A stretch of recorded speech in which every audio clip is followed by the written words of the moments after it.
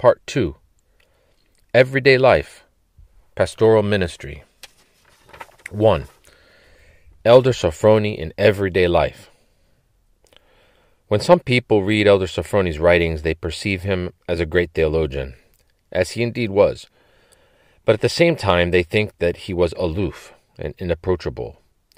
The reality, however, was completely different. When you met him, you saw an ascetic whose existence was integrated and whose life was simple and pure. You saw a genuine, authentic human being, free from every kind of passion, insecurity, or conventionality. Father Sophrony had many great experiences, both human and divine, during his life. He was not inclined to write about these matters, but he did so when he had to, when it was necessary. When I read the first edition of Father Sophrony's book about St. Silouan, I conceived the desire to meet him in person. At that time, he was living in England at the monastery of St. John the Baptist in Essex, and I wanted to visit him. He was in his eighties then, but he still was vigorous and strong in spite of the illnesses from which he suffered. He would receive everyone. He conversed with people. He heard confessions though not many. He celebrated the liturgy every Sunday, and often on Saturday as well. He was writing his last books. He would eat with us in the refectory of the monastery, and he held meetings with the monks. Now and again he would travel to visit other communities at their invitation. He would visit the homes of people he knew in towns nearby, and so on. He was full of life and spread optimism everywhere. That period when I conceived the desire to visit the elder was a difficult one for many reasons, which I shall set out below. Be that as it may, I went to England to meet him for the first time in 1976, 31 years ago. Footnote The author, Metropolitan, he wrote this, is writing in 2007. To continue, I stayed at the monastery for about a month and a half and from then on I used to visit the monastery almost every summer for many years. And I was in spiritual communication with the great elder of blessed memory.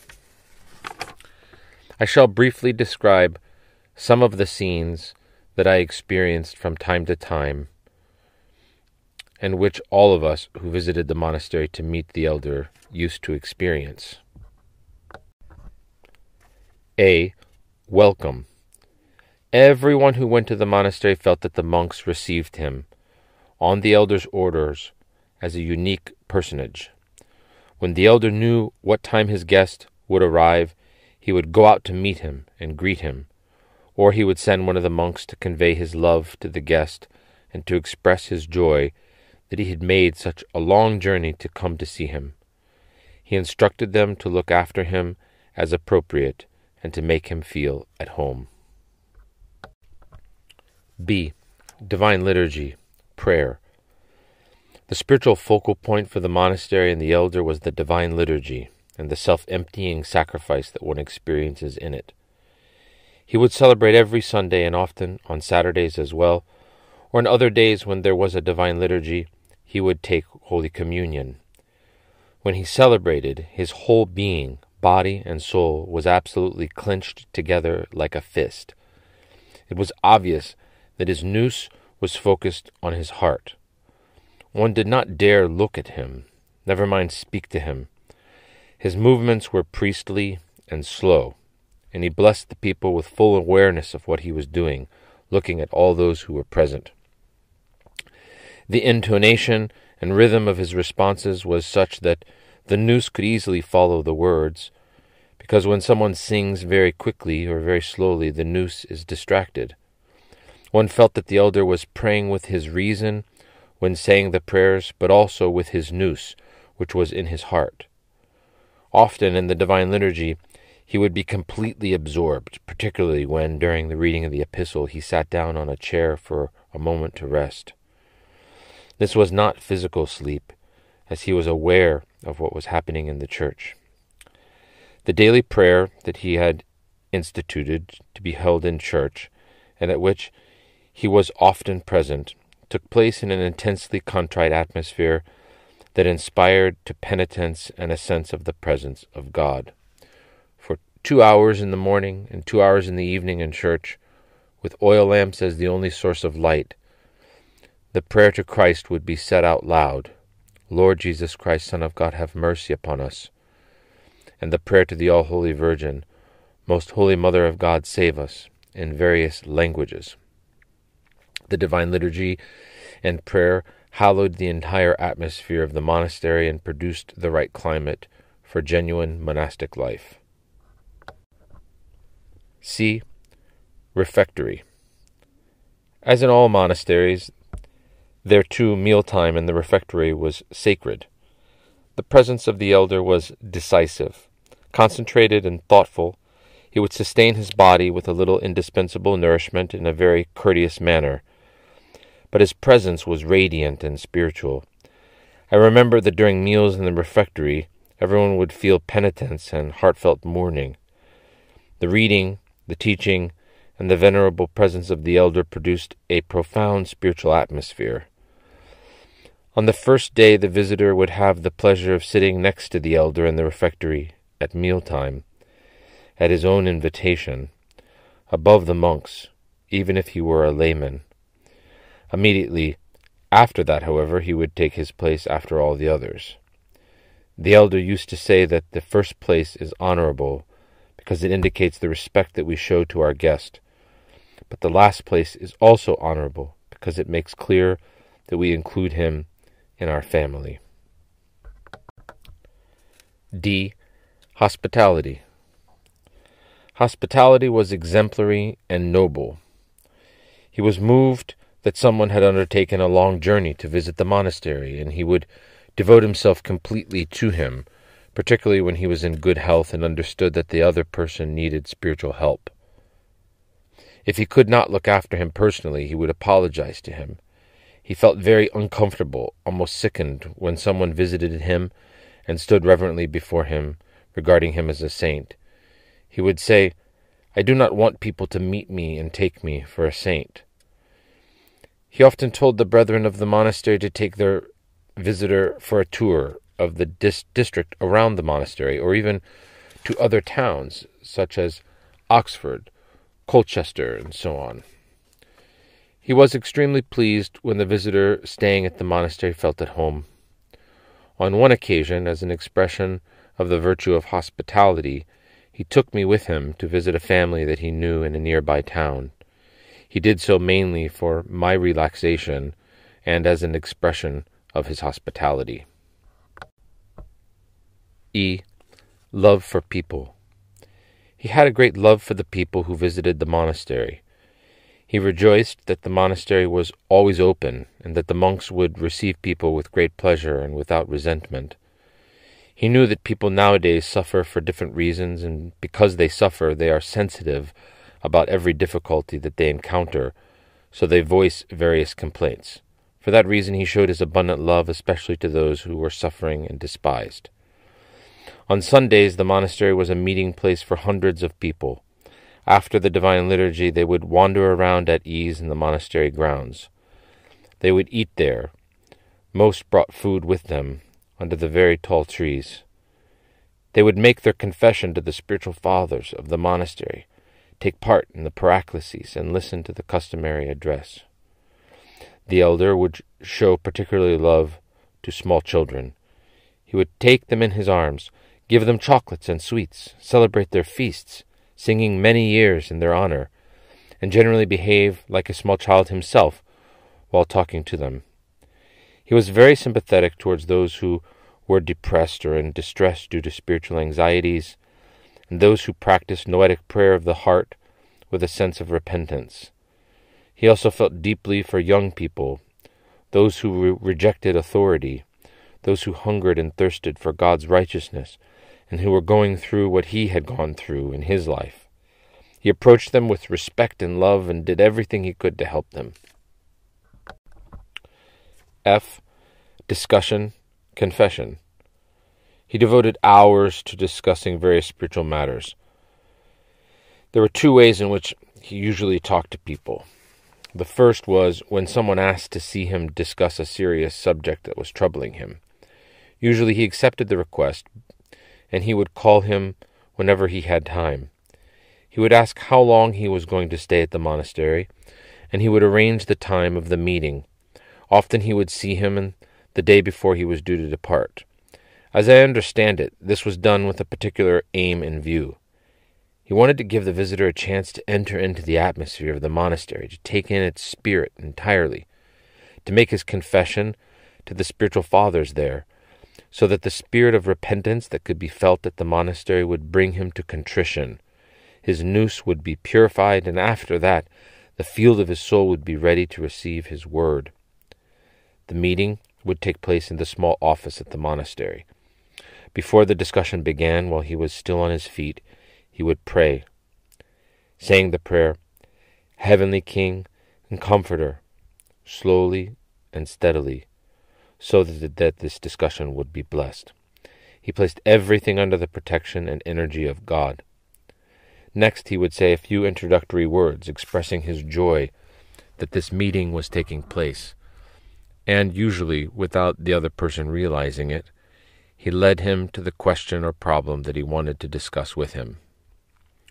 When the one he was talking to wanted to make his confession, the elder would slowly put on his stole and read the appropriate service with a slow rhythm. Once he had heard the confession, he would say a divinely inspired therapeutic word, not merely by way of conversation, but whatever God revealed, the first word that he made known to him. He would then read the prayer of absolution slowly and contritely. If the discussion was not of a personal nature but general, immediately after the midday meal he would invite the abbot or another member of the community to join this meeting with the visitor.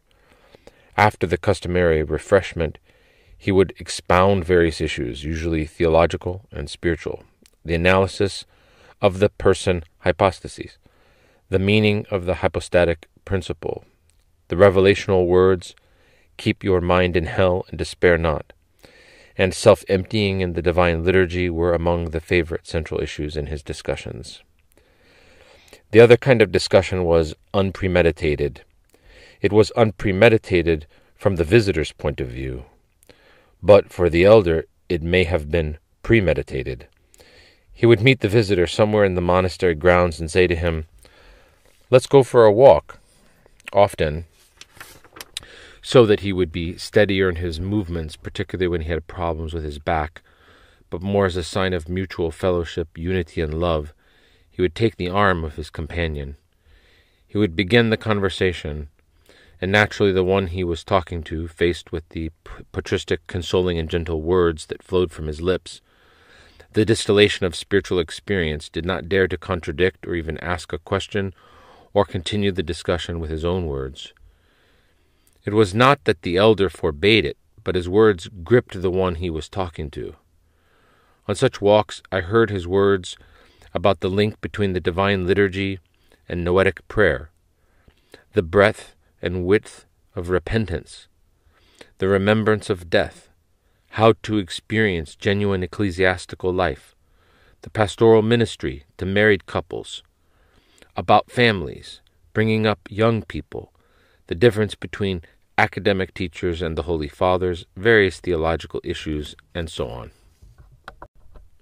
G. Visits. Because his heart was sensitive towards everyone, he would pray for people living all over the world. In particular, he prayed for those who were in spiritual contact with him, most especially when they were in distress or practicing noetic prayer, or were inclined toward the monastic life or were at the spiritual stage of the withdrawal of divine grace. He was continuously interested in them with nobility of spirit. He often made visits to those who asked for his help, or whom he himself perceived to be in need. He would go to people's homes to bring them a consoling word. He would visit the sick in hospital. But he would also go to communities which were seeking to live the spiritual life. H. Love for nature. He loved nature, God's creation. He liked to see the area around the monastery well kept, and he respected every blade of grass, as it was a product of God's creative energy. He wanted saplings to be planted at the monastery. He would specify the location and the type of trees to be planted himself. On one occasion he came out of his bungalow to watch us planting saplings. He was so delighted that he called us in to give us a cold drink. I. Sense of humor. The characteristic feature of a saint is said to be a sense of humor. Studies have been made of patristic writings, and many such examples have been found. We see this especially in the letters of St. Gregory the Theologian, but also in contemporary holy figures, such as Father Paisios. Father Sophrony also had this sense of humor. As has been mentioned already, he was upset and did not want to continue the conversation with anyone who approached him convinced that he was talking to a saint. If this happened, he would bring the conversation to an end and find an excuse to leave. He would use very clever phrases which contained elements of joy but also of gentle instruction. He would laugh wholeheartedly at something that he saw or heard. Occasionally, he would behave with childlike simplicity without becoming childish. He had all the characteristics of a child within the wisdom of a great man. When he was walking along the paths in the monastery grounds and met a group of adults or children whom he knew, he would approach them, or they would approach him, and he would tell them edifying stories. From the joyful noise, everyone knew where the elder was. J. Taking leave. When someone had stayed for a long time at the monastery and entered into its atmosphere, he was regarded as a member of the family. So the day of departure was a moving experience. All the monks would gather together with the elder in the church of the monastery, and the appropriate service would be held, in which they besought God to bless the visitor's journey, and read the appropriate gospel reading and the appointed prayer. After this service, everyone went out onto the road beside the car in which he was going to travel. Everyone took leave of him. They would give him a gift as a blessing. Sometimes, at the visitor's request, a photograph would be taken as a souvenir and as the car drew away from the monastery, everyone, with Father Sophrony in the lead, would wave goodbye with their hands for a long time, until the car disappeared round a bend in the road. Some would even take out their handkerchiefs and wave them to bid farewell to the departing visitor. It was impossible for anyone to remain unmoved by this send off, and surely no heart remained unaffected by this warm expression of love. I was an eyewitness to the instances described above, so the description is trustworthy. They may have happened on different days and at different times, but they all might have taken place in a single day. Thus, they, they give some indication of Father Sophrony's daily program. He once said to me characteristically, quote, What happens in our monastery is what happens with the typicon of the church. There is the basic book of the Paraclitiki, which contains, excuse me, which contains the troparion for every day in the specific tone. At the same time, however, these troparia alternate with those of the Menaion, which refer to the saint celebrated on that particular day. This is what happens in our monastery. We are the Paraclitiki, the stable basis, but every day new guests are added. They do not change our timetable, but they receive something from us, and in this way our daily doxology is offered up to God. End of quote. It makes a huge impression on me that such a great theologian of our day, one who, who, who knew leading theologians and philosophers, but most of all was found worthy, as is clear from his writings, of acquiring great experience of God and reached the point of theoria of the uncreated light, should be so near us, and that he should behave so simply and humanly. Although the comparison is not exact, it is like seeing Christ being transfigured on Mount Tabor one moment, and the next moment seeing him among people, alleviating their pain, one moment singing with his disciples at the Last Supper, and not long afterwards being crucified, teaching one moment and taking little children in his arms and blessing them the next, reproving the scribes and Pharisees one moment, and the next letting the woman who was a harlot wash his feet and forgiving her sins. Elder Sophrony was a great hesychast and an empirical theologian, but also a loving and genuine spiritual father. All who knew him can vouch for his wisdom, simplicity, tenderness, and abundant love, especially towards those who were aware of their poverty of spirit.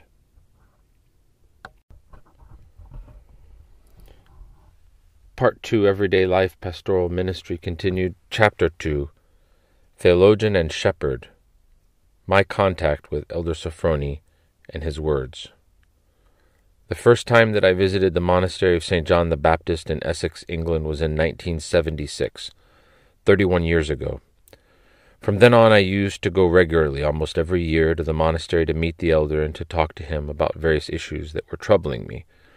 Sometimes I would ask him, and he would reply, but mostly there was no need for me to ask him, because he raised the subject and brought it to a conclusion. I would listen to him respectfully and with great attention.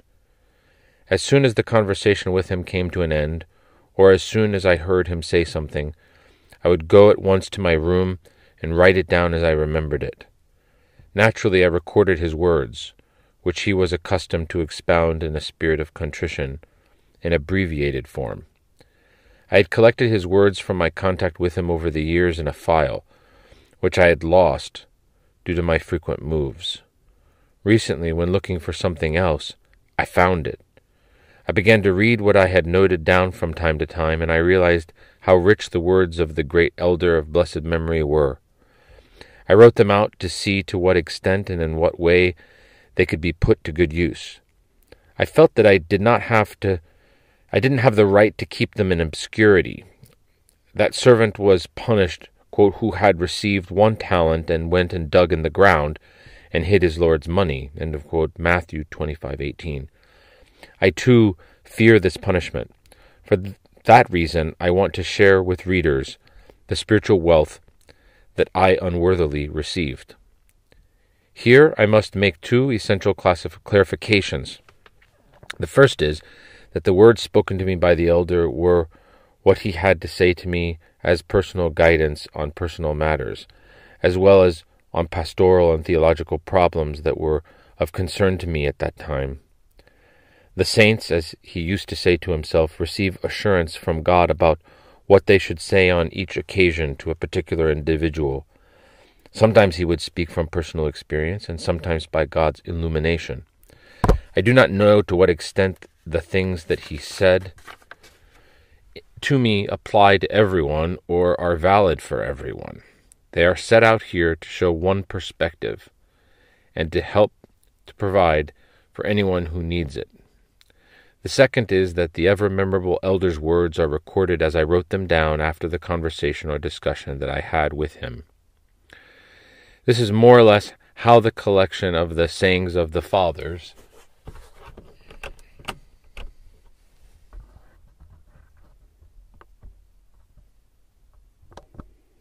was compiled.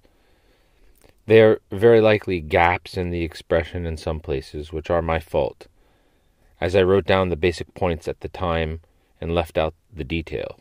So, if there is any lack of clarity in the words or any misinterpretation, this should be attributed to me and is connected with how intensely I was paying attention. My memory and my spiritual state at this time is not due to the elder. Be that as it may, these words clearly reveal the elder's depth, his love, and his powerful personality. I feel that what I received from him, which formed my theological frame of reference, is equivalent to having studied at a school of empirical theology, superior to any academic faculty, with a wise and experienced professor who had suffered and learnt divine things and subsequently taught the knowledge of God, the Word of God, and not words about God. His theology was a narrative. He would relate what he had seen and heard during his revelational experience. I glorify God for this gift. When someone reads the words of the elders, such as those which I have preserved and record below, he sees a man whose nous clung to God and who spoke about the spiritual life and even about ecclesiastical and social matters from this perspective. It is also particularly impressive that although the elder went through many fluctuations in his life, the experience of hell and paradise, the remembrance of death and his resurrection, the sense of the abyss, but also the experience of the knowledge of God, all the same, his spoken word was calm, and his theology reflected peace, and set the soul of the one with whom he was speaking completely at ease. In general, as the reader will ascertain in this second part of the book, his words are the crystallization of empirical knowledge of God, an expression of love, peace, and meekness, the distillation of long standing and complete knowledge of God. Each time Elder Sophrony's words are quoted, they will be preceded by a short introduction setting out how and where the meeting with the elder took place, and a general description of the atmosphere that prevailed during the discussion. In this way, instead of bare words, his words will be placed within the context in which they were spoken. 1976. From 1964 to 1968, I studied at the theological school in Thessaloniki. I regarded this as a particular blessing because at that time, that theological school was regarded as patristic since all the professors were working on the fathers of the church particularly on the teaching of St. Gregory Palamas. Young academic theologians, under the guidance of Professor Panayotis Christou, were involved in editing the critical edition of the works of St. Gregory Palamas. The fact that Roman Byzantine Thessaloniki and the theological school were near the Holy Mountain helped towards this end.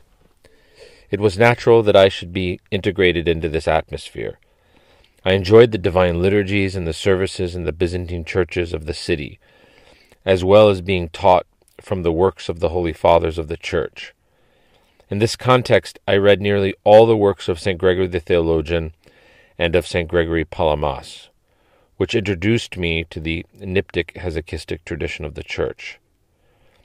At the same time as my studies at the theological school, I regularly visited the Holy Mountain especially during the summer. Under the supervision of Professor Panayotis Christos, I worked with a team of students for a whole summer in the libraries of the monasteries of the Holy Mountain. After work, whenever the opportunity arose, the other students and I would race like thirsty deer to other monasteries, to Sketes and the desert of the Holy Mountain. We relished the long vigils and services the encounters with simple monks, the long walks along blessed pathways. A spiritual vacuum was created within me, however, for which I myself was to blame. On the one hand, I was reading the works of the Holy Fathers with their amazing theology, and on the other, I was meeting ascetics on the Holy Mountain with great humility, simplicity, and freedom, but who did not express this theology that I had found in the writings of the Holy Fathers, at least as far as I could see. At that time, there were also various problems in the ecclesiastical administration. In 1967, Archimandrite Hieronymus Kotsonis, professor of the Theological School of Thessaloniki, took over as Archbishop of Athens. He was chosen by an unelected synod and there was discontent and reaction from other bishops. Thus, I saw a divergence between the theology that I was being taught at university, the simple life of ascetic monks, and the meddlesome ecclesiastical administration full of passions. This divergence intensified in the early 1970s, when I was ordained to the clergy. I would read the Neptic texts of the Holy Fathers, such as the works of St. Nicodemus of the Holy Mountain, particularly a handbook of spiritual counsel, the guarding of the five senses, and the commentary on canons of the great feasts. However, at that time, many people's opposition to Archbishop Hieronymus of Athens was growing. The culmination with his resignation as archbishop the election of a new archbishop, Seraphim from Ioannina, the enthronement of 12 bishops in 1974, the election of new bishops, and the associated ecclesiastical conflict after the change of regime in Greece. I was living in a curious state. On the one hand, the writings of the Holy Fathers revealed a church that was the body of Christ and a communion of deification, but on the other hand, I saw a church dominated by passions, conflicts, and overbearing tendencies. All this discord caused me distress at the beginning of my ecclesiastical ministry. Certainly, my metropolitan, the ever memorable Bishop Callinicos of Edessa, Pella, and Almopia, restored equilibrium in very many respects, because I saw in him a humble bishop with a patristic approach and an ecclesiastical consciousness, who lived like an ascetic and did not get involved in ecclesiastical controversies. Nevertheless, the whole atmosphere that prevailed in the church raised various serious questions within me. I would ask myself, quote, Where is it expressed that the church is the body of Christ and a communion of deification? How can passions be justified in a church that teaches the neptic hesychastic tradition? Why can theology not be linked with the pastoral ministry? And sometimes there is theology that does not exercise a pastoral ministry, and sometimes pastoral care that does not theologize. How is the hesychastic neptic tradition linked with theology? Why are there no fathers of the church today? As in the past, there was St. Basil the Great, St. Gregory the Theologian, St. Gregory Palamas, and so on. Has the patristic tradition disappeared? And many similar questions. At that time, in 1973, Archimandrite Sophrony's book, Staretz Silouan the Athonite, was published and circulated in Greek. I was given it as a gift. On reading the title, I said to myself, one of many books that are in circulation. Everyone is writing about monks and elders. Here's an archimandrite writing about some monk I have never heard of. I began, however, to read it. It made a great impression on me. I realized that this book was an answer to the questions that were bothering me, because it brought together theology and the monastic life, hesychism and the sacramental life, asceticism and the orthodox ethos. I thought that the author must be an excellent theologian and priest. I had actually heard of him in 1963, when someone I knew was studying in London and used to visit the monastery of St. John the Baptist in Essex, where Archimandrite Sophrony was abbot. Full of the questions mentioned above and impressed by reading the book about Staretz Silouan, I decided to visit the monastery in Essex and to meet Staretz Silouan's disciple, the author of the book about him. Naturally, when I met him, as I shall record below, I realized that he was what I was looking for. He brought together in himself all three elements. He was an empirical theologian, a great hesychast, and a discerning spiritual father, full of affection and love. After various adventures, which this is not the place to mention, I visited the monastery of St. John the Baptist, Essex, England, in June 1976. I asked the abbot, Archimandrite Kirill, Father Sophrony had stepped down from being abbot, to let me stay a few days at the monastery. He consented, and I stayed with them for about a month and a half. The day I arrived at the monastery, I inquired after Father Sophrony, and they told me that he was away from the monastery and would return in a week's time. So, before I met Father Sophrony, I spent the first week in the spiritual atmosphere which he had created in his monastery. I experienced three things with great intensity. The first was the daily services. Accustomed to the festive services of Vespers and Matins, which I had taken part until, na- until then, I was deeply impressed by the way in which the services were held there.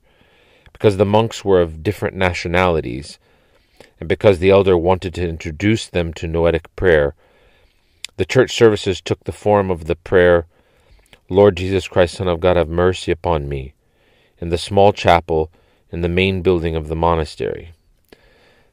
The main building, the old rectory, was not built to serve as a monastery but as a house, and they had bought it and turned it into a monastery.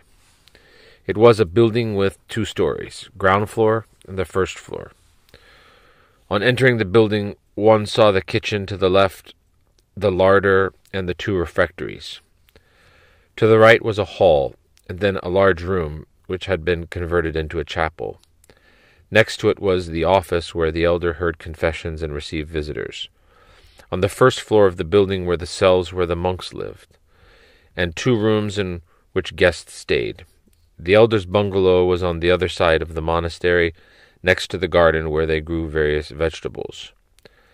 Matins and vespers each lasted about two hours. The monks would say the Jesus prayer Lord Jesus Christ, Son of God, have mercy upon us. Out loud in turn, each in his own language, surrounded by profound silence and in the dark. A complete typicon had taken shape with the Jesus prayer. I remember that the first time that I had experienced this service, I almost lost my bearings. When I came out of church, I did not know where to go.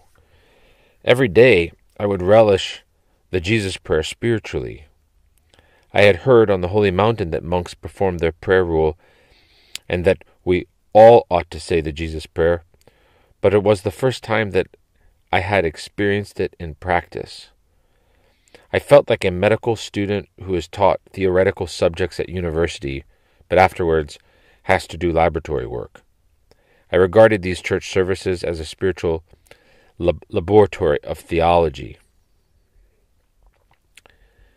My second experience was the divine liturgies, which took place in this contrite atmosphere. Every Tuesday, Thursday, and Saturday, the divine liturgy was celebrated in the small chapel of St. John the Baptist, and every Sunday in All Saints Church, which was one or two kilometers further down the road from the monastery.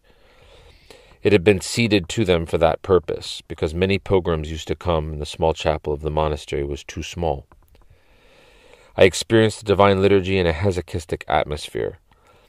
The way it was celebrated at the monastery bore no relation to how it was celebrated in the noisy environment of the parish churches with which I was familiar. The third thing that I experienced was daily life at the monastery. I asked them to regard me as a monk of the monastery, so all week I worked with the other monks. At that time, the building that was to house a refectory and kitchen on the ground floor and a library and other rooms on the first floor was under construction.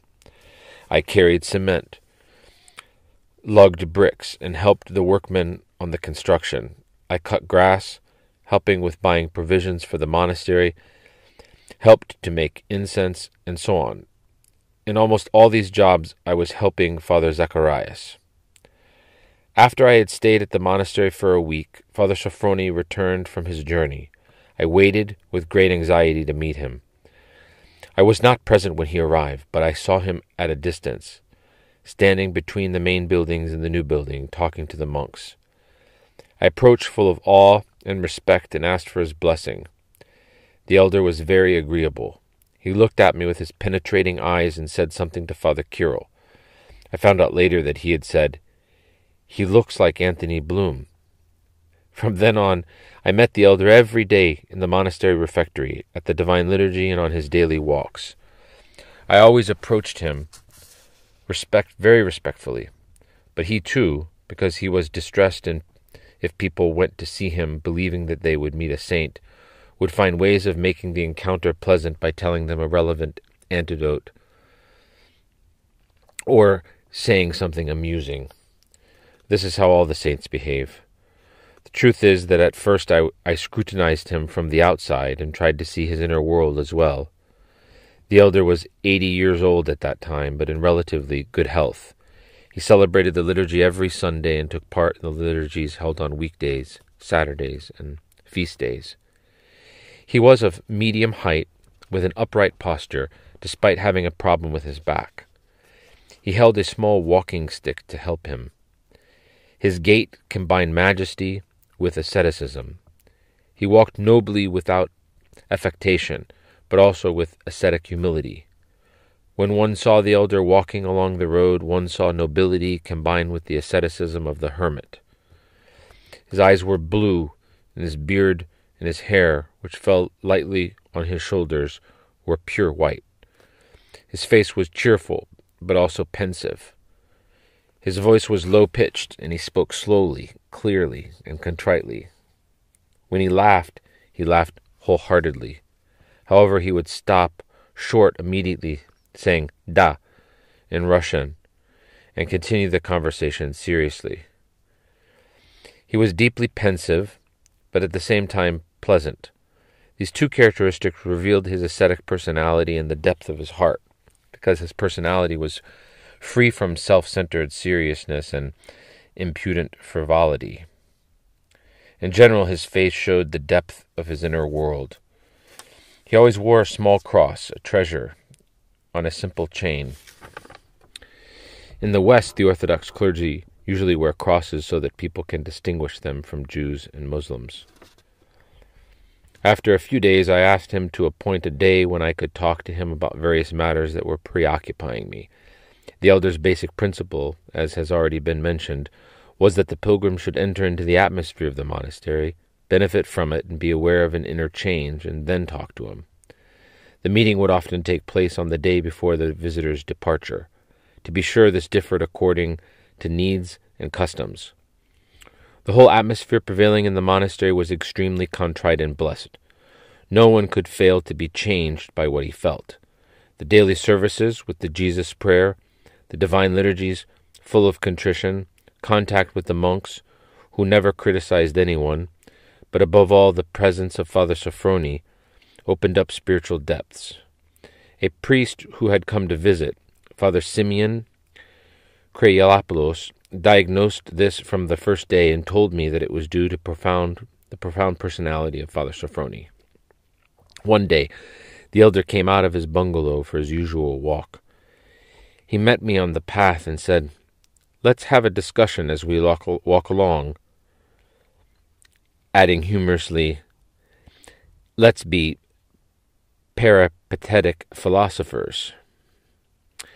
We began walking along the lane from the monastery towards All Saints' Church. This was a narrow asphalted road wide enough for one car. Two small cars could pass each other with difficulty. To the right and left there was abundant vegetation, nettles, and other greenery. At first I asked a question. He gave the relevant answer and proceeded from one subject to another, as if he had taken an x ray of the problems and questions that I had inside me.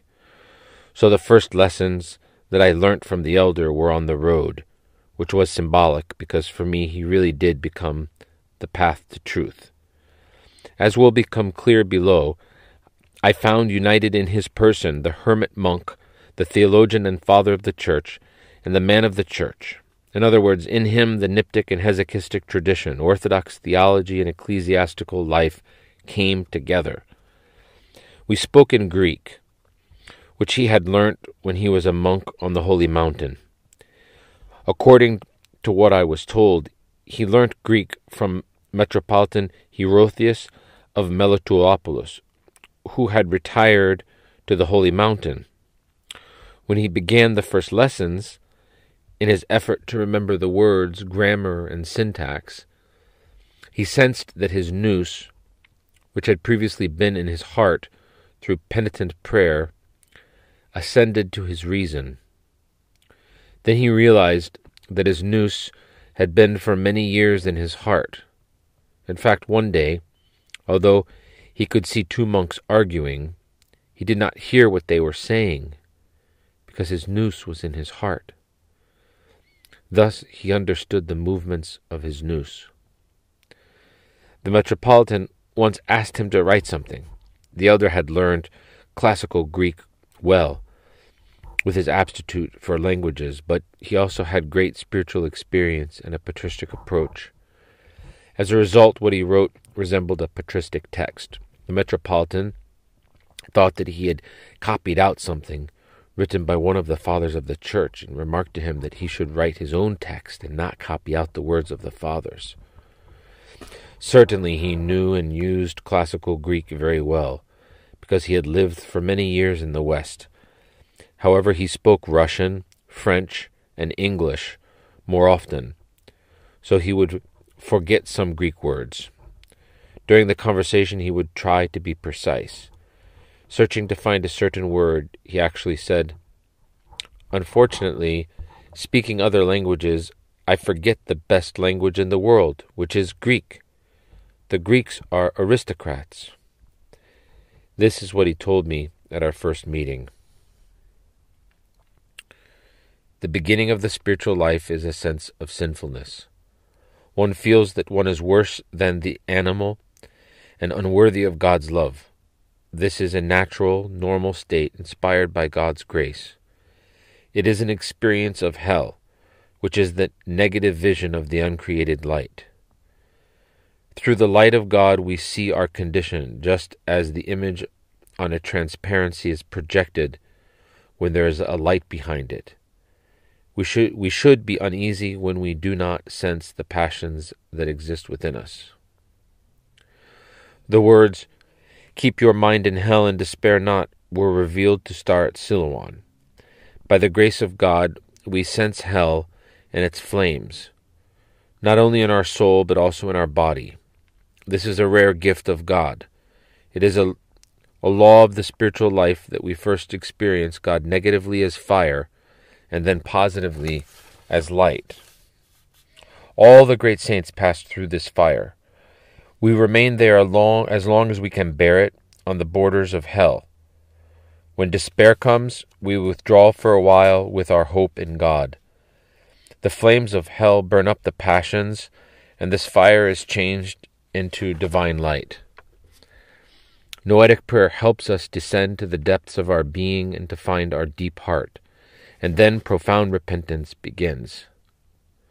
Then the heart becomes very sensitive. The Divine Liturgy, however, helps us to enter into the whole tragedy of humanity and to pray for people's suffering. We live Christ's prayer in Gethsemane and his crucifixion on Golgotha. The Divine Liturgy helps us to penetrate into the whole of humankind and to pray for the departed and for sinners. The spirit of the Divine Liturgy is the spirit of sacrificial love, the depth of Christ's self emptying and his prayer in Gethsemane, which we should imitate. The teaching about the person is important for our era. Many people talk about the person in a philosophical, psychological, or personalistic way. The person, however, is a revelation by God to man. Through God's revelation and manifestation, man senses that God is person, but man himself is also a person and comes into contact with God person to person. This hypostatic principle, which is present within us from our conception, is activated by God's revelation, by theoria of the uncreated light, and this is the basis of the ascetic and spiritual life. The fathers prefer to speak about the hypostases rather than the person because the word person can lead to an external view of the concept of the person and to personalism. The hypostatic path is the route to participation in the glory of God in the person of Jesus Christ. We walk along this path with the mysteries and with asceticism. As I mentioned earlier, I stayed at the monastery for about a month and a half, taking part in all the work and services. I would often see the elder at the services and divine liturgies. I concelebrated with him, and I perceived how great a saint celebrates the liturgy. A few days before my departure, I asked him, completely spontaneously, to give me a piece of the relics of Staretz Silouan, which Father Sophrony had taken after the exhumation of his relics and kept in the sanctuary of the chapel. It should be noted that St. Silouan had not yet been included in the Church's calendar of saints. Father Sophrony responded with delight. He was very pleased because I had told him that in Edessa we held a vigil every month, and at the appropriate point in the service we would read the writings of St. Silouan. I regarded it as a special blessing from God that he himself gave me a part of St. Silouan's relics. The day before I had left, I asked the elder for another meeting. This time the meeting took place in the office next to the chapel of St. John the Baptist. All the ritual which the elder observed on such occasions, even when there was only going to be a discussion, we would he would stand upright in front of the chair behind the desk, lift up his head to heaven, and close his eyes, saying the prayer, Heavenly King and Comforter. And then, after making the sign of the cross, he would sit down and begin the discussion with solemnity that I have hardly ever encountered. The discussion did not take place in the usual worldly manner. Mostly, I asked a simple question, and he began to reply without me interrupting. Sometimes he would begin the discussion prompted by various things. For example, he expressed his pleasure at the communication between us and said that when this communication takes place in the Holy Spirit, it becomes a prophetic event. In this last discussion, he told me the following. Many theologians talk about deification in the abstract. What is important is to keep Christ's commandments. In this way, we arrive at deification in the light. Dispassion is when Christ comes into our soul and body. Struggles and battles begin after the first visitation of divine grace. It needs a long time for someone to assimilate the first grace that he received. And this assimilation comes through patience and fortitude in periods when divine grace is withdrawn. We recognize the visitation of divine grace from contrition, the sense of repentance, and weeping. Joy comes immediately afterwards. The vision of the uncreated light comes negatively in the beginning, with tears and weeping, the sense of hell because we see our passions. This is the start of the spiritual life. Those with many years' experience feel the opposite after supplicatory prayer and the visitation of divine grace. In other words, first they taste the joy of the visitation of divine grace, and then come the tears and mourning. This happens after 25 years of fruitful struggle as a Christian. We must be careful about how we live in the world, especially we monks and clergy. We should pray continuously, even when walking along the road. We should say, Lord Jesus Christ, save thy world and me. We should also say the prayer, Lord Jesus Christ, Son of God, have mercy upon me, a sinner, for a short time in the morning and a short time in the evening.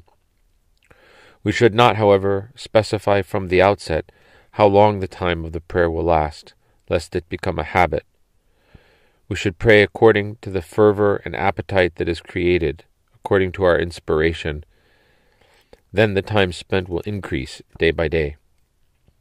When we repeat the Jesus prayer, all our passions will be revealed, because then the devil makes.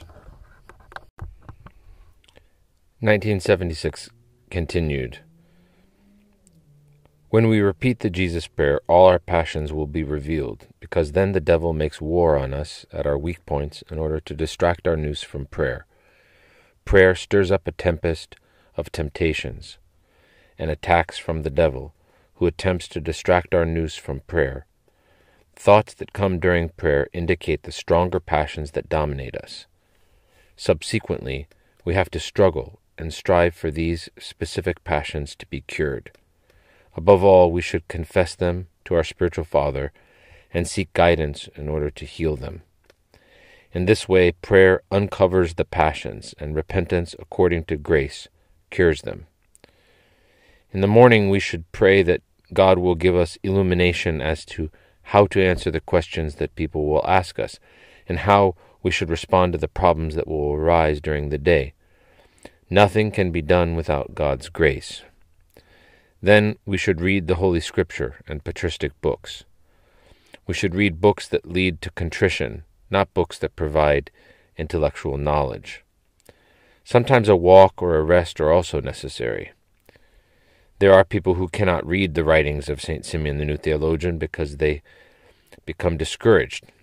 I recommend to beginners that they read the instructions of Abba Dorotheus, which are very practical we need to teach our nous to attach itself somewhere, to God, to our brethren, to our spiritual work, and not let it wander about as it wants under the influence and sway of the passions.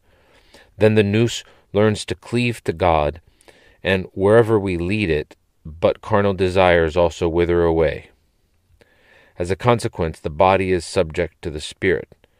Something similar, though not identical, happens in the case of those who work with their reason academics, philosophers, and artists. We, however, attach our nous to God.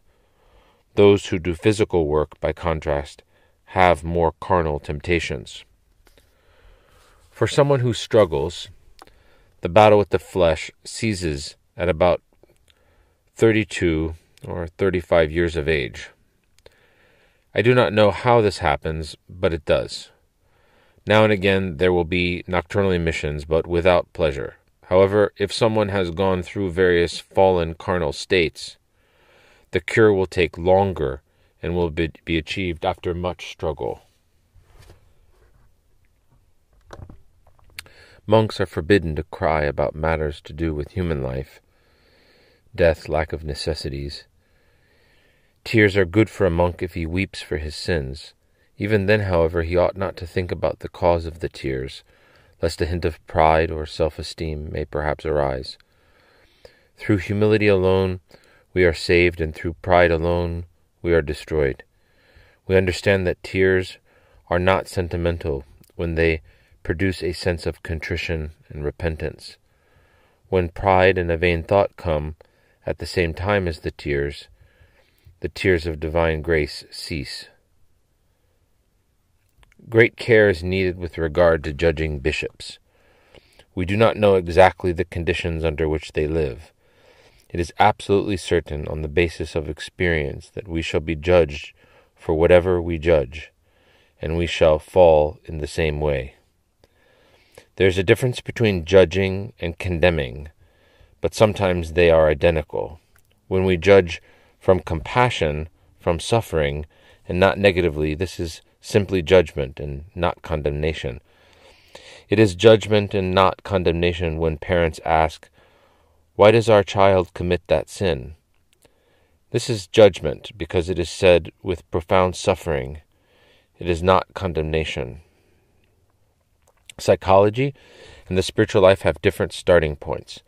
Their anthropology is different. However, we cannot overlook psychology, which mainly helps people who are atheists and do not want to use the hesychastic tradition of the Church. It is a remedy for people who are far from the living God and are in terrible torment. It should be used discreetly and wisely. Medication with help will may help the body that has suffered serious harm from various problems, but the cure will come through man's regeneration by the grace of God. The soul's wounds are cured by means of prayer. On the morning of the day I was to depart for the airport, the monks asked me what time exactly I would leave the monastery. At the specific specified time the elder called all the brethren to the church and a special service was held for a brother setting out on a journey. After that, he and all the fathers embraced me. As the car was leaving, the elder and the brethren came out onto the road and waved goodbye with their hands, some with their handkerchiefs as well, until the car turned to the right after five or six hundred meters and disappeared from sight. It was a moving scene and a set set a seal on the whole blessed way of life that I had enjoyed during those days at the monastery of St. John the Baptist. I recorded my impressions from this first visit to the monastery in an article entitled Orthodox Presence that was published in the periodical Parish Priest and was included in the book Time to Act. Reading this text, one sees the powerful experiences that I lived through that summer at the monastery of St. John the Baptist in Essex. These impressions are also clear from a letter which I sent to the abbot of the monastery, Archimandrite Kirill, and which is quoted below. Quote, Edessa, July 22, 1976. Dear brother in Christ, Father Kirill, your blessing with the help of Holy God and by your prayers, I returned safely to Edessa last week. My impressions from my recent visit to your blessed monastery still remain fresh. I cannot conceal from you that I was very deeply moved. These are not exaggerated words or rhetorical phrases or a wrong, mistaken evaluation of things, but the reality. Among you I passed the finest moments of my life. I cannot say more, but I want you to believe me that my stay at your monastery is linked with powerful and sacred experiences, dynamic decisions, amazing occurrences. I think that perhaps it is impossible for you to conceive what you gave me and what spiritual nourishment I received every day by the energy of the Holy Spirit. Later on, after my departure, when I tried to recall and assimilate your love and affection, I was stunned. On account of your modesty, you would prefer not to read the above, and perhaps you regard it as a consequence of the Greek tendency to praise. You should be aware, however, that these are absolutely sincere words, without the least hypocrisy, with gratitude which gratitude imposes, for this is natural, Peter of Damascus, although they are based upon many phrases from Paul, the apostle to the Gentiles, who was truly the cultivator of truth and loved Christ madly. Let chapter 1 of his second epistle to the Thessalonians serve as an example. Thus, I give thanks with all my heart for the love that you showed me, of which I was unworthy. Please pray for me that the Lord God may keep me in constant repentance and profoundest humility, that I may turn to good account everything that I experienced among you. I greatly desire, Father, to acquire and to retain the blessed joyful sorrow of holy contrition, John Climacus, since I am clearly aware that it is a divine fire that melts mountains and rocks and levels all things and transforms them into gardens of paradise and changes the souls that receive it. In their midst it becomes a flowing fountain, water of life that constantly leaps and bounds, that waters them abundantly and flows down as from a reservoir to those that are near and those that are far off, and fills to overflowing the souls that receive the words with faith. Simeon the New Theologian. For this reason I also fervently entreat you to pray to the Lord that my heart may be filled with this holy contrition, which is undistracted pain of soul, St. John Climacus, and that I may thus live the heaven of the heart. I thank all the brethren because they bore with me and ministered to me in the name of Jesus Christ. I must confess that I bothered Father Zosimus, most of all with my sometimes excessive requests. I thank everyone wholeheartedly, and I ask you to forgive me if I made any omissions or mistakes. We do not cease to pray for you and to ask that you may be filled with the knowledge of His will in all wisdom and spiritual understanding, that you may walk worthy of the Lord, fully pleasing Him, being fruitful in every good work and increasing in the knowledge of God, strengthened with all might, according to His glorious power, for all patience and long suffering with joy Colossians 1 9 to 11. Please give me give my respects to the elder and my love in Christ to the brethren. Last Sunday I was with you all day long. With the love of Christ. Signed Archimandrite Hierotheus Vlachos. Footnote Father Zosimus is now Archimandrite Zacharias. 1977. In 1977, I did not visit the monastery, although I was in constant touch, especially with Father Zacharias, a brother of the monastery. That summer, very much impressed by the service with the Jesus prayer, Lord Jesus Christ, Son of God, have mercy upon me, which I had experienced at the monastery in Essex, I went round a number of monasteries sketes and cells in the desert of the Holy Mountain, asking many monks about the power and energy of the Jesus prayer. I had already taken practical lessons the previous summer at the monastery in Essex. As a result, I approached the Holy Mountain from another perspective. I came to know the deeper aspect of the Holy Mountain, its secret heartbeat, which is the prayer, Lord Jesus Christ, have mercy upon me. My visit to the Holy Mountain after that year, after the preliminary training that I had received at the monastery of St. John the Baptist in Essex, was truly blessed. I met many fathers whom I asked about the Jesus prayer, the heart, the nous, the vision of God, the knowledge of God, and so on. It really was a summer full of spiritual blessings. I heard words of God that issued from the spiritual experience of the elders. I felt like those pilgrims who used to ask the desert fathers questions, and from their answers, the sayings of the fathers was compiled. That year I visited the holy mountain three times after Easter during Bright Week, in June, and at Christmas. Bright Week. My first visit took place in Bright Week, as the desire to visit the places where St. Silouan and Father Sophrony had lived kindled within me. First of all, I visited the monastery of St. Pantaleon, the Russian monastery. I had read about the life of St. Silouan in the book of Father Sophrony had written, and I had heard a lot at the monastery in Essex. I entered the Catholicon, the main church of the monastery, where these two blessed elders prayed and kept vigil. I walked on my own, though accompanied by the Jesus prayer, along the path that St. Silouan used to take from the harbor to the mill, loaded with sacks, but also with repentance and love for God. I went into the church of the prophet Elijah, where St. Silouan saw the living God to the right of the royal doors, in place of the icon of Christ. I went into the monastery refectory, where God's grace visited St. Silouan for a second time, similar to the first, while he was serving. I went to the church of the protecting veil and venerated the sacred skull of St. Silouan that is kept there. Altogether, I went reverently round the whole of the monastery. In the monastery of St. Pantaleon, I also sensed the presence of Father Sophrony. I visited his cell, where, according to his own account, he had experiences of the uncreated light, as well as the workshop of the monastery, especially the balcony facing the sea, where in the evening the elder had many conversations on spiritual subjects with St. Silouan.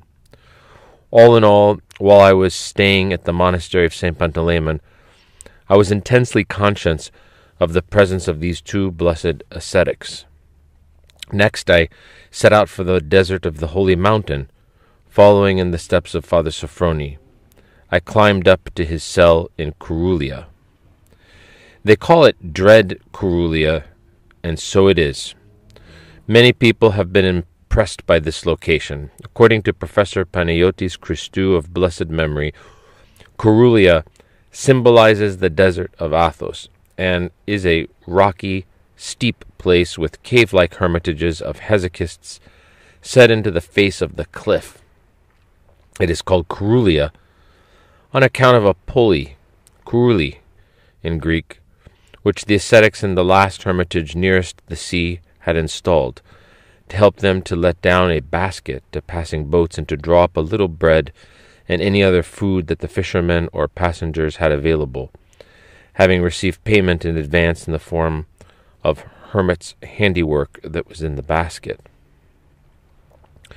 The ever memorable Fotis Kontoglou gives a fine description of these hermitages.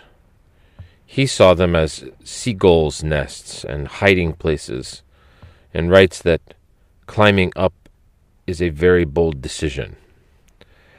At that time, a Serbian ascetic, Father Stephen, was living in the hermitage where the elder used to live. Some regarded him as deluded, but when one approached him, one saw a monk full of joy and remarkable for his simplicity. That place impressed me. I observed the cave like hermitage, but in my mind I tried to go back nearly half a century to the time when Father Sophrony was living there as an ascetic. I saw a cave that had water, and in the narrow external part, a small whitewashed building had been constructed with a small chapel. Outside, Father Stephen was cultivating a garden with vegetables and flowers. Naturally, the soil had been brought from somewhere else. Father Sophrony lived here for about four years two years as a hierodeacon and two years as a priest in complete isolation and intense repentance, mourning thirst for God, prayer, and experiences of divine vision. It was the period of the Second World War, and the elder lived the global tragedy and prayed for the whole world.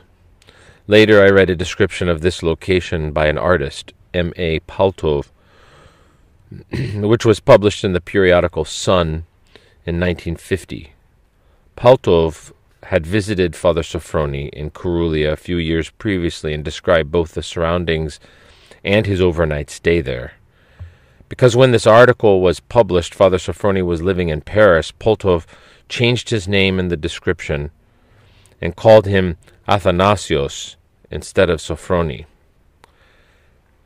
I quote the text so that we may acquire a sense of those hermitages and some awareness of the elder's life in the desert. Excerpt from M. A. Poltov. Quote, it began to grow dark when after a laborious all day journey, I descended a steep and dangerous pathway and drew near to the caves where the hermits spend their whole lives. I was already moving among the shadowy and rugged rocks upon which the waves of the sea were beating. The sight of the bare rocks, with the very few trees here and there, the boundless sea, the sound of the breaking waves, and the hermits' caves that could be discerned in the crevices constitute a spectacle as unimaginably magnificent as it is wild. I approached with difficulty. These caves were not easy to reach.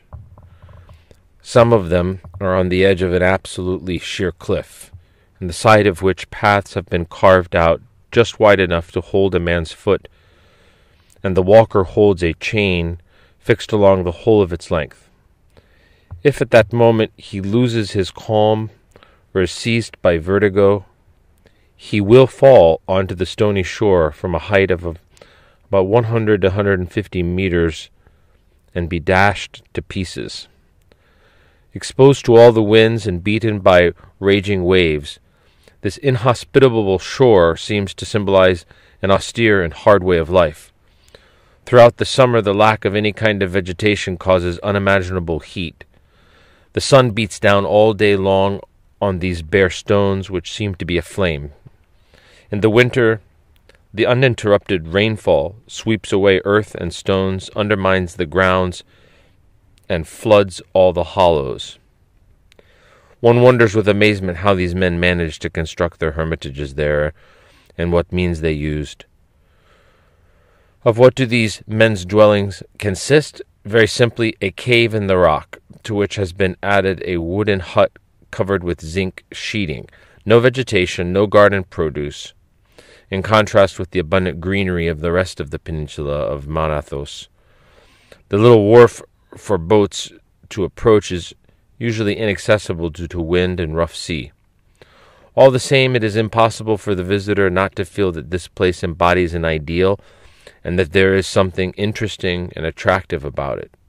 One senses that there is some sort of mystery in the soul and mind of those who have chosen to spend their whole lives in this place, far from the world, with real fasting and deprivation for the sole purpose of communicating with the Most High. What are they thinking of, I wonder? The desire to find out something brought me to the door of a hermit. It was a small wooden hermitage with one inner partition and a small yard with a natural stone wall and a small tree in the middle. A narrow pipe resting on the tree brings the hermit potable rainwater from a natural reservoir a little higher up. During long periods of drought, even this small quantity of water often fails. An elderly monk with a very sad expression, thin and wrapped in rags, opened the door to me. I asked him where the hermitage of Father Athanasios, note Father Sophrony, was, whom I wanted to see.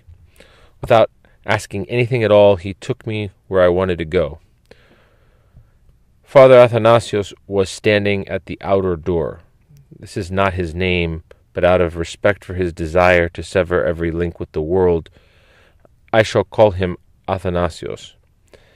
A refined and courteous young man, fair haired, slim, pale, and with wonderful blue eyes. Welcome, he said to me and held out his hand. Come in. His hermitage was no different from the others that I have described.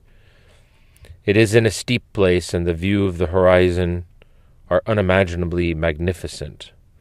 The pipe from his water supply reservoir was also resting on a small tree and on empty tin cans.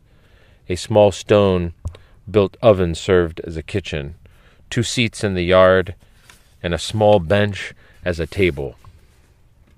On the right, the opening of the cave, which was also the last resting place of the previous inhabitant.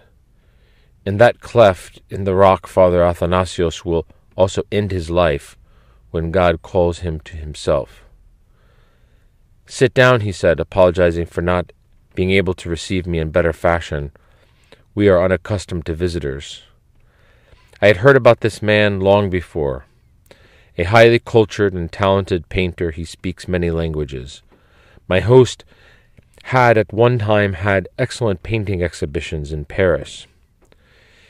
He had lived for art and was looking for a new stage in painting. He was inclined to read religious books, and one day he felt, note Paltov's opinion, that he had discovered in these books the path that he should follow. He did not delay. At once to the holy mountain. Initially a novice, he became a monk and lived in the monastery. But life in the monastery did not satisfy him. He found it very worldly. He became a hermit. This was the man I was talking to, who was standing before me with a smile on his lips. There was nothing theatrical, nothing artificial about him. You must be hungry, he said. Let me offer you something. I declined and apologized for disturbing him by arriving suddenly and at such an unsuitable time. You did well to come. I want you to eat something. He hung a small oil lamp on the wire, and its faint light he went to his fireplace, where he heated a small pot containing a strange concoction. It was sesame paste, which, together with a little bread, constituted our supper for that evening. We talked like friends for a long time. It was already two hours after midnight, and yet I did not feel in the least tired, even though I had been walking all day. I was pleased to be given the opportunity to find out something about how people like these think. Father Athanasios had guessed this as soon as I arrived. You would like, he said, to find out about things beyond the limits of worldly life. That's true, I replied. I wanted to ask you certain things. For instance, Father Athanasios, have you found what you were looking for out here? Certainly, he replied. I am absolutely convinced of that. Very well. Were you a talented painter so aware of the voice of God that you came here? Answer. That happened gradually without my realizing it. Until then, I only lived for art. I wanted art to return to the era of the Renaissance. I realized this was impossible, and gradually I changed direction by reading religious books. I imagined, note an attempt to hide himself, that I was enlightened about the way that I should follow, and here I am. Have you completely abandoned painting? Yes, uh, completely, and I have not picked up a paintbrush for years. I am satisfied by my new life. Well, this conversation lasted nearly until dawn. I was so influenced by the surroundings that I thought that I discerned in the noise of the waves invisible beings who were near to us. I wanted to find out how he lived during the autumn and the winter. On occasion, he told me he cannot stand upright on account of the strong wind. The sea in that area is particularly wild and dangerous. Sometimes the roof is torn off by the gale. There have been quite a few accidents. The hermits are provided with supplies by small boats, which put the scanty food, bread, and tea into the baskets that hang from the rocks, and then the hermits draw them up. The hermit dies inside his hermitage, and his body is buried there by one of the, who will succeed him in that place. I lay down to sleep on a plank spread with a blanket. I had such vivid impressions that I did not sleep at all until daybreak when I had to leave because my boat with my luggage was waiting for me, and when the sun rose, the wind would begin to blow, so it would be difficult to leave. I pressed the hand of the one I had been speaking to, and he thanked me sincerely for visiting him. May God be with you, he said. The boat pulled away from the rock, and for a long time I looked at the wild and magnificent sight of the inhospitable shore on which the slim outline of the hermit could still be distinguished. End of excerpt. I have read such descriptions of Karulia in various texts from the Holy Mountain and elsewhere, and I have experienced it for myself. How many times have I walked along the narrow paths up from the wharf, and how many times have I come down from Katounakia to Karulia with the fear of God, searching, thirsting, and praying in the unbearable heat of summer. There one feels that life and death are transcended. There one meets ascetics whose theology is written in their bodies. From them I heard words of life. 1977 continued. After Karulia, I visited the cave of the Holy Trinity near the monastery of St. Paul. Here, too, I followed in the elder's steps. From the Russian monastery, he had gone for about four years to Karulia, and then for about three years to the cave of the Holy Trinity. This cave is also visible from the sea, in between the monastery of St. Paul and Nea Skete when one is traveling by boat. I climbed up there along a difficult, overgrown path from near the small harbor of the monastery of St. Paul. I walked up this path on my own with the Jesus prayer. As soon as I reached it, I stood reverently for a while and prayed, asking for the elders' prayers. Then I went inside. It is a cave concealed externally by two small rooms and a chapel. This small building and its roof covered the cave. The location is amazing and uniquely suited to the eremitical way of life and repentance. I sat there for a long time praying. I sought the elders' prayers. To be sure, this cave like cell seemed to be abandoned. The wind that was blowing at that time rattled the windows and doors. At the monastery of St. Paul, I met the former abbot, Father Andreas, and the librarian, Father Theodosius, who had known Father Sophrony and expressed their reverence and respect for this devout, spiritual, modest, and most courteous hieromonk. At Nea Skete, I met Father Theophylactos, a most devout monk and bearer of the hesychastic tradition, who was a disciple of the eminent Archimandrite Joachim Spetsieris, who lived in the Nea Skete at the end of his life, and like another Abba wrote the book about the female hermit Photini, as well as publishing the ascetical works of St. Isaac the Syrian. Father Theophylactos had also been connected with Elder Joseph, the cave dweller, and Hesychast, and those with him, and he too practiced Noetic prayer. He greatly revered the holy unmercenary physicians whose icon he had in his cell. He prayed to them to send him a little oil because otherwise he would not light their lamp, or he would leave them out in the cold to freeze. And the holy unmercenary physicians fulfilled his wish. In addition, he besought them to free him from the attacks of the devil when he prayed, as was his custom all night with the prayer rope for people's specific problems. The holy unmercenary physicians obeyed his entreaty. It was Father Theophylactos who used to help Father Sophrony with chanting when he celebrated the liturgy in the chapel of the cave of the Holy Trinity. Father Sophrony writes in his book, quote, When I was in the desert and celebrated the liturgy on my own, having with me only a monk who used to come in in order to give the responses to the supplications and litanies, to read the epistle, and to provide the rest of the participation that was necessary in place of the congregation, then neither I nor that monk ever felt any lack.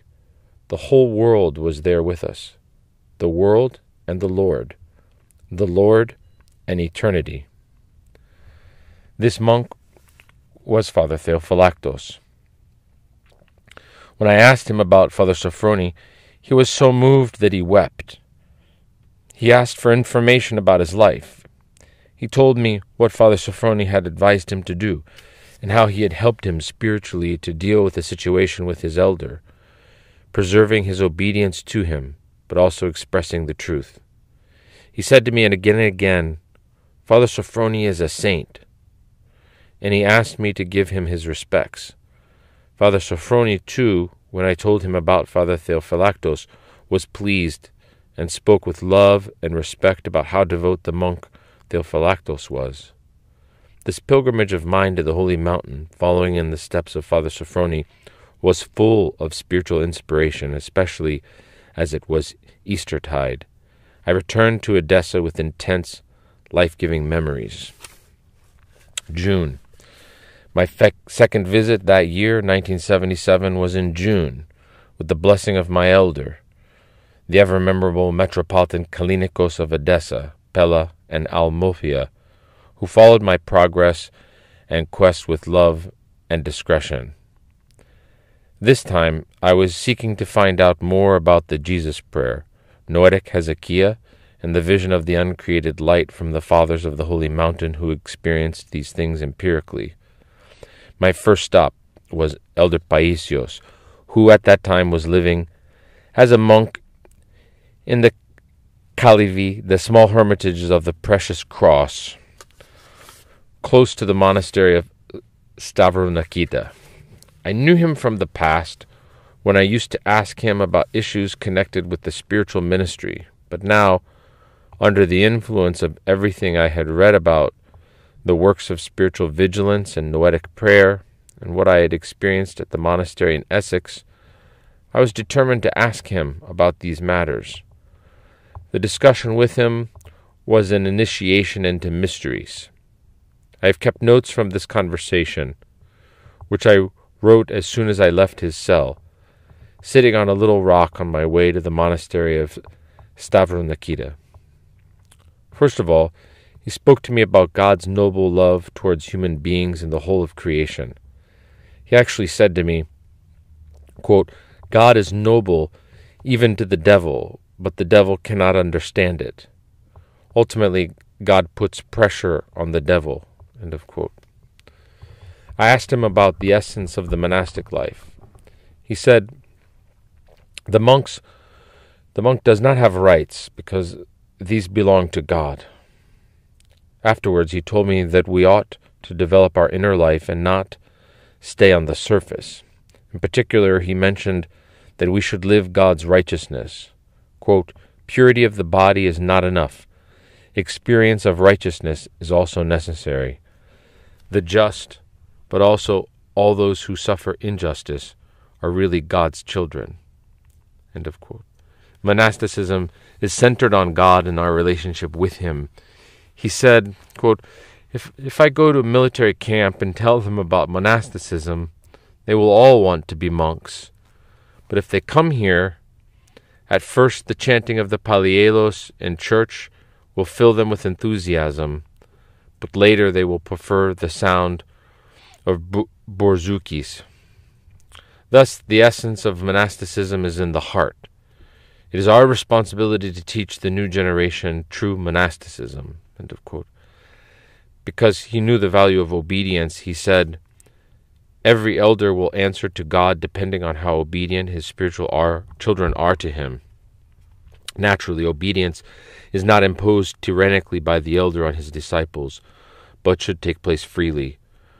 For that reason, he stressed when monks have an elder who gives them freedom, they have a great responsibility. He also referred to the fact that some monks are not interested in this, their spiritual progress, but devote themselves to construction works. However, monks ought not to build a lot, they should simply repair existing buildings for their needs. He said, Today we have cells and a paunch the discussion turned in a natural way to noetic prayer, which is the essence of the monastic life. He expressed the teaching that prayer issues like a spring from the heart that loves God or feels pain.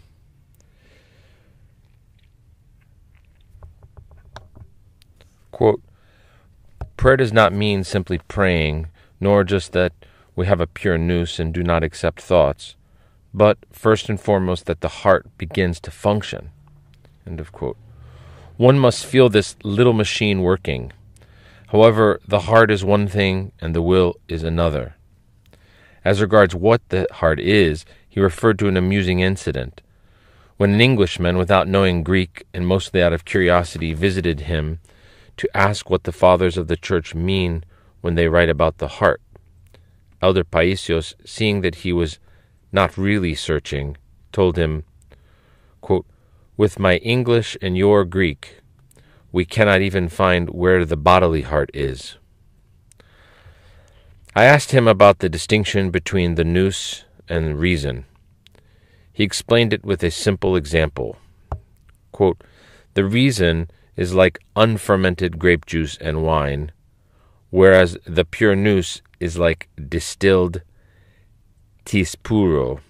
End of quote. I asked him about the headache that comes from attempting to concentrate on the Jesus prayer. He said that when someone tries to concentrate on the Jesus prayer and a headache comes, then this headache during prayer is a sign of a keen sense of honor. So God sees the effort of the child who has a keen sense of honor and blesses him. He says, Do not tire yourself. I shall give you what you are looking for. One should be aware that when others rightly complain about us, that does not help in prayer. He said many wise words to me about the spiritual life because prayer develops in the temperate climate of ecclesiastical spiritual life. For instance, he said, quote, God's arithmetic is different from man's arithmetic. Four for God is excellent, whereas nine is not excellent. End of quote.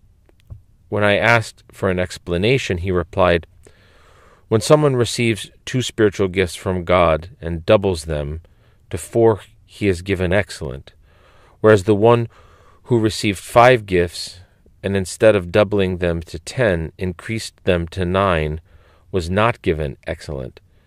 He also told me that sometimes thoughts of unbelief are the result of excessive asceticism, and also when someone uses his imagination, he may even fall into heresy and harm the whole church. I asked him about fools for Christ's sake. He mentioned the case of Father Euthemios, who used to live in the area of the Great Lavra, Elder Paisios greatly respected and admired him, and he was at a high level of spiritual life. When Father Euthemios went to the monastery of the Great Lavra, in order to conceal his virtue, he pretended with shouts and protests that the food that they gave him was not good, so that he would not have to eat it.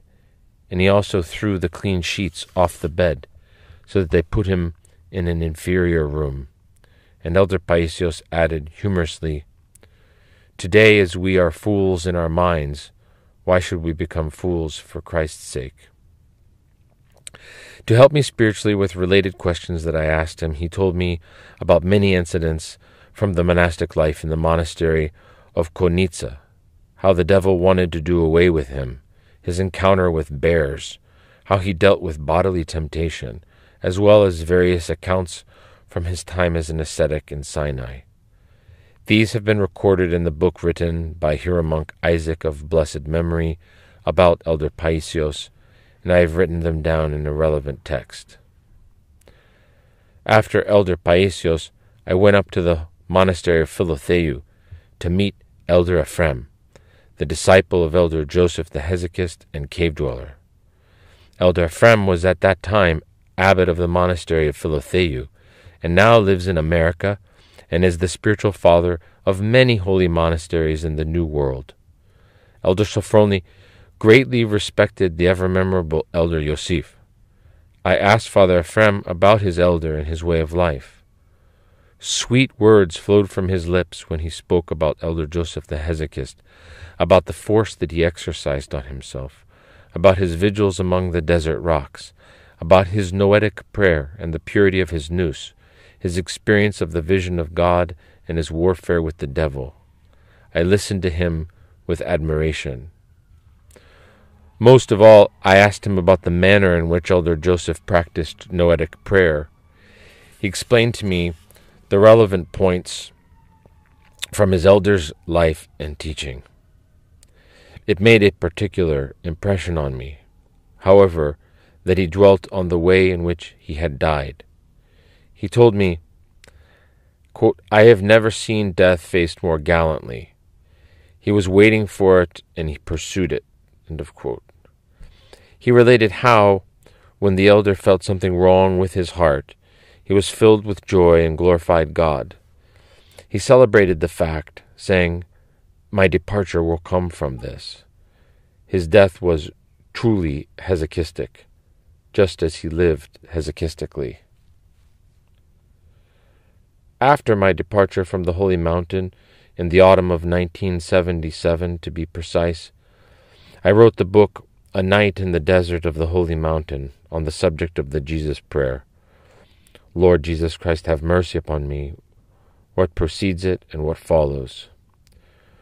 During those two years, 1976 to 1977, I was living continuously within the current of the Jesus Prayer. I heard and read a great deal about it.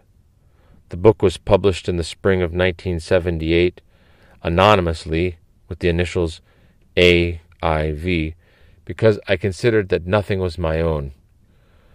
I was simply conveying and recording this spiritual work.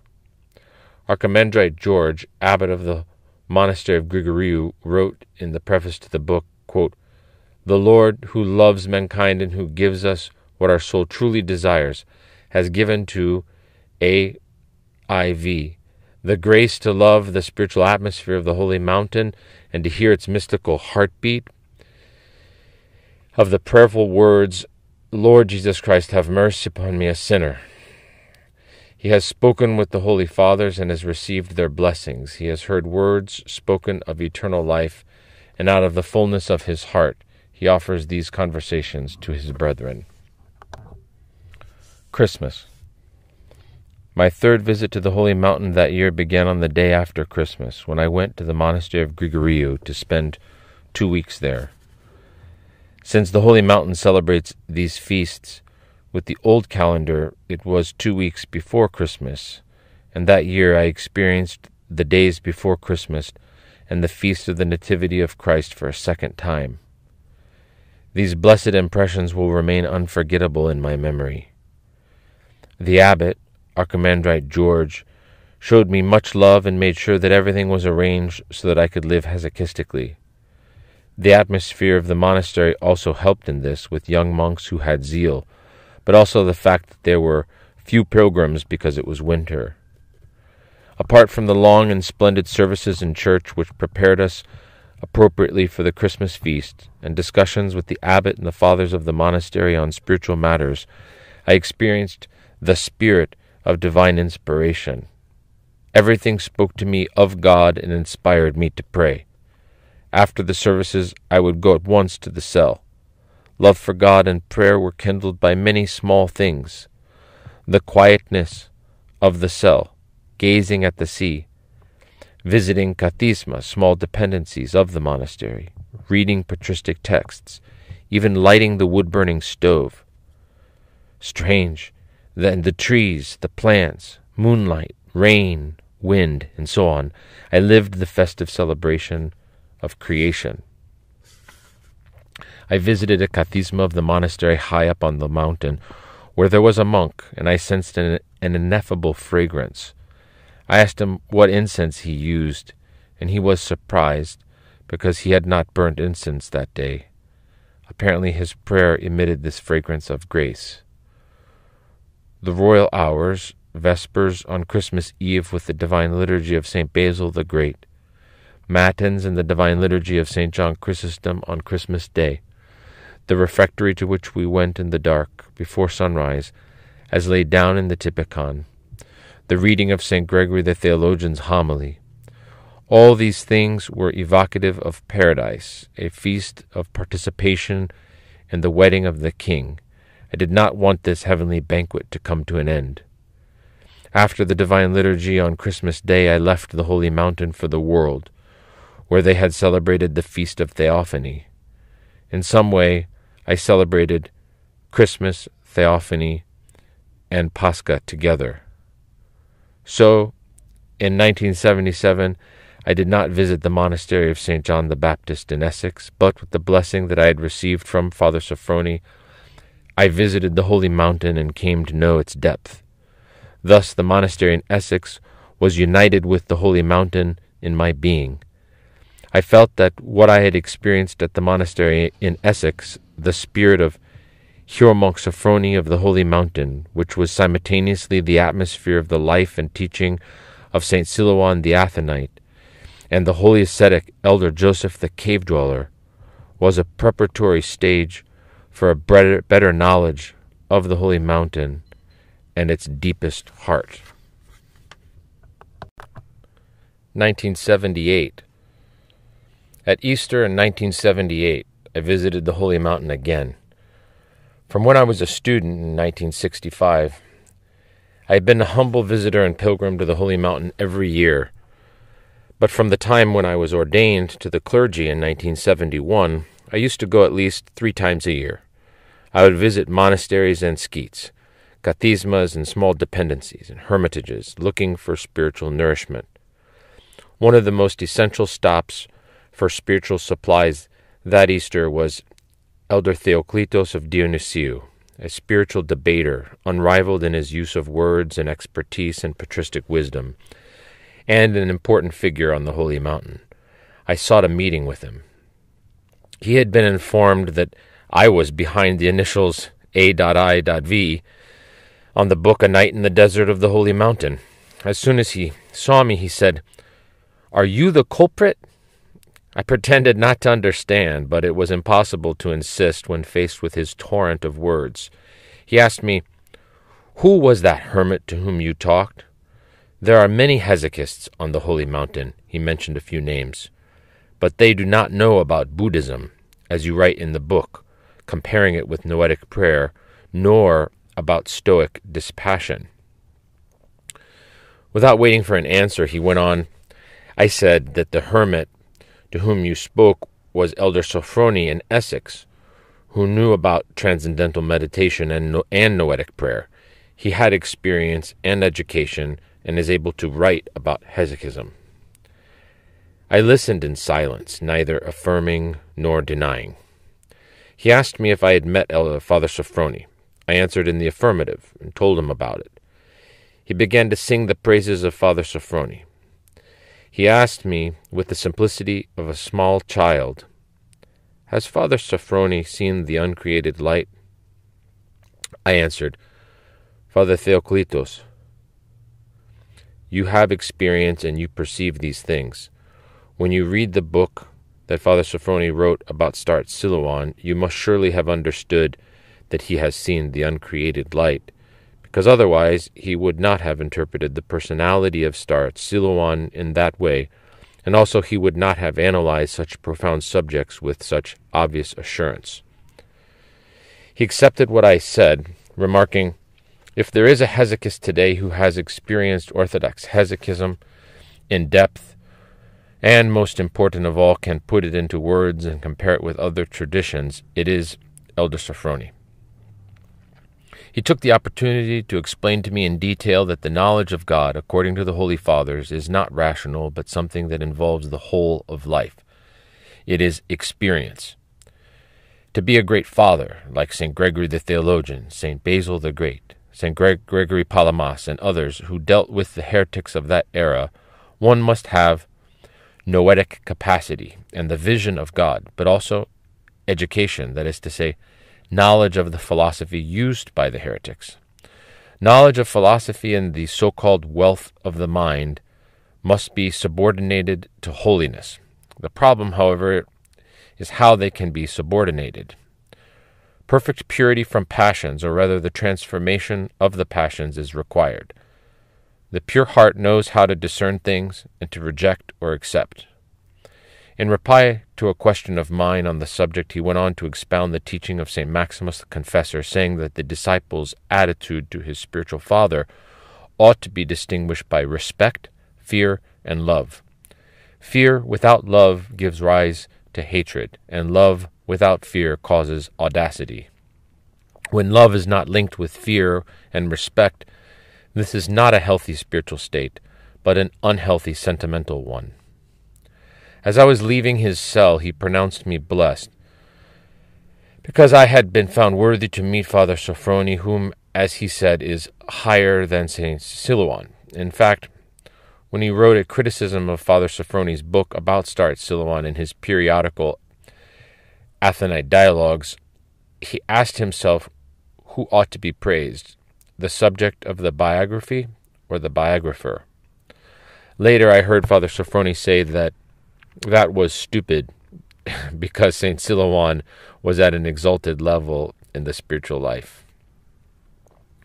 After Father Theoklitos, I visited the ever memorable Geronda Ephrem of Katounakia. From Nea Skete, I climbed up my beloved path which I took every year toward St. Anne, Little St. Anne, and Katounakia. I found Elder Ephraim in a state of hesychia. He mentioned to me that some people had told him not to receive me again, because many considered that I had published the discussion that I had with him. However, he said to me, quote, I shall tell you some more, so that you can include it in the second edition of the book. I remember that he referred mainly to two of his experiences. One was about the relationship between tears and the vision of the uncreated light.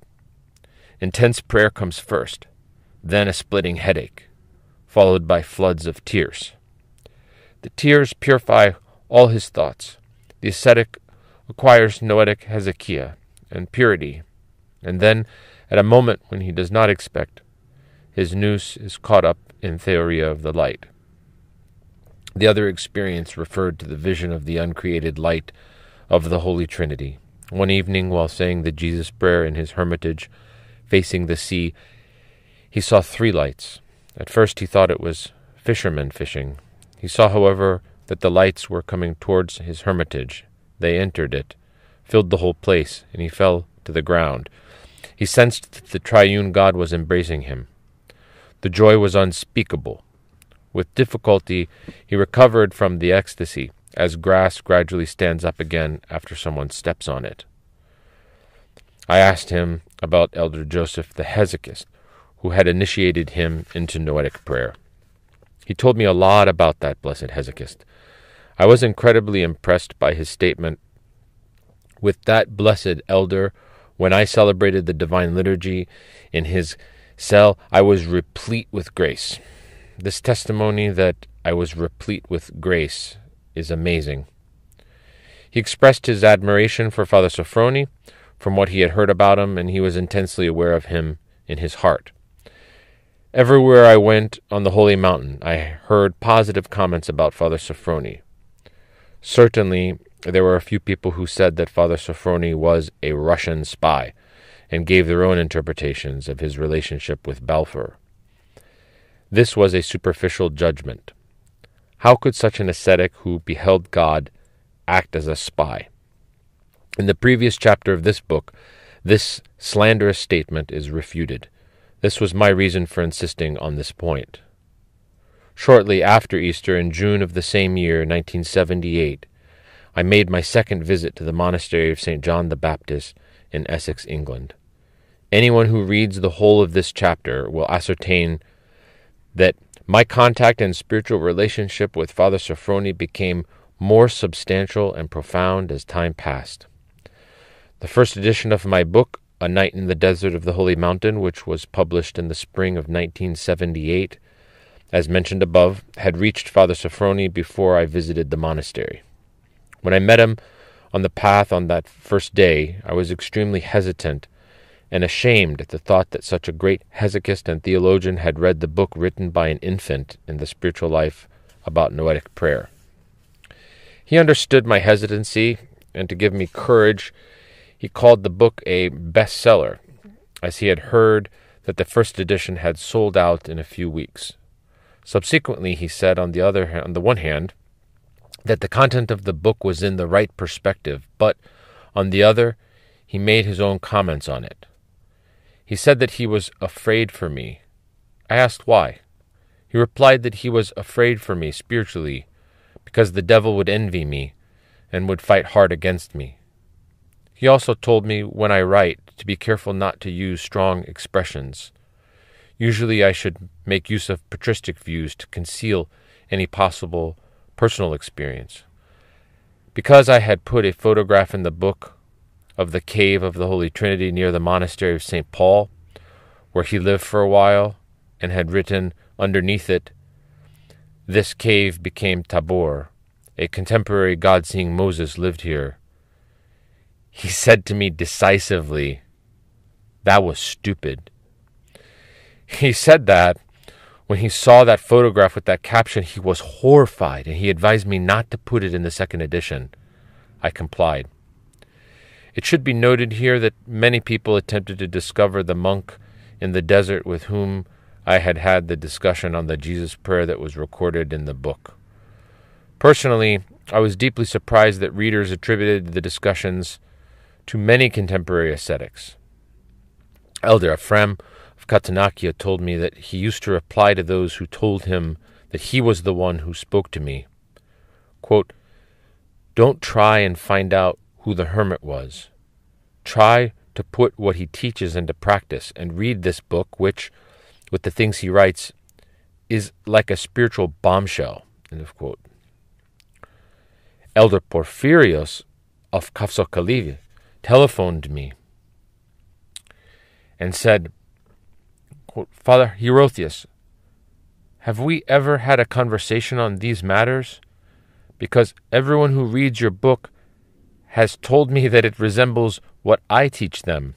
End of quote. And Father Theoklitos of Dionysiou told me that to everyone who asked him about who the hermit was, he replied that, quote, the hermit monk with whom Father Hierotheos spoke was Elder Sophrony, who knew about Buddhism and Stoic philosophy and refers to such subjects.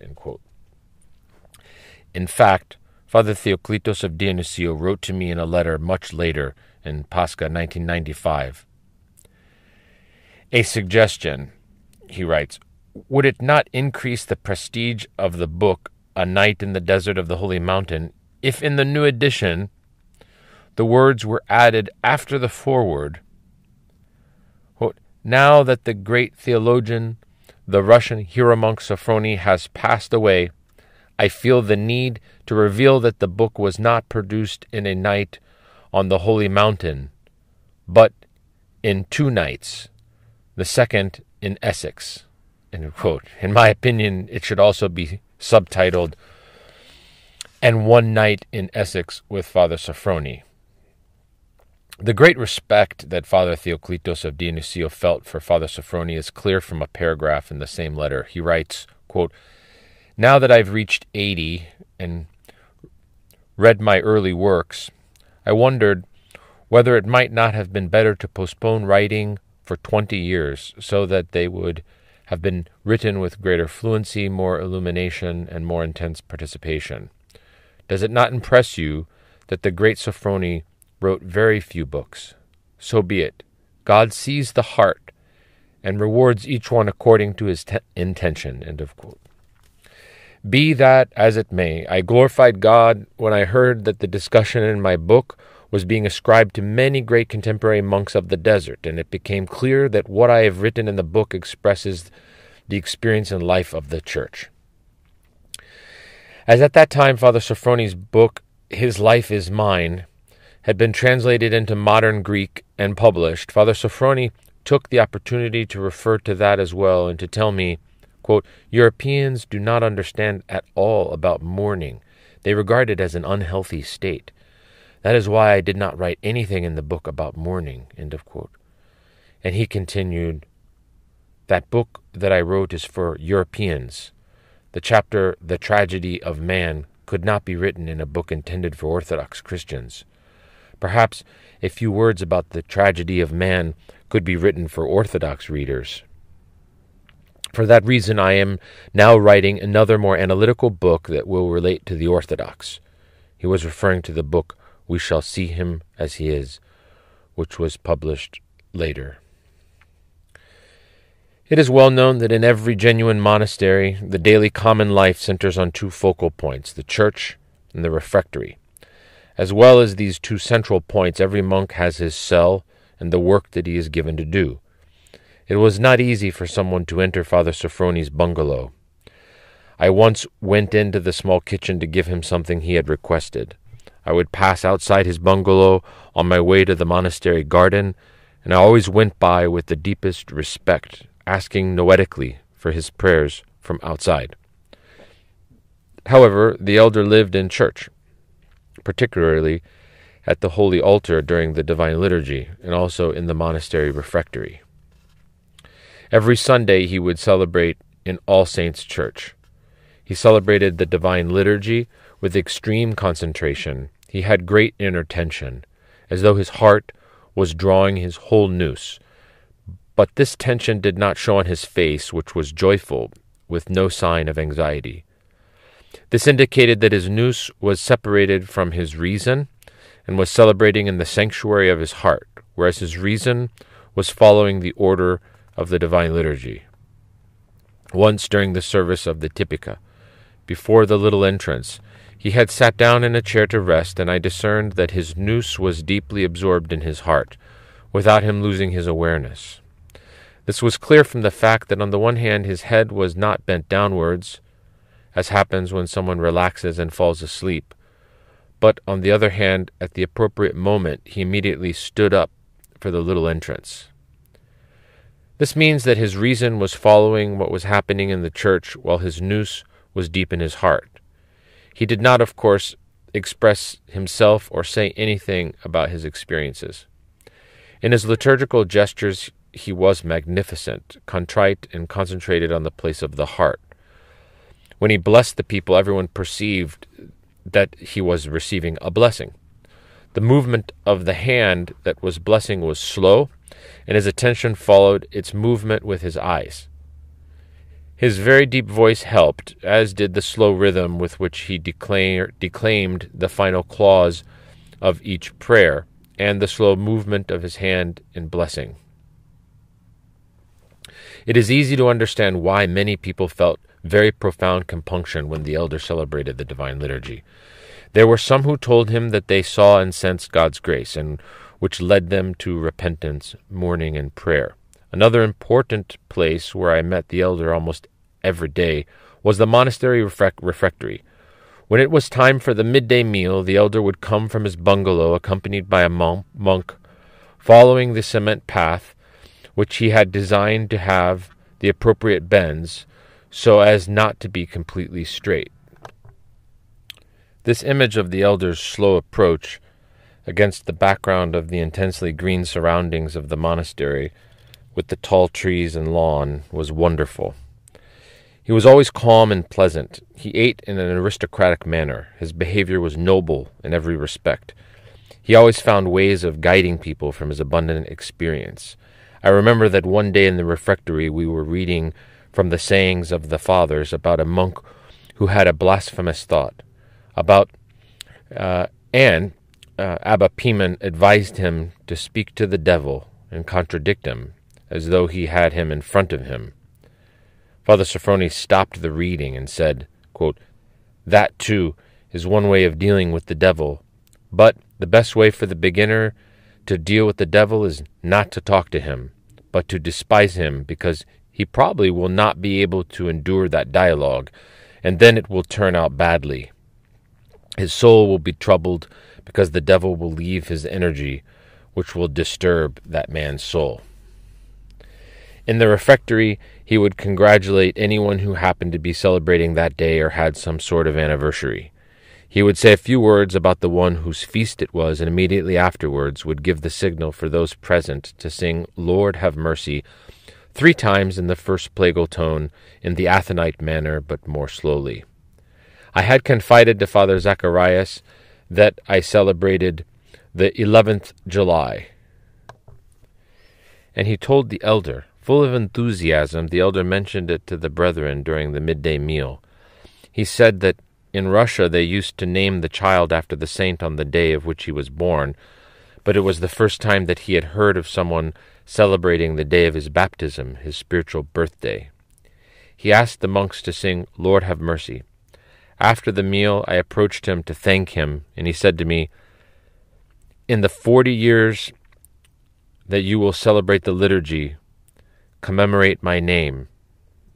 I responded, And you, Father, commemorate me in heaven. He answered, If I go.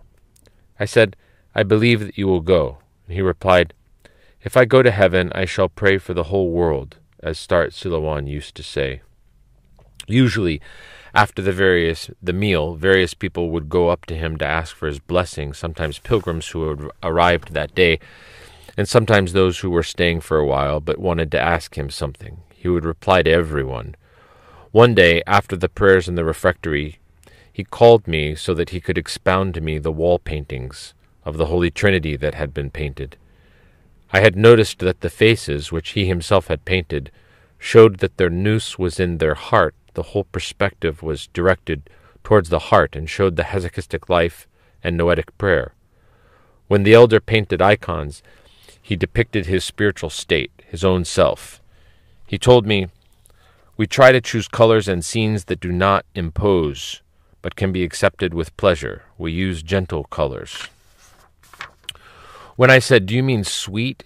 He replied, Not sweet, but gentle, because sweetness is not always good.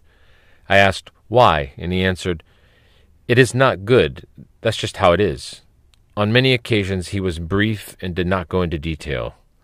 A few days after my arrival at the monastery, I asked the elder for a private meeting. He accepted, and we went to the usual place, the office next to the chapel of St. John the Baptist. Among other things, he said the following, which I set down in writing immediately after the discussion. 1978 continued. Among other things, he said the following, which I set down in writing immediately after the discussion. The dogma of the Holy Trinity is related to our life because man is in the image and likeness of God. What is our relationship with God? The person, hypostasis. The Father lives in the Son and the Holy Spirit, and the Holy Spirit lives in the Father and the Son. This unity does not do away with the particular hypostatic properties of the persons. We too were created as persons in order to have communion with the triune God. The hypostatic principle is inherent within us. After the sin, we became individuals, egotists. Now, however, that we have been united with Christ, the hypostatic principle is activated and we become real persons. God lives in us and we in him. We love God and all human beings. The expression of the person of God is his love, which descended to Hades, and the expression of our person is our love, which descends to Hades through self emptying and self hatred. We Christians become persons when we are united among ourselves in Christ and live one within the other through love. Thus we live according to the Trinity. And an Orthodox Christian is one who has right belief, that is to say, correct faith, and who glorifies and prays aright. In other words, faith is connected with prayer and worship. As Orthodox, we believe God and glorify Him as Trinity and love the triune God. This is the difference between us and other religions, which have a God with one hypostasis. Our love for God and our brother is a confession of faith. Consequently, when we love God, we confess Him. And usually other religions and other systems conceive and construct the idea of God through man. In the Orthodox Church, we perceive man through the presence of God, insofar as man is in God's image and likeness. So, correct knowledge of God is a prerequisite for knowing man and for solving his problems. And each one of us is saved from a particular point. The church's preaching is general.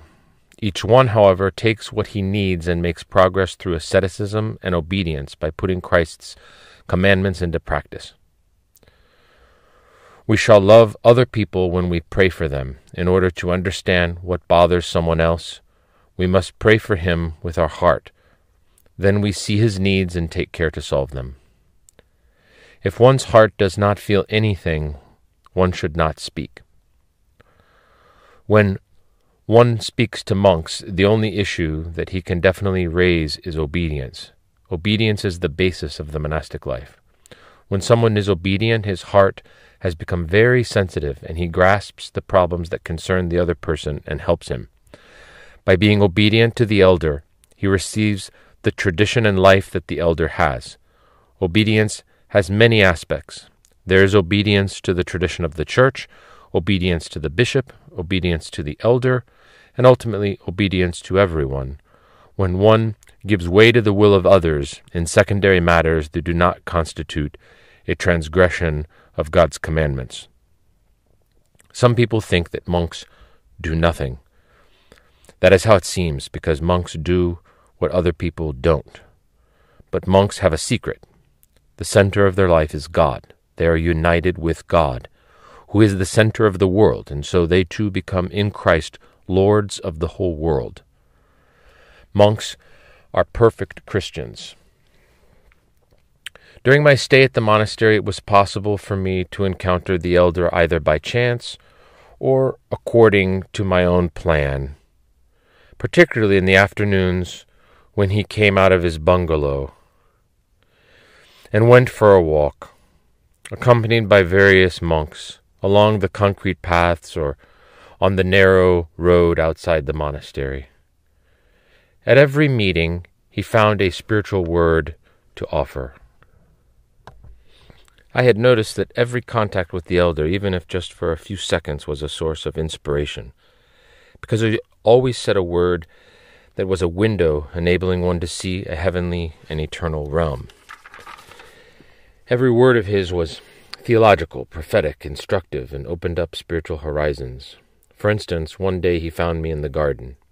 He showed me an oak and said, That tree grows very strong, very slowly, first putting down deep roots. It is the same with the monk. He grows and makes progress gradually through repentance, but he is deeply rooted for centuries. On another occasion, I told him that although he was advanced in years, he was in good physical shape and was able to write. He replied light-heartedly, Moses began shepherding the people of Israel when he was eighty. He offered me many gifts as blessings and spiritual treats. I remember one such treat very vividly. A Greek lady who lived nearby and used to come regularly to the monastery with her whole family invited me to her house for supper. At the same time, she invited two other monks with me. When they came to collect us from the monastery, the monks said that they were unable to come with us. She was upset. At that moment, the elder passed by and asked her why she was unhappy. When he found out the reason, he said, Don't worry, I shall come with Father Hierotheos. She was delighted. We went to the town where she lived. On the way, the elder sang, Lord have mercy, many times and said various spiritual things. When we reached the house and went through the door, he immediately gave a magnificent blessing, as he did at every divine liturgy, and said, Peace be to this house. He sprinkled the room with holy water, which he had brought with him, and asked me to sprinkle the remaining rooms. Then he sat down, greeted the children in a childlike spirit, but at the same time seriously. He gave them chocolates and showed them love. He held the view that we should speak to children as though they were adults, but according to what they would understand at their age. We should take them seriously, even when they behave superficially. He said that we should treat them as persons because they would realize it and respect us. During the meal, one of the things I remember is that, in reply to a question from the mother, he said that the mother is the best protector of the child. She should make the sign of the cross over the child and pray for him or her. He mentioned that his mother gave him a cross and he had it on him always, and that cross protected him from many dangers that he went through in his life. The mother's blessing and prayer, he continued, play an important role in the child's life since the mother usually prays with pain. And when prayer is accompanied by pain, it is powerful. Father Sophrony was courteous in the extreme, not only by nature and upbringing, but also out of spiritual sensitivity.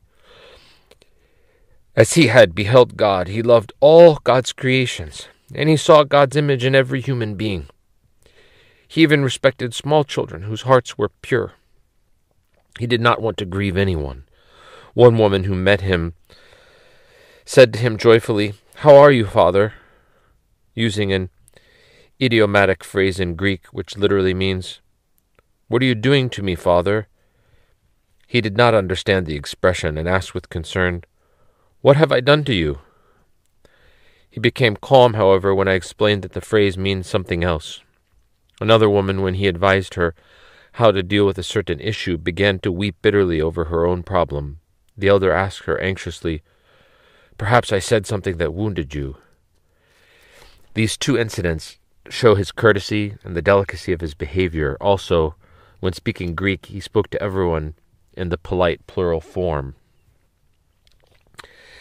As that year, too, I stayed almost a month in the monastery, timidly, I asked him if he had time available that we might have another discussion. He accepted, and at that meeting, the things he told me are included in the following.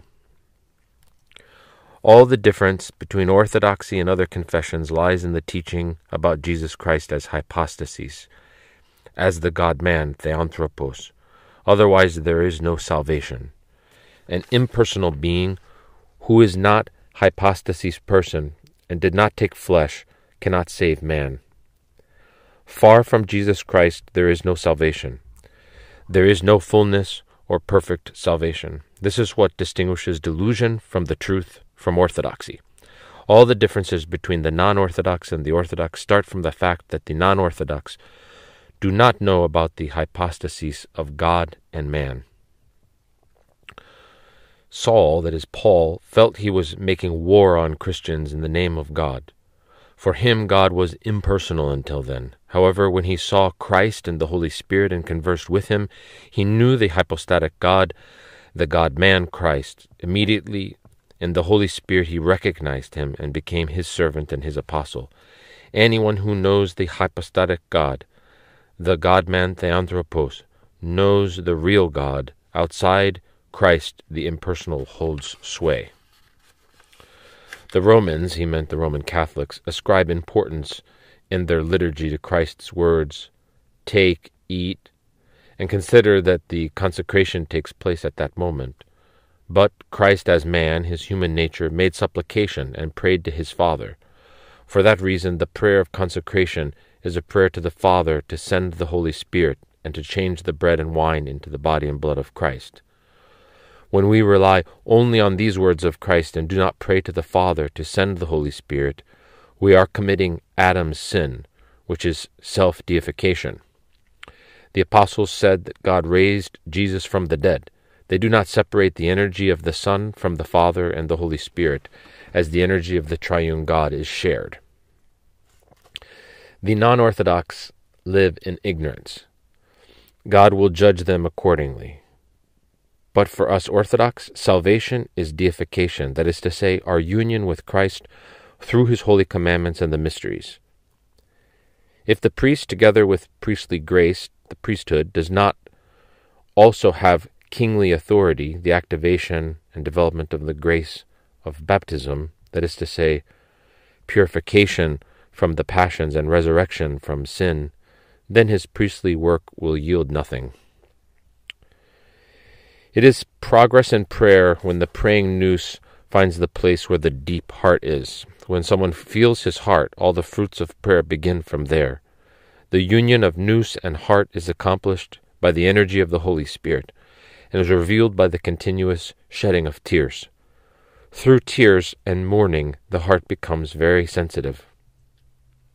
During prayer, the attention, the nous, should be concentrated in the deep heart. According to the fathers of the Church, the heart first feels the grace of God and then the experience is expressed through the rational faculty. During prayer, one ought to feel warmth in the heart. The absence of divine grace is marked by iciness and coldness of heart. When we read or pray, it is good to feel the warmth and movement of the heart.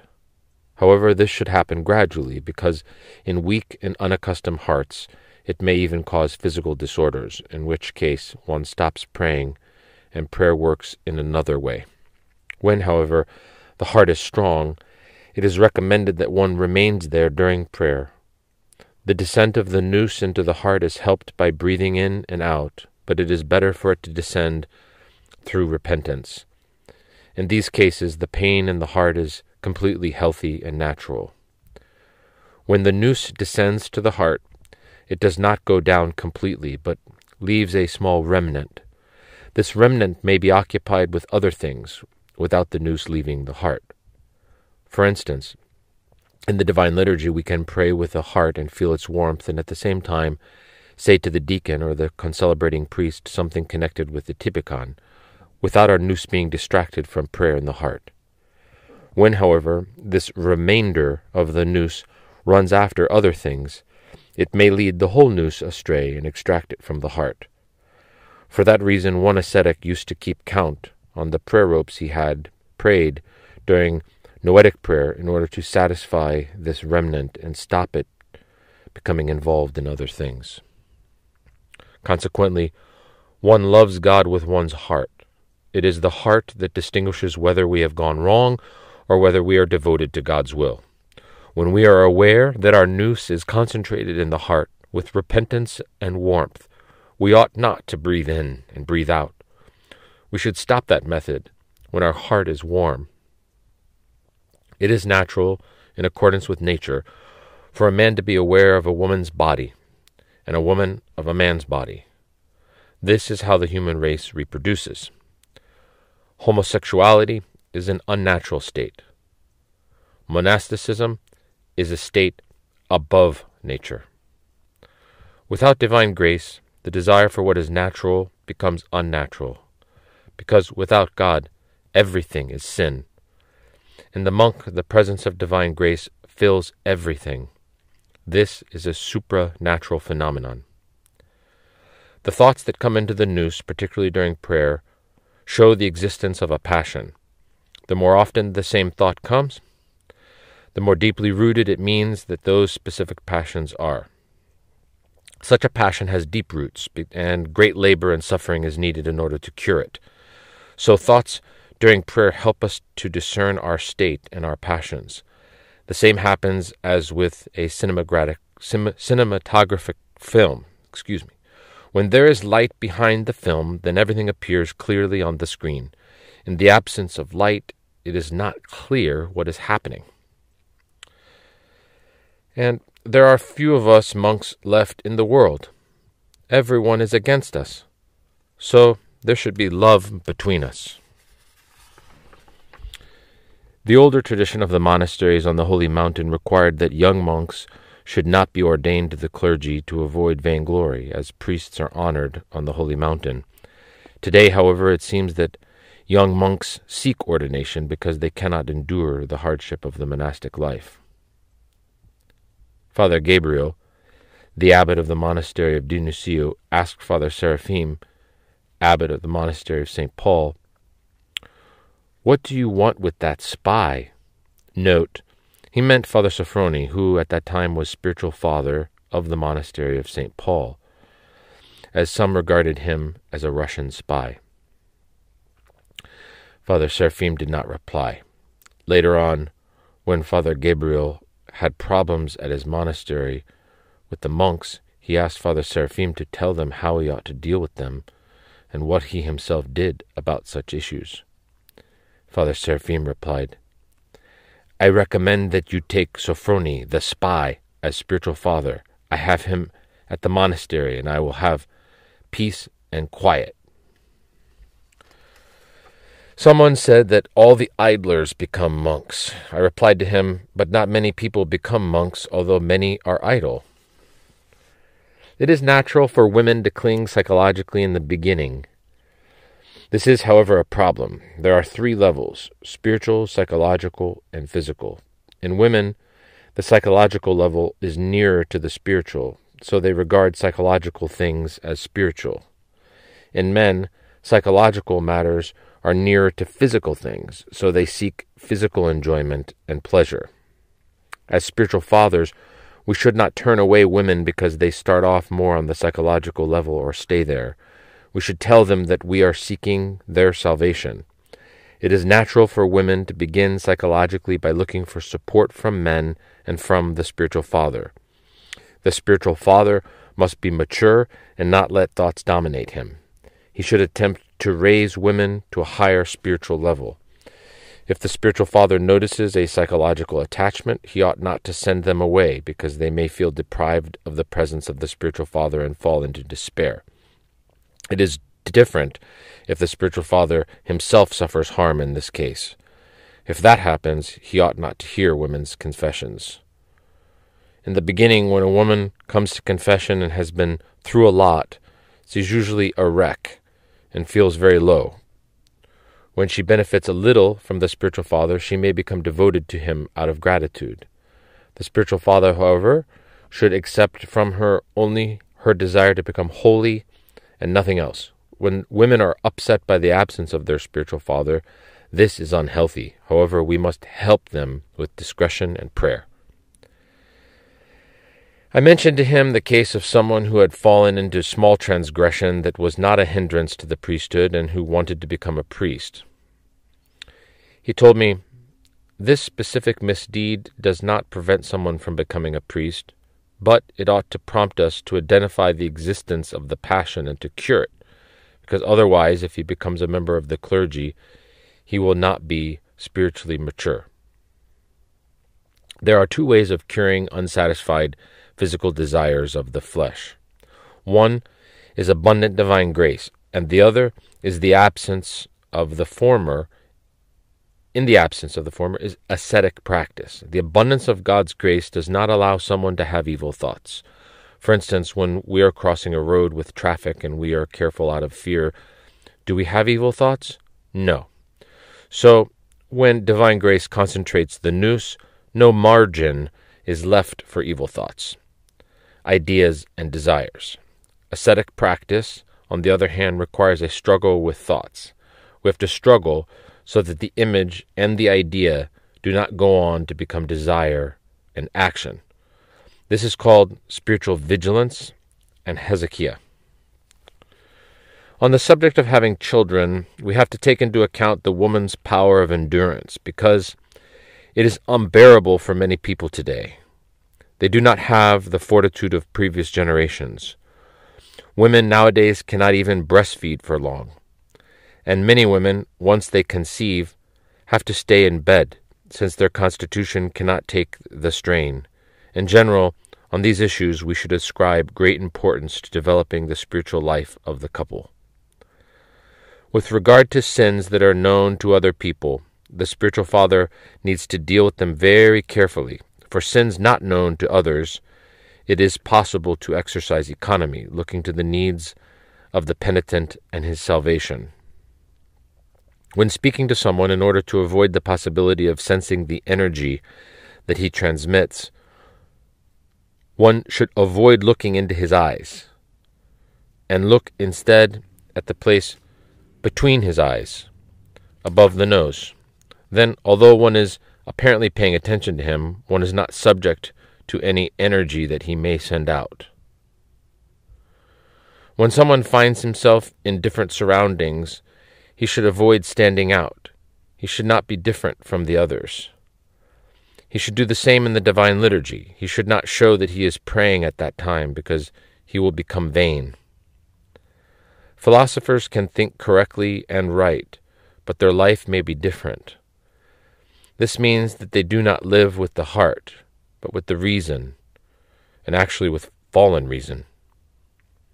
Life at the monastery, an association with the elder and the monks who expressed the elder's experience and were the spiritual children of this blessed man, was a daily education.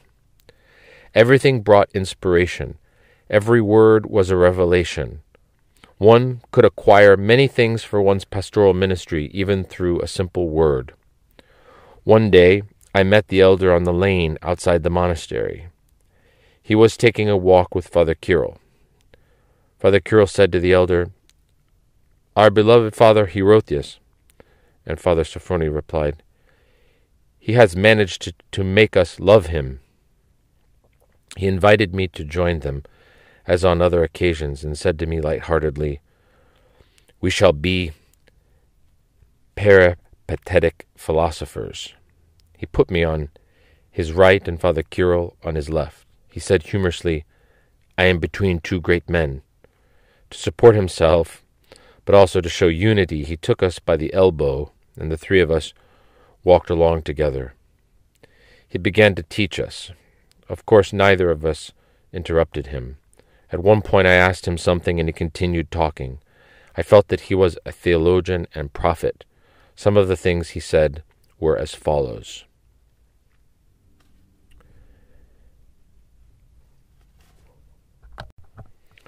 Nineteen seventy eight continued.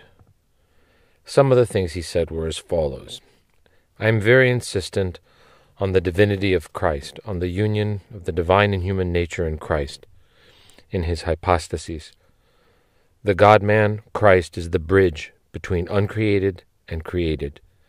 Without him, it is impossible to acquire knowledge of God. You should say that continually in your sermons.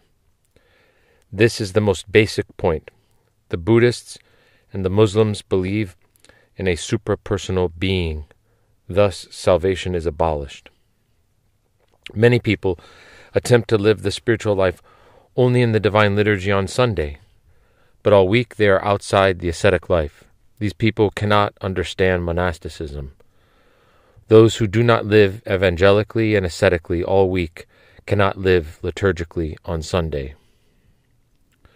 Those who slander and defame a member of the clergy do him a great deal of good. They humble him. However, not many people should criticize him, because he will become embittered. And where there is bitterness, God's grace does not act.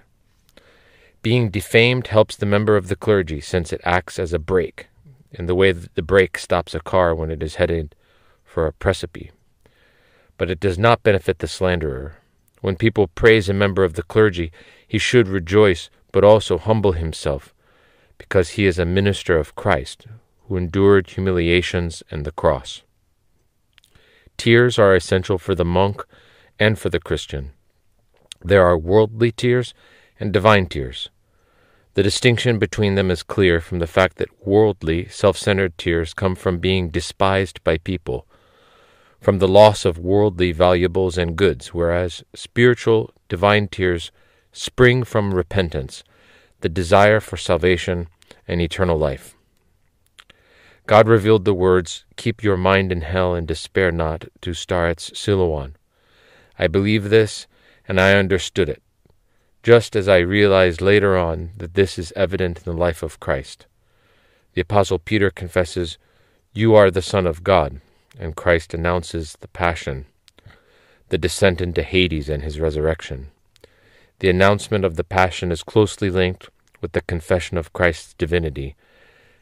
This is, keep your mind in hell and despair not. Not everyone can keep his nous in hell. It also depends on his strength. This is the privilege of the few, the strong, because it is possible to fall into despair. When after the experience of hell, the hope of salvation comes, this means that it is the action of divine grace.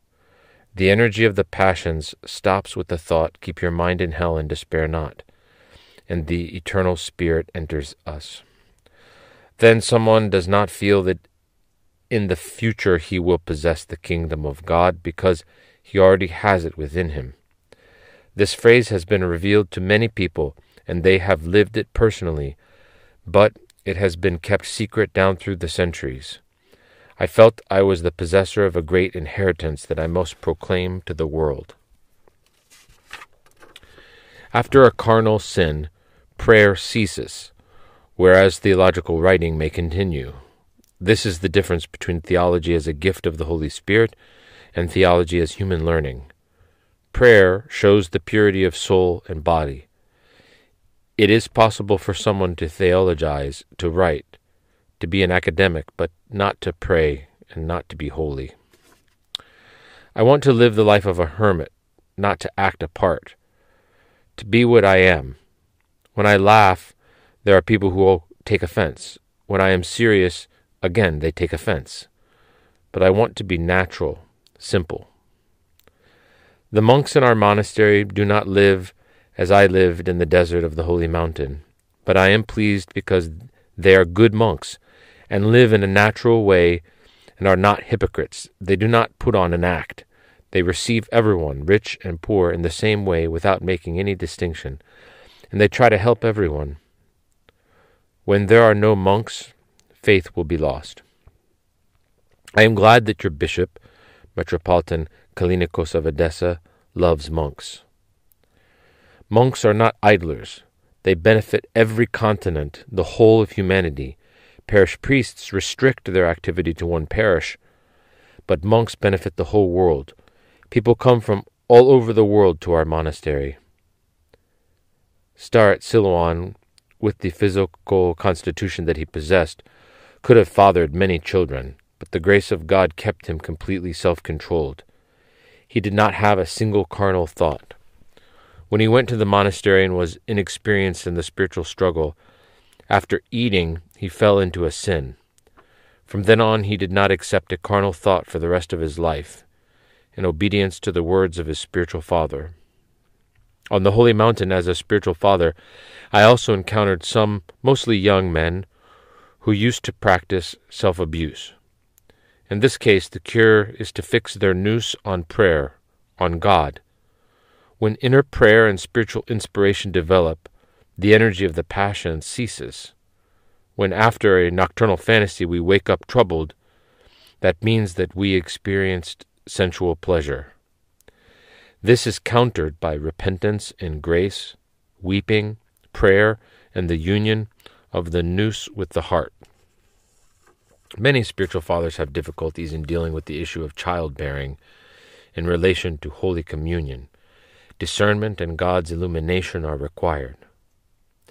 One general comment is that great care is needed not to rebuke people thoughtlessly because they will be disappointed and will leave the church.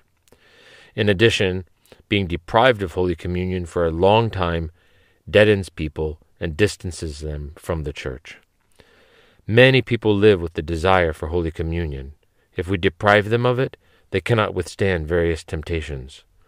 Wisdom and prayer are required, and it depends on the Christians who come to make their confession.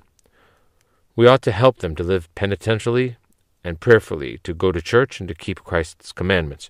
Also, some exercise self control beyond their strength. On this subject, it is impossible to lay down a common line for everyone. This is a matter for the spiritual father and the penitent. When there is a possibility of economy, we should give Holy Communion sometimes, as long as we see progress in their spiritual life.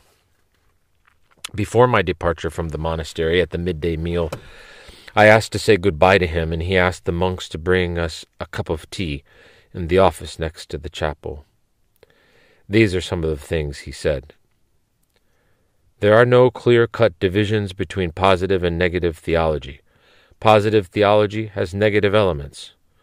When we say that God is merciful, which is a positive word, even then we do not know in depth what the mercy of God is, and this can be experienced negatively. When someone sees God, he sees him as light, that is to say, positively, in which, according to St. John the Evangelist, there is no darkness at all. But a negative path came first denial of thoughts and rational energy, rejection of concepts. Also, our ignorance of God's essence, in which man cannot share, is called negativism. Then God is darkness. Beyond the light, there is nothing else. There is no darkness, as some people say. When the Fathers teach that darkness follows after the theoria of the light, it is necessary to examine exactly what they mean. They either want to indicate the uncreated essence, or else this is simply a form of words to, for describing something very dramatic that goes beyond human capabilities. As human words cannot describe the abundance of light, they characterize it as darkness. This darkness, therefore, is the impossibility of describing the radiance of the uncreated light. Darkness also denotes the fact that human beings cannot share in the divine essence. I consider that the greatest sin in my life was being led astray into yoga and meditation at the time when I was dabbling in Eastern religions and denying Christ in practice. The greatest missionary work is accomplished through the Divine Liturgy. The Fathers erected an altar in every country or city to which they went. This is because, when the heart melts in the Divine Liturgy, it seeks God and begins to want to live the Orthodox ecclesiastical life, which is centered on the Divine Liturgy. I have said to the brethren, first and foremost, to keep the Divine Liturgy in the monastery. The prayers in the Divine Liturgy ought not to be said in personal tone, because at that moment the priests are expressing all those who are praying, so the priests should not pray with personal emotions. They do not celebrate the liturgy as individuals. Some Anglicans, as soon as they become Orthodox as new converts, criticize their leaders and their confession. We need to be careful not to join in with this, nor to criticize Anglicanism to them, because their love for Anglicanism will probably return years later, and then our own ill considered criticisms will be interpreted as attempts to proselytize. Westerners have lost the faith and fallen into a carnal way of life but they have a culture, albeit human and rational, which keeps them at a certain level. They have descended very gradually. They have a high degree of courtesy. They draw the line somewhere and do not reach rock bottom. When the Orthodox, however, lose their faith, they do not have human culture to keep them in check, and they sink at once to rock bottom. Westerners have lost orthodoxy, which shows the way to salvation. Thus, some of them rely on reason separated from the heart, rationalism, and others rely on sentiment separated from the reason, sentimentalism. The nous is united with the heart only by the Holy Spirit, and man becomes in the image and likeness of God. I believe that the delusion of the world comes about through the Orthodox.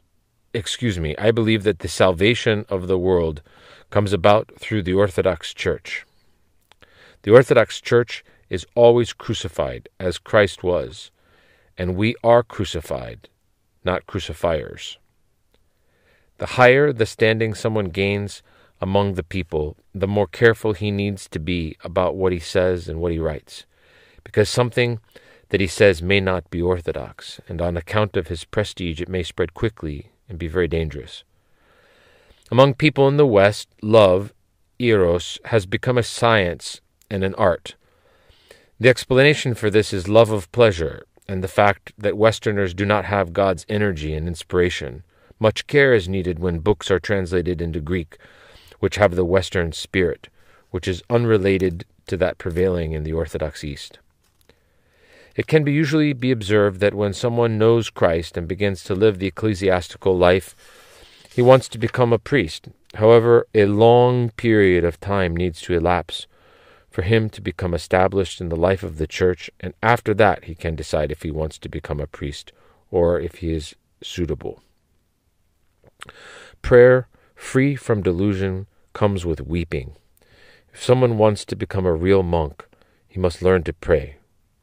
He regards himself as a condemned man. Then a thought of self accusation comes to him. A new thought comes every time. He should stay there then his nous attaches itself to his heart. From this weeping, pain comes to his heart. This spiritual pain is essential. He feels this pain in the upper part of the bodily organ of the heart. If, however, the pain is in the lower part of the heart, this may easily cause the flesh to rebel, so this pain ought to be avoided. From this spiritual pain in the upper part of the heart, calm and peace spread to the whole body, and then someone can discern whether thoughts come from God or from the devil. Then he can also understand other people's thoughts.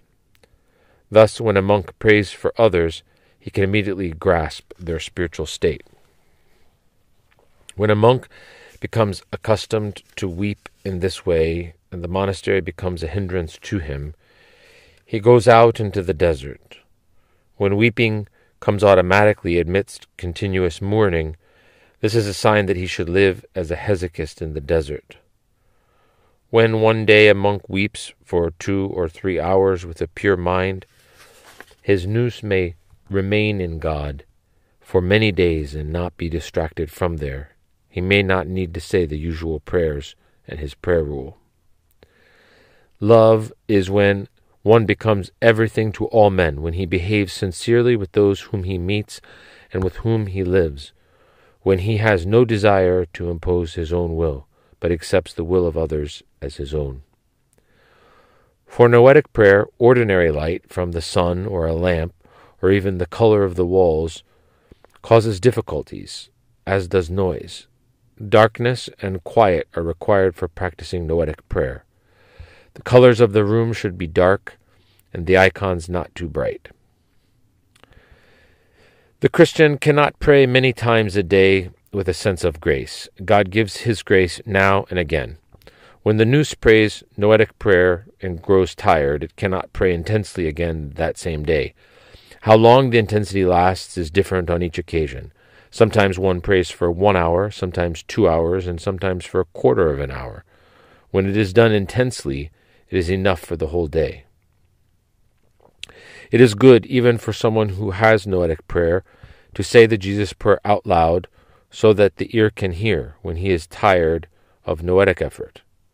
This should happen particularly when he is on his own. Sometimes during prayer, the devil forms various images in the nous about his, the devil's, presence to frighten the one praying. For that reason, there needs to be a very small light in the room, so that the one praying is not frightened by the idea that the devil is present. In the course of intense noetic prayer, certain radiant thoughts come along. These are thoughts from the devil to distract our attention from prayer. During Theoria of the uncreated light, there are no thoughts. The thoughts may also be good or natural, the natural thoughts of the nous.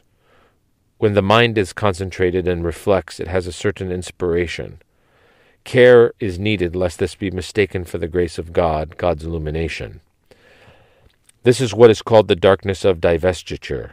Purified of material things and enlightened by the grace of God, the nous acquires a certain brightness. Theoria of the uncreated light is experienced beyond this state. The Christian may say the Jesus prayer very slowly out loud, and afterwards his attention may rest noetically in his heart, and the utterance of the prayer cease. As long as the strength of the nous endures, the Christian should remain there and watch. When his prayer weakens, he should say it again out loud. This too is a method of experiencing hesychia. Often the devil recalls to our memory sins that took place, or allegedly took place in the past in order to cause despair. In such cases, the spiritual father needs to have discernment in order to cure his disciple. Often during the night, we sense a cloud in our heart. Then we pray the Jesus prayer intensely. We repent, we weep, and the next day we get up full of joy. Someone who practices the Jesus prayer often has pains in his heart. This is not something wrong with the heart. Sometimes it results from the effort made, or at other times it is a temptation from the devil. In the second case, the devil suggests the thought that if he continues praying, he will die. For prayer to develop, this sort of trial must be gone through as well. He should say, Let me die, and continue praying. Trees have green branches that bear fruit, but they also have some dry branches which do not harm the tree. It is the same with people. They may have some failings that do no harm. We ought to look at their virtues. When a thought or an unlawful love gets into us, it goes away with weeping. Every kind of evil leaves the soul by means of tears. When something or someone attracts our love more than the love of for God, we are committing spiritual adultery. Beginners in the spiritual life form the words of the prayer imaginatively in the nous, which develops and cultivates their imagination. It is preferable at first to keep the prayer on our lips, to say it out loud with our mouths without imagining the words. On spiritual matters, one must go forward in the fear of God. Fear of God should be the basis. When doing something results in humility, this is a sign of God's good pleasure and of wholeness. The elder ought to keep his disciple on the border of despair. He should not praise him for his gifts. He should only encourage him at difficult moments, when incurable despair threatens. Then the disciple will make progress. The monastic life exploits every state. The monk benefits especially from insults and humiliations. When elder Joseph the cave dweller prayed, the wild birds used to come and tap on the roof with their beaks. Someone could say that this was a temptation from the devil. I think that the birds were attracted by the elder's prayer. Saint Seraphim of Sarov lost the divine grace he had received because the following happened. There were two candidates for the post of the abbot at the monastery, Saint Seraphim and someone else. Saint Seraphim withdrew from the competition for the abbacy. However, when they sent him away from the monastery, he was aggrieved. This sadness was the cause of divine grace withdrawing from him or decreasing. It was necessary then for him to practice great asceticism and go through profound repentance, remaining on a rock for a thousand nights and a thousand days in order for divine grace to return. The feeling of worldly sadness and bitterness causes great harm. Monks are like merchants. Merchants make a million drachmas one day and the next day nothing, or they lose everything. The same happens to monks. One day they make a profit with tears and prayer, and the next day they lose everything by talking too much. After 20 minutes, conversation with people usually turns into chatter and criticism. He was asked if kissing was a sin. He answered, Everything outside God is a sin. Man far from God is in darkness. Whatever is in God is light, and there is no darkness in it, and consequently there is no sin either. Whoever kisses someone else and remains in God, as parents kiss their children and spouses one another, does not sin. Whatever distances man from God, however, is sin. Since we are full of passions, we should avoid even what is regarded as free from passion. There are two expressions of true monasticism. The one is tears of repentance and despair over ourselves according to grace. The other is self accusation. There are they are two sides of the same coin. The monk should weep in despair of himself. Then a pain arises in the heart. The heart is wounded, and from this wound, remembrance of God is produced. All night long he is on tenter hooks, and during the day he has an intense desire for God. This is the natural state of genuine monks, and it is the source of uninterrupted prayer. It is possible to pray so powerfully for a quarter of an hour with weeping and self accusation that the nous is held in God all day long. This is one way of expressing the words, Keep your mind in hell and despair not.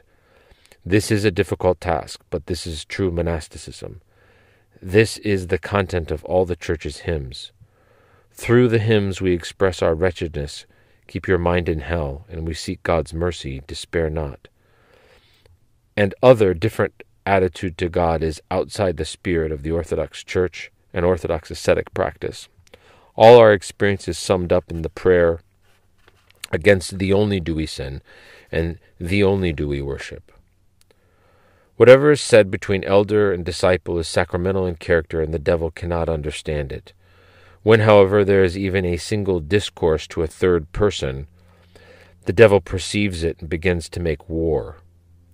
Therefore, when someone wants to become a monk, he ought not to disclose it anywhere except to his spiritual father, because the devil will fight him.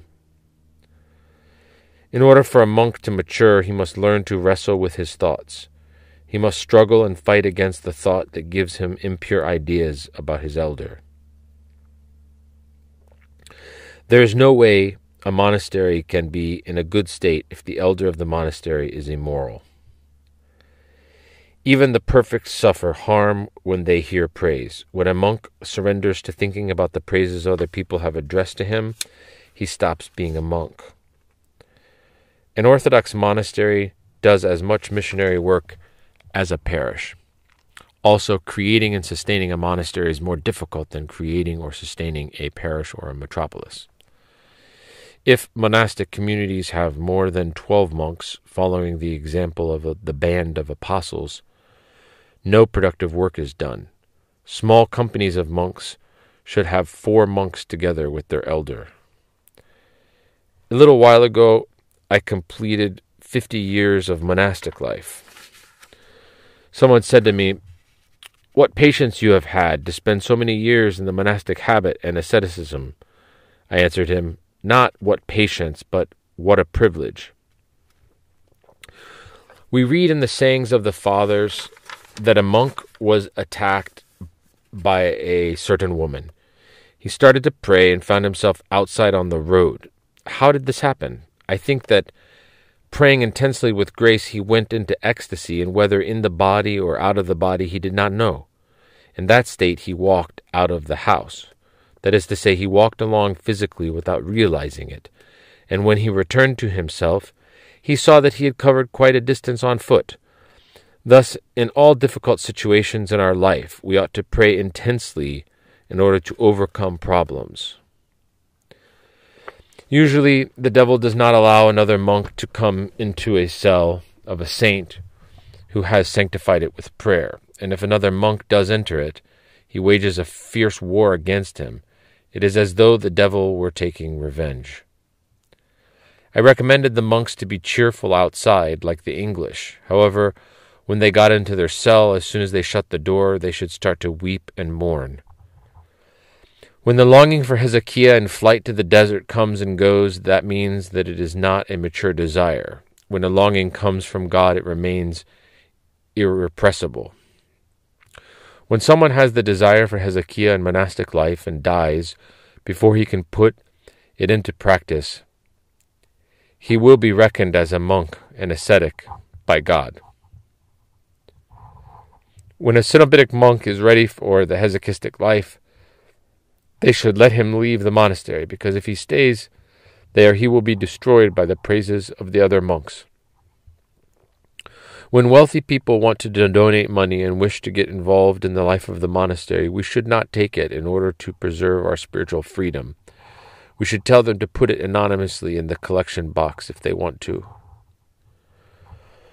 When I was a spiritual father at the monastery of St. Grigoriou on the Holy Mountain in the 40s, one monk fell into delusion and told me that the idea had come to him to murder some other monk, as he was in a good spiritual state, and thus he would help him to be saved. I advised him to tell Abbot Bessarion in order to receive his blessing, because nothing happens in the monastery without a blessing. I said this so as not to, to transgress the confidentiality of the confession. The abbot, however, paid no attention and sent him away. Thus, the monk went in the evening to the cell of the monk about whom he had the evil thought, guided by the devil. He knocked on the door. The monk did not reply, but since the idea of murder had gotten into him, he knocked on the next door and murdered another monk.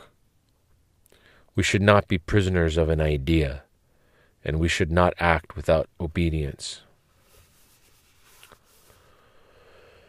We should not be tied down by dreams and aspirations. We ought to have no ties. If God wills something, He will give energy, grace, and strength for us to want it and to put it into practice. When a hermit visits a monastery, they ought not to take any notice of him, because they may do him harm. It is possible that they may destroy him with the respect that they show him due to potential pride. Hearing confessions is a great and heavy task for the members of the clergy. But he must begin this task, even if he makes mistakes. He prays about every problem that God give him solutions. He should mention the first word that comes to him after intense prayer. In any case, no one is infallible. Only those who do not work do not have mis- do not make mistakes. The idle do everything well, don't they? People's growing love of psychology is a terrible thing. Psychology helps those in the West, but it is dreadful when the Orthodox learn psychology and substitute it for the Neptic tradition of the Church.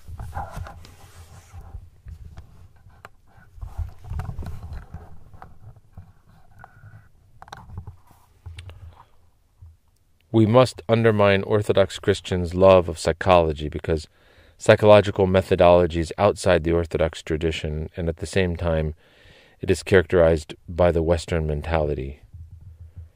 Carnal sin starts off as psychological and sentimental, and then comes to the body, at which point it attempts to find occasions to complete the fall. Some children mature very quickly physically, but the world of their soul does not mature easily. Some people want to combine married life with the sweetness of prayer as experienced by ascetics, but this cannot be done. As a result, they are distressed and lose hope. Noetic prayer requires purity of soul and body. We should guide them with discretion and tell them that it is better for prayer to stop rather than for communication with the other spouse to be interrupted and the family dissolved. If the family falls apart, the husband will look for another wife, and probably the wife for another husband, and then prayer will be lost as well. Not only will the family break up, but prayer will also be lost. Spiritual life needs to be discreetly attuned to married life by an experienced spiritual father. If you want to destroy someone, tell him that he has a good voice or praise him for a gift that he has. People do not make a sincere confession immediately. A long time will pass before they put into the words what is troubling them, and often they will say it as though they had forgotten it. Much care is needed. We should show love and wait for their frank confession. Also, there are many who say, I will not tell everything in case the spiritual father deprives me of Holy Communion. We should encourage them to make a sincere confession, and when they confess sincerely, we should handle things with discernment. 1978 continued. There's a general phenomenon that we often observe. As soon as people know Christ, they sense the sweetness of the spiritual life and immediately they want to abandon their work and devote themselves to Christ. Since, however, they have families, and this desire of theirs is fleeting, we must hold them back so they become stable in this spiritual activity. And as time passes, they will find ways of harmonizing God's will with their work. Then they will do what they want, or they will change their way of life without causing problems. The Apostle Paul faced the same problem with the Thess- Thessalonian Christians who did not want to work once they came to know Christ. There are some spiritual fathers who impose a rule on women that they should have children, even when the doctor forbids it, regardless of whether they die, and they justify this by saying that the women will become martyrs. We should not violate people's freedom. We should find ways to cure them so that they freely obey God's will. Also, one can urge oneself on to martyrdom, but not others. There are spiritual fathers who, in order to be certain, keep the letter of the law. This gives them security. However, those spiritual fathers are more secure who put themselves at risk for the sake of brotherly love and who apply economy, living the spirit of the law. By using economy, through prayer, they feel that, that for love of their brethren they have transgressed the letter of the law. This reproach keeps them humble. By contrast, it is difficult for those who justify themselves as keepers of the law to be saved. Those spiritual fathers who are excessively strict cannot keep people with them or help them. Usually, I do not impose a rule with regard to prostrations. I do not lay down how many prostrations someone should do. Rather, I advise him to make prostrations until he is tired and until his body becomes accustomed to participating in prayer with his nous. In this way, everything is done with love and freedom without coercion. When the confessor regards the penitent with love and compassion without criticizing him, when he is confessing his falls, then he, the confessor, will benefit and receive grace, and will be enlightened to handle the problems correctly and to cure the wound. If, however, he criticizes him, even in thought, he will not be illuminated by God, and the penitent too will understand the spiritual father's attitude and will go away without being comforted. When people who had another spiritual father previously come to make their confession, We ought not to undermine the standing of their former spiritual father. We should recommend that they ask their previous spiritual father's blessing to come to us. Then the penitent will be blessed, but our own work will also go well. Otherwise, we will not succeed in this work, and they will leave us too. Bringing up children is difficult nowadays. Perhaps parents ought to look at themselves and develop themselves spiritually so as not to forfeit their salvation. This comes first, and this will be transmitted to the children. The following happens with Orthodox books. Someone can write 500 pages, which are all in accordance with ecclesiastical teaching, and one mistake may be included as well. Everyone will dwell on the mistake and characterize the writer as a heretic. Great care is needed. When someone who is young makes a mistake, the others justify it as foolishness. When, however, he is of mature years and has some experience, they make no excuses for him at all. Concluding the discussion, I said many times, Your blessing, and he replied emphatically, You have it. I have your name written in the proscomidie. With the blessing of the elder and the assurance of his prayer, I left for Greece. As is evident, the elder was a great theologian and spiritual father, and moved at high altitudes of the spiritual life. He did not bring his words down to a low level. When I was listening to him, I would often remember the beginning of the book of the prophet Isaiah, the vision of Isaiah which he saw, Isaiah 1 1 the beginning of the book of the prophet Jeremiah. The word of God came to Jeremiah, Jeremiah 1 1. And the book of the prophet Malachi, the burden, prophetic oracle of the word of the Lord to Israel by the hand of his messenger, Malachi 1 1. The elder's word was the vision of God, the word of God, and the burden of the word of the Lord. For that reason, some people did not understand him. A certain bishop had spoken against him. He told me that all the monks of this monastery were holy young men, but the problem with the monastery was the elder.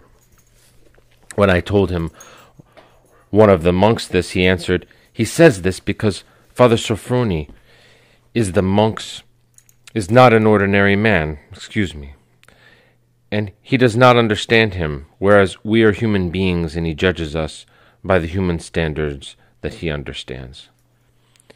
He added, I am intoxicated with the writings of the elder. When I left, I took with me the prayer at daybreak, which the elder wrote and prayed in the desert of the holy mountain in Karulia.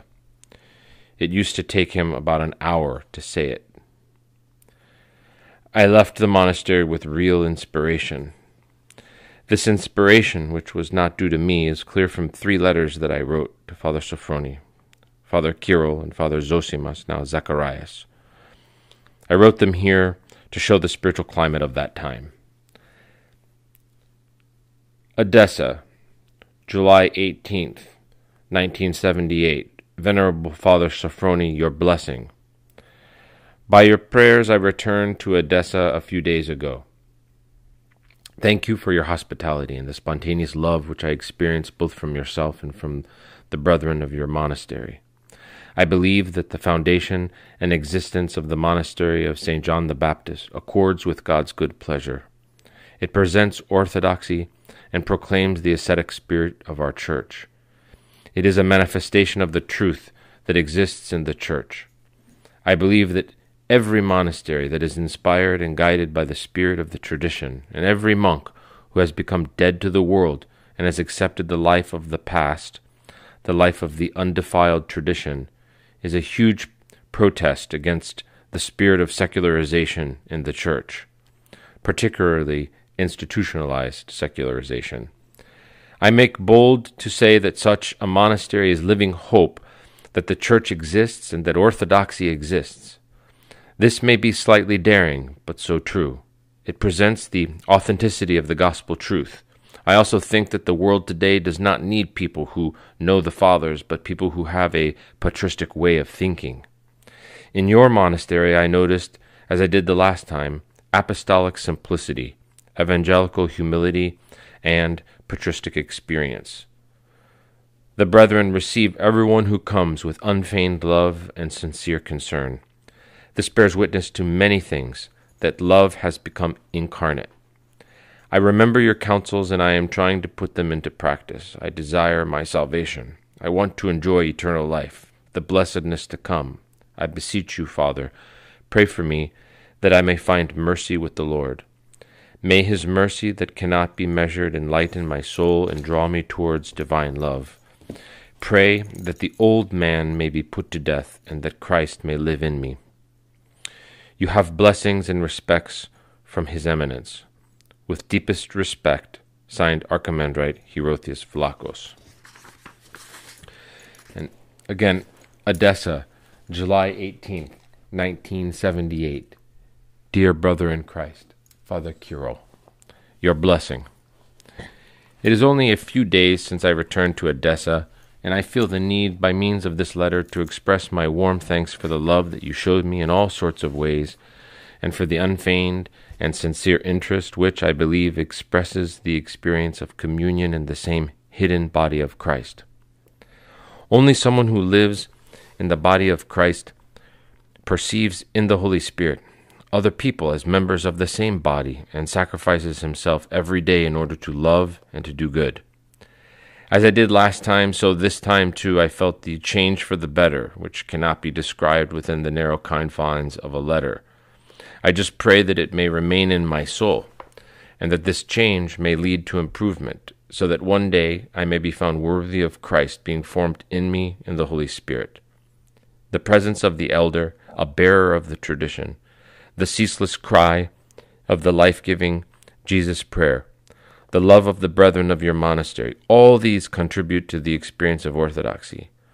I shall not write more because I would probably seem to be exaggerating and because it is possible that my sincerity may be mistaken for flattery. I ask forgiveness for the for the bother that I caused. I thank you profoundly for the hospitality, full of genuine love, and I ask you to pray to God for me. I have written to the elder, but convey my respects to him, as well as my love to all the brethren, with the fervent request that they pray for me with much love in Christ, our Archimandrite Hierotheos Vlachos. And July 18th, 1978, from Edessa, Dear brother in Christ, Father Zosimas, your blessing. I address you as a brother, and I feel you are very close to me. Without really understanding it, I feel that you and I are brothers of the same monastery. I felt the need to write a letter to you too, even though I have already written letters to the elder and to Father Kirill, because I bothered and disturbed you more than anyone else. Thank you for the interest that you showed in me. I recognized on many occasions that you did it out of great love, and the more perfect the love, the more closely it is linked with sacrifice. I therefore realized that you often sacrificed for me sweet hours that you could have spent in your cell, engaged in calling upon the name of Jesus. And this for the sake of a brother. I ask your forgiveness, and I am grateful for your love. Brother, my heart is too cold and barren to find appropriate words of thanks. I believe, however, that you will have discerned at least my good intention to thank you. My latest stay at your monastery brought me immense benefit. You said to me that this time I did not benefit as much as last time, because there was a lot of overfamiliarity and so on. However, the opposite happened. I benefited more, even though I did not want to show it. I am not writing this out of politeness and good manners, because, fortunately, in this respect, I am a Roman.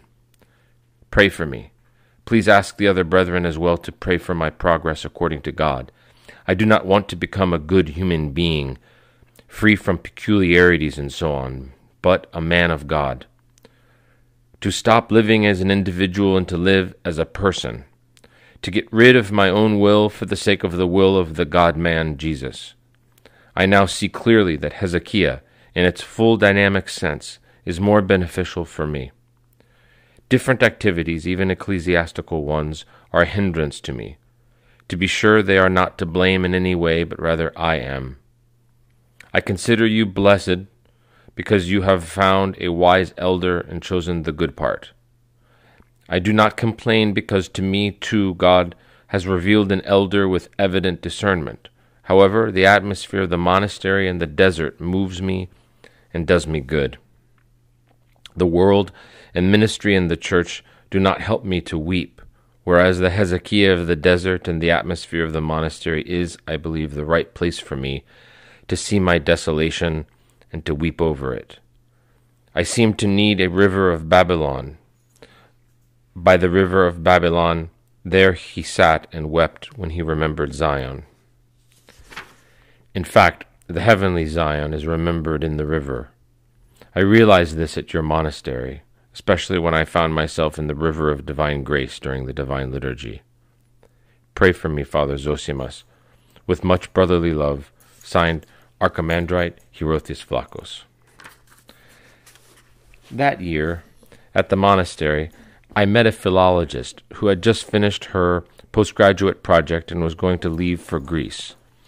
She described to me how she had met the elder, how she had benefited from his teaching, his personality, and his advice, and how she began to see the church in another perspective. I record some of the things that she told me to show how the elder exercised a pastoral ministry toward pilgrims to the monastery. He regarded each one differently and personally. To those who were well disposed, benefited greatly. In each case, he would act in a self emptying and sacrificial way, as a great elder with godly wisdom. Many people from all over the world can tell of such occurrences members of the clergy and monks, academics and simple people, students and pupils, people with families and children, orthodox and non orthodox, those experienced in spiritual things who have lived the spiritual life, and beginners or even atheists, monks of the holy mountain, and those living in the world. All benefited from seeing the elder. They received his word in order to put it into practice and to be saved, either in their family or in monasticism. Many were born again spiritually, and many non Orthodox converted to Orthodoxy and gained genuine knowledge of God because the elder was a theologian as well as a spiritual father. The excerpts quoted are indicative, representative, and expressive. Hundreds and thousands of people could relate similar experiences from their meeting with the ever memorable elder. Quote, we arrived at All Saints Church on, Mon- on Monday, Thursday, while Father Sophrony was reading the first Gospel of the Passion. As we entered, I beheld a biblical figure, a venerable priest, all white, who pinned me to the spot. I was unable to move, to take a step. He was reading the Gospel slowly, clearly, and meaningfully. Nobody stirred. This image is deeply engraved in my memory. At breakfast in the refectory, the elder sent a sister to call me over and to place me next to him. Have we such Greek people here? he said, and looked at me, while his face was shining like the sun and he was laughing. I could not utter a word and just gazed at him, and he looked at me intensely. The elder took me with him to the office where he first prayed with raised hands, and then sat down, looked at me, and laughed. I hardly needed to explain anything. He knew everything. He began to teach me. My visits to Essex became frequent. On one visit, I mentioned to the elder that sometimes I felt a terrible pressure, that the whole earth was pressing down on me. The elder explained that this happened because England was not an Orthodox country, and no one around me in the town where I was living prayed, rather, the opposite happened. On the contrary, in Greece, the bells ring, liturgies are celebrated, people pray, and this environment helps a lot in prayer. Prayer rises up warfare and temptations from the devil. The elder used to tell me, You belong to the family. And since there was no room, I usually stayed in the sister's attic. When he met me outside the sister's house on the path of his own house, he would often say, Where are you staying? In Ouranoupoli? You know that the holy mountain is next door. And he pointed with his walking stick to his bungalow. One day he met me outside the father's house and we walked along together. Light-heartedly, he responded to what I was thinking, namely, that I would be very foolish to live a worldly life when these people live like angels. And he said to me, All these people, and he pointed to the fathers who are ahead of us, are foolish, but you love them all. Do you want to be foolish too? And he began to laugh loudly. On another occasion, when I was rather dejected, he took a spiritual x ray. He looked up at the overhead electricity cables and said, Do you see that bird? It is sitting on the cable. Do you know what voltage it carries? But the bird suffers no harm. The monk is like that. He has a great struggle within him, and on the outside he appears very calm. There was never any need for me to tell him anything. He knew everything and answered me, looking at me with those sparkling, penetrating eyes of his. Once on the feast of the Nativity of the Theotokos, I was very joyful. At breakfast in the refectory, the elder turned to me and, stressing the word joy, saying, Your nativity, O Mother of God, brought joy to the whole world. He smiled and sat down to breakfast. Every time the day drew near when I would leave the monastery, I would weep a lot. Seeing me in this state, the elder said, Weep, regardless of the cause. Turn it into prayer. Turn it into repentance and prayer. Once, when I told him that I could not retain many of the things that I read, the latter, sayings of the fathers, Staretz Silouan, he replied, You do not need to retain it. The heart understands it, and it becomes spiritual nourishment without you realizing it. In March, I began writing my postgraduate project, and I finished it in August. My confidence in the elder's statement, write it, and we shall bl- blind them, you will get through, gave me strength to continue. Thus, when I handle, handed it in without reading it even once, even though I had written it directly in English, which I did not know particularly well, I left for the monastery hoping that I would stay for as long as I wanted. But unfortunately, I was appointed to a post and I had to return. On the 16th of September, after the midday meal, I was to leave. The elder called me over to him, and, as I was crying continuously, he said, You will make us all cry. He stopped the meal early. He took me by the hand and we went to his office, where one of the fathers arrived with a bunch of roses. The elder took the flowers and began to cut off the thorns. He gave them to me and said, I have removed all the obstacles for you. The elder's word was the word of God. You thought God was speaking to you. I never had any doubt about that. End of quote. As I mentioned above, the impressions of this pilgrim show how the elder approached people. Thousands of people were regenerated spiritually by this transfigured man who always spoke theologically wherever he met people. End of 1978. 1979. As is evident from the above, I had many discussions with Father Sophrony in the summer of 1978, and I gained a great deal from what he said to me. At the same time, I entered more deeply into the spirit of the monastery. I relished the contrite and hesychastic services with the prayer rope and the recitation of the Jesus prayer. Jesus Christ, Son of God, have mercy upon me, as well as the Divine Liturgy, which was celebrated in a hesychastic atmosphere. This inspiration followed me to Edessa. I attempted to continue the program of the monastery with regard to the daily services within the circumstances of my pastoral ministry while living in the official residence of the metropolis with my blessed elder, Metropolitan Callinicos of Edessa, Pella, and Almopia. The ever memorable Callinicos rejoiced at all the contact that I had had with Father Sophrony. Every time I returned, he would ask me to tell him exactly what the elder had said, so that he too could benefit. Thus, we were both, in some way, disciples of Father Sophrony. Of course, Father Sophrony also respected the monastic consciousness of Metropolitan Callinicos, as well as his noble love linked with freedom. At a certain point, however, while I was praying the Jesus prayer, I felt something specific. I was afraid that it, it might be some sort of delusion. I wrote immediately to the elder telling him precisely what I was experiencing, and I asked for personal guidance. A few days later, completely unexpectedly, I received a letter from the elder, the only one that I have in my archive. Later on, I found out that Father Sophrony had been positively concerned and had put my letter in the place where he prayed so he would remember me when praying and pray for me. I shall quote this letter of his with two explanatory comments.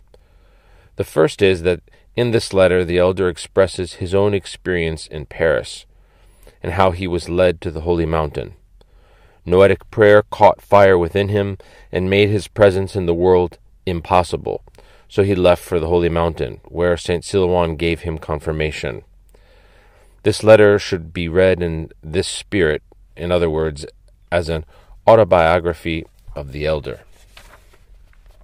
The second comment is that Father Sophrony writes and gives guidance through his own personal experience, as did all the Holy Fathers, but he respects the freedom of his correspondent absolutely. He opens up new opportunities in the spiritual life without imposing obligations. This is noble love, as possessed by those who have knowledge and experience of the life of the Spirit, sacred knowledge of God. These two reasons have led me to publish this letter from Father Sophrony and, of course, to seek his prayer and intercessions. The letter reads as follows Monastery of St. John the Baptist, Tolleshunt Knights, by Maldon, Essex. 30th September 1978. My dear brother and concelebrant in Christ, Father Hierotheos. Today I received your letter on 24th of September. I am replying to you at once, praying that the Lord may have mercy on us both. I do not reply as an elder, but as a brother and concelebrant at the throne of our Most High God and Savior. My profound respect for Father Paisios prompts me to suggest that you comply with his word. But when I confront your problem, which is analogous to that which confronted me more than half a century ago, I allow myself to set out my thoughts. I am speaking to you on the basis of my experience. I make no claim that my word is directly from God, so it is not obligatory for you. Accept with fear, as God's blessing, what happens to you during and after prayer. All those to whom such prayer is granted experience something similar to you. Prayer itself teaches you what you ought to do. I am only taking the place of a brother witness. As you see, there is no eagerness to prepare sermons. You have no inclination to communicate with the world. You have conceived the desire to go into a monastery, and so on. All these things work naturally within the soul through prayer itself, and the soul knows this in a natural way without guidance from outsiders. But you are right to ask someone else so as to gain evidence that the present case is a matter of God's mercy and not stimulation of the imagination. Thus it was from the beginning. The Virgin Mother God went to Elizabeth, the Apostle Paul went to Jerusalem, and our fathers advise us to ask those who inspire confidence. I must tell you, to combine this sort of prayer with activity in the world is not possible. Perhaps you have heard about Bishop Theophan the Recluse, the author of many ascetic works, who in the last century left his episcopal throne with the blessing of the Holy Synod of the Russian Church and went into a monastery. As I write in the book about the starets and in my article, Principles of Orthodox Monasticism, the nous that prays in the heart cannot and should not allow its attention to turn to anything else. Nothing is more important and necessary than prayer. Academic work, which does not give genuine knowledge of God, but only acquaintance with words about God, is abandoned. Inner prayer is not compatible with activity in the world, however beneficial this may be. This is why inspiration for sermons does not come. The heart and the nous avoid even this kind of pastoral ministry. What else can I say to you? Withdrawal from the world becomes the one thing needful. Thus, what is happening within you is not a fantasy of an arrogantly deluded nous. No, it is the call of God. A call to a more difficult and painful life on account of profound repentance, which is necessary for our salvation. May my word not trouble your heart. Perhaps this is sinful spiritual selfishness. No, it is not. Rather, one should reflect if I myself am in the darkness of ignorance of the ways of salvation, how will I be able to assist in the salvation of my neighbor? The Lord said, Physician, heal yourself first. If I myself am a slave of the passions, how will I purify others from passions? And so on. If God so wishes, then later on, after many years, when you learn how merciful the Lord is, you may possibly seem useful to your brothers. But we ought not to think about that at the start of the journey. Now there is nothing before you except repentance. Repentance which has no end upon earth, because this end would mean complete likeness to Christ. So, if my word is acceptable, the practical issue arises of putting this aim into practice. I hope that you are able to entreat your bishop and benefactor to give you his episcopal blessing for the proposed work of repentance in poverty and humility.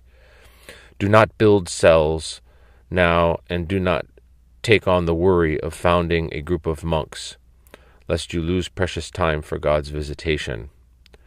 Ask of the bishop, and it will be given you. As far as possible, do not delay. This is what St. John Climacus advises.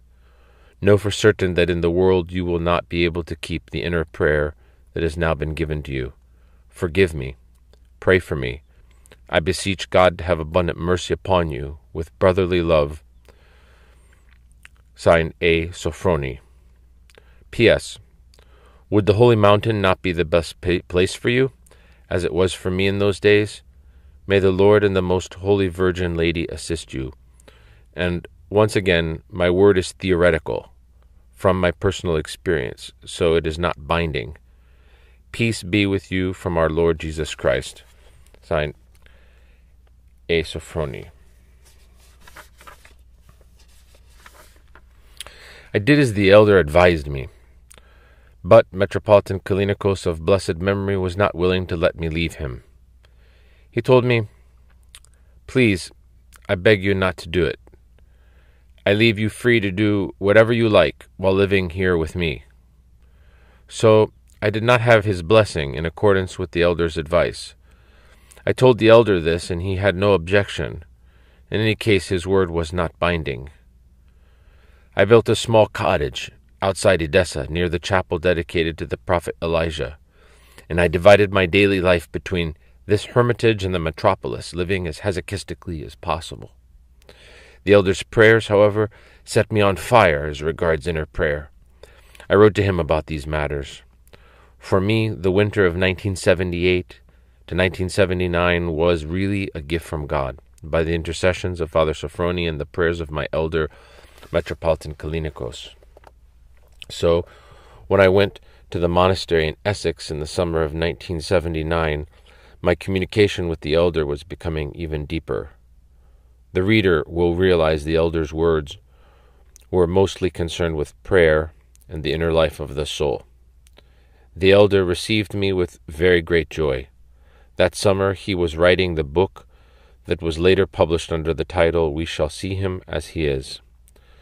Someone told me, before starting to write on the on the typewriter, the elder closes his eyes, lifts up his hands to God, prays, and then writes. The first time I met him, I asked him to give me the chance to ask him a few things about prayer and the spiritual life. He told me, Stay here at the monastery, and at the first opportunity I shall call you. That year I happened to be there for the Sunday of Pentecost. We celebrated Vespers magnificently on Saturday afternoon. In fact, the ever memorable Abbot Ephrem of the monastery of Xeropotamou sang the Troparia for the right hand choir with his gentle and contrite voice, and I sang those for the left hand choir. The elder was also present, and he conveyed a special atmosphere to us.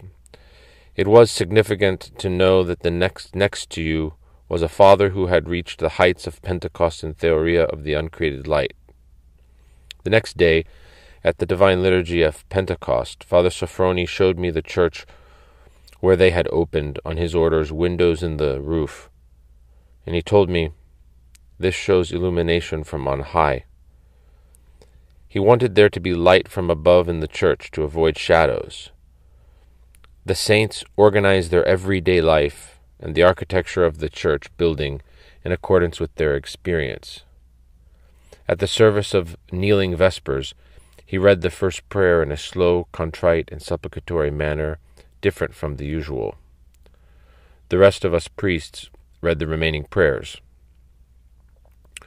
While I was staying at the monastery, I celebrated the liturgy every Sunday in the All Saints Church with the elder, the abbot, and the hieromonks of the monastery. I often preached at the Divine Liturgy, and occasionally I would address the pilgrims after paraclesis in the afternoon.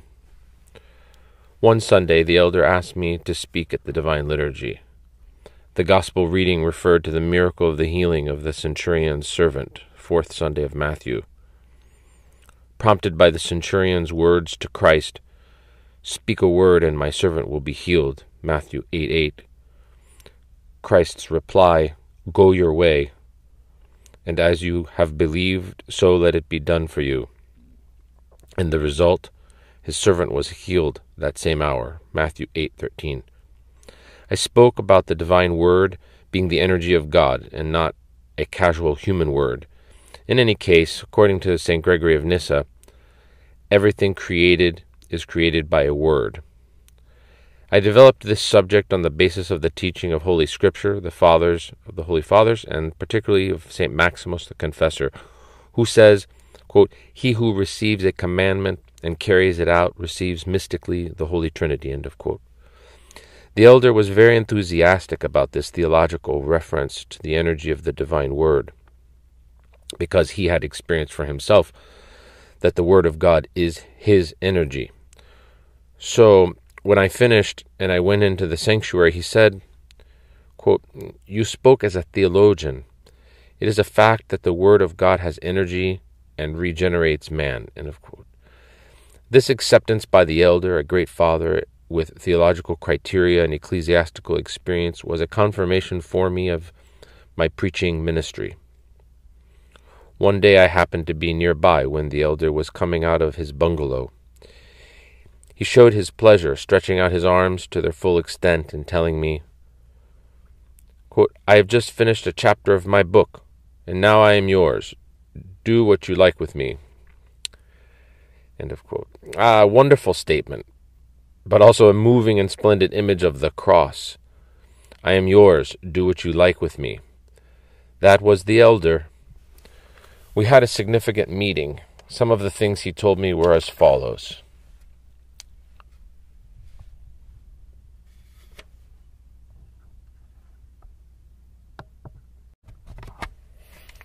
Nineteen seventy nine continued. Some of the things he told me were as follows. Many fathers say that the Christian ought to study himself, to examine himself every day to see the good things and the bad. This did not help me, however, whereas something else did. I used to say to myself, What does God want me to do today? I would set Christ's commandments before me and proceed to put them into practice, as the Apostle Paul says, forgetting those things which are behind and reaching forward to those things which are ahead. I press toward the goal for the prize of the upward call of God in Jesus Christ. Philippians 3:13 to 14. Thus apart from serious transgressions which require complete all-embracing repentance and confession, one should not analyze oneself, nor examine one's thoughts to see where they come from or whether one has grace and how much. One ought not to spy on oneself, but to have profound repentance. To be sure, for the priest who works in the world, profound repentance is not possible it may not even be beneficial because then he cannot pay attention to others, so he is of little benefit to people. Profound repentance comes through humility and the action of divine grace. When humility is lost, everything is lost. The entire spiritual life is clear from Christ's Beatitudes, which begin with humility. Even theological knowledge can create self centered satisfaction, in which case everything falls apart. How do we attain to humility and repentance? We have Christ's commandments before us and we try to put them into practice. We realize, however, that we cannot reach the height of his commandments.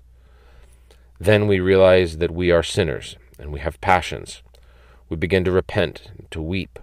Grieving, we seek God's mercy. The Christian's life is very simple. When God bestows certain states of grace, one ought not to reflect on them, much less describe them, just as the awareness of one's sinfulness ought not to be shared with other people.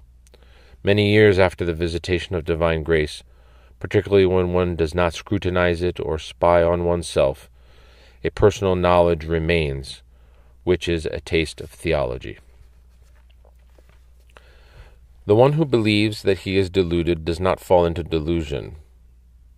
In other words, every sin is delusion, as the state of temptation deludes the nous and it departs from God. So when we sin, we feel that we are deluded. Then we seek God's mercy without ceasing, and this sets us free from delusion. One ought to be moderate in all things. One must always act according to one's physical capabilities and the spiritual state one is in. One ought not to pay attention to oneself while prayer is active. Sometimes the energy of prayer ceases for various reasons, mostly due to inappropriate actions. Then contrite and penitential prayer is required. In general, we ought to live with a sense of sinfulness. This develops profound repentance, and so prayer is activated. One should not spy on oneself and observe the states of prayer inside oneself. When we pray intensely, our body is transformed as well. Although a monk is a natural human being, when he prays with penitence and mourning, he experiences the transformation of his body. Then many benefits come, such as discernment, peace, and so on. This is how we interpret the transformation of the body through, through theoria, vision of God. The words, keep your mind in hell and despair not, were given by God to Staretz Silouan in the era when Einstein was giving the world the atomic bomb, the theory that led to the atomic bomb. Thus, the consoling words, despair not, make an impression in our time because everyone is in despair. There is no better occasion for humility than when other people despise us. In this case, we should not even ask why they hold us in contempt. Other people's contempt helps us to be humble. When a thought produces pride, we should say, Death has fallen upon me. My murderers have come. This gives rise to repentance. When someone prays, he should pay no attention to anything, even the warmth produced in his heart. He should simply be in a state of profound penitence and feel that he is far from God.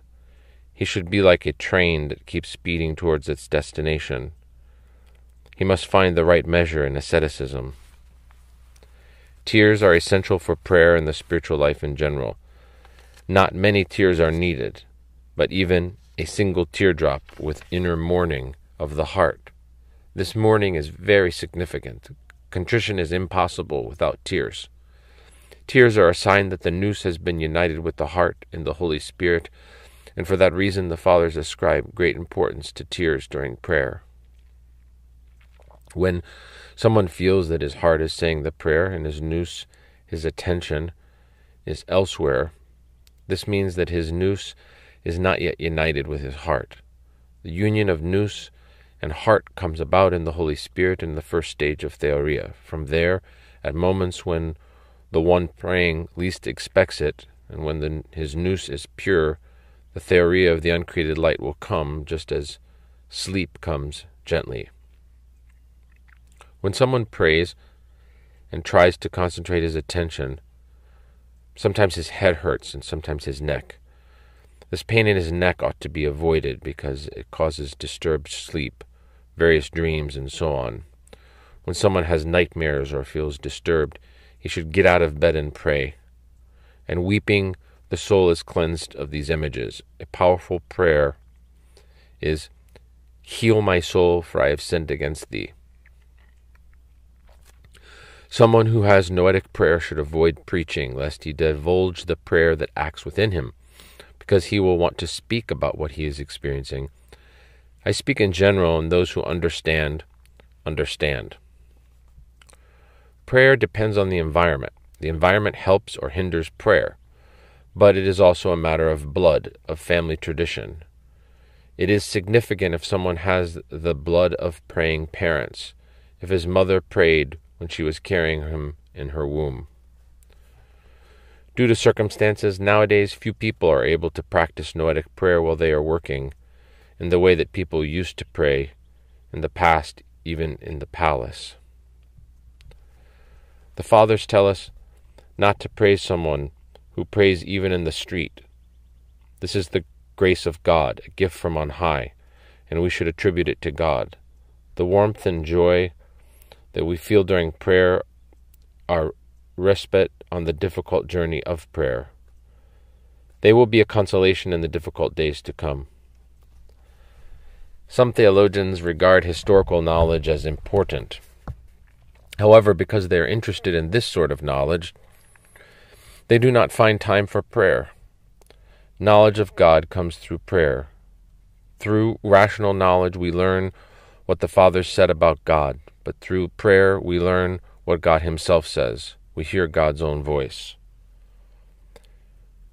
One should adjust prayer to suit the work that one does. It is possible to lose prayer in the desert and to find it in the city. Going to live on the holy mountain is no easy matter. It may even lead to self esteem if someone held an important position in society and the other monks respect him. Repentance is a personal matter and a moment of grace. One must repent alone, by grace, living in blessed humility. When others humble us, we should say, They are doing me good. Glory to you, O God. When others praise us, we should say, Glory to you, O God, that people are gaining benefit. So in both cases, he gains. When the heart does not respond to prayer by its movement and warmth, particular care is needed. One ought not to force one's heart in this state. One should say the prayer orally, because otherwise the heart may grow weak through pressure and bodily disorders may occur. The fact that the heart does not respond to prayer is due to various sins, which are committed even through thoughts. In this case, if one does not remember anything, one ought not to search out the cause, but to humble oneself, saying, Heal my soul, for I have sinned against thee. Although it seems then as if the heart is not responding to prayer, later on it will respond. We must preserve a contrite spirit which comes from humility. Once I knew the truth, Christ, as the true God, I greatly regretted the time when I had been involved in Buddhism. I went far astray. Now I realize more than ever that everything outside Christ is a delusion and absurdity. There's a great difference between East and West. A Westerner who is baptized Orthodox will spend many years in the Orthodox Church under the guidance of an experienced spiritual director in order to acquire a wholly, entirely Orthodox mentality and ethos. Until then, he cannot and should not act as a teacher to people who are of Orthodox stock, who are born and brought up as Orthodox. This is why the union of the churches cannot come about. Discussions may lead to an acquaintance, which may help politically, but without harming orthodoxy.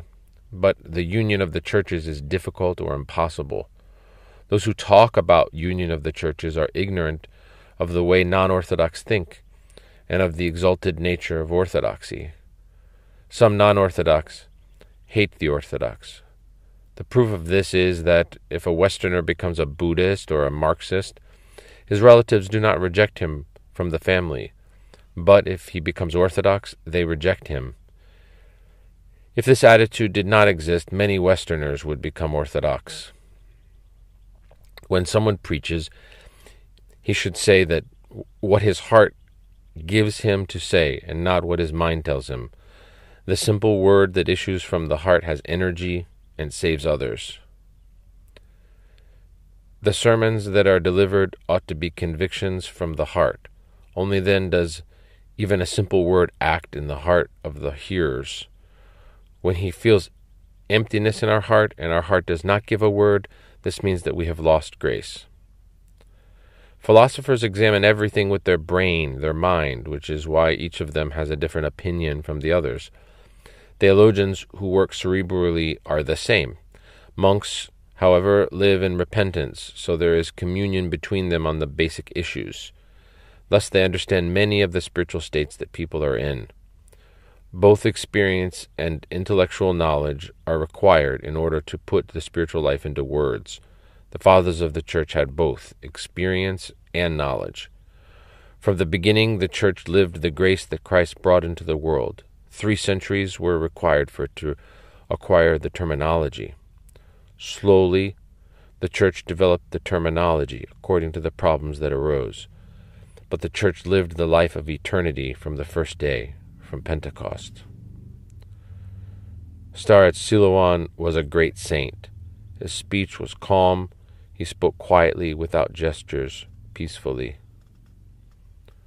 When I spoke to Staretz Silouan, I would let him talk. I would only ask him something if I did not understand, but that happened only occasionally. Afterwards I understood understood him fully, particularly after his death, when I went into the desert. This is what usually happens with all those who have contact with saints. When I was in the monastery of St. Panteleimon on the holy mountain and Staretz Silouan was still alive, mentally I would kiss even the ground that he trod. I had such profound respect for him. When we want to help someone, God will give us a word to offer him. In general, we should pray to God to tell us what to say on each occasion. St. Silouan helped a young monk in this way. His father had brought him to the monastery as an adolescent. When this monk was 19 or 20 years old, he had doubts about whether God existed, so he wanted to stop being a monk and return to the world. His natural father begged St. Silouan to talk to him. Silouan went to his cell first to pray that God would enlighten him as to what to say. After praying, he received a word from God, and he went to the monk and said, Doubting thoughts occasionally come to me too. The monk, who thought highly of St. Silouan, took courage and asked, And what do you do then, Staretz? St. Silouan replied, I chased them away. So the monk, who respected the Staretz, listened to what he said, dismissed the thoughts, became a good monk, and died as a monk. For someone else, a different word would be required because if someone were to say this to him, he might say, As such thoughts occur even to Staretz Silouan, that holy man, it follows that God does not exist. This is why spiritual fathers must pray to God and receive the word that God gives, which is specific to each one. This means that we help other people personally. Staretz Silouan's words are for all categories of people, even for those of other faiths. We have a word from Staretz Silouan to say to everyone. When a member of the clergy has profound repentance, he cannot do much pastoral work in the world, because the pastoral ministry requires constant activity, which is impossible for someone marked by profound repentance. Serve your bishop. In order for you to receive grace and for this service to be in God, he should say, Lord Jesus Christ, through my bishop, have mercy upon me, a sinner. If a young man is flippant and does stupid things, we should pray that God may bring him to his senses. But we should avoid, we should not avoid him. This simplicity helps a lot. The loss of divine grace causes great pain, comparable to the body's mortal agony, but also to the fear of death. Great patience is needed then. One day I met him on the path. He was coming out of the main building of the monastery after hearing confessions, and was on his way to his bungalow. I approached him, asked for his blessing, and told him that when I read his writings, I felt that he spoke about the light as though he had seen it.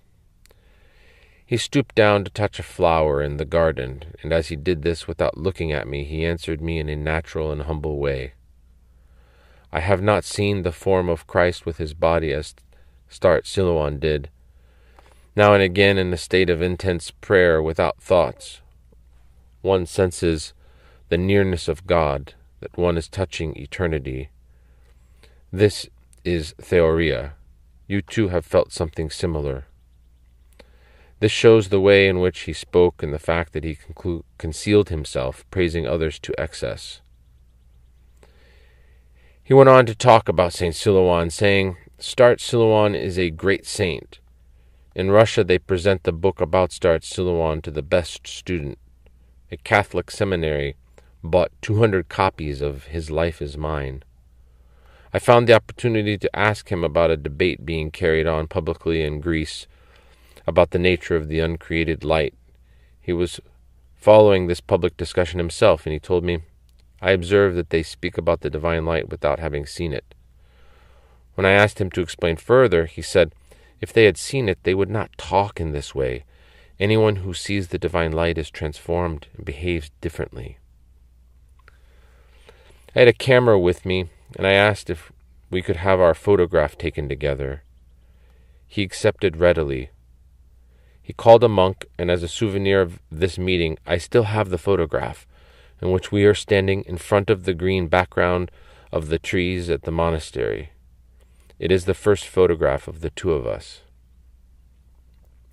That summer, I remember that just seeing the elder made me feel very deep mourning. On one occasion, this happened more intensely during the midday meal in the refectory. One day, he put me next to him at table as the abbot of the monastery was absent and we ate fish. He turned to me and said, I am amazed. I am a dog and I eat fish. Do dogs eat fish? He was profoundly humble, and mourning never left him throughout his life in spite of his great experiences of the vision of God. It seems that he also transmitted this mourning to those who were close to him. On another occasion in the refectory, David Balfour, about whom I have written elsewhere in the book, was with us at the table. I was talking to him. At one point I glanced at the elder and I saw the following. He had a focused his gentle gaze on Balfour's face, and tears were streaming from his eyes without convulsive movements of his face. Another time I saw during the meal in the refectory that he was inwardly tense and wept. Afterwards he was unable to speak. However, I do not know the reason. It should be mentioned here that when I spoke to Balfour at the monastery, he told me at the monastery of St. Pantaleon, Father Sophrony would weep and sigh. He was attacked by demons. He saw the uncreated light. I could not look at Staretz Silouan because his face shone. The only reason Father Sophrony wanted to go into the desert was that he could not stay at the monastery on account of his weeping and mourning. After meals, Father Sophrony used to expound to pilgrims the icons on the refectory walls. I remember that while explaining the wall painting of the Last Supper and interpreting the scriptural passage, Now the Son of Man is glorified, and God is glorified in him, he said, Christ said these words after Judas had left. Thus we too feel that our words stop when someone is present who does not understand them. I have written elsewhere that the characteristic of the faces and icons painted by the elder is that their nous is in their heart and that they are praying noetic prayer. Through iconography, the elder expresses the hesychastic tradition of the church that he lived in himself. Leaving the refectory one day, I was next to the elder, and a lady asked him to pray for her. Out of humility, he pointed to me and said, Ask him to pray because his prayer is heard he said this, of course, on account of the profound humility that was typical of him. I heard many monks and others talking about the beneficial presence of Father Sophrony. One monk told me, The elder does not have the peculiarities either of Russians or of the Greeks. He speaks to you, and his nous is anchored in heaven. In fact, I discerned this on many occasions, as does anyone who reads his words. Another monk told me, Father Sophrony lets the spiritual life develop in a natural way. There have been circumstances in which he could have set fire to me with a match, but he let things happen naturally. Another monk told me in confidence, Even now the elder sees the uncreated light, but he does not want to say anything about it in case he loses God's gift. This was perceptible from the inspiration that he passed on to those near him, from the atmosphere in which he celebrated, and from his living theological word. Despite of everything that has been written, no one should feel that the elder was awe-inspiring. On the contrary, although he inspired respect, he was at the same time very agreeable. Sometimes, when the atmosphere was oppressive, he would tell a joke in order to lighten it and ease the tension. He never wanted to feel that someone he was talking to regarded him as a saint. In that case, as he told me, he felt horror. To make the visitor feel more at ease, he would praise him in various ways. For instance, one day he saw me and said to Father Zacharias, very important person. Once, when I met him and I told him about a problem that I had with a metropolitan, not Kallinikos, and he immediately showed concern. As he told me, he feared how I might react to the Metropolitan's attitude, lest perhaps I would answer him back and lose grace, because it is dangerous for someone to react against a bishop who has the grace of the episcopate.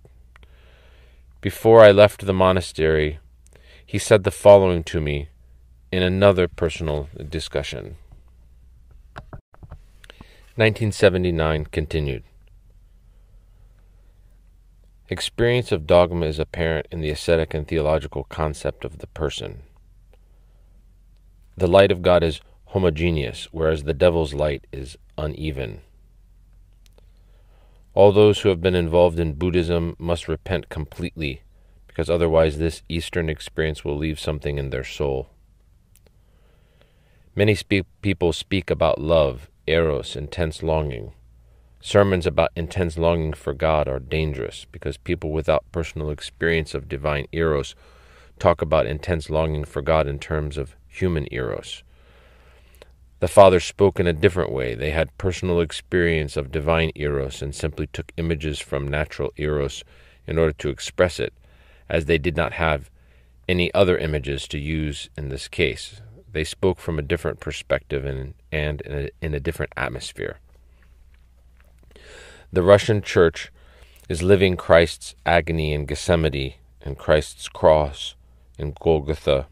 During this time of trial and persecution, the official church attempts to preserve whatever it can, and those who criticize its stance do not have an orthodox ethos. The orthodox ethos does not try to impose itself by violent means. The church does not deny the cross.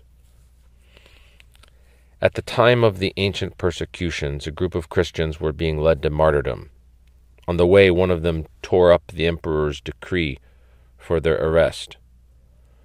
The church did not canonize him as a saint, although he was martyred because his action was political.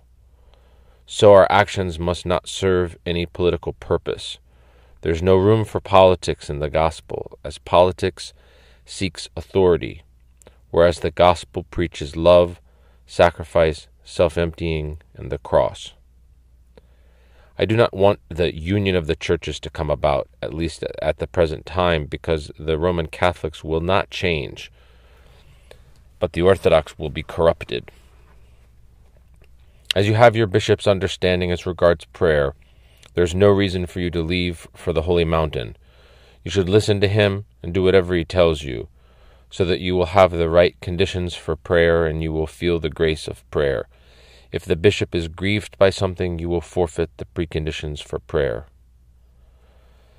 The two apostles, St. John the Evangelist and St. Paul, speak in different ways, but both are great. It is the same with St. Silouan and Elder Joseph the cave dweller. They were both great monks, but they lived in different ways. one in a Cenobitic monastery and the other in the desert. Elder Yosef was an extraordinary man. When God and the Holy Spirit inspires a spiritual idea in someone, it belongs to the church and all its members. For example, the Divine Liturgy of St. John Chrysostom is not just his, but belongs to the church. It is ours as well. Western religious culture ascribes great importance to outward bodily asceticism. Because of that, Westerners tire themselves out, particularly their brains and nerves, so even their foreheads are wrinkled. A good Orthodox monk lives with his heart, though without being released from asceticism, so his brow is smooth, and he does not frown. The bitterness that one feels for someone else, even though it is justified, makes the heart sick and contributes to the loss of God's grace. Faith gives birth to fear, not fear to faith, as the fear of God is born of faith in God. The Orthodox experience faith in God, whereas the fear of God is the characteristic feature of Westerners. The Apostle Paul writes, And the spirits of the prophets are subject to the prophets. 1 Corinthians 14:32 this means that God's grace in the prophets does not do away with their freedom. The opposite happens with the evil spirit, which abolishes the freedom of those in which it acts. The prophet is not grieved when prayer is interrupted in order to show love, because then he does not forfeit God's grace. The epistle of the Apostle Paul to the Hebrews expresses his personal life, particularly his prayer of repentance in the Arabian desert. It is an autobiography of the Apostle Paul. Prayer for others must be done correctly, not with the imagination. We should not attempt with our mind to imagine other people and to pray for them. But when our heart is gripped by pain for someone, then he is susceptible to prayer, and we should pray for him. If we have a list of names, we can read it once and, and then pray Lord Jesus Christ, have mercy upon thy servants. This does not stimulate the imagination. Anything done by force without love and freedom does not enter the eternity of God. It is not true that Saint Seraphim of Sarov said to everyone he met, Christ is risen, my joy. He said this sometimes to someone who was in need. St. Seraphim felt such repentance within himself that no one could sit next to him. He was on fire. At the moment, I do not want anyone to see the texts that I am writing. This is because, on the one hand, I write openly. When I write about the spiritual life, I do not want to write abstractly and philosophically. On the other hand, when I write openly and freely on these subjects and other people read what I write, I do not want to lose God's grace, nor do I want them to come to meet a saint. Because of the way Westerners pray, they cannot understand the long prayers of Orthodox monks. They are tired after praying for half an hour because they pray in their heads intellectually. The Orthodox pray with their nous. Sometimes someone who prays becomes clear sighted and can foresee things. Often he does not realize it himself, as it is a natural state.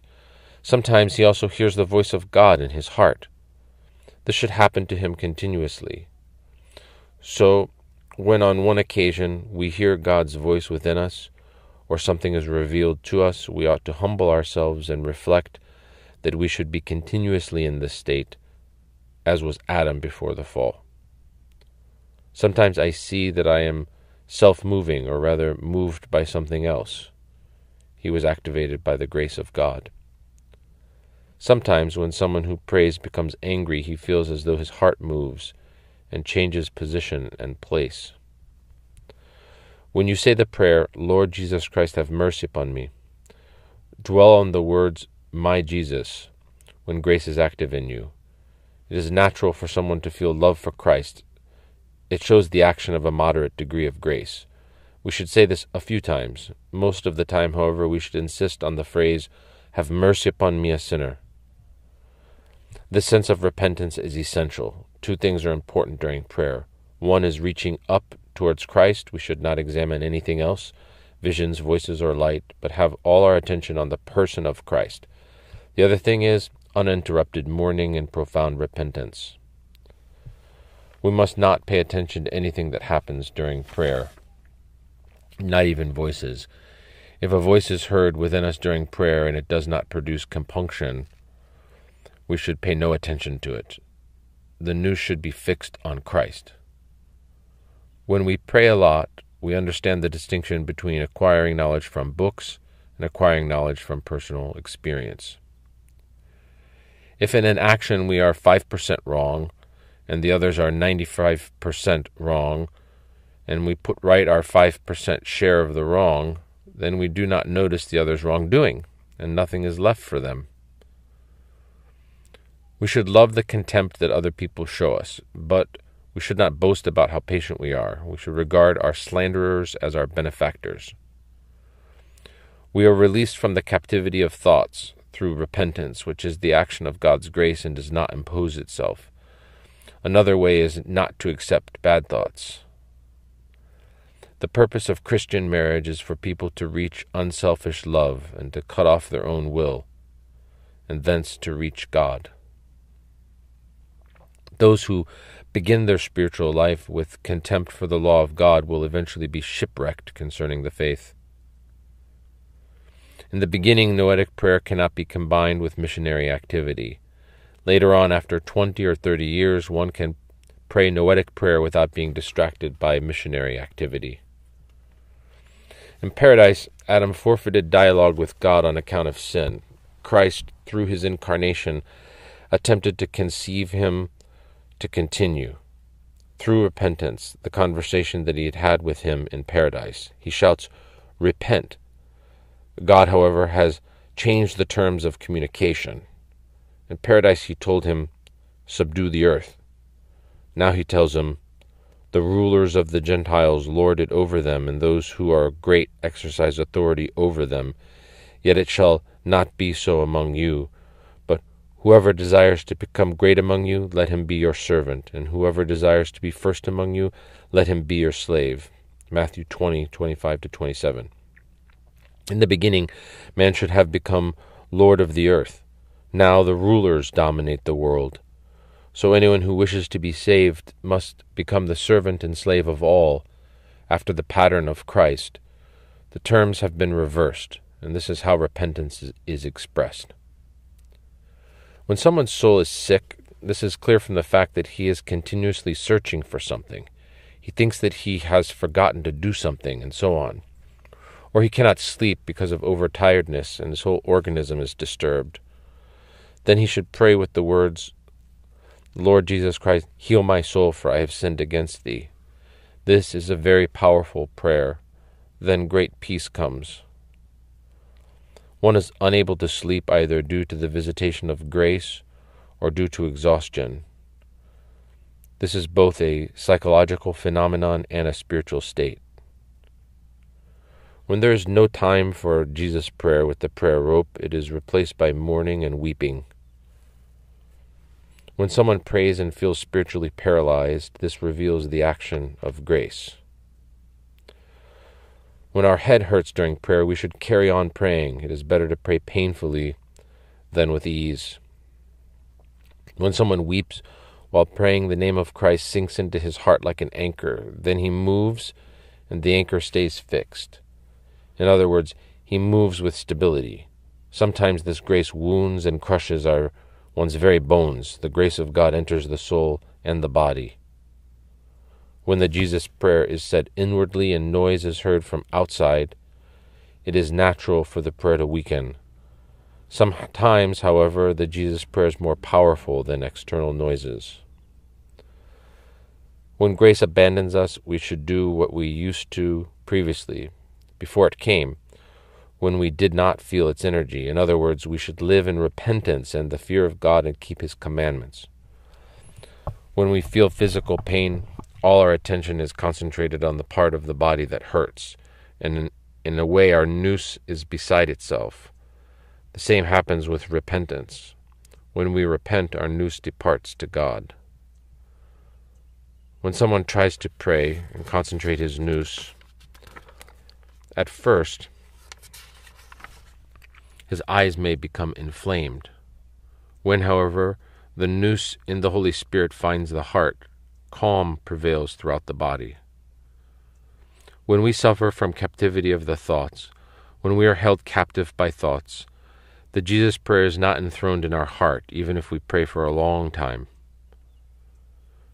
Not to hear and not to see what is happening around one while praying the Jesus prayer without losing awareness of reality is natural because it is a sort of ecstasy. The monastic life is not only a sense of grace. Someone who lives in the world, an old lady, may have this as well. The monastic life is also the transmission of the tradition from the elder, whom one will obey in order to receive the tradition, the spiritual life which he preserves. Monasticism is to be found in the knowledge of Christ. There is salvation in the God man Christ. Monasticism is not only withdrawal from people, but abstent, abstentation from all thoughts, Bishops do not usually understand monasticism because they have not been through it. Theology is to be found in the essence of asceticism. A monk must have self discipline. Obedience to one's elder produces contrite thoughts and even tears, even if one has only prayed for a few minutes. Discipline imposed by others does not help in repentance and does not help the soul to develop and become a person. Discipline is not the same as self discipline, and obedience is different again. Those monasteries in the West that began with discipline have collapsed. Everyone hates us. However, it is necessary to, to, disregard those who despise us. We must not turn against them. I place my hope for the existence of this monastery not only in our prayers but in the blessing of Staretz Silouan. Monastic life is the spiritual communion of elder and disciple, however difficult a state the monk is in. We must not lose the elder's blessing as long as he lives, and afterwards there will be no problem. If people see us in a state of despondency, they want to leave. If we are well, they want to stay. I said to a certain monk who was worried about his future, God, who worked the great miracle of bringing you this far, will take care of the rest of your life. When someone is preparing to go into a monastery to become a monk, he usually goes through fire. Everyone who has been through this fire. For that reason, we must understand and love those who want to become monks and are getting ready. When someone enters a monastery to become a monk, he should not reveal all his capabilities, because he will be continually under strain. If the elder gives him work, he should do it eagerly with obedience. One cannot find cannot found a monastery for women if one is hard and impatient. Such an undertaking requires patience, so that the women's psychology may be changed into a spiritual gift. Many women want to have the spiritual father exclusively for themselves, and they do everything to attract his attention. Great wisdom and discernment are necessary on the part of the spiritual father. Women want a certain protection. We should give it to them, but at the same time help them to ascend spiritually. Women often want psychological consolations. Discernment is required. The difference between spiritual and psychological love is as follows Someone who is in genuine communication with his spiritual father has need of him, but he is not upset if he is absent. Prayer makes up for his absence. When the spiritual child is upset, this shows that there is a problem. In, the in these circumstances, we spiritual fathers ought not to despise that particular individual, but we should delay seeing him, not spend much time on him, and only deal with spiritual matters. Some spiritual fathers make extensive use of psychology. This seems to depend on the state of the people, because if someone were to speak as St. Simeon the New Theologian spoke, he would distress everyone and they would not tolerate him. The word of St. Simeon the New Theologian is fire. The spiritual guidance that we give Christians in accordance with our personal experiences must not be made into a system. The spiritual father ought by the grace of God, to set his spiritual children free from their captivity to the passions and help them to lift up their faces to God. Often, in order to reply to someone, instead of praying to God, I tell him something from my mind. Because if I pray and receive inner conviction from God and he does not obey, he will be disobeying God. That is to say, he will come into conflict with him. So I speak from my mind, so that at least people will be disobedient to me and not oppose God. The martyrdom of the spiritual father is that he will either be destroyed himself by taking risks, or his work will be destroyed if he goes no further than external laws and rules. We should talk to small children as though they were grown up, but adapting what we say to their level of understanding, and we should make sure that they develop as adults. In other words, we should not deal with them as small children. We shall not take either children or houses with us into the kingdom of heaven. We should therefore attend to our salvation and leave the children to the providence of God once we have done whatever we can for them and they do not listen to us. Man has physical, psychological, and spiritual elements. He is made up of two parts, and he has a soul and a body. When we refer to the spiritual element, we mean the grace of God that is an essential feature of the regenerated human being. In women, the psychological element is close to the spiritual, which is why they confuse what is psychological with what is spiritual, mistaking psychological things for spiritual states. In addition, carnal desire is channeled into bearing children and bringing them up. In men, the psychological element is close to the physical element, which is why they are usually aggressive. When we hear women's confessions, we see their hypostases to such a degree that we do not know what clothes they were wearing and have no sense of the anatomy of their bodies. We should do the same with men too. We must be free and treat them as people in God's image, as sons and daughters of God. When someone speaks from his heart, his heart usually becomes weary because it shares in bearing witness to the words. Unless we exhaust ourselves and feel pain, we do not cure others. We must take the other person's death upon ourselves in order to give him life. Then our heart is emptied out. The spiritual father's work is difficult because he should not say pleasant things, but point out mistakes and passions and cure people. This is the orthodox method. Usually, this makes people aggrieved and angry. I am pleased that many people do not obey me, so I do not have responsibility. In order for someone to act as a fool for Christ's sake, it also has to suit his natural state to some extent, to be likened with his character.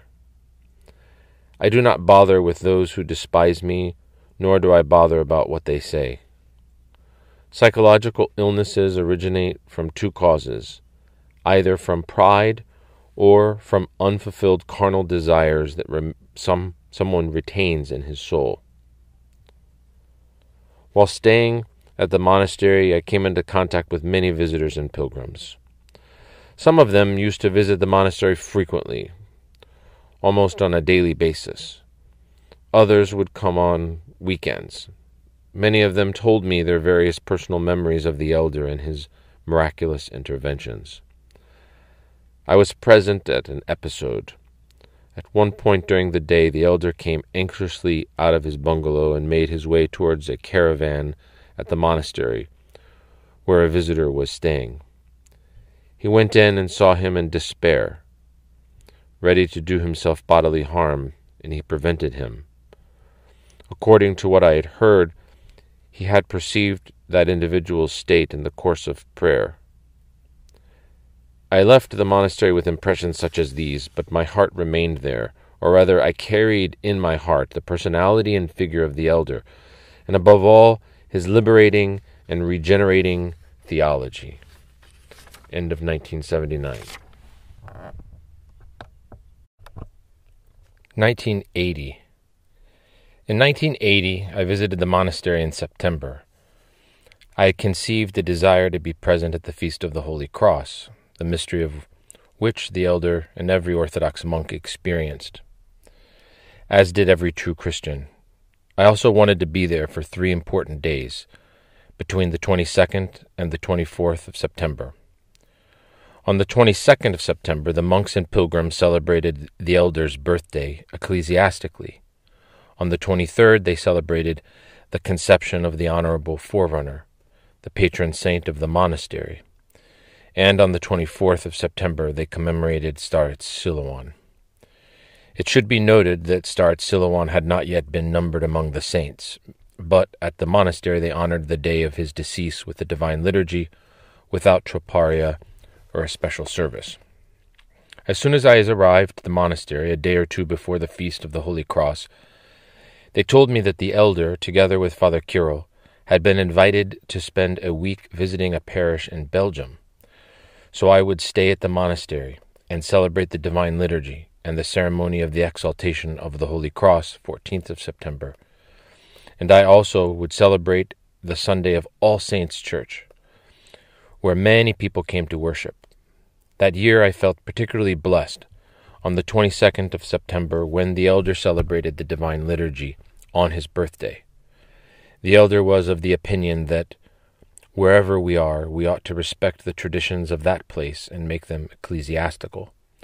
So, at the festive meal in the refectory of the monastery, he spoke about the great value of our birth, as we are born to inherit paradise as persons and to be united with God. At the same time, he spoke about the great gift of our rebirth, which comes about through the mystery of holy baptism and the mystery of holy chrismation. All these things, of course, should lead man to deification through God's energy and man's collaboration. He also found the opportunity to stress that after his decease, they should keep the spirit that he had inspired at the monastery. That is to say, apart from the general typicon, there should not be a detailed timetable at the monastery, because a strict timetable, although it is helpful, at the same time creates a certain spiritual self sufficiency and infringes upon freedom. And without freedom, profound repentance cannot develop. As far as I could grasp, the elder wanted to combine the life of the Cenobitic monk with the hermit's spiritual freedom and hesychastic life. He emphasized that profound mourning is the genuine spirit of Orthodox monasticism, as he knew it in the desert of the Holy Mountain. In the afternoon of the 23rd of September at Vespers, and on the 24th of September at the Divine Liturgy, we had an intense experience of the presence and blessing of Staretz Silouan the Athonite. Many pilgrims came from all over Europe on that day, particularly those who had benefited from St. Silouan's teachings. The fact is that many Westerners who become Orthodox have been inspired by the words of St. Silouan, which means that it was not official dialogues, conferences, or theological speculations that drew them to orthodoxy, but the words spoken from experience by eyewitnesses of the living God. These three days were a unique opportunity to delight in two great spiritual figures who had experienced glorification. We rejoiced in the presence of Father Sophrony, St. Silouan's disciple, and Father Sophrony rejoiced like a small child in St. Silouan's blessing. In fact, he considered that the monastery of St. John the Baptist was founded on St. Silouan's words, prayers, and protection. On the 23rd of September, the eve of the decease of St. Silouan, a nun from Greece was professed. The elder took the view that monastic professions are not festive services, so they ought to take place in a contrite atmosphere of repentance and prayer. The monastic life is a cross and spiritual burial. A bright and festive atmosphere removes the monk from the essence of the monastic life. So the service of profession as a great schema nun was held in the evening, with only the monks present, after all the pilgrims had retired to their rooms, completely unaware. The elder's attitude and the way in which the prayers were read gave the impression that it was not merely a service taking place, but he was passing on a life that was his own. At the end of the service, he did not give a sermon or an explanation, but simply defined the essence of the monastic life and gave a blessing. He said, quote, Behold, Sister T, you have become a nun. From the beginning of the Church's formation until today, just as the priesthood is passed on, so the monastic life is transmitted as apostolic life. This grace has come down to me, unworthy as I am. The monastic life is sacrifice and self emptying, but for that reason, it is also glory. Whenever we feel deprivation for Christ's sake, we enjoy participation in the uncreated light of the triune God. Live in this way, and you will delight in what is eternal, starting from this life before death. Amen. End of quote.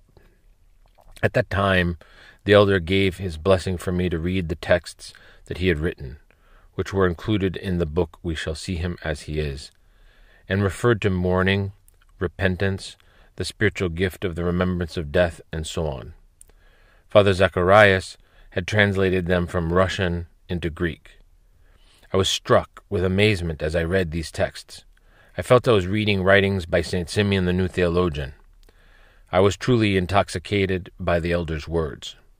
Another incident, linked with the above, that I remember from that visit is that once I had read the elder's texts about the uncreated light, I went on to read the general epistles of St. John the Evangelist, and I perceived the depth of each word, as though the light of knowledge were shining out from it. The same also happened with the Epistle to the Hebrews. The elder had said that the Epistle to the Hebrews is actually an autobiography of the Apostle Paul and presents Christ as the great high priest whom he recognized on the road to Damascus. It also refers to the apostles' repentance and weeping in the desert of Arabia, which was an experience of Christ's prayer in Gethsemane, God's chastening, and faith at its most profound. Following this analysis, I read the epistle to the Hebrews at the monastery as if for the first time, and as though I had acquired new eyes and a new perspective. The way the elder behaved with people delighted me. As soon as they saw him, they would surround him, and he would speak to them very pleasantly. Often he would express his joy by means of humor, laughing wholeheartedly. From this visit, I still have the photograph with the elder that is printed on the cover of this book. We were sitting in front of a small shed, which no longer exists, because later on St. Silouan's church was built on this site. It was one of those wonderful autumn afternoons just before sunset, when the atmosphere at the monastery was peaceful and contrite. I asked him for a personal meeting, and, and he, as usual, willingly agreed. This meeting took place as we walked along, and the discussion concerned our favorite topic prayer. During prayer, the heart should open. This opening of the heart is expressed through tears and mourning. Then man is aware of the profound depth in his heart, and his nous enters this inner depth, and he finds the deep heart. The energy of noetic prayer may begin in someone when he is lying in bed then he ought to stay there and pray. It is not essential that one should begin praying after weeping beforehand. Prayer acts at any time and anywhere. The wind blows where it wishes, John 3 8. Sometimes, when tears and the Jesus prayer have become intense, a severe pain is produced in the heart and the head, with the thought, now you will die. Discretion is required. One should not stop the Jesus prayer completely, but reduce it a little, because if one stops it completely, it will probably be lost. Sometimes we do not pay attention while praying our daily prayer rule, whereas when we work and pray at the same time, we are very attentive. This happens because the spiritual life is often connected with the psychological state of the one who prays. If someone feels well psychologically and works, he prays as well or when he has mourning in his heart, he prays. Someone may have mindfulness of God without saying the words of the prayer. If we want to do something, we should wait until we receive strength from God to accomplish it. For instance, we want to go to the holy mountain. If we do not have strength to go, even if we go, it will be of no benefit to us. Often, for various reasons, the heart closes and does not open for prayer. This happens for different reasons in each case.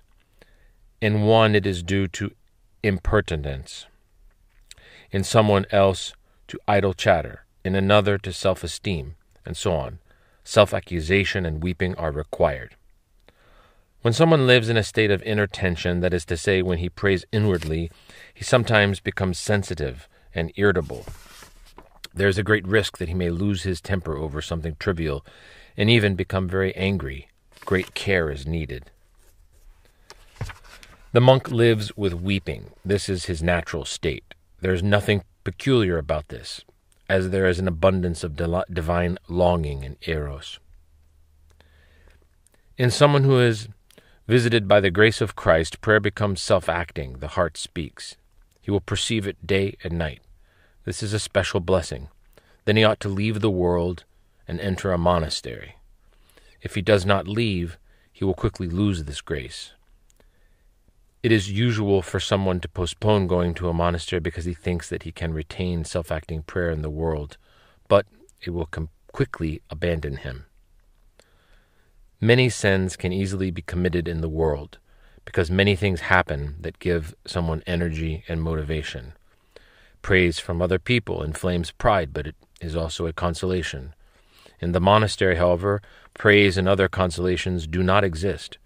So it is only obedience that gives the monk energy to pray. Anyone who is disobedient is lost. He fades away. He cannot pray, and he has no life. When the time comes for someone to leave the monastery for the desert, he receives abundant grace of God and energy, and nothing can hold him back. Then he will even climb out of the window of the monastery. The holy mountain can be a problem for those who have made some progress in the spiritual life. Two things can happen. They may be reduced to an ordinary state of conventional behavior and carelessness, or else, if they want to continue the program of their inner life, they will attract the envy of the other monks and temptations will arise. If someone has spiritual experiences, he does not need to consult many people because confusion will arise. He should obey his elder.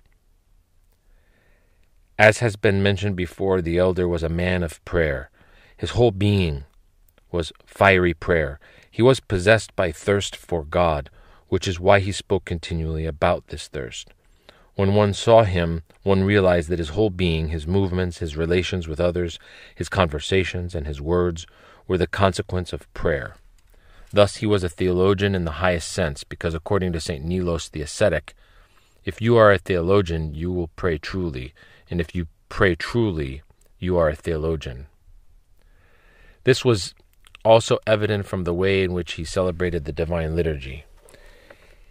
He regarded the Divine Liturgy as comparable with Christ's prayer in Gethsemane. Just as Christ prayed there for the whole world, O my Father, if it is possible, let this cup pass from me. Nevertheless, not as I will, but as you will. Matthew 26:39 and his sweat fell like great drops of blood to the ground. Luke 22:44. So the celebrant prays for the whole world. For the elder, the divine liturgy was neither a conventional procedure nor a simple prayer, particularly not an individual one, but a ministry to the people. The celebrating priest makes supplication to God for the whole world and live lives Christ's agony in Gethsemane. In this perspective, he composed a prayer which he gave to the priests to read before the beginning of the Divine Liturgy. Quote, Jesus Christ, my Lord and my God, behold, I, unworthy priest as I am, dare to approach thy dread altar to perform my service. I beseech thee, everlasting King, who art from all eternity, turn not thy face from me, nor close thine ears to my lowly supplications. Do not disregard my intercession for those redeemed by thy blood. No, nor reckon my boldness as sin. O my God, make haste for my help. Lord, make speed to help me. End of quote. When one reads carefully the liturgical prayers composed by the elder, which have been published, footnotes see Archimandrite Sophrony Sakharov's book on prayer, translated by Rosemary Edmonds, published by the Monastery of St. John the Baptist.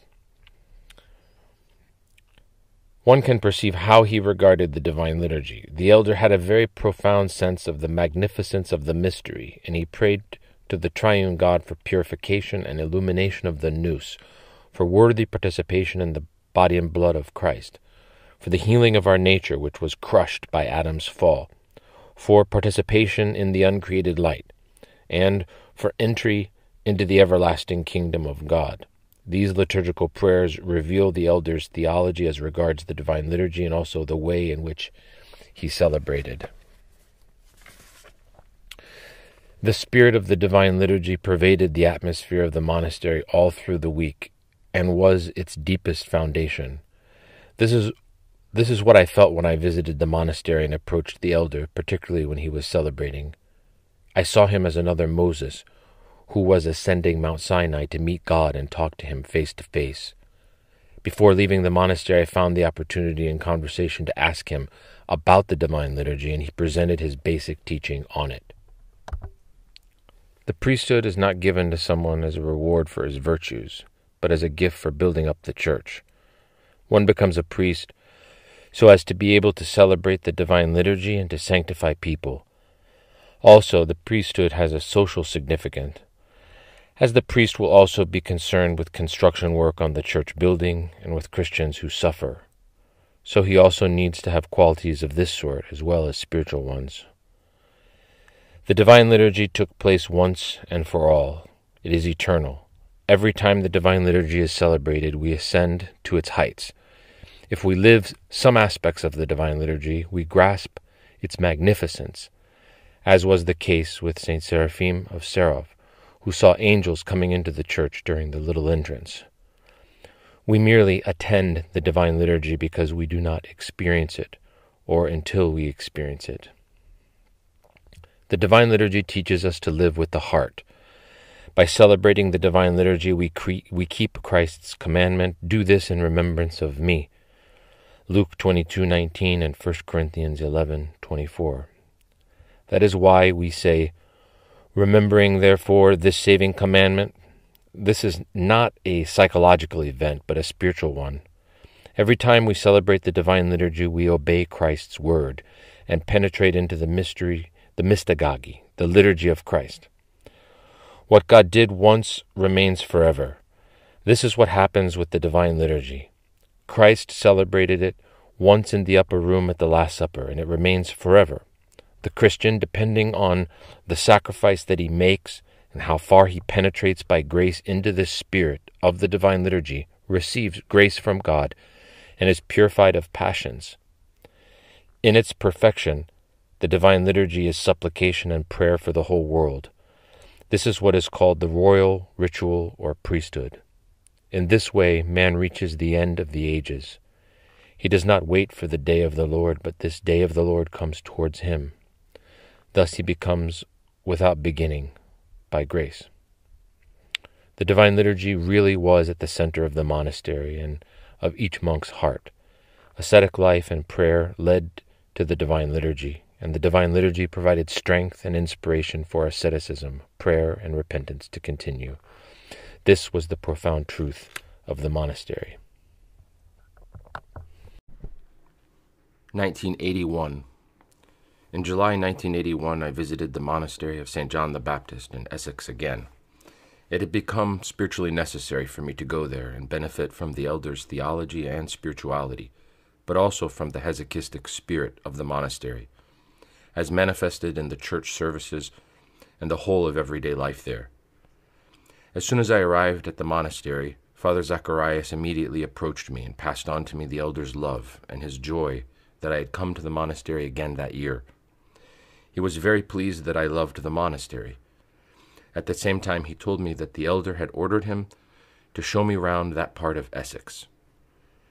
I saw the elder every day in the refectory, one day, on account of the strong sunlight and the fact that the elder's eyes could not tolerate brightness, I met him coming to the refectory wearing a broad brimmed hat with obvious enjoyment.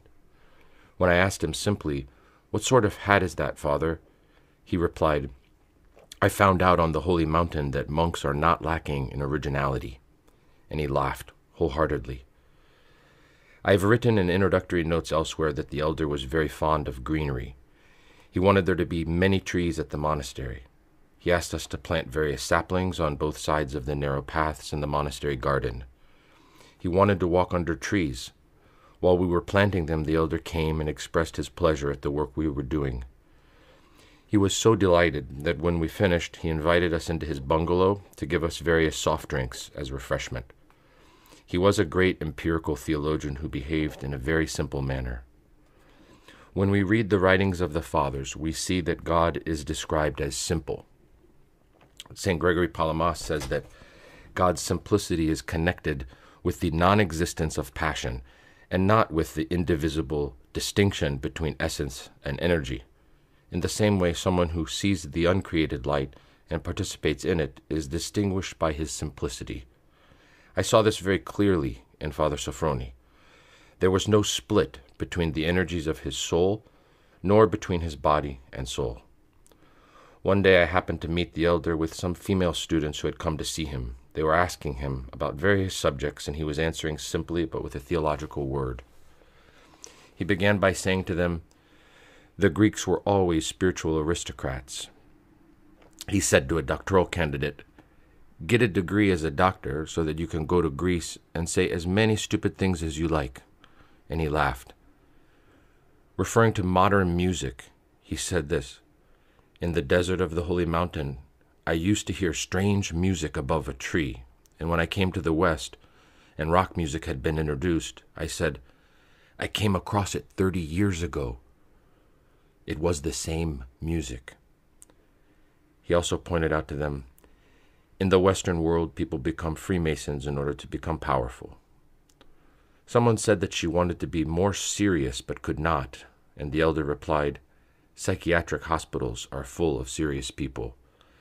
He also said, Converts are usually inclined to preach to us, and so they add salt and mustard to what they say. I also remember that he spoke to them about the cultural differences between the East and the West, and stressed to them that the difference in culture had consequences within marriage. In other words, he spoke to them about relationships between young men and women and the problems of mixed marriages in a very apt, theological, and adroit way. I admired both his wisdom and his discretion. I talked to various monks and pilgrims. Someone told me, The elder sees other people clearly and is aware of them. Another said, The elder used to pray, Save, have mercy upon, succor, and preserve thy servant, Hieromonk Porphyrios, and by his holy prayers have mercy upon me and he would say, He is a great friend of ours. This shows that when people scale the heights of Pentecost and see the light, they are united with Christ and with one another. Saints recognize saints. One could benefit from every aspect of the monastery, from the monks, the pilgrims, and the atmosphere there. For example, one monk told me, There is a paternity crisis nowadays. Many people realized this in May of 1968 in Paris. There's a kind of individualism and a change in mentality that influences the whole of life. When a young man obeys his parents, he has fewer passions. It is difficult for orthodoxy to penetrate into the Western way of life and to be understood because Westerners have a different ethos. One day I met El- the elder on the stairs of the main building when I was coming down and he was going up and he said to me light-heartedly, I am in a state of ascension at the moment. He meant he was going upstairs. I am pleased that you are with us. I always remember you.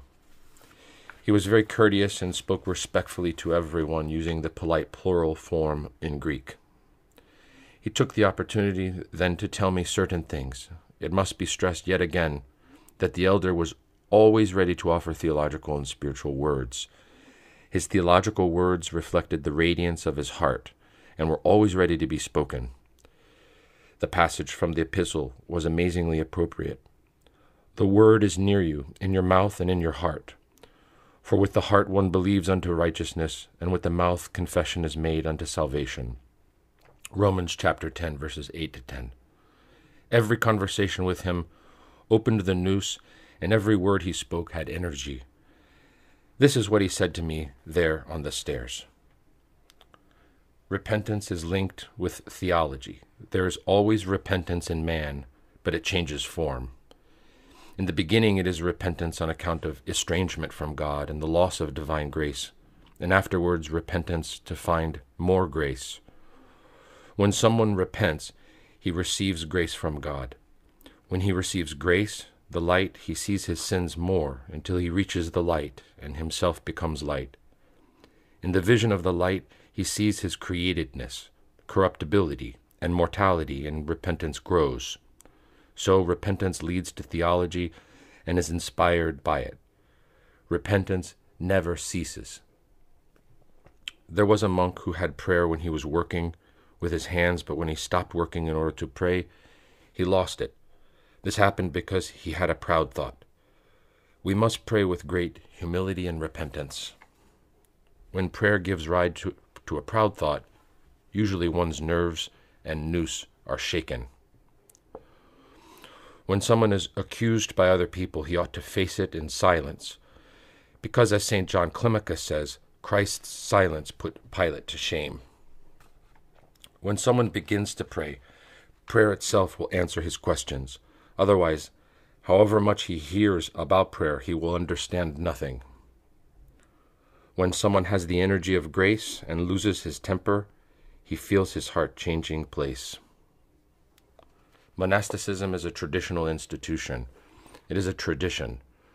When the Holy Spirit departs, monasticism will disappear.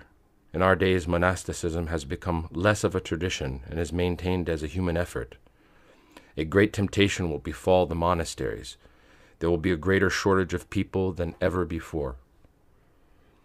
We should not accept people with psychological problems into the monastery, because the one with problems will be tormented, and he will torment the other monks.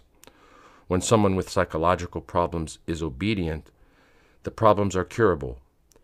Incurable psychological disorders are marked by lack of obedience. People who are simple cannot understand others and are easily misunderstood. At the end of the conversation, before asking for his blessing, I asked him to pray for someone.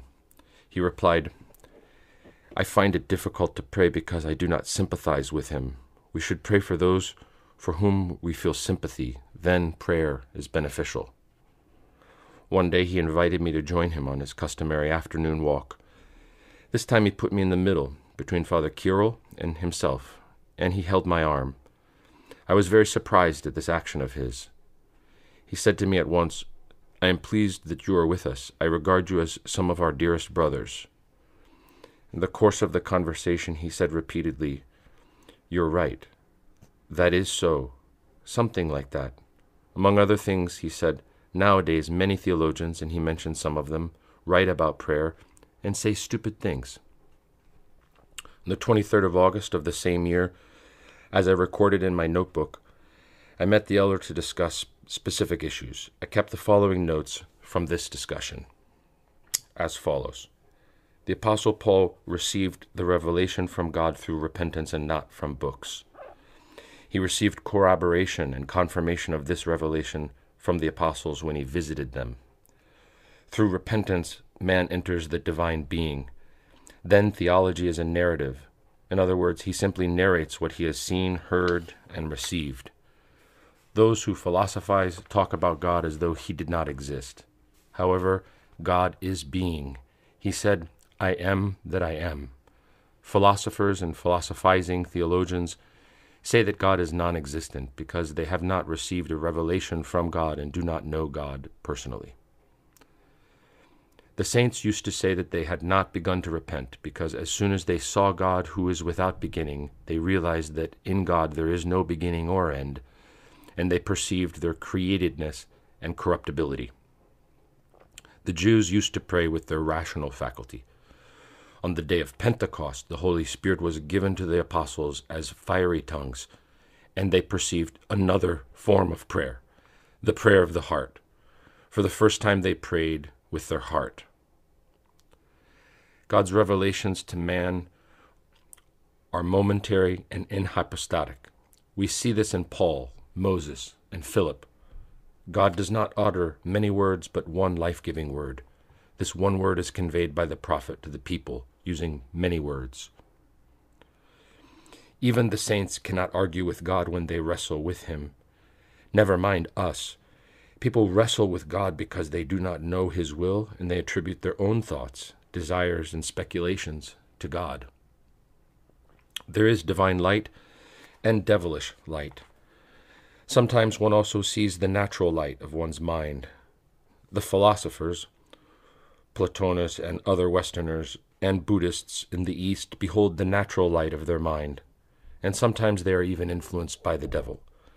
There's a great difference between them. The devil's light has a different energy. When the devil showed his light to Staretz Silouan, Silouan even saw his intestines. The natural light of the mind is an illumination from philosophical teachings. Then man feels that these illuminations come and go. The divine light, however, gives another kind of knowledge. It is the light of love, the light of Christ, a revelation of the triune God. It is a mistake to identify the natural light of the mind with the divine light, just as it is a mistake to identify the natural light of the mind with satanic light.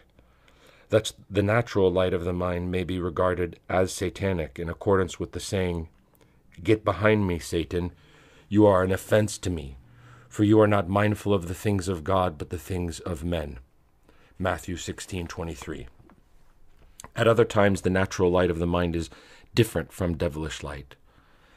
The light of the angels is participation in the uncreated light. The light of Plotinus does not embrace the world with love. In the West, the culture is different from that of the Orthodox East. It is a culture of reason. They pray with their rational faculty and know nothing about the prayer of the heart. For that reason, when Westerners enter the Orthodox Church, Many years must pass in order for prayer to descend to their heart and for them to assimilate divine grace. Patience is needed with any aberrations they may have. If someone wants to become Orthodox and after his baptism he returns to his home country where there is no Orthodox liturgical environment or appropriate spiritual conditions for his development, he experiences confusion because people in the West live with their rational faculty, the so called charismatic movement, Pentecostals, has appeared, to enable them to understand the heart.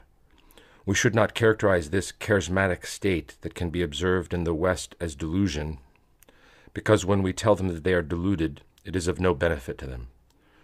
We should turn this current in the right direction and speak to them about Orthodox hesychasm. Those who become Orthodox add vinegar even when they should not. The bad thing about those who belong to the charismatic movement is that they think that they are experiencing Pentecost and are therefore in a very exalted spiritual state. This is nonsense.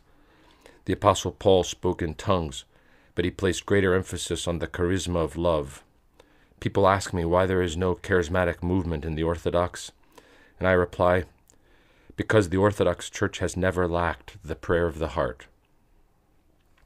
In a female monastic community in Belgium, there are nuns who have charismatic gifts. They try to live by the gift of the Holy Spirit. In principle, regard this as good, but it should be cultivated correctly through noetic prayer. Staretz Silouan had a very strong and sturdy body, and he could break a plank of wood that the others could not break. But he had no carnal thoughts. His nous and his body were changed by the advent of God's grace. Communism is put into practice in the Holy Spirit. Without the Holy Spirit, it is an impossible ideal. This is clear in the case of Ananias and Sapphira. They wanted to keep some of their wealth for themselves, and the Apostle Peter told them, You have not lied to men, but to God. Acts 5 4. Nowadays, a saint cannot be a bishop because people cannot endure what he says. For that reason, bishops are needed who have more mediocre experience and administrative abilities because politicians today try to approach the church through the hierarchy. Therefore, they need to have administrative abilities and experience in order to keep the church out of politics.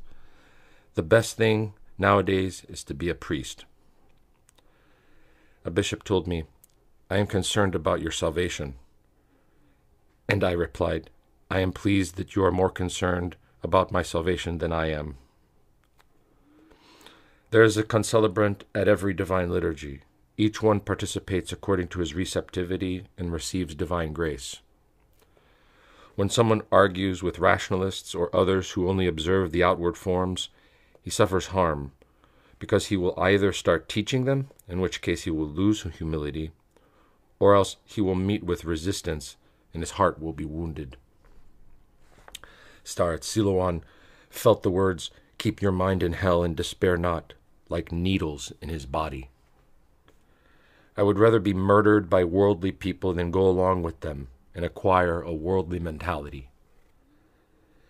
Sometimes a lot of work crushes the heart more than the scientific labor of prayer. There is a difference between ascetic humility and the humility of Christ.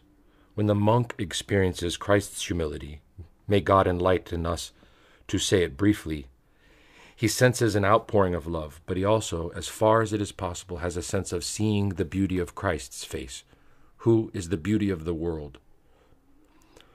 When other people distress us, we should often let it pass unremarked, without explanation, because the others may not have realized that they hurt us. And it is possible that if we ask for their forgiveness, they will think about it and it will cause a problem. Sometimes, when grace withdraws, despair comes. Then support is needed, because in this state many monks even abandon monasticism. Very few people have been through profound repentance with great mourning. When someone lives the spiritual life, his, na- his nature is united with divine grace. When someone rests and falls asleep saying the Jesus prayer, the energy of the prayer remains within him all night. What is said of St. Anna applies in this case that she glorified God night and day. When someone is not at peace, it means that something is wrong. If someone prepares spiritually and marries, he will be at peace. When someone is at peace, then even if he has temptations, everything will be all right. When we observe ourselves and spy on ourselves, our nous departs from repentance.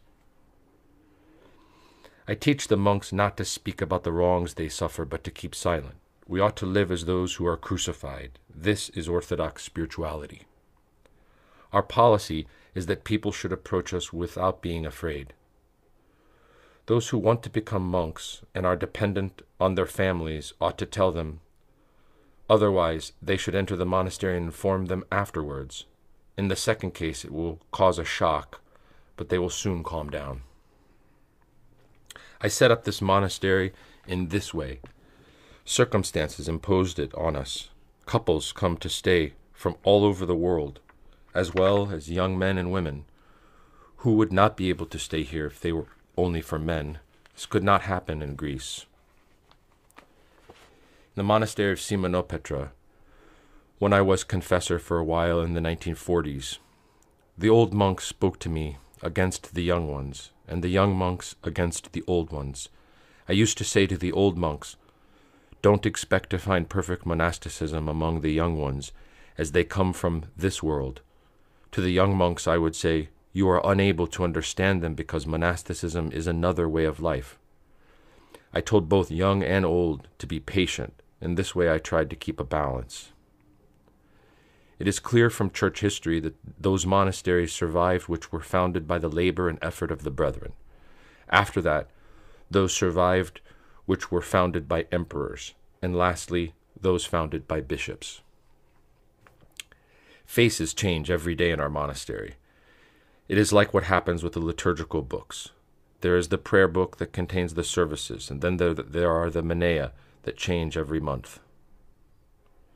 Parents are to blame for 70 to 80 percent of their children's problems.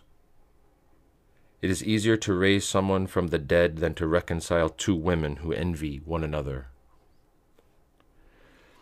I want to behave with freedom and simplicity. This helps people to open their hearts this presupposes that one is free from passions. It is impossible to argue with some pe- simple people because they do not understand and we will suffer harm. Parents should bring up their children with discretion. They should not force them and should leave them free. They should buy them new clothes, and they should mix socially. They should take them to a restaurant, to a good theater, because otherwise they will react. Those who are suffering, wounded, or poor cannot endure much, so they are offended by the slightest thing. When you love someone sincerely, he will trust you because he realizes it. Then you protect him from temptations. From the day of the wedding, about ten years will pass before the couple achieves equilibrium. We should follow them discreetly. We should offer a spiritual perspective and not get involved in details. Only in difficult cases should we intervene. When the fear of God comes to someone, he sees the slightest impulses of sin within himself and he begins to repent and to mourn. Then a director, a geronda, an elder, is needed, as well as love and patience, for otherwise he will be crushed. One word from the elder ignites the fear of God. For that reason, one needs first to become proficient in practical things, to be firmly grounded in practice, so that one can endure states of fear. The English language does not have an orthodox atmosphere. For example, the word person means something neutral in the meaning of the Greek word for contrition and meekness is impossible to convey. The English language is not suited to orthodoxy. The battle against us is fierce. Everyone is against us, as are science and politics. I am not a pessimist, but I think we're living in the last times. Our own attitude should be that of the martyrs. He was led as a sheep to the slaughter, and as a lamb is silent before his shearers, so he opens not his mouth. Isaiah 53 7. When we respond to force with force, we achieve nothing. The silent attitude of the martyrs will ensure a longer lasting victory. If we too exercise force on other people, we shall oblige them to prepare for a second, greater attack. And to conclude from 1981, at the end of the discussion, he said, Until we meet again, before I die. When we came out of the office after quite a long time, the abbot was waiting for him outside the, with the monks of the monastery. They obviously had work to do. Then the elder said, I was talking to Father Hierotheos and we forgot the world. Before I left the monastery, I asked the elder to hear my confession. He called me to the office, which was also used for confessions, and I told him what was on my mind. His attitude was most venerable, after the customary prayer, he sat down on the chair and remained motionless, somehow settling his gaze and his nous on an icon without looking me in the face. I told him my thoughts in a few words, and he confined himself to giving some brief advice. Then he read the prayer for me in a most contrite manner. The confession was an initiation into mysteries. And while he was reading the prayer very slowly, the energy of his prayer was palpable. His basic view was that the mystery of confession is different from a discussion.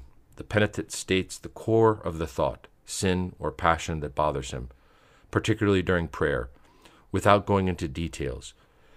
And the spiritual father is left free to express the inner conviction or the first thought that comes to him after prayer. He also used to say that when someone asks his spiritual father and receives advice, he ought to adopt and accept this counsel as his own, and try to put it into practice without telling other people what the spiritual father said to him. He often told me that this is one of the basic rules of the mystery of confession. When this rule is broken, all sorts of confusion arise, and it also causes various people to react against the spiritual father. He also said that another rule relating to the mystery of confession is that the penitent must not reach the point of doing battle with his spiritual father. It was then that I discerned one of his great charismas. He told me, If you happen to have a certain temptation, and he told me exactly which one, do not waver or be discouraged. It is an attack by the devil on account of the successes that you have in your work. A few days after returning to Greece, that temptation did, in fact, befall me. If the elder had not foreseen it and told me about it in advance, I would have been very distressed. Father Sophrony was a great hesychast and theologian, but also a wise, discerning, and prophetic spiritual father. He had rare gifts of grace. 1982. In 1982, my usual visit to the monastery took place in August. By then, these visits had become the oxygen that I needed to take into my lungs in order to breathe. At one of our first meetings in the monastery refectory, the elder turned to one of the monks and said, Our relationship with Father Hierotheos grows deeper all the time. Then he said to me, Now we have close communion with one another. I cannot leave you, nor you me. One day we met on the site where the construction of the new church had begun, and the elder said, It is a difficult thing today to build a church. All the demons will rise up. And he told me an antidote that he had heard in Russia. Quote, Someone went to hell, but he wanted there to be a church there, too, so he could pray. Despite his sinfulness, he loved God and wanted to pray. He began to measure the site in order to lay foundations. A devil asked him what he was doing. He replied, I want to build a church so that I can pray. The devil was uneasy because it was impossible for a church to be built in hell, and he tried to stop him. He did not manage. He summoned other demons. They could not do anything either. They reported it to their leader. Then many demons gathered, and they threw him out of hell to prevent a church from being built. And he continued, So we build churches to change hell into paradise, and if we do not manage to do that, we will succeed in not being accepted by the devil in hell. And he laughed wholeheartedly. When we met to talk, the elder said, Among other things, and what follows the sayings of the elder. The movement among some people, young people, in favor of anarchy is grand, but they stole it from Holy Scripture and distorted it. According to Holy Scripture, every power and authority will be abolished in the, in the future. After the second coming, no one will need other people, but the just will have communion with God and with each other. Every authority will be abolished. There will be no need for them to have knowledge about God, but they will have knowledge of God. Berdyaev says that the different interpretations that people give is the privilege of freedom. This is not correct. There's one truth, or there is no truth at all. Those who share a common life also share a common teaching. We should not write in a scholastic way, quoting the words of the fathers to lend authority to what we say. We should write with reference to Holy Scripture using a few patristic passages. This is what the fathers did, and this is what those who have knowledge of God do. When we have spiritual experience, we read Holy Scripture and the patristic writings, and we understand them. Those in the East who practice meditation also see some sort of light, but this vision, theoria, separates them from all the rest of creation with a certain pride. This light is not divine but devilish and created. By contrast, in orthodoxy, the theoria of the divine light transmits life to man and the love for whole of creation. Those who hate themselves, their passions, are the true theologians in the church. Unless someone hates himself unto death, he cannot be a disciple of Christ and a teacher of the people. Let us keep the Orthodox faith and since we live in difficult times, we shall receive a greater reward than others who lived in earlier ages and kept the faith. In Christianity, we have a revelation of God and we struggle to confirm the revelation.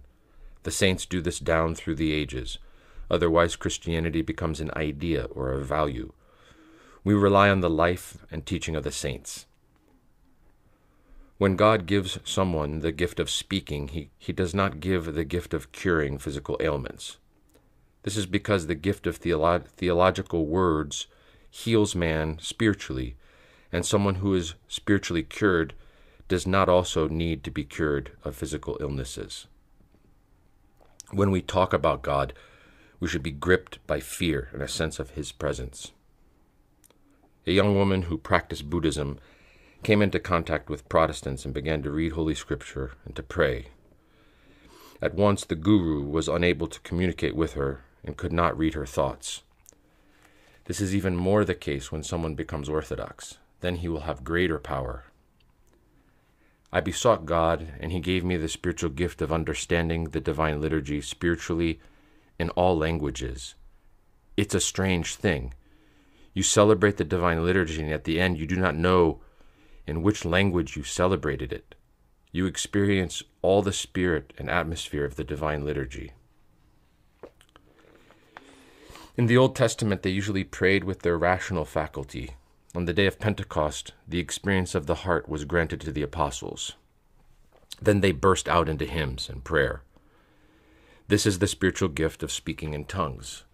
The Apostle Paul also had this charisma. However, he considered that the greatest gift of grace is the charisma of love.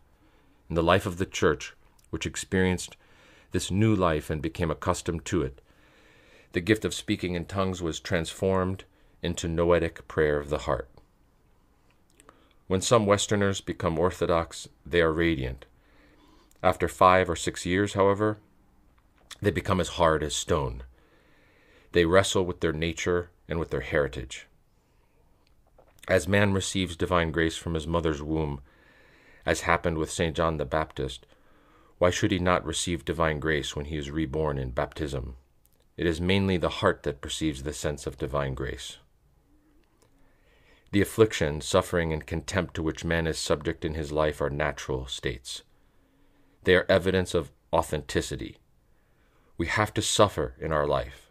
It is here that Buddhism differs. Buddhists avoid suffering, whereas we pursue it because it cleanses the heart from passions. Self esteem brings carnal temptations. Strange things happen by the providence of God he brings us to repentance through everything that happens, even through falls, as long as we have the humility to perceive these things. The ladder of perfection is outlined in the Beatitudes. Man begins from a sense of sinfulness and mourning and reaches the point of conflict with the world. Blessed are those who are persecuted. Matthew 5:10. This is natural. Then one theologizes. Self-sufficiency stops all spiritual progress. Man's nous and heart ought to not be fixed anywhere, either on people or things. Then everything is pure. If they become fixed, things begin to go awry. Sometimes pain during prayer and even the cessation of prayer are caused by a proud thought. God diminishes the grace of prayer. Then one ought to stop praying vaingloriously. This happened to me once with the gospel. While I was reading the gospel, I fell down as though dead.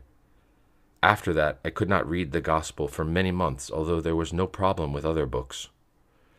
In such cases, the way one prays has to change to prevent self esteem.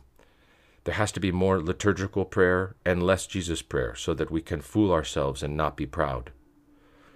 When a proud thought approached from a distance and I recognized it, because it caused disturbance in my heart, I would stop praying and say, My murderers are coming, I shall go to hell. Even if someone works miracles, he should say, God performed the miracle, but I shall go to hell. The lover of sensual pleasure, who dwells upon sensual pleasure and indulges in it, even though he has not committed any carnal act, acquires a culture of self indulgence and is worse than someone who has gone as far as the action. Because there is a chance that someone who has committed the sin may perceive his sin and repent, whereas the one who indulges psychologically and sensual pleasure, but does not repent because he does not realize that it is a sin. Also, those who have a culture of self indulgence are unable to make a sincere confession because they find it difficult to tell the spiritual father and they suffer torments. In this way, however, the spiritual life does not develop. It is difficult to live in this world and not sin it is necessary to live in the spirit of repentance and prayer. Someone should not think about anything that happens to him during prayer because Satan, too, can cause these things. The nous ought to be completely free. People who have been crushed by various illnesses usually do not have carnal energy. This shows the spiritual value of infirmities. The devil often appears to ascetics and accuses God that is to say, he appears as a handsome youth and tells the ascetic, See how beautiful I am, and yet God condemned me. When someone receives God's grace and loses it, he goes through a particular type of despair. This is natural, it's normal. He must be very patient and pray a lot to God. When our nous becomes the nous of Christ, it changes direction. It sees things differently. When Christians and monks proceed with penitence, all psychological problems are cured. Once there was an earthquake at the monastery of St. Panteleimon. Then I stood in the doorway of my cell. Neither my soul nor body was frightened by the earthquake. Immediately afterwards, I ran to the church to die with the fathers if the earthquake continued. Nothing happened. I was fearless. When, however, I came back to open the door of my cell, my body was afraid, but not my soul. From this, we realize that the soul differs from the body. When we read a patristic text, we ought to pray to that Holy Father, that we may conceive the Word in the same way as He conceived it. When someone lives in the spirit of repentance and mourning, he cannot do translations, preach, or read. When someone does not weep with his eyes, when he does not shed tears, it is good for him to have repentance in his heart. When we receive the first advent of grace, this experience needs to be verified by experienced spiritual fathers. Otherwise, something will go wrong. One feels a certain insecurity then. When someone prays and his neck hurts, this is usually due to stress. He should pray humbly, and it will pass. Praying scientifically with tension and psychotechnical methods causes a headache. When, however, the heart is found, rivers of theology flow within. When I used to pray with repentance and much weeping, and a proud thought came from afar that the light would come, I would stop praying and say, My murderers are coming. And that thought did not approach me. At other times in that state, although I was experiencing profound mourning, I would suddenly begin to laugh, and immediately the proud thought would go away. I preferred to stop praying rather than accept a proud thought. When we put Christ's commandments into practice, we acquire grace to penetrate into the nous of Christ as far as eternity. When we lose the first grace, our unsatisfied passions, which remained inactive during the first period of grace, urgently demand satisfaction. Thus, one is tormented, and many psychological and bodily illnesses are caused. Often, these illnesses are not organic in nature. Patience is needed. They will pass. Many people, when they experience the first advent of grace, become monks out of the love that they have for God. Later on, however, when they lose grace, they become discouraged. For that reason, they ought not to become monks the first time contrition comes, because later they will be shaken and will not know how to cope.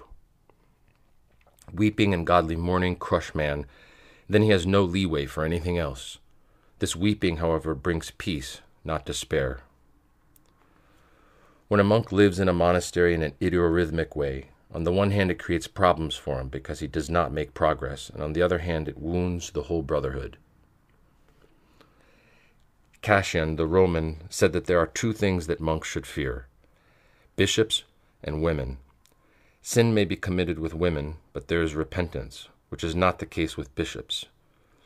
In other words, when you fight with bishops, you cannot repent. A monk in a monastery should not deliberately seek the priesthood, because then the priesthood will cause him many problems. He should wait for God to show him through the spiritual father whether he should become a priest. In the past, the fathers on the holy mountain did not send away visitors that came to them. If they could not offer them hospitality, they themselves would go far away to prevent people from finding them. At the monastery, we should receive everyone because then God's providence will never abandon us. When someone begins to judge his spiritual father, or when a monk begins to judge his monastery, he suffers spiritual harm. Because I had begun to set up a monastic community for women, Metropolitan Hierotheos continues, the elder gave me some general advice. We should proceed very gradually. We should not begin with many nuns. The first nuns ought to gain personal experience so that they can help and teach the others who will come. The nuns should receive people simply and humbly. In some monasteries they ask, Why have you come? How did you come? Why did you not write to us? and many other questions. Then people stay in the monastery like corpses. The following ought to happen they should receive people joyfully, then leave them to live as though they were at home, without asking them various questions about their life and their problems. This is what people today want. They see something genuine in this. And when they say, Why don't you ask us about our life? we should reply light-heartedly, We do it out of laziness. We are lazy. When we behave like this, the pilgrims are set at ease, and then they begin of their own accord to seek advice. If I have had success with the monastery, may God forgive me. It is because I do not make comments. When they break plates, I do not comment at all. Thus they gradually correct their faults. No one goes to the monastery to live, but to repent. Otherwise, one stays in the world.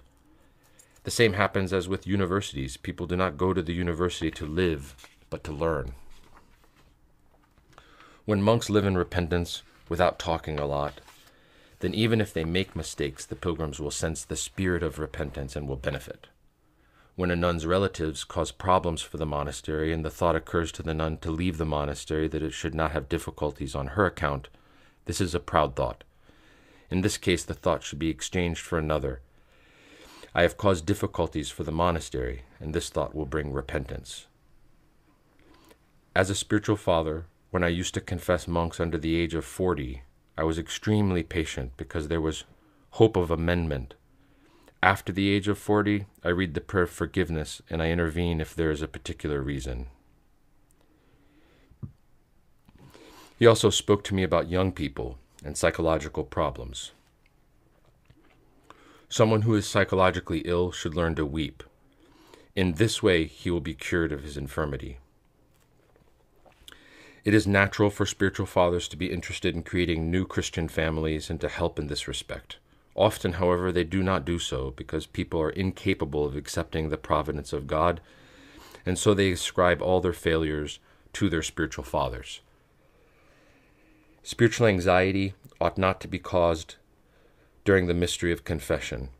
A breeze of freedom ought to circulate between the spiritual father and the penitent. Many young people nowadays are unable to decide whether to break with the world or live with the world. This ambivalence is a very bad thing. Today, many people lose their reason and are full of psychological problems due to drugs and love of sensual pleasure.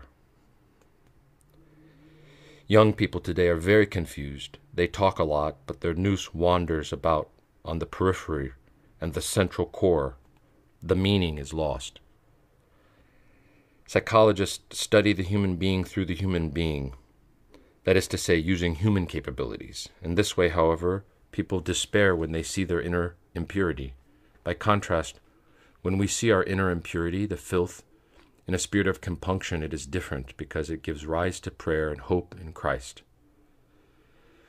Father Sophrony had great spiritual experience, but also extraordinary social experience.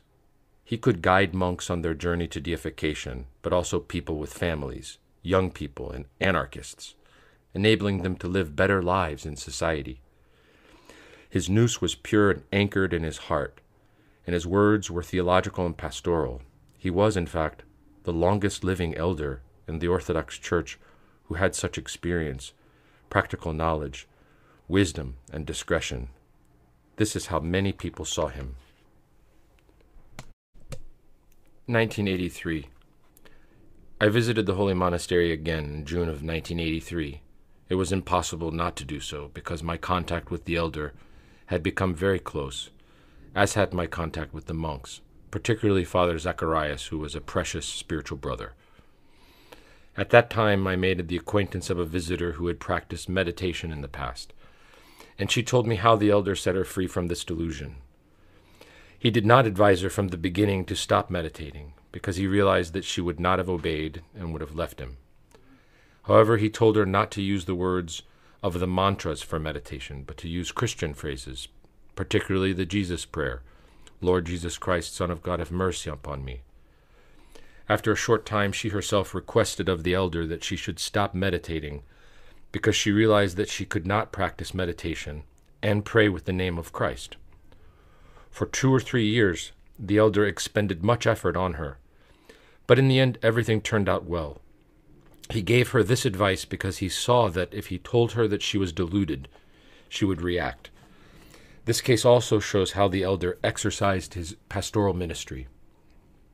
At the first meeting that I had with him, he expressed his joy and said, According to the records, I am 87 years old, whereas actually, spiritually, I am younger. Because I had tried to put into practice various scientific methods for praying the Jesus Prayer, which I had read about and heard from the Fathers on the Holy Mountain, the elder told me, The noetic work that you did was superhuman. That is why you have tired yourself out. You need a rest. You should change the way you work. The body is slow to conform to the nous. It adapts to prayer to the extent that one keeps Christ's commandments, fasts, and so on. When the nous is in God, all the passions cease, whereas when God's grace departs, the passions are active. Celebrate the liturgy, hear confessions, and read the Fathers without tension. The soul takes in the meaning of what it reads.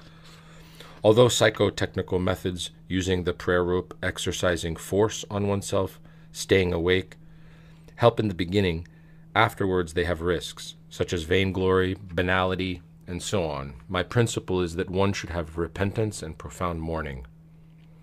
And he added, Although you have worn yourself out physically with the way you pray, you have not suffered spiritual harm. Your soul has known the love of God, the living God, whom the knowledge gained at the theological college cannot offer. At the Divine Liturgy on the Sunday of All Saints, after Holy Communion, he told me, Go out and speak. I replied, Father, I have not prepared. He said, But aren't you a diocesan preacher? I replied, I am a preacher, but not a prophet, so I need to prepare. He repeated, Go out and speak. And I obeyed.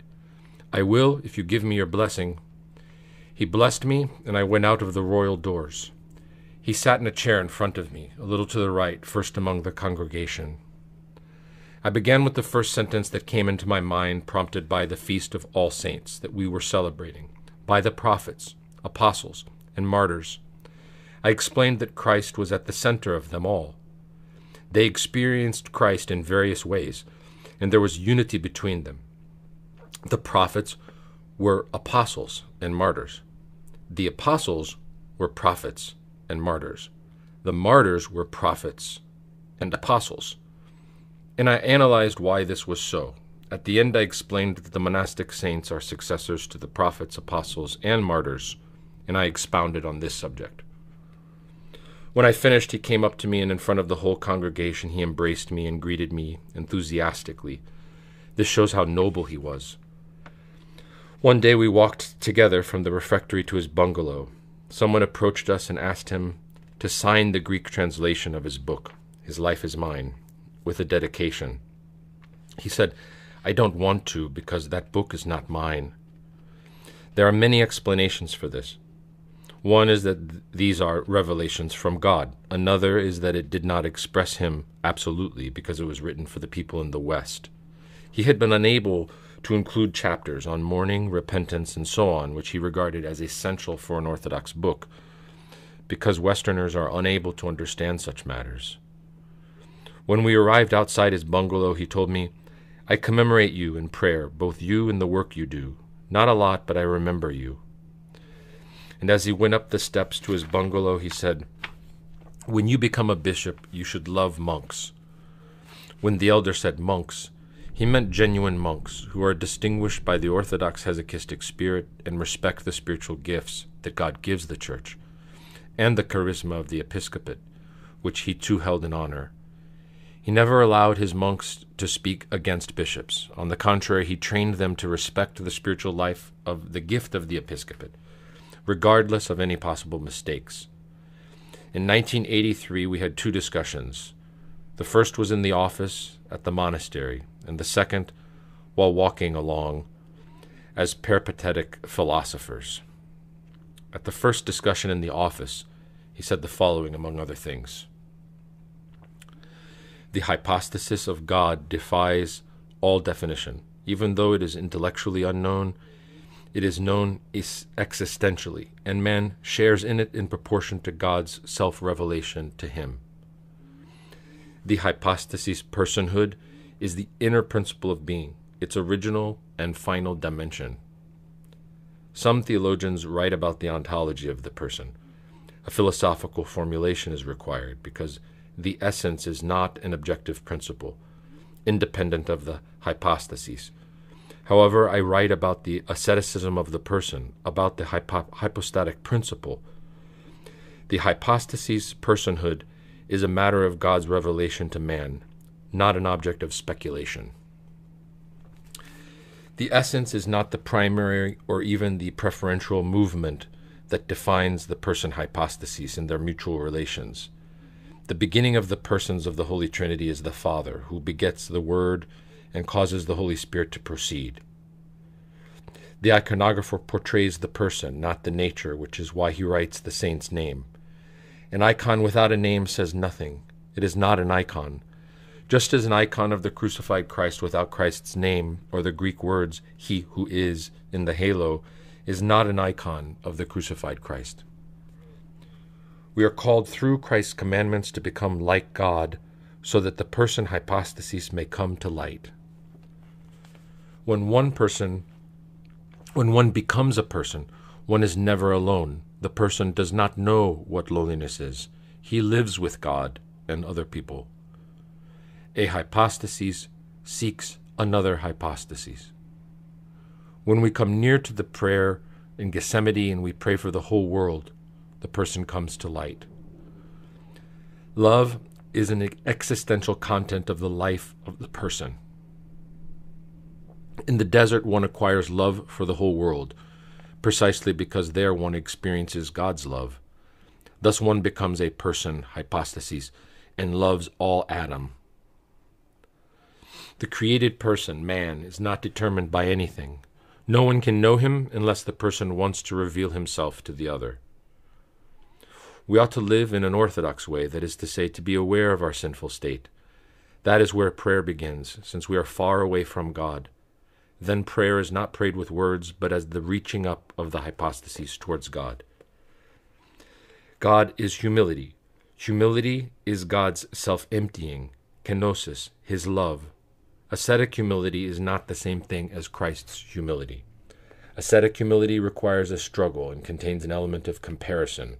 Christ's humility is a natural condition. It does not entail comparison, and it is linked with self emptying. God's revelation to us opens our horizons to Christ's commandment to love our neighbors as ourselves. God's revelation to a human being results in him changing his life, and this whole theoria imbues the world, as human nature is one and common to all. Sometimes even the historical circumstances of life change through a regenerated human being, as happened in the case of Moses. An imaginative nous is incapable of theology. There are two reasons for this. Firstly, because theology is an empirical science and not the product of reason and imagination, as imagination is a post fall phenomenon. Secondly, because God is beyond reason, incomprehensible, uncreated, and without beginning, and we cannot understand him with our rational faculty. God is revealed to us. For this, a pure heart is necessary. Thus, someone with an imaginative nous cannot theologize. The All Holy Virgin, our Panagia, said to the Archangel Gabriel, Behold the handmaid of the Lord. Luke 138. These words, Behold the handmaid of the Lord, are an acceptance of the cross. The All Holy Virgin participated all through her life in the, the cross of her Son.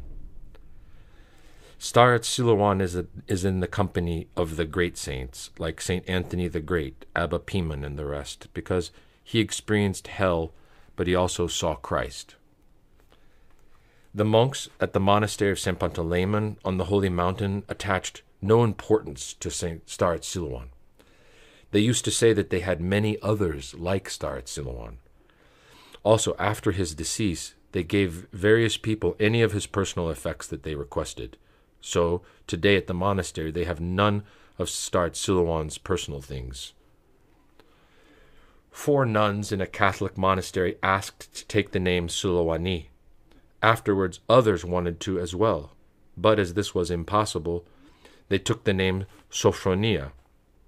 This shows the influence of St. Silouan's words even on non Orthodox.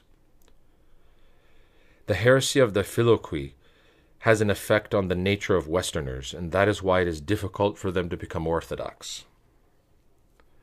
The Apostle Peter shuts the gates of paradise from the West, meaning the heresy of the Western world. We now enter paradise from the East. In the Catholic Church, although outwardly they appear to accept the Fourth Ecumenical Council, in reality they have a different perception. Perhaps they did not understand the First Ecumenical Council either and for that reason they fell into the heresy of the Filioque. A Catholic priest told me, For you Orthodox, the dogmas are a path to God, whereas for us, the new dogmas are obstacles, so we should discard them. We should not think, What do the Roman Catholics do, so I can avoid doing it? That is wrong. Our criterion should not be the Roman Catholics, but what God wills.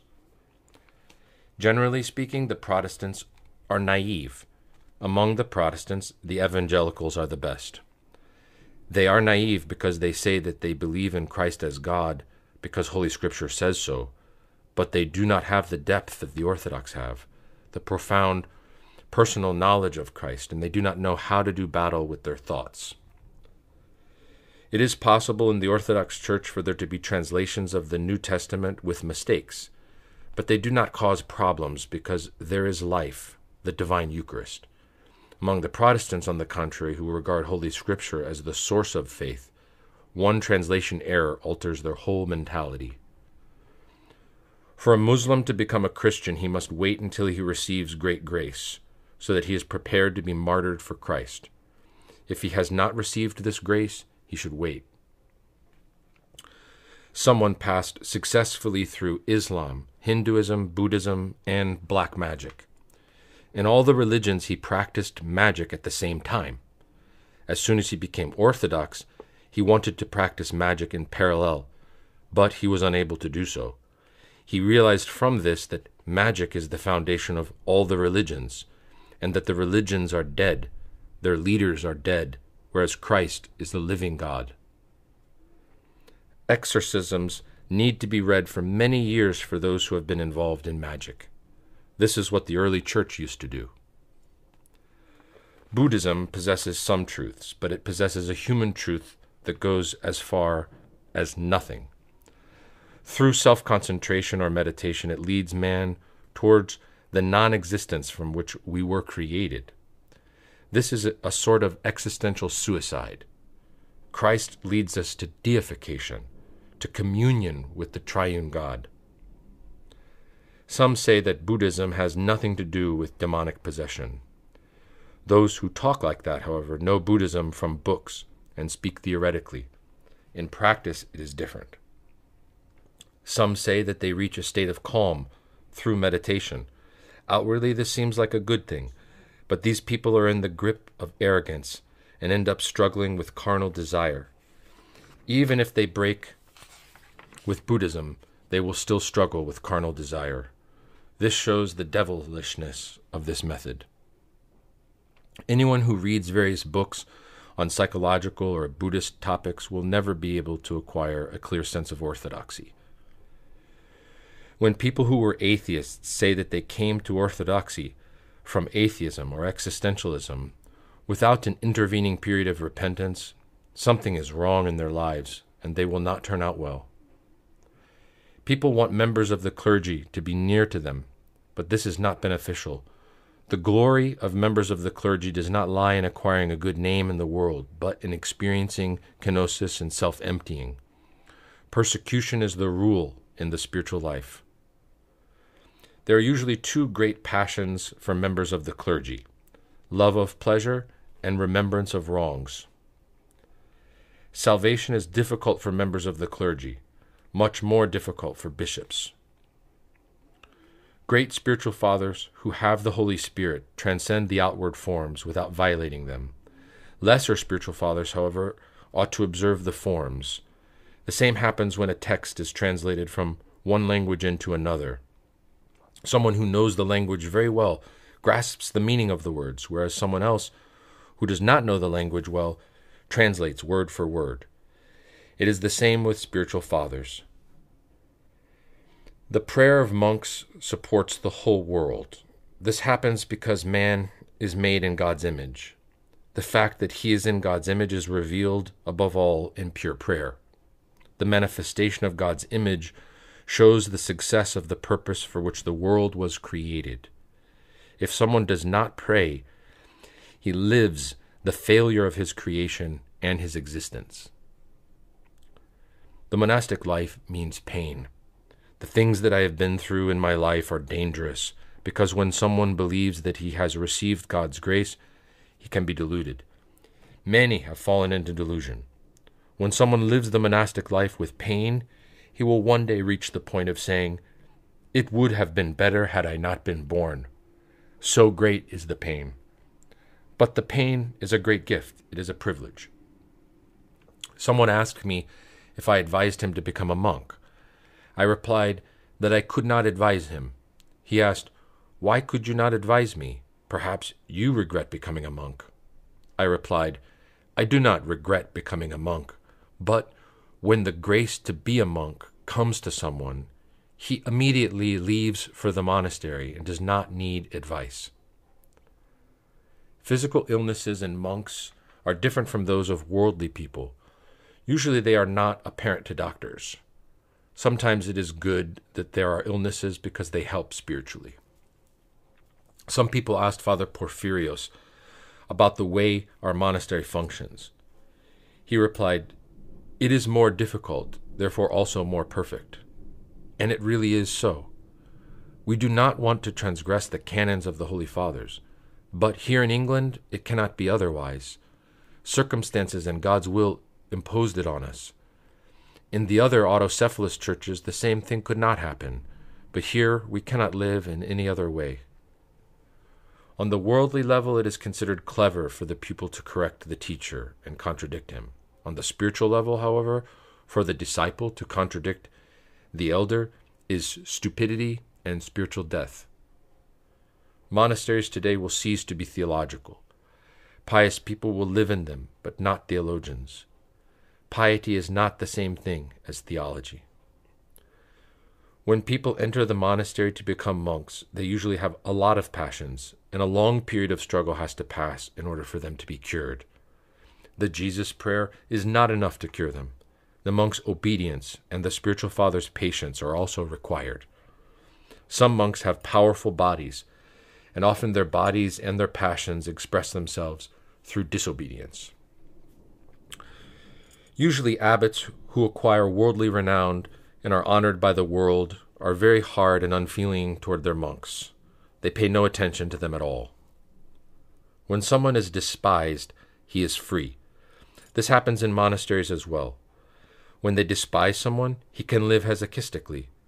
When someone is regarded as important, he is judged strictly by the other monks, and he too is careful not to lose the good opinion that others have of him. So he's not free. When I was on the holy mountain and the young monks misbehaved, the older monks used to say, Whatever next? Now we say, It could be worse. Psychological love is different from platonic love, eros, and divine love, eros, is different again. Some people interpret St. Ignatius' phrase, My love and eros is crucified, wrongly because they mix it up with human eros. However, those who criticize them also make mistakes. Nothing good comes of criticism. If we want to say something, we ought to look closely at what exactly the other person meant, what he wanted to say.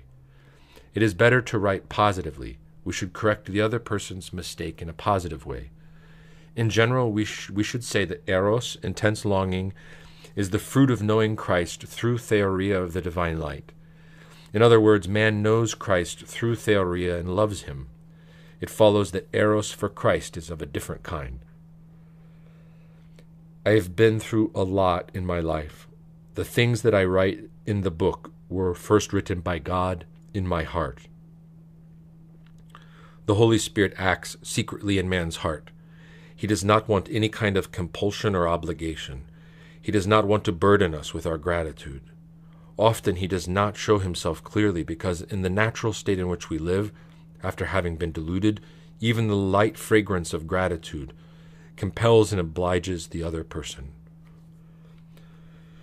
We should read patristic books in a simple way so that the prayer develops, without attempting to understand them or remember them. Then our heart will grasp the meaning of what the Fathers say, and it will become life. I have not read many contemporary theological books. I did read a little in Paris. I suffered much pain. Only much later did I realize that everything that had happened to me, the remembrance of death, fear, repentance, and mourning, was a preparation so that I would grasp Staretz Silouan's word. Christ said, I was not sent except to the lost sheep of the house of Israel, Matthew 15:24, because at that time they were ignorant of Christ's universality and were unable to understand him. Divine grace brings man to new birth. It even changes his voice and makes it better for communicating the truth. Regenerated human beings pass on the empirical truth in the appropriate voice. In someone who has been born again, anger becomes strength and impetus. Repentance is expressed in the initial stage by abstaining from passions and not satisfying them, later on as unrestrained reaching up to God. The nous is pure when it cleaves to God. Then we pay no attention to temptations. It is like what happens with cat with cars and dogs. When we pass a dog, it keeps barking, grows tired, and stops. Thus, in temptations, our nous ought to be fixed on God and not think of anything else. This is how temptations are dealt with.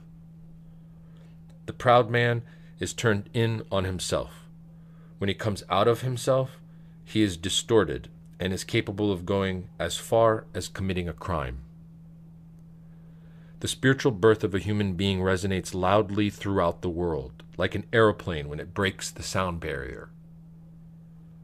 Love for God creates holy audacity. Fear of God is a charisma, it is not the work of man. For decades, I prayed like Christ's prayer in the Garden of Gethsemane. It is terribly painful to pray with tears for the whole world and to be aware that other people are not interested in their own salvation. At one time, my chest hurt from the heartbeats. My heart was melting like wax. However, when the doctor did an electrocardiogram, he told me, You have the heart of a small child. Sometimes my heart beats very strongly, as though it were going to break, without suffering any harm. Psychological fear is different from spiritual fear. Psychological fear leads to despair and paralyzes man. Spiritual fear inspires man unto death. The fear of God is not like the animal instinct. For quarter of a century I wept on the holy mountain for my sins and for the whole world. Someone dreadful, something dreadful happens in the Christian life. Sometimes God seems not to be satisfied by man's struggle, as though he did not hear his cry. This is how self emptying is experienced. There were times when I lost prayer and was unable to even pray with my lips. If they despise us and persecute us, we ought not to speak at all, but to be silent. We should not even make excuses, because an excuse prompts a new accusation. Silence heals. Those who have the grace of God within them usually weep and repel people. This state, however, is natural for the saints. The history of the Church, which is written by the saints, sets out the course of the spiritual life. In broad outline, it develops in the following way We attempt to keep God's commandments, and we see the passions killing us and preventing us from keeping them. This causes unbearable pain. This pain increases when it is linked with abandonment by God. We suffer in both soul and body. Then we experience Adam's fall, and repentance begins, which opens up our depths more clearly. Purification of the heart begins with profound mourning. Then we receive new energy and reach theoria of the light. Thus, when we become nothing, dust, we become the material for our new creation. When they praise other people, we ought to rejoice. Zosimas, Father Zacharias, has taken my own words, my own teaching. It does not matter who is glorified here on earth, but who will be glorified in heaven.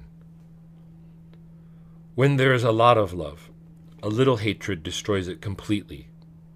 When, however, there is a lot of hatred, and subsequently there is a little love, the hatred is not reduced.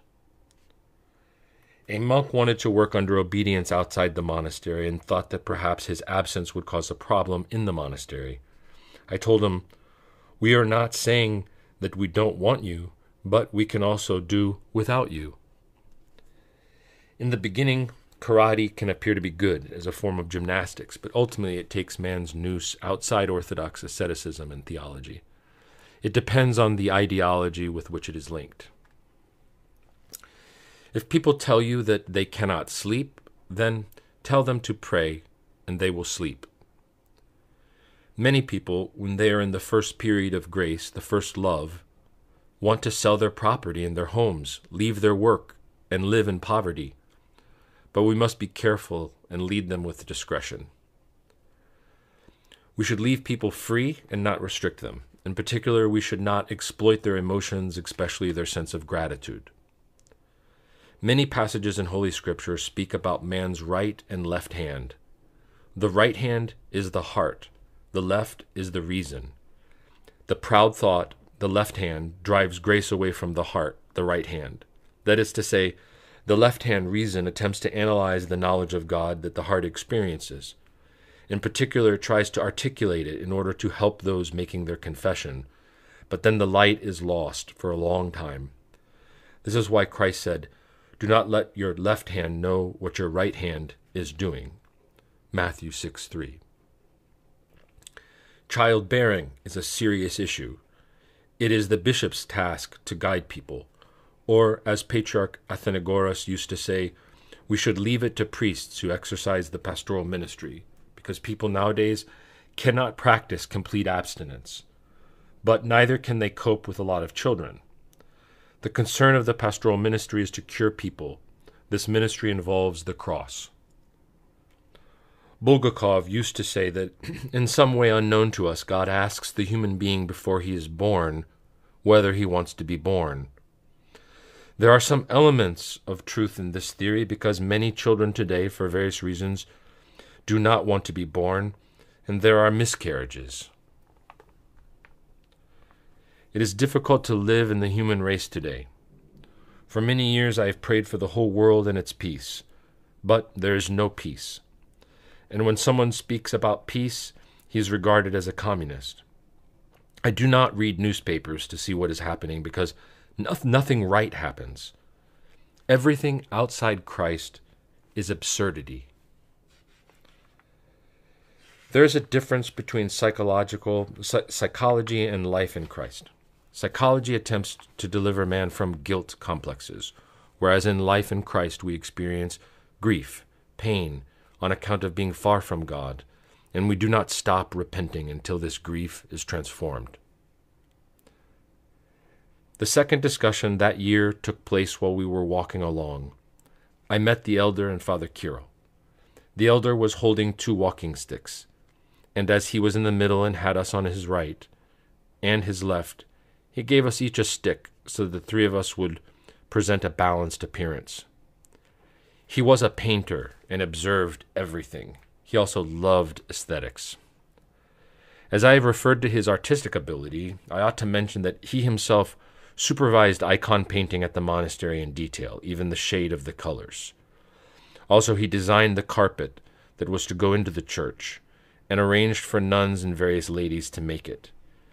He was very attentive to priestly vestments. He wanted them to be clean, bright, and without glittering scenes. He himself took care of the purchase of the material and the sewing of the vestments. He did not like anything shoddy or garish. As we were walking along the road, we saw some children playing with a ball. The elder recalled with much laughter, Because I loved football when I was little, my father used to say, I have two boys and a footballer. In the discussion, he said, among other things, the following The view that man was created for the God man theanthropos can lead to some negative conclusions, namely to the idea of man's great worth and making a god of him, since man was the reason for the God man to be. The cross is the self sacrificing love of God, who was crucified of his own volition. For that reason, self sacrificing love is called a sign like the sign of Jonah. We live Christ's cross by practicing his commandments. When we are spiritually stretched, we are crucified. This happens through repentance. After theoria of God, someone is, in, is different from what he was before. The same happens to someone who meets a saint. His entire life changes. The whole of the West was influenced by St. Augustine. Augustinian theory is rather psychological, it deals with God psychologically. In Greece, today there is a noticeable trend towards psychology, which is why St. Augustine is studied so much. St. Augustine may be a saint, but his work was subject to exploitation. People in the West lost their inspiration for God, thus, science developed. When someone returns to God after an intensely pleasure loving life of fleshly indulgence, and he wants to take Holy Communion frequently, before his body has been transformed, his body reacts as though it did not accept the energies of Holy Communion. Thus, physical illnesses are caused. Discerning guidance is necessary. Unceasing prayer is activated at the beginning of the spiritual life. Although someone prays, there may not yet be dispassion. It is only in theoria of God that everything changes and the whole man is born again. Worldly sorrow is a substitute for repentance. We must take up Christ's cross voluntarily, of our own free will, otherwise, we will carry other crosses against our will involuntarily. Erotic love captivates man very powerfully. In the beginning, the solution is to escape, then to turn to God. Bodily purity is preserved when the nous is kept clean and when the relationship with the spiritual Father is as it should be. We wage the spiritual struggle not because the kingdom of God can be bought for a price, but in order to keep Christ's commandments, so that our will may be tested and the virtues may become our inalienable possession, so that we may remain forever. Someone may reach the first stage of dispassion, but be subject to fluctuations and sudden changes. Stability will come later. At the beginning, God gives us a perception of the spiritual life, and many years must pass for us to assimilate it.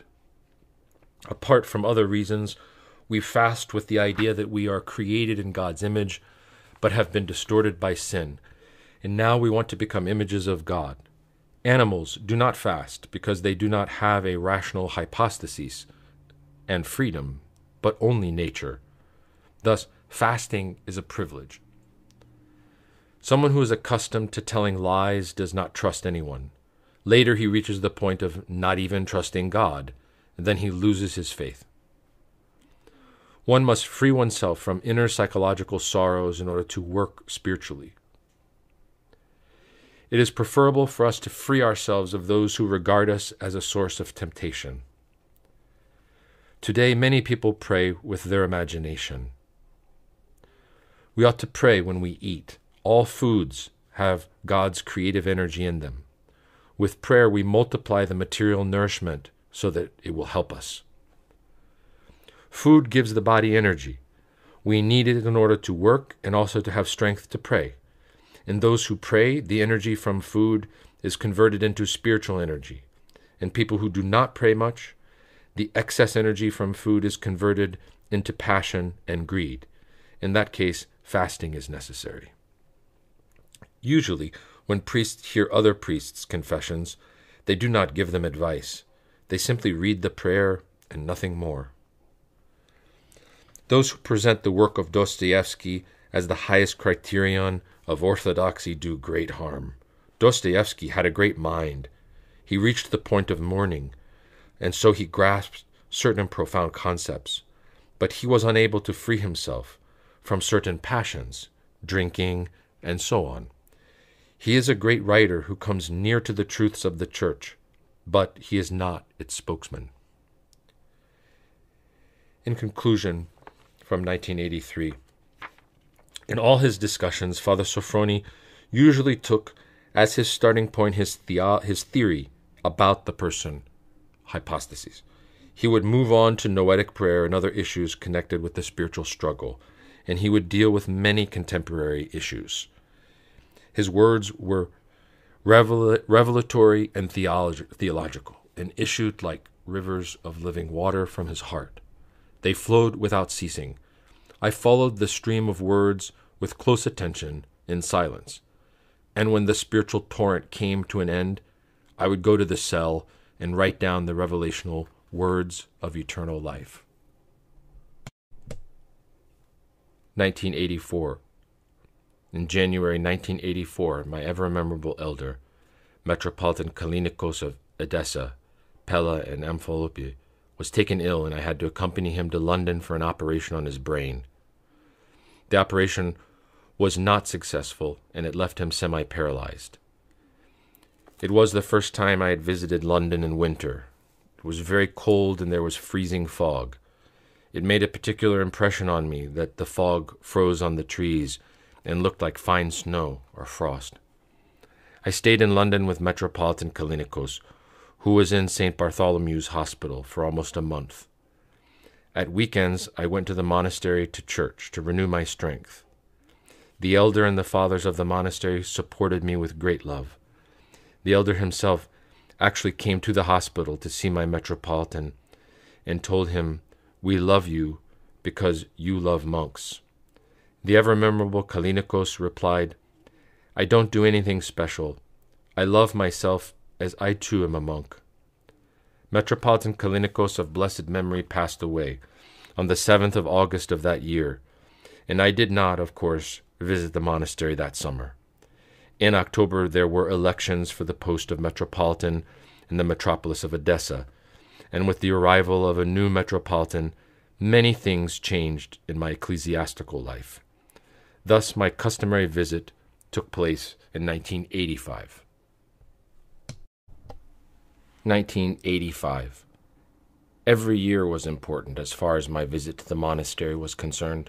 It was impossible for anyone to visit even for a few hours, and especially to meet the elder, without benefiting spiritually. Someone told me that he had heard Elder Porphyrios saying, It is a blessing for someone to see Father Sophrony even for a few minutes, because he has great power.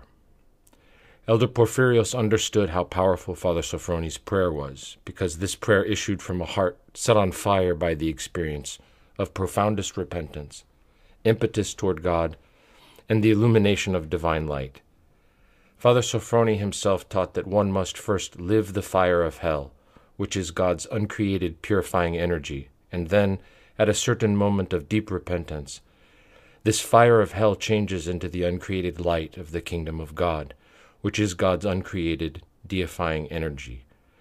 This vision activates the hypostatic principle and contributes to man's regeneration.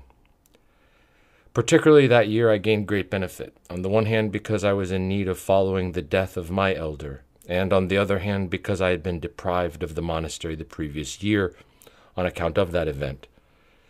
The Father showed me particular love, but I also found the opportunity for more discussion, as the reader will see, that summer I had four conversations with Father Sophrony. As soon as he saw me, he said, I am pleased that you did not become Bishop of Edessa, because you would have been tied down. Elections had been held in the metropolis of Edessa, and I had come second out of the three candidates in the second round. The elder had a very great respect for the grace of the episcopate, but he was also aware of the difficulties and temptations. To be sure, at another meeting he told me, The new metropolitan took your place. That place was yours. He also repeated this to other people who passed it on to me. I did not ask for explanations, however, nor did I ever take any interest in that subject. At our first meeting, he said, among other things, In our time, the teaching of three fathers, St. Gregory Palamas, St. Maximus the Confessor, and St. Simeon the New Theologian is needed more than ever before. Reading Holy Scripture purifies the nous. The Apostle Paul, who experienced profound repentance, writes of Christ Now this he ascended. What does it mean but that he also first descended into the lowest parts of the earth? Ephesians 4 9. For us, the words, he descended into the lowest parts of the earth, is profound mourning, the descent into the hell of repentance. Although all the apostles and fathers have the same revelation and experience, they do not express themselves in the same way. For example, the Apostle Peter was not so rich in conceptual images as St. John the Evangelist or the Apostle Paul. Divine grace does not abolish people's particular gifts. When a priest commits a carnal sin, his priesthood is deafened. That is to say, his priesthood is not active. He celebrates the mysteries, but he himself does not benefit. One must keep hold of the priesthood, because it would be awful if something happened and one lost it. If someone does something bad, the priesthood has no power. We realize this from the fact that he is unable then to help people. Then, in some way, the priesthood is deafened. In other words, he cannot hear people and help them. Pride and vainglory produce a rebellion of the flesh. In the addresses that we give at monastic professions, we should not refer to the subjects of brides, bridegrooms, and divine eros because these spiritual concepts become distorted in some way, especially in women. Some spiritual fathers retain their spiritual children through their psychological power, their reason, and their spiritual gifts, but they leave their spiritual problems unsolved and do not help them. Spiritual fathers who have inner spiritual priesthood, that is to say, the grace of God, give their spiritual children effective help so they can deal with their spiritual problems. From the social point of view, we ought to feel that we are spiritual orphans because we do not belong in this society, and our homeland is elsewhere, and here we are orphans. At our second meeting, he began in a friendly way to create a pleasant atmosphere. He told me, There is only one Hierotheos. Your pen is strong and swift. My first books had been published then. Also, sermons had been published in the periodical Voice of the Lord, as well as some articles in ecclesiastical journals. The elder perceived that we had the same spirit as regard theology and asceticism, so he said with very great humility, The two of us have closely related ideas, but you write more richly and more vividly. He was courteous and noble, and he always found a way to lavish excessive praise on the one to whom he was speaking. I have recorded his words for that reason. In discussion, some of the things he said were as follows I once wrote about the unity of the Church according to the doctrine of the Holy Trinity. When Evdokimov read it, he said, What does he know about the Holy Trinity, as he's not married? It is absurd for people to think or to link knowledge of the persons of the Holy Trinity with knowledge of human relations within marriage. Theoria means having the flame of God. Westerners agree with the Muslims on the subject of God's essence. They regard it as impersonal. Many people are mistaken about the so called darkness of God. They think that the darkness is ignorance of God, whereas it is knowledge that transcends human knowledge. It is light that transcends the light of the mind and the light of human knowledge. We Orthodox live Christ in the Divine Liturgy, or rather, Christ lives within us during the Divine Liturgy. The Divine Liturgy is God's work. We say, it is time for the Lord to act. Apart from anything else, this means that it is the moment for God to take action. Christ celebrates the liturgy. We live together with Christ. The Divine Liturgy is the way in which we know God and the way in which God is made known to us. Christ celebrated the divine liturgy once, and it passed into eternity. His deified human nature passed into the divine liturgy. In the divine liturgy, we know Christ specifically. The divine liturgy that we celebrate is the same divine liturgy that Christ performed on Maundy Thursday at the Last Supper. Chapters 14 to 17 of St. John's Gospel are a divine liturgy. Thus, we understand Holy Scripture in the Divine Liturgy. The first church lived without the New Testament, but not without the Divine Liturgy. The first forms of words, the hymns and scriptures, are in the Divine Liturgy. In the Divine Liturgy, we live Christ and understand His Word. Just as Christ purified His disciples through His Word and said to them, You are already clean because of the word which I have spoken to you. John 15:3. And he washed the disciples' feet with water at the sacred washing of feet. So too the first part of the divine liturgy purifies us, so that we can then sit at the table of love. The aim of the divine liturgy is to impart Christ to us. The divine liturgy teaches us an ethos, the ethos of humility. Just as Christ sacrificed himself, so we ought to sacrifice ourselves. The divine liturgy typifies the one who became poor for our sake. In the divine liturgy, we try to humble ourselves because we sense that God, who is humble, is there. Every divine liturgy is theophany. The body of Christ is revealed. Every member of the church is an image of the kingdom of God. After the divine liturgy, we must continue to portray the kingdom of God by keeping his commandments. The glory of Christ is for every member to bear his fruit. This is the explanation for his words By this my Father is glorified, that you bear much fruit, so you will be my disciples. John 15:8. God gives many charismas. Even simple ascetics can cure people in many ways, such as through prayer. But when God gives a special gift, He also gives discernment at the same time, so that we will not under, undervalue the spiritual gifts of others, particularly the charisma of priesthood. Many people want to take Holy Communion, but they do not know how they can also benefit from the spirit of the divine liturgy, because this too has much to offer. Many are displeased because their spiritual father has deprived them for a time of Holy Communion, whereas in this case they ought to benefit spiritually from the spirit of the divine liturgy.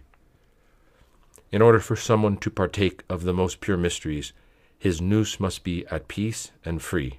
He must be completely at liberty. Someone can face illness when his soul is at peace. For someone to find out what noetic prayer is, he must become acquainted with it before the age of 30 or 35, because after that other problems begin, and it is not easy for him to engage in noetic prayer. I saw Berdyaev on Easter Day, Pascha, singing with the choir like a little child. Later I saw him on the train, concentrating deeply on his thoughts, shaking his head to grasp ideas. I realize that those whose work who work with their brain have inconsistency in their life. What they think is different from how they live. There is a split between their mind and their heart. First one receives God's grace, then grace withdraws, and one passes through God's chastening. However, everyone has to go through this training, because even if one were to receive grace without the appropriate training, it could go wrong and contribute to his condemnation. One must pass through humility. Without freedom, it is impossible for someone to keep a spiritual gift or for his spiritual life to develop. A monk ought not to give many explanations he should say little and not start up long conversations for no reason. The whole of contemporary life seems to go with the tide. Everyone is carried along in the same direction by force of circumstances. The monk is called to go against the tide. Monks sense that they are weak, and they are also looking for many things. For that reason, they want constant supervision. In the world, we are always finding out new things. In the monastery, Repetition is the mother of learning. We pray with all our heart for your monastery. Spiritual guidance demands great patience. We ought not usually to talk to married people about the value of monasticism, because then they will become confused and do not esteem marriage. We should teach them that marriage is a way to salvation when one lives in accordance with the gospel. We should not have high expectations of those who make their confession. At first, they tell us a few things about themselves. We should confine ourselves to what they say. Later on, they will open up and say more. It takes a long time for people to open up. Someone who has a clear vision of everything is clear sighted. As a consequence, if a spiritual father does not have clear vision, how can he help those who make their confession? Someone should not stop at the prayer of absolution. He should open his heart and understand inwardly that God has forgiven him. Women are very demanding. Their spiritual father must have great discernment and patience in order to direct them. Married women ought to be very attentive to their husbands. They should be at home and take an interest in them and in their children. We live in an age when no one can speak against wars because he is regarded as a communist. At our third meeting, he referred to his favorite topics connected with the empirical knowledge of God. Among other things, he said, Knowledge of God is empirical. It is similar to what happens in the theoretical sciences. First there is the theory, and then there is confirmation. The opposite also happens. In the church, we have the theory that God revealed to the prophets, apostles, fathers, and saints. Subsequently, we say, Let me see whether it is true, and we begin to follow the same path. We pray, and thus we sense the grace of God and confirm what the fathers say. In the West, people read a lot, and also turn to Eastern religions, and now some practice the Jesus prayer because they want to inquire empirical theology. God does not promise joy, but a cup. He calls us to suffer for his name, because thus we shall also experience his glory. God is hypostasis, one essence, three hypostases. It is the same with man. He is potentially a hypostasis, indestructible, but he also needs life. This comes about in Christ. When man is united with Christ, the hypostatic principle is activated and he becomes an actual person, actual hypostasis. The hypostasis is unique and not transferable. God predestined those whom he knew beforehand would accept his call and his gifts of grace with gratitude and thanksgiving. Christ's self emptying is presented most eloquently in the twelfth chapter of the Apostle Paul's Epistle to the Hebrews. The expression uncreated light that the Fathers and St. Gregory Palamas used provokes some people nowadays. We can use the expression divine light, which means the same. There is a pre eternal self emptying of God the Father, as he begets the Word, and a self emptying in time through the incarnation of the Word. Christ's kenosis, his self emptying, and his total abandonment to his Father freed man from death. Something comparable happens to us too. Our total abandonment to God and our total self emptying, which is linked with the formation of Christ, leads us to deification. Christ underwent sufferings because he kept his Father's commandments, and so came into conflict with the world. The same must happen to the one who is called by Christ to live his life. The theory that some theologians expound is disproportionate to their spiritual experience. They develop high flown theories without possessing corresponding experience. This creates a psychological problem for them. Deification means that in every situation in our life we react as Christ reacted. If we want to begin a conversation with God, as soon as our nous turns to God, He will immediately give us a spiritual concept. There's a difference between Buddhism and Orthodox asceticism. In Buddhism, they try through divestment to reach nirvana. They convert contemplation into mystic theoria. They see the created light of their mind. This happened even more in Plotinus and Neoplatonism. The fathers knew about this, and we can call it the darkness of divestiture. But they go beyond this and reach theoria of the uncreated light. Then they experience that the light comes from a person and not from an idea. They are aware of a personal relationship with God, and at the same time, a great love for God and the whole world develops to the point of martyrdom and self hatred. People who become orthodox through philosophical reflection or aesthetics, in moments of intense con- concentration, elevate this reflection into mystical theory. They see the light of their mind and fall in love with it and themselves. This light is neither devilish nor divine when they take it for divine, it becomes demonic. As St. James, the Lord's brother, says, quote, This wisdom does not descend from above, but is earthly, sensual, demonic. James 3:15. When one makes a god of earthly, non-spiritual wisdom, it becomes demonic. It is only when someone sees the divine light that he sees the difference between the natural light of the mind, devilish light, and the uncreated light. In the desert, my nous was caught up in rapture on many occasions. On account of repentance, however, I did not want to recall these times to mind. In the desert, I did not think of anything. I simply repented of my fall, of having sought perfection in Eastern mysticism outside Christ. When, however, I became a spiritual father, I wanted to help people who had experienced something similar and were asking for confirmation of their spiritual state. Then I tried to see what was happening in me without saying anything to others. This often had consequences for me. On the holy mountain, I lived repentance to the point of madness. I knew eternity negatively at first, from the experience of eternal damnation. God's revelation to St. Silouan, keep your mind in hell and despair not, means condemning oneself to hell, hating oneself completely. Then one feels the f- flames of hell piercing one's body like needles. Later, when one sees the uncreated light, one changes completely. No one can see the divine light and stay the same as he was before. In any, in any event, anyone who sees the divine light understands what eternal damnation is. Dogmas are essential for the spiritual life. Without them, the spiritual life is distorted.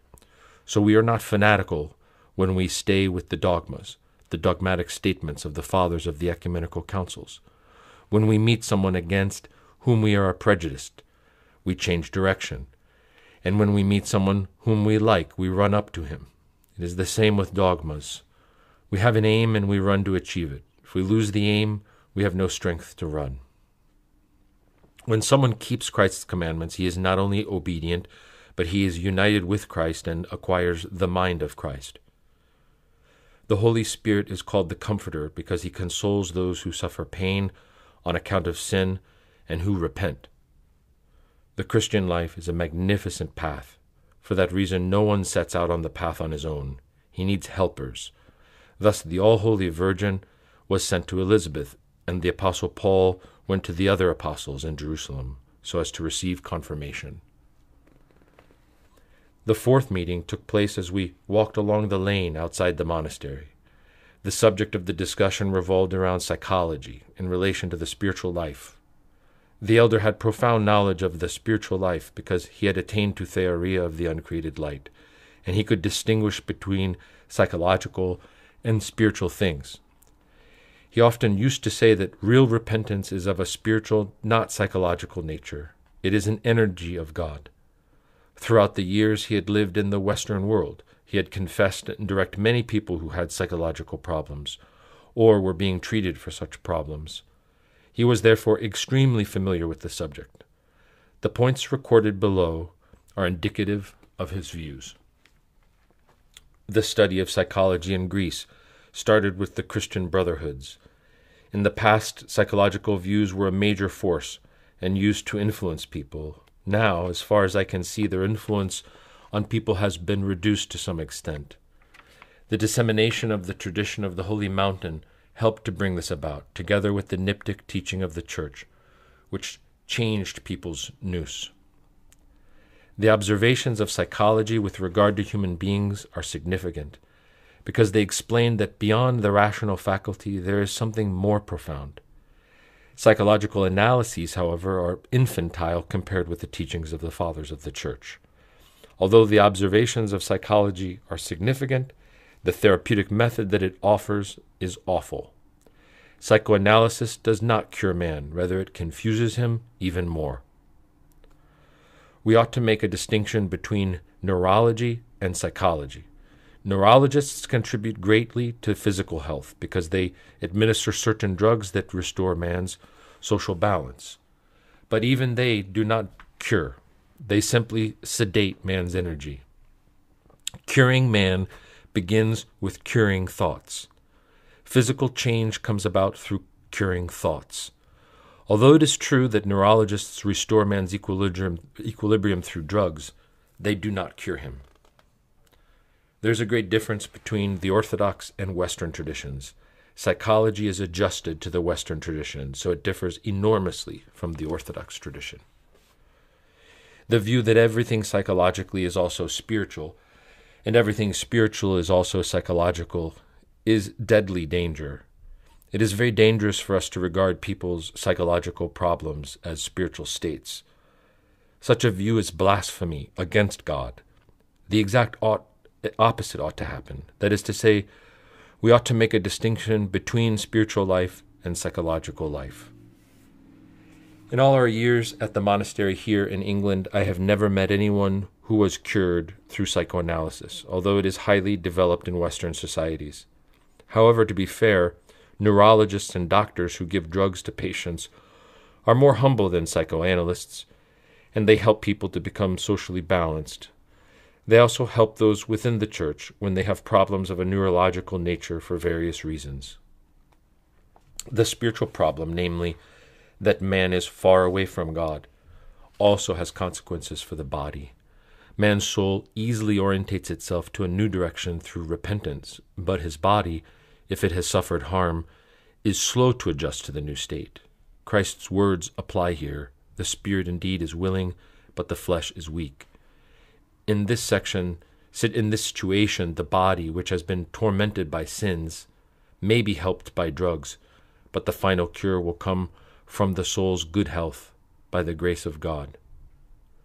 St. Gregory Palamas lived in a crucial period when the seeds of psychology and psychoanalysis were already in existence, and it is important for us to study his theology.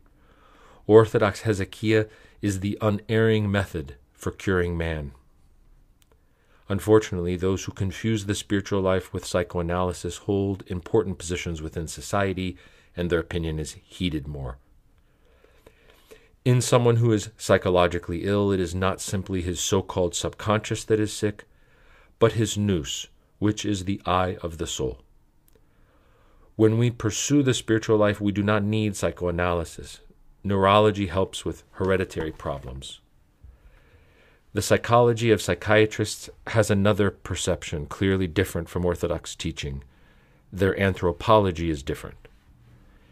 In any case, discussion about the relationship between psychology and Orthodox theology will be beneficial.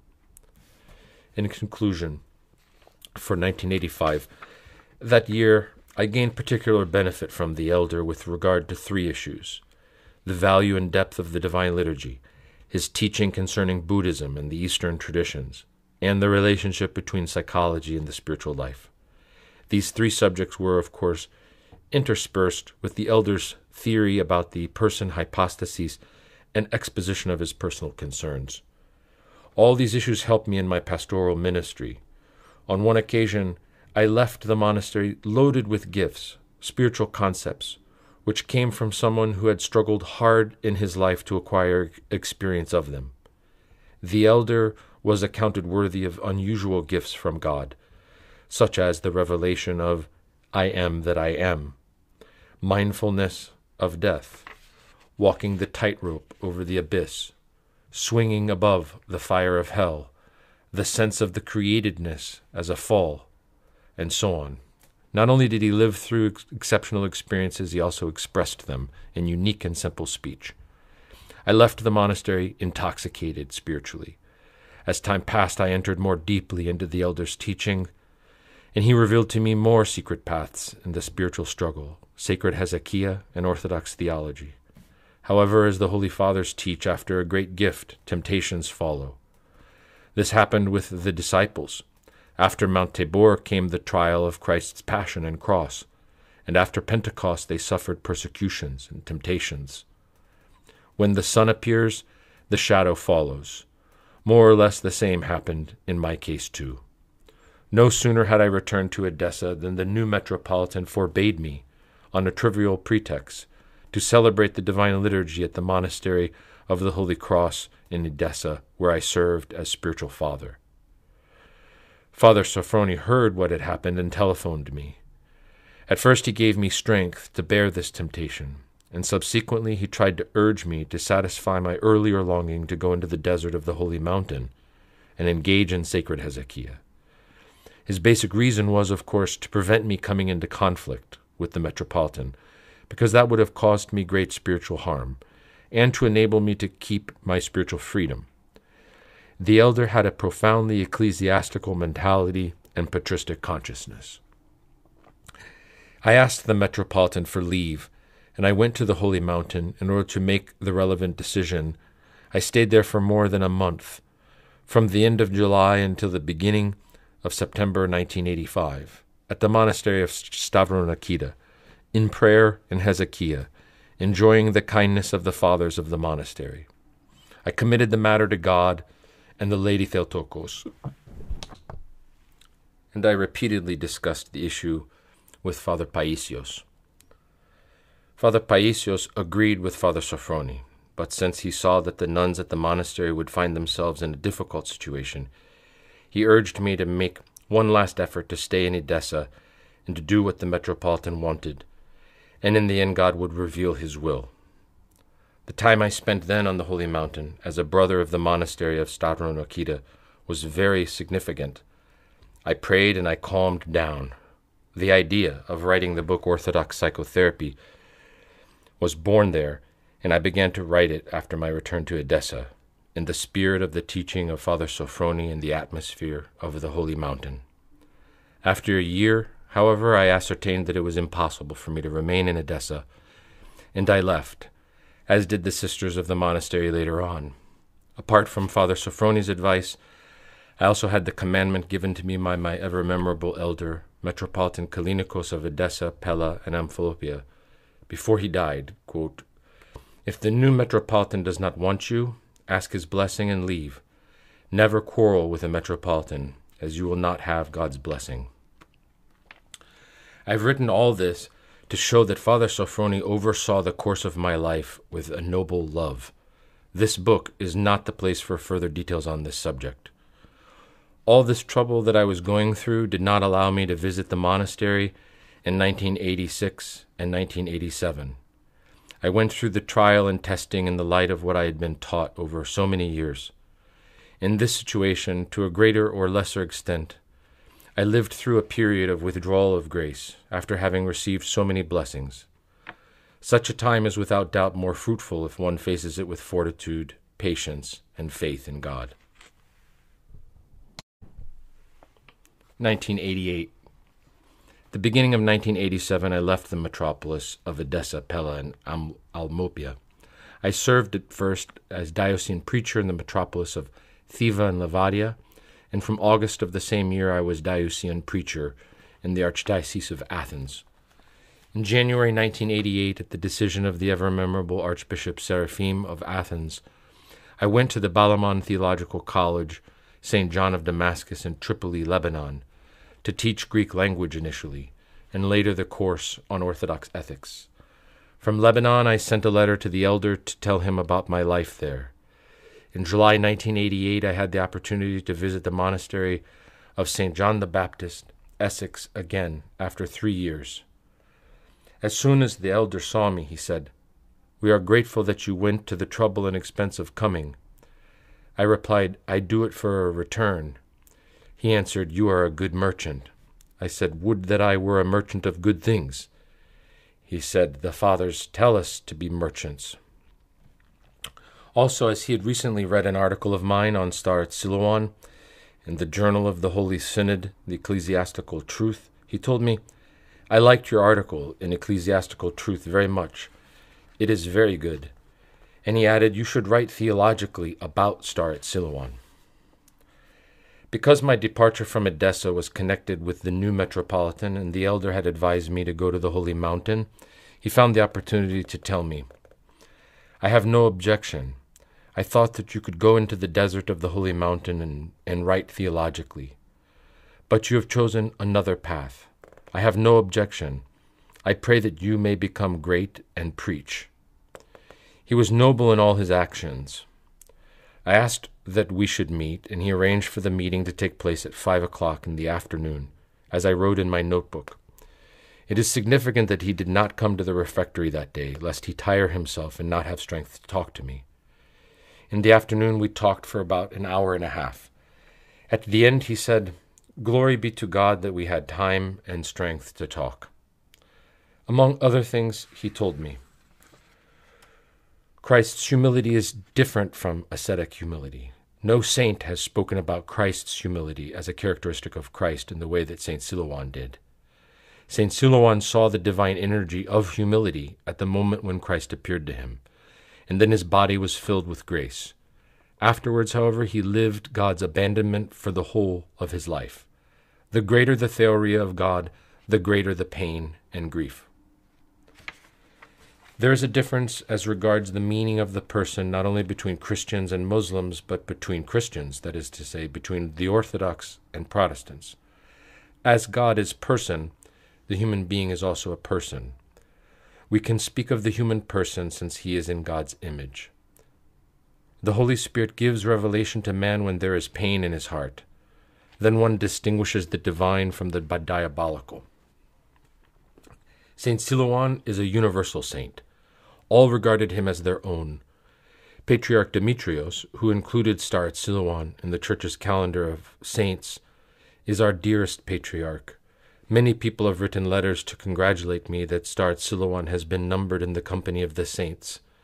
Everyone who reads his writings is pleased, but if one looks more carefully at Staretz Silouan, one is filled with fear. Some people say that Staretz Silouan was like all monks.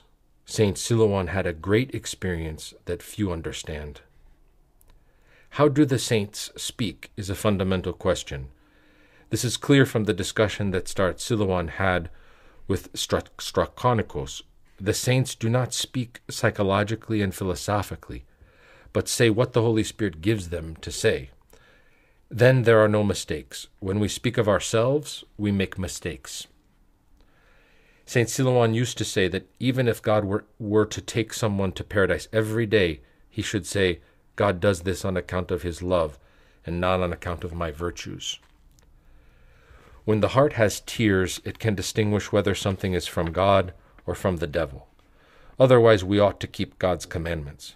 God's commandments are an expression of God's life. The words, keep your mind in hell and despair not, are very significant. I have written this exhaustively, but few have understood. It is an experience of the Church that many fathers live, but to a different degree. St. Silouan lived it to the highest degree. Having one's nous in hell is the only way to make the passions stop. When one's nous leaves hell, the passions act. This is where the essence of asceticism lies. Few people nowadays are real ascetics. Human psychology uses a different anthropology. It is more or less heretical. It is dangerous. It is bad that it is used by spiritual fathers. To a certain extent, it helps those who have no experience to understand other people, but it does harm. Spiritual things also have psychological repercussions, as can be seen when one looks at the Orthodox and the Latins. But psychological things are not spiritual as well. And in conclusion, from 1988, after the discussion, we went from the old building as far as his bungalow, arm in arm. He told me that in September he would be 92 years old. On the way, he told me something very humorous, and he laughed heartily. However, because he was a great hesychast and a monk who strove hard, he immediately said, We laugh, but we ought to weep. What a monk told me once is typical. On one occasion in the refectory, the elder wanted to laugh at something and he stopped himself. But even when he laughs, his laughter is constructive. Sometimes he laughs because he sees that we are joyful, or to lift our spirits when we are downcast. When I left the monastery, he gave me some boxes of chocolates to give to people he knew, and he asked me to pass on his blessings to everyone he knew, saying, Give my best wishes to everyone, particularly to the nuns. I am interested in Silouani Macrina, Fotini, and Afi. Of Sister Silouani, he said, May Silouani resemble Saint Silouan. In any case, she now has the protection of the saint himself. Finally, I asked his blessing, saying, Remember us, Father. He replied, We remember you whether we want to or not. 1991. In 1991, I met the elder for the last time alive at the monastery. He was 95 years old. When I had met him, he was 80 years old, but he was in good physical condition. Now he had aged. He walked with difficulty and used two walking sticks. He fell asleep in the Lord two years later. I asked if we could have our photograph taken. It is a photograph that shows us in front of the entrance of the new father's house at the monastery. Then I photographed him on his own, holding two walking sticks. It is a very fine photograph and one of his last. After a meal in the monastery refectory, I found the opportunity to approach him, because he always gave us gifts and spiritual desserts, living his life in continuous self emptying and dividing himself up to satisfy others. He said a few important words to me. Among other things, he said, We live quietly here. There's a lot of hum- humidity here.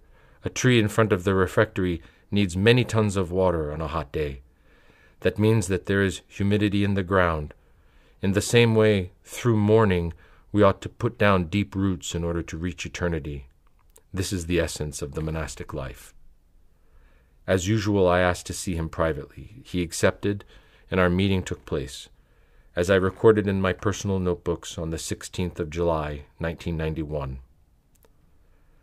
First of all, he expressed his joy that I had come to visit him again, and he began the discussion from my book Person and Freedom, which had already been published. The elder was particularly interested in the person hypostases, because by the revelation of God he had himself ascertained that God is not an idea but person hypostases. So he would always read what was written on the subject of the person. He told me, quote, I read your book, Person and Freedom, using three lenses because I do not read now, but I wanted to read it. You express things well. You and I agree, but the reality of the person transcends philosophical or any other analysis. You are astute. You put the part about philosophy first, that the fathers are not philosophers, and afterwards you went on to the ascetical analysis of the person. He added, You are half my age, and you have written so much. And immediately afterwards he said for my instruction, There is an antidote that says that a thief and a writer found themselves in hell. There was fire under both of them. At some point, the burning fire under the thief went on, whereas that under the writer increased. The writer asked, Why is this? It's unfair. And they told him, It is because the evil that you did with the books you wrote continues in the world, whereas the evil done by the thief does not. Then I asked him, Will the same befall me? He answered, No, this does not apply to you. People benefit from what you write and are saved, but you are harmed by the devil's aggression and people's hatred and envy. And he went on, I admire you. You write so many books, one book a year. Where do you find the time? You have a monastery as well. He meant the birth of the Theotokos monastery in Renfrew near Thiva. I told him, I go to the monastery every Saturday. He asked, Do the nuns live on their own? I replied, Yes, there is Abbess Fotini to take care of them. He said, It's a good monastery. Subsequently, I told him, I am invited to various conferences to give talks, and then I publish them. That's how the books are written. He answered, But even that needs ability. You have a charisma. We should write in a positive way as you do. Feeling uncomfortable, I said, I write a lot of books, but they are all probably nonsense. He replied, No, you do not write nonsense, but you write intermediate theology. He considered exalted theology to be the personal revelation of theoria of God, as we see in his writings. I then asked him about a personal matter. At that time, there was a suggestion that I might be elected Metropolitan of Larissa, although some Christians in Larissa wanted Metropolitan Theologos to come back. He told me the following I cannot judge. I do not know the situation, nor do I want to get involved. It would be difficult for you as far as prayer is concerned. How would you function in such circumstances? Bishops seldom write theologically. It is preferable for you to write theologically in a cave, like St. Nicodemus of the Holy Mountain, and to benefit the Church in that way. If you write two or three good books, it is of great benefit to you and to the Church. I rejoice that God gave me the priesthood and defended my monasticism. I am not indifferent to you. After that, he began to expound various subjects to me. Before he began, he said to me in a self emptying and self accusatory way, Don't pass on whatever absurdities I tell you. I am an old man and I talk nonsense. To conclude 1991, St. Gregory Palamas taught us that we partake of the divine energy. Negativism, as taught by some people, does not help us to understand God. When writing the book, I could not say, We shall see him as he is, is not, but as he is. It would have been senseless for me to say, We shall see him as he is not. Prayer ought to be prayed hypostatically. We do not say personal prayer, but hypostatic prayer. The Holy Fathers discovered the word hypostasis. Westerners are unable to interpret it, and they confuse it with the essence. We should use the term hypostasis more than person, because person can also be understood psychologically. You have found the asceticism of the person, stay there. Speak about ascetic and neptic theology. Leave the others to write philosophically and psychologically. Polemical theology does not help because we do not know the concepts that other people use. Concepts can be understood according to each one's experience. The name worshipping monks of the Caucasus knew that divine grace acts in the heart through prayer. However, because they did not know the theology of St. Gregory Palamas, they could not express the fact that this experience is the divine energy. The hesychia of the Holy Mountain does not really help someone to write. That is why I left the Holy Mountain, because I had to write about Staretz Silouan. You write because there is a pastoral need for you to write. When I was living in a cave on the Holy Mountain and I had a disciple, Father Paul, a partisan came and asked me for money, food, and clothes, and that my disciple should carry them. I gave him what I had, but I did not give him my disciple. The disciple is an elder's greatest asset. The greatest asset for the monastery is the person, not money or things. I am sorry about those spiritual fathers who assert that the spiritual life is not enough and that psychology is also necessary. Contemporary monks ought to, learn not to speak from their mind, their reason, but to say whatever the Holy Spirit gives to their hearts. Praying is the easiest thing. The most difficult thing is to give advice on practical matters. The theological school in Athens is changing its perspective. The theological school in Thessaloniki is better. I see a change of direction now in Athens as well. The Apostle Peter's statement that the earth will be burnt up can be accomplished more easily today with nuclear weapons. We live in apo- apo- apocalyptic times. Today, peace is very difficult. The end will come suddenly but then redemption will also come. We live in the last times. The judgment may happen even now. Remembrance of death immediately brings contrition and dispassion. However, this dispassion fluctuates. It is not perfect dispassion, but even this is something, it is the beginning of spiritual life. When someone is making his way toward God, after his death, after his departure from the natural state of the body, he will hurtle like a rocket with great impetus toward God.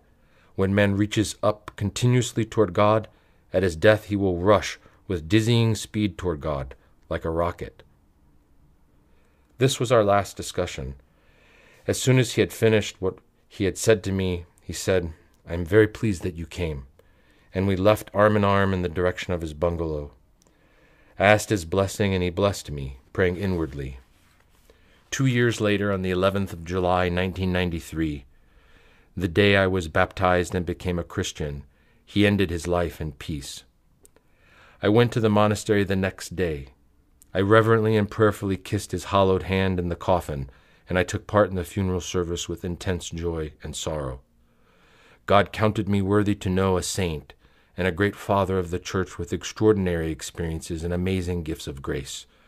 It was a particular blessing to me that such a saint loved me and conversed with me, revealing many mysteries of the kingdom of God.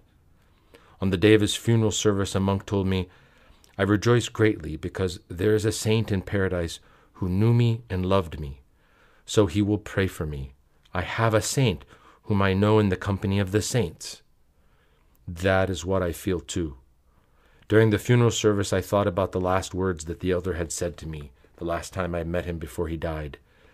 That when man's soul reaches up toward God after it leaves the body, he will hurtle like a rocket with great impetus toward God. he will rush with dizzying speed toward God like a rocket. Elder Sophrony was distinguished throughout his life by this impetus. He lived, as St. Maximus the Confessor says, ever moving stability and stationary motion.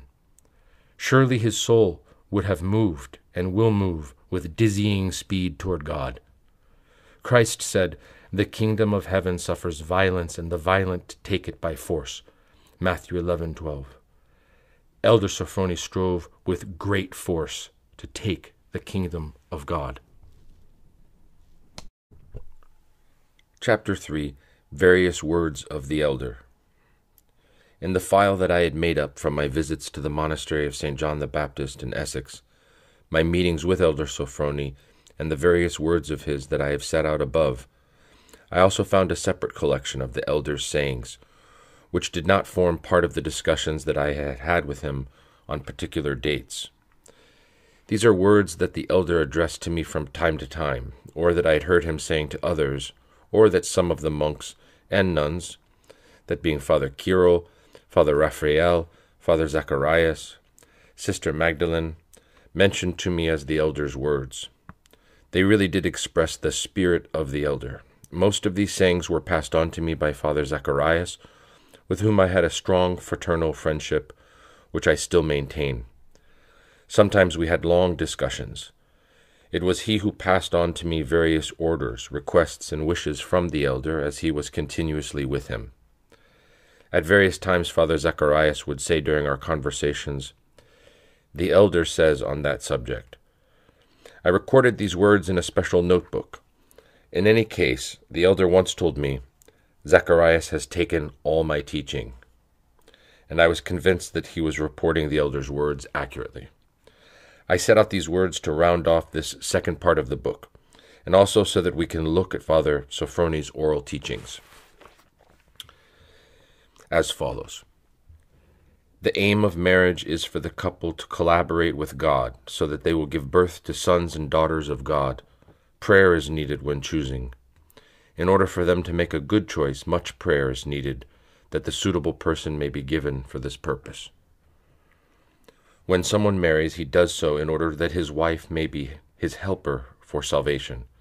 He must show love, and they must struggle for their salvation. Today it is a privilege not to have children. Parents suffer martyrdom. When the children grow up, society takes them. Parents idolize their children. They live their whole lives in them and identify with them. This is a mistake. Through marriage, the husband takes the wife as a helper so that they may achieve perfection. Children are gifts from God. Often the children bring anxiety, and the nous is distracted from God. Nature itself, that is God's creative, life giving, and providential energy, will bring it about that there are not many children. It will grow weak, and it will not be possible for many children to be born. When people marry and God gives children, they should glorify God. If God does not give children, they should be calm and not worry. It is not a matter of giving birth to beings for historical reality, but of giving birth to persons for the reality that transcends history, that they may enter paradise. Many give birth to children who become fodder for hell. Married couples must learn self emptying, kenosis. They must give away to one another. Then they learn to accept another's existence in their own existence. The upbringing of children begins from the day of the wedding. The couple ought to live with prayer and the fear of God. When a mother prays when she is pregnant, the embryo feels the energy of the prayer. When a child is conceived, the parents ought not to be angry. When it is born, they ought to pray. They should also pray when they have the child in their arms. Whatever the mother does, she should do it with prayer. She should make the sign of the cross over the child when it is asleep and pray for when she breastfeeds it or gives it food. The fact that many children nowadays have unkind instincts is because they were not breastfed by their mothers. When a woman asked whether she should feed her baby with her own milk or with cow's milk, I replied, Who gave birth to it, you or the cow?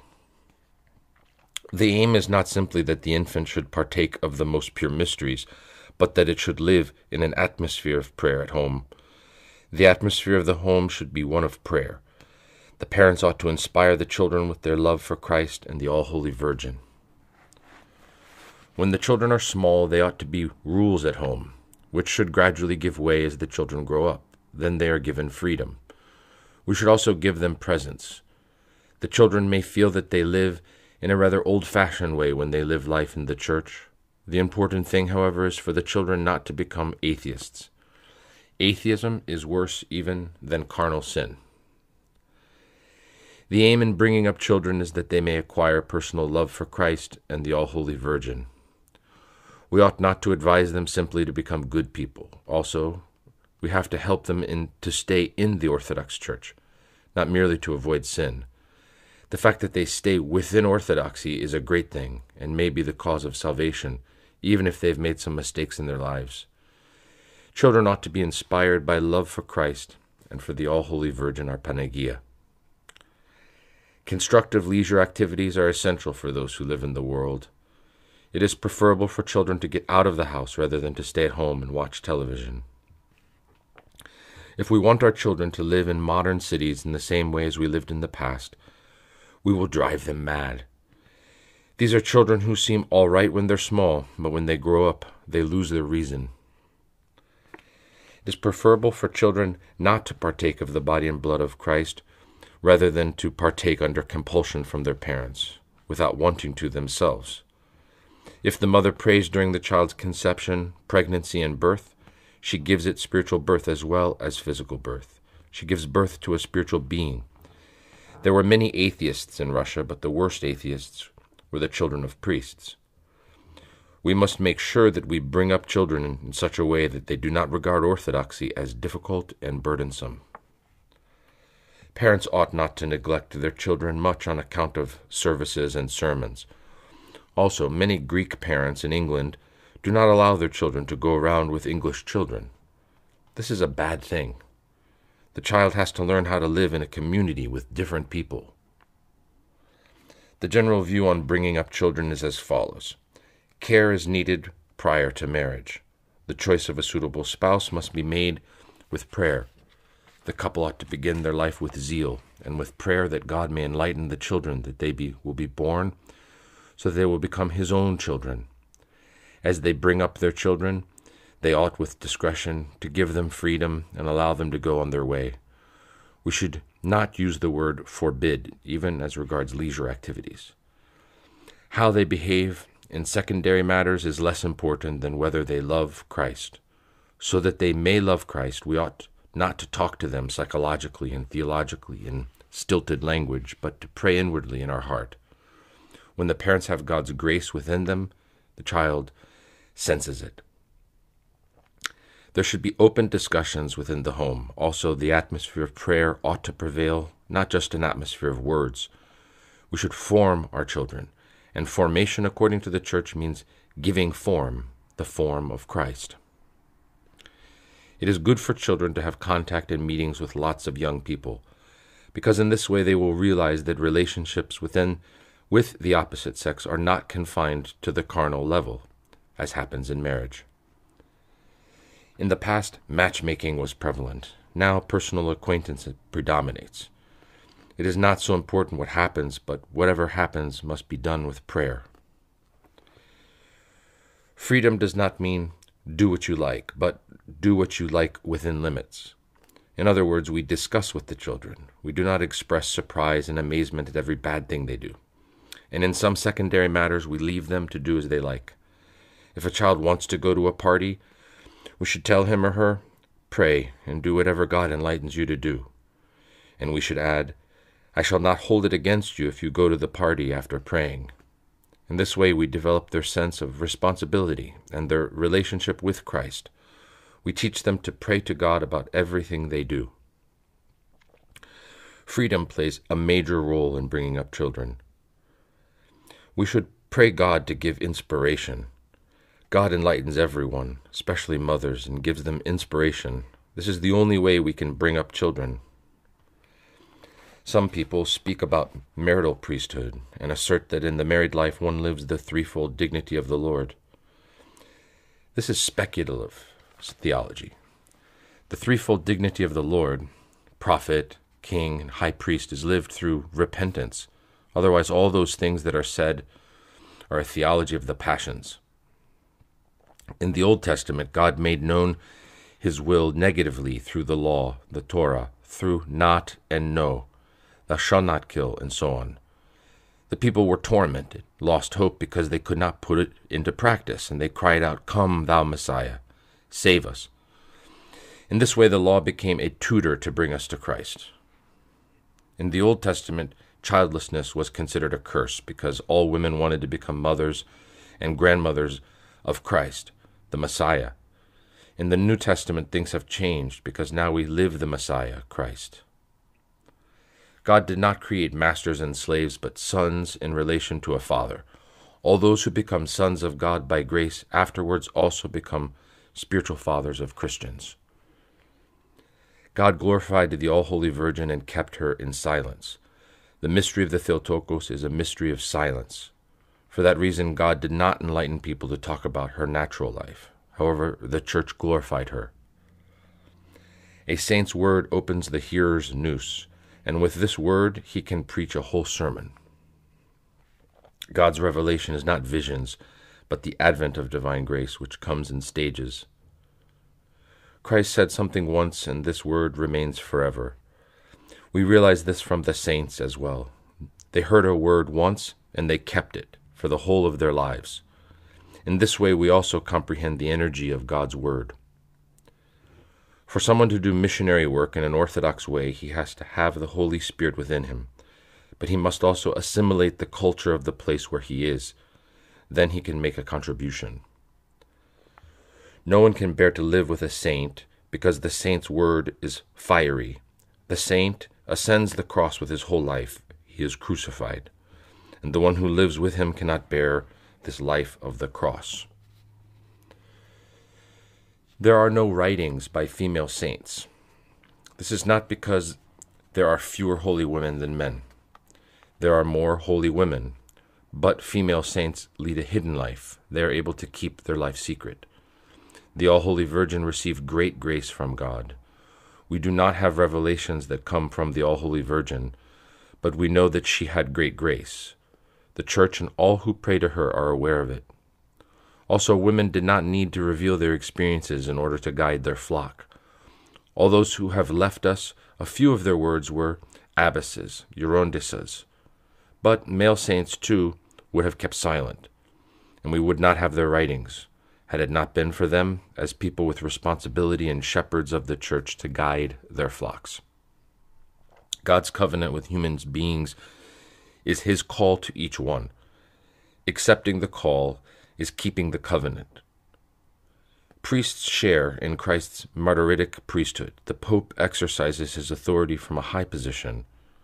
Orthodox priests share in Christ's self emptying in the martyritic priesthood of Christ, who was crucified and went down to Hades.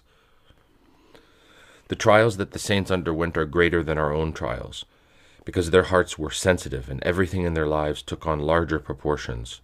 Christ's cross transcends any human martyrdom because Christ was sinless. We inherit death and we strengthen the power of death throughout our lives with our sins. Christians will always be misunderstood by those around them. We should also respect the freedom of non believers and atheists and not judge them then they too will leave us free to do our work.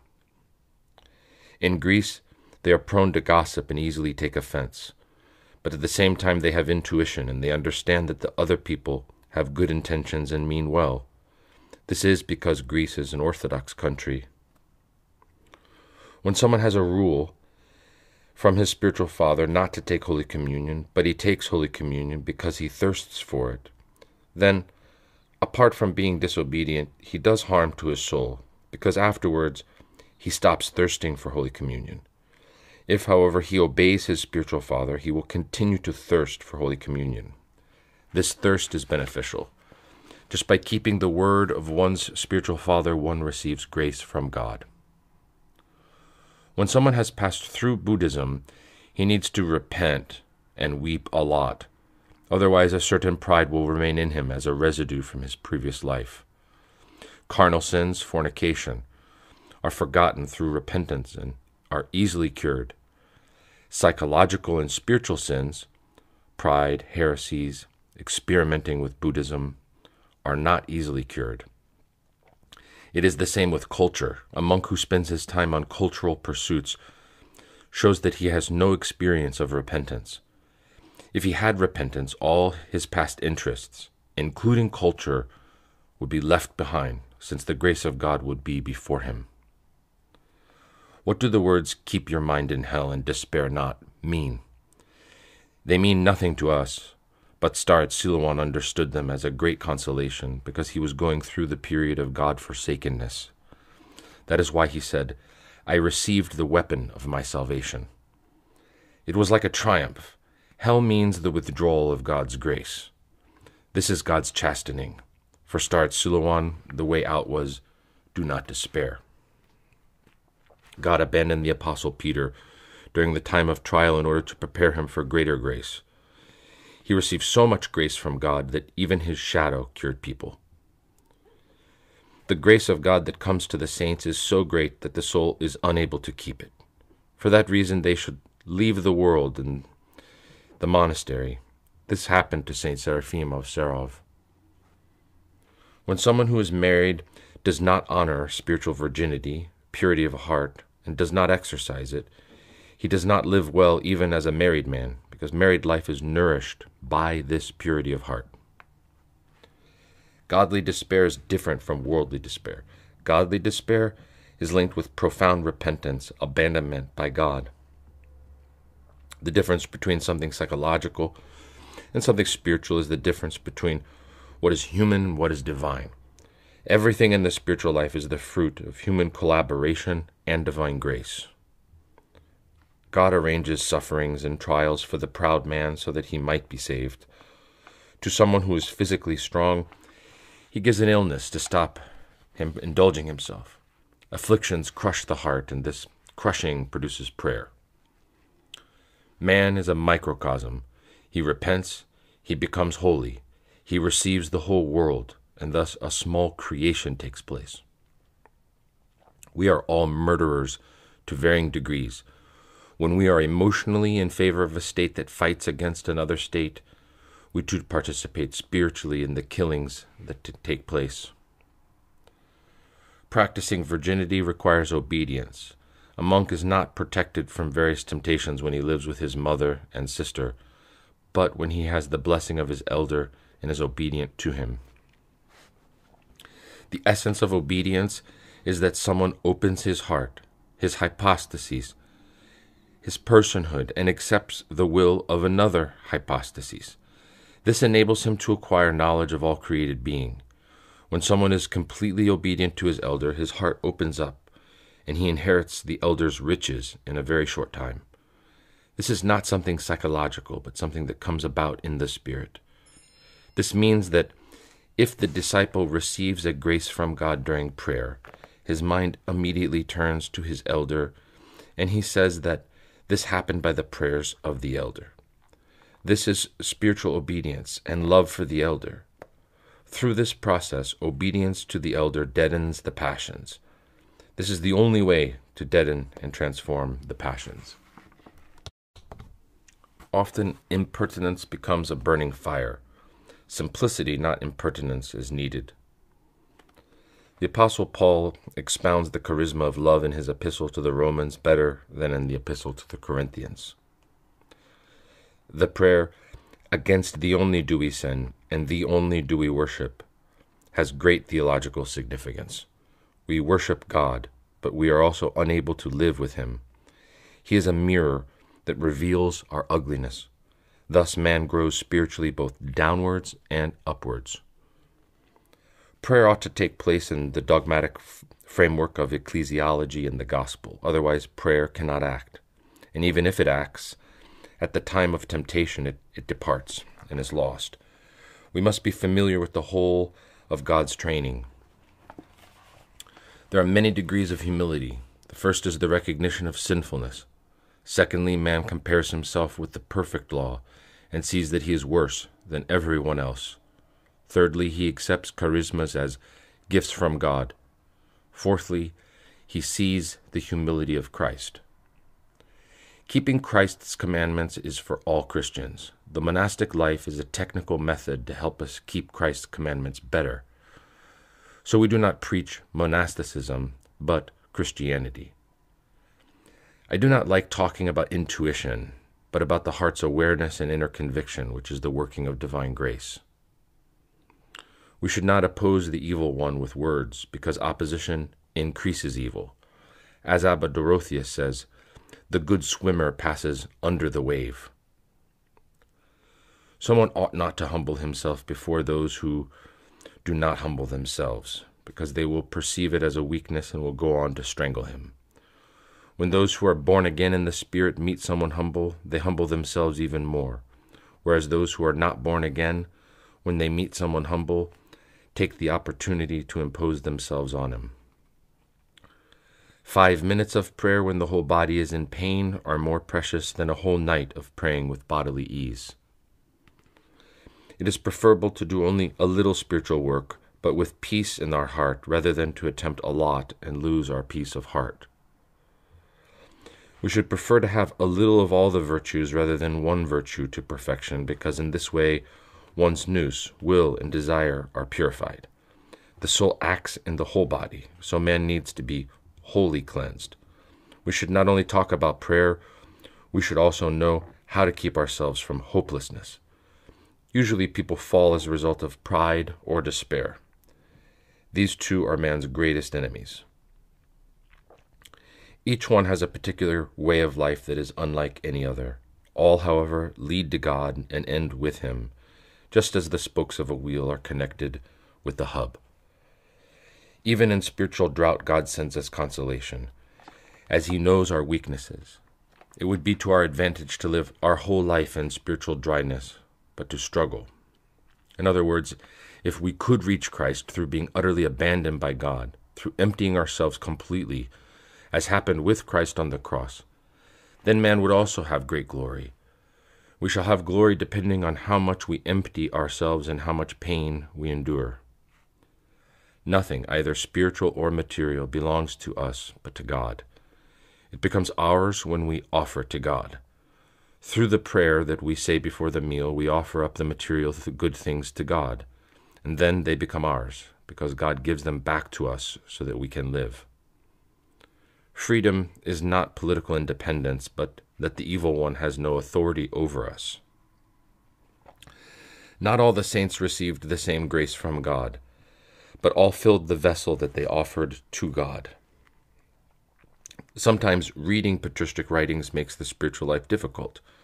For instance, a certain Christian has a spiritual experience. If he reads a patristic book, he begins spying on himself, trying to fit himself into the corresponding categories of the spiritual life, according to what he's read. Thus, the left hand consumes and destroys whatever the right hand does. Great simplicity is required in the spiritual life. Illiterate old ladies whisper prayers to God and have faces like children, whereas educated people speculate and their faces are troubled and aggressive.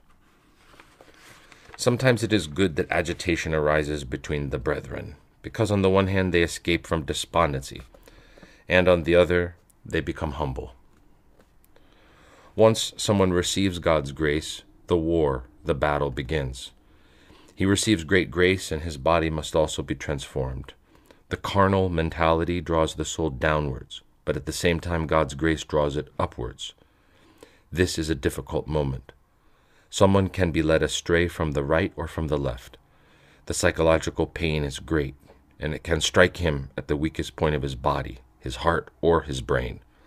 Then obedience to a discerning Geronda is necessary. Our own will must disappear from within us. One interpretation of the Apostle Paul's words, "Let the word of Christ dwell in you richly," Colossians 3:16, is as follows: When we hear or read a word of God, we feel it by grace to be food for our heart. This is spiritual, not intellectual, remembrance of God. Man's formation and transformation means that he takes the form of Christ's servant. The passions of worldly sorrow is a great passion that preoccupies people today. Unfortunately, we retain sorrow within us and we caress it until it kills us. One must fight against the passion of sorrow and cure it. One should not listen to one's own thoughts, because the devil and the satanic spirit work through thoughts. If someone heeds his own thoughts in trivial matters, the devil will gradually gain power, strength, and domination over him. Then he will cast him into major delusions. If the devil tells him to do something and he obeys later on, he will even tell the man to commit suicide, and he will obey him. A Roman Catholic asked me why why we Orthodox repeat the Jesus prayer so often. I told him we repeat it because we are slow on the uptake and do not understand. When, however, we understand something, we never leave it. The angels sinned in eternity whereas human beings sin in time.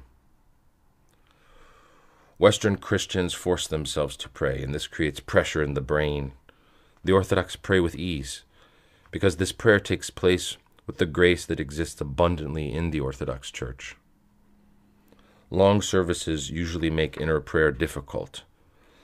After a long vigil star service, Staretz Silouan said, We killed the donkey, that is the body, but we didn't do anything. Fasting helps spiritual progress less than prayer, particularly inner prayer accompanied by mourning. Fasting a lot without discretion sometimes creates problems in prayer. It is easier for people to keep burning charcoal in their hands than grace in their hearts. They perceive divine grace as a consuming fire.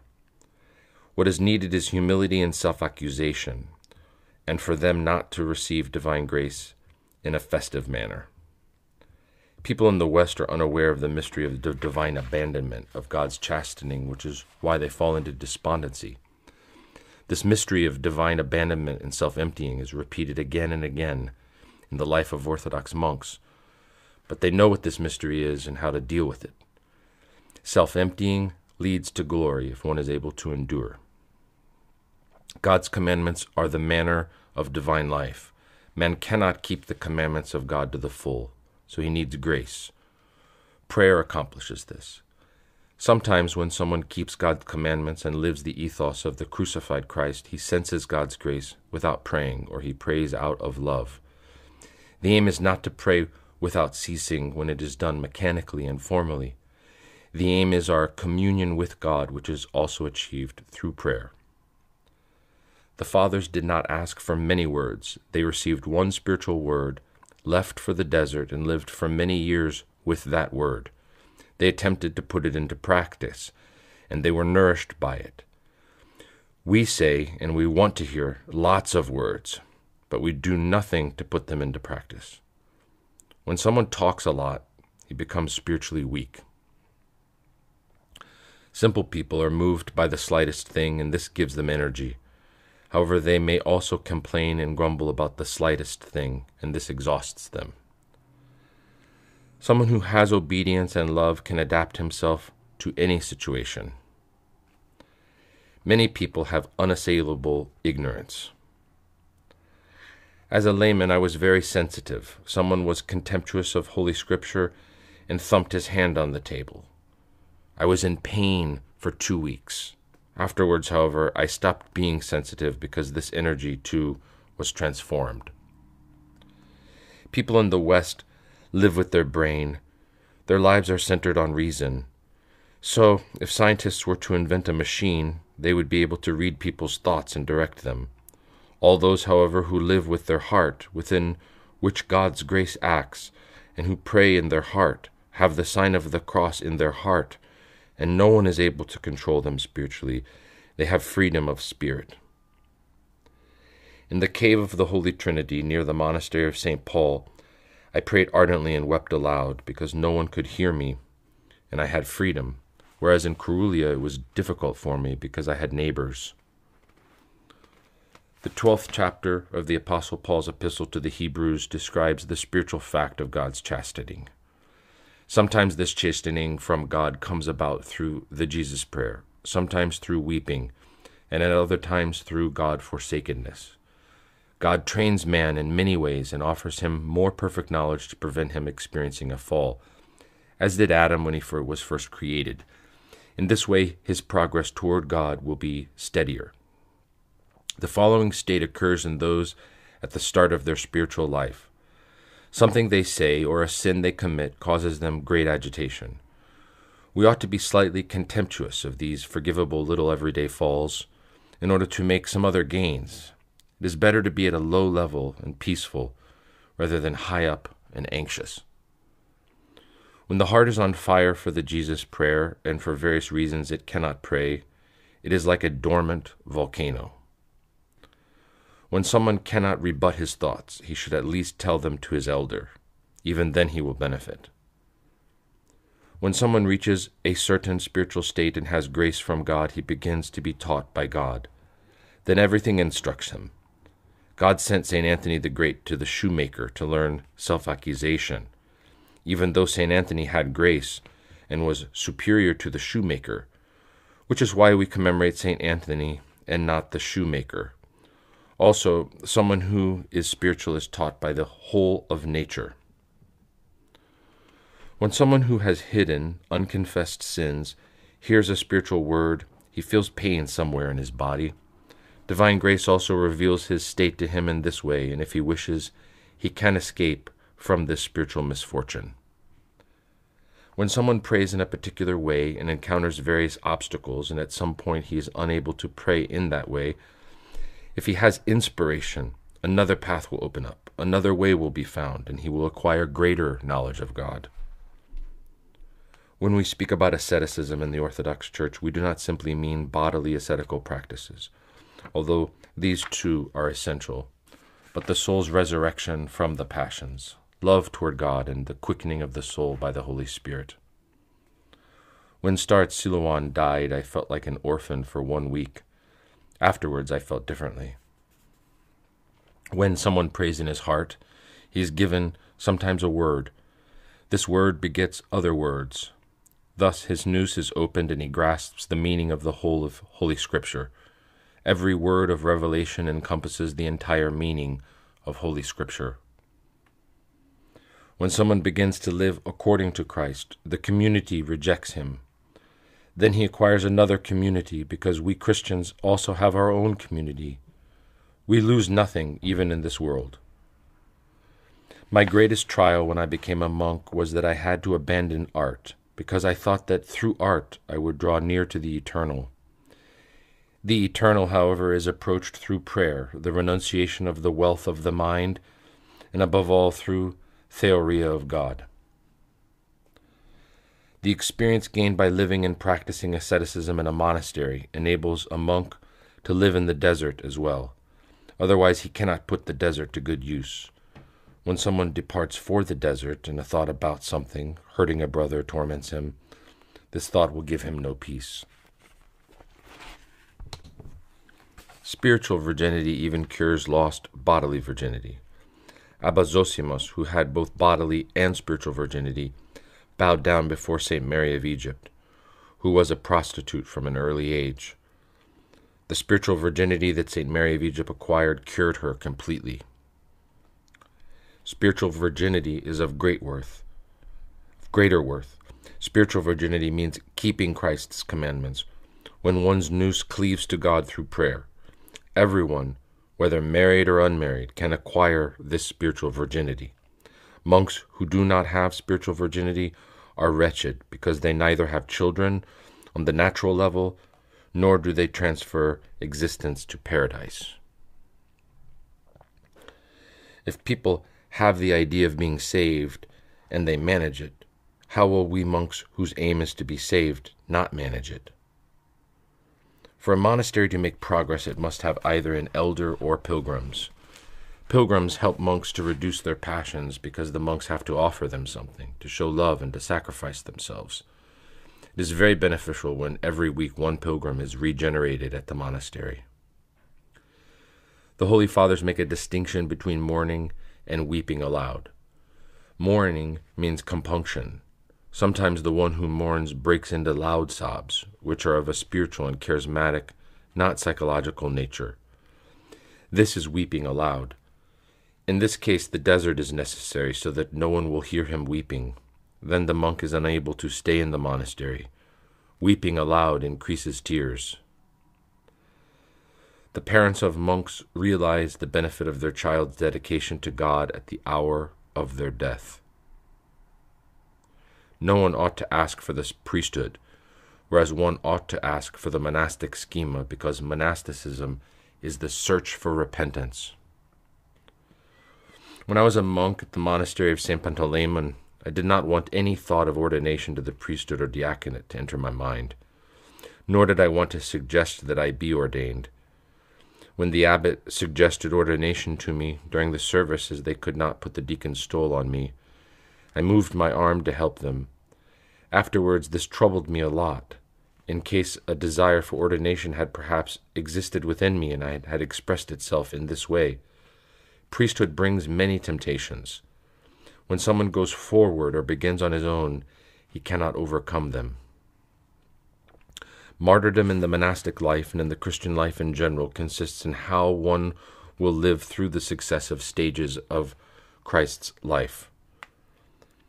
In order for the monastery to function well, it must have a discerning spiritual father or a good typikon and good organization, otherwise, it will turn into a gypsy camp. Brianchaninov complains in his autobiography about the severity with which his first elder treated him.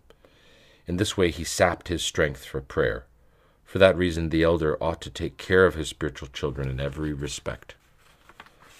A monk said, I am very sure about the things I say from the elder's words. We live as though we had nothing in our minds, and when they ask us, we have something to say. Sometimes one becomes spiritually weaker after a talk. This happens when one speaks many times a day with energy and intensity. The Holy Fathers do not usually speak in detail about matters to do with marriage and married couples. When someone lives in repentance, he finds the solution to many problems. When someone has the fear of God, he is enlightened to deal with more specific problems. People will have to answer to God for the word they say to people which is beyond them. We ought to speak when forced to do so. Then we too force God, who cannot be forced, and He gives us a word of freedom. We must respect other people's freedom. Nothing done by force endures in time and eternity. When a spiritual father encounters a response from someone, he loves him because both of them benefit. Therefore, it is not wrong for there to be a special love in the spirit and gratitude between spiritual father and disciple. When we accept, accept the spiritual father as a gift from God, or when when gratitude and thanks, thankfulness to God for the spiritual father arise in prayer, then we love him in the spirit. When someone wants to change his spiritual father, he must first seek his blessing and so leave in peace. He should never refer anywhere to complaints or things that happened in the past. If he complains and mentions various events, the devil acquires power over him, whereas otherwise the devil's fire goes into the air in the French Revolution, someone said, Give me a letter from someone and I will cut off his head. In other words, he would find a pretext to put him to death. For that reason, the best we can do in such cases is keep silent. Spiritual fathers have a difficult task because they must continually point out their spiritual child's mistakes. This stirs up a reaction and causes hatred. When we speak about things that we do not know personally and that are beyond us, we place a barrier, a wall in front of us that prevents us from experiencing them. The death of an innocent man imperceptibly changes the whole world for the better, because the energy of the innocent man benefits the whole world and cures injustice. We ought not to make vows to God. However, if we make them, we must fulfill them. St. John of Kronstadt was once invited to cure someone who was allegedly paralyzed. It was a trap because they wanted to murder him. When St. John realized the deception, he said, Let it be, Lord, according to thy word. And the allegedly paralyzed man became actually paralyzed. Subsequently, St. John prayed and he became well. When someone pretends to be ill, God allows him to become ill. There is only a slight difference between geniuses and madmen. By praying for two weeks and studying patristic texts, intelligent people can write a whole book about prayer and think that they can pray. When someone knows earthly pleasures through art, he feels disappointment and bitterness. This is because one pursues art in order to grasp the eternal, but this cannot be achieved through any human work. The soul knows that eternity is not to be found there, so it feels pain. When someone receives a spiritual gift, he usually attracts other people's envy. Then he feels the need to hide it. So without realizing it, he becomes a fool for Christ's sake. The subject of foolishness for Christ's sake is a very subtle one. Some have understood this task to conceal the riches of their spiritual gifts, and so as not to provoke people's envy. We must turn psychological states into spiritual phenomena, into weeping, there's a method which Christians ought to know.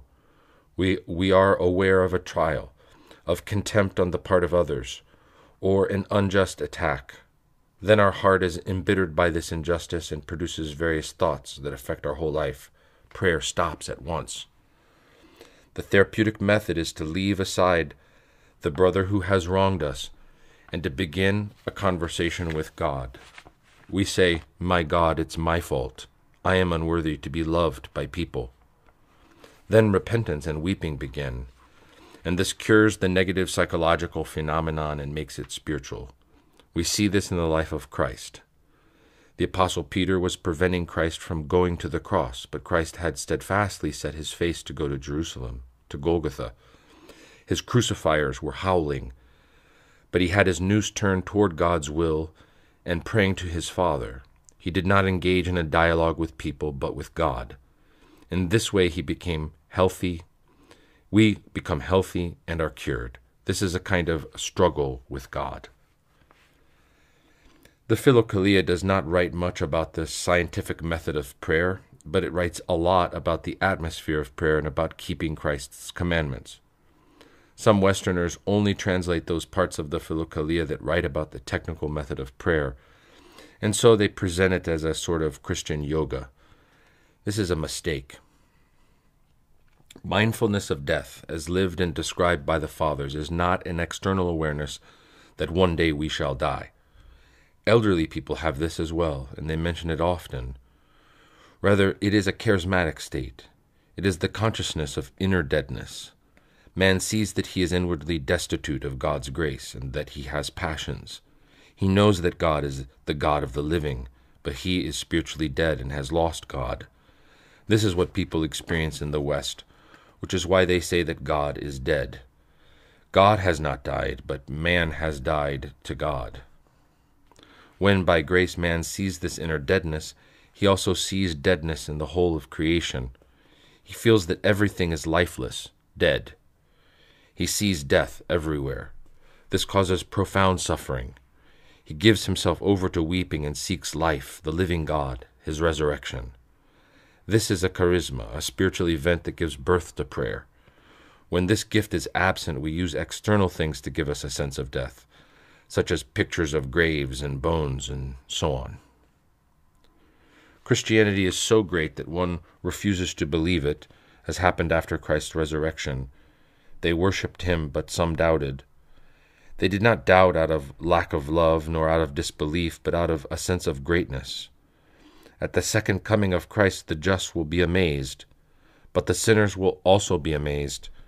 The former because they did not ex- expect to be saved, the latter because they did not expect to be condemned. If mindfulness of death purifies man, how much more does death itself, that is to say, the coming of death, when it is accompanied by repentance? all our life long we go through the tribunal, the judgment. The customs houses about which the fathers write are symbols of reality.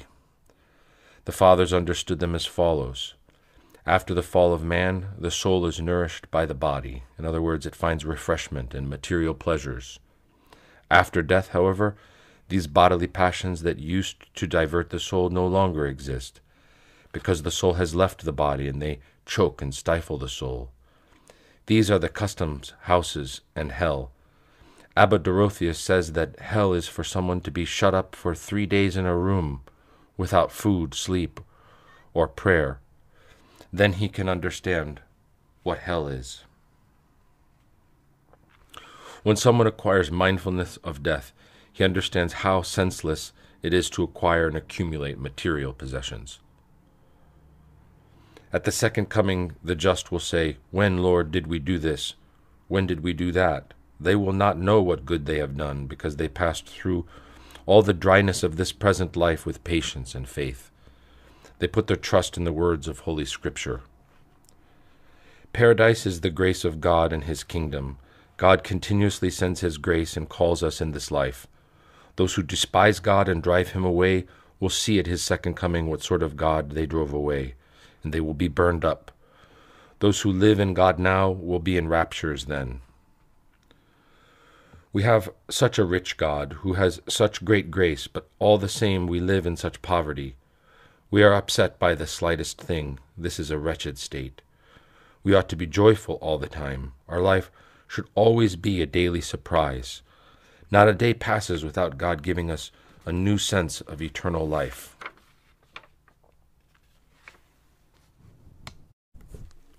In conclusion, at the beginning of this part of the book, I mentioned the various concerns that I had in the late 60s and early 70s about how theology could be combined with the ascetic life and with ecclesiastical administration and pastoral work as a whole.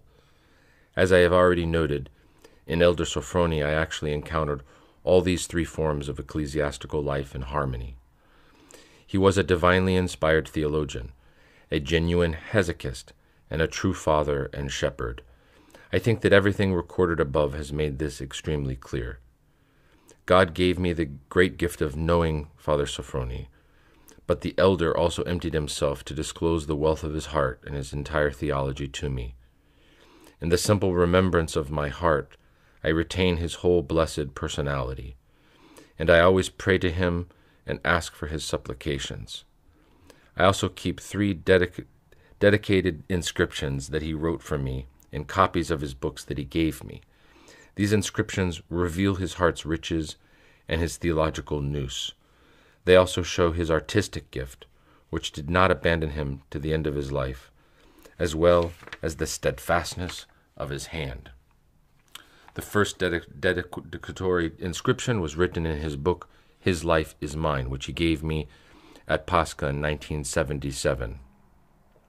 To the Very Reverend Archimandrite Hierotheos, in testimony to the fraternal bond of love in Christ, Archimandrite Sophrony, Holy Pascha 1977.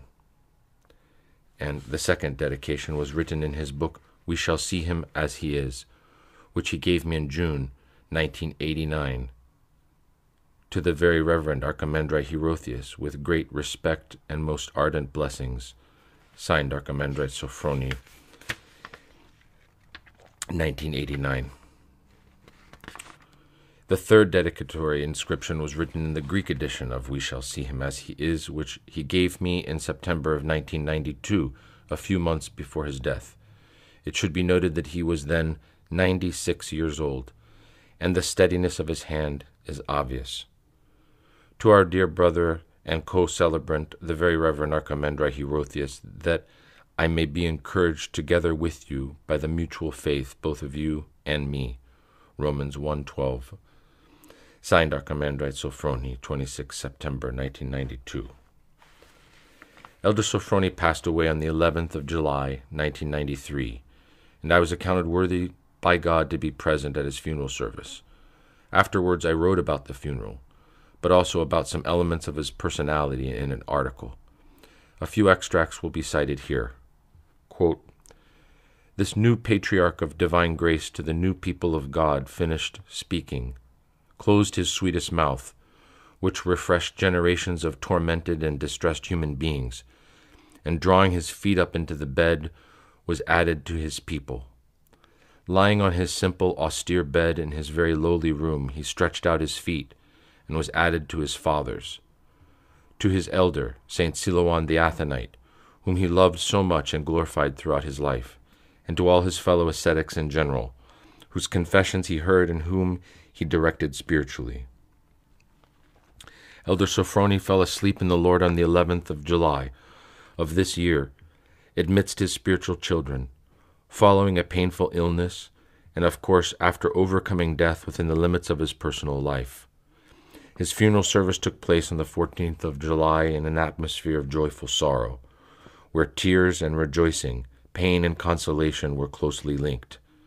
I am not like Joseph, but I too fell on my father's face and wept over him and kissed him while at the same time singing Christ is risen, the acclamation and hymn of triumph. The funeral service of the ever memorable elder was truly an initiation into mysteries. One saw a great patriarch in the midst of the spiritual children whom he had brought to new birth. One saw his sacred remains in his simple coffin.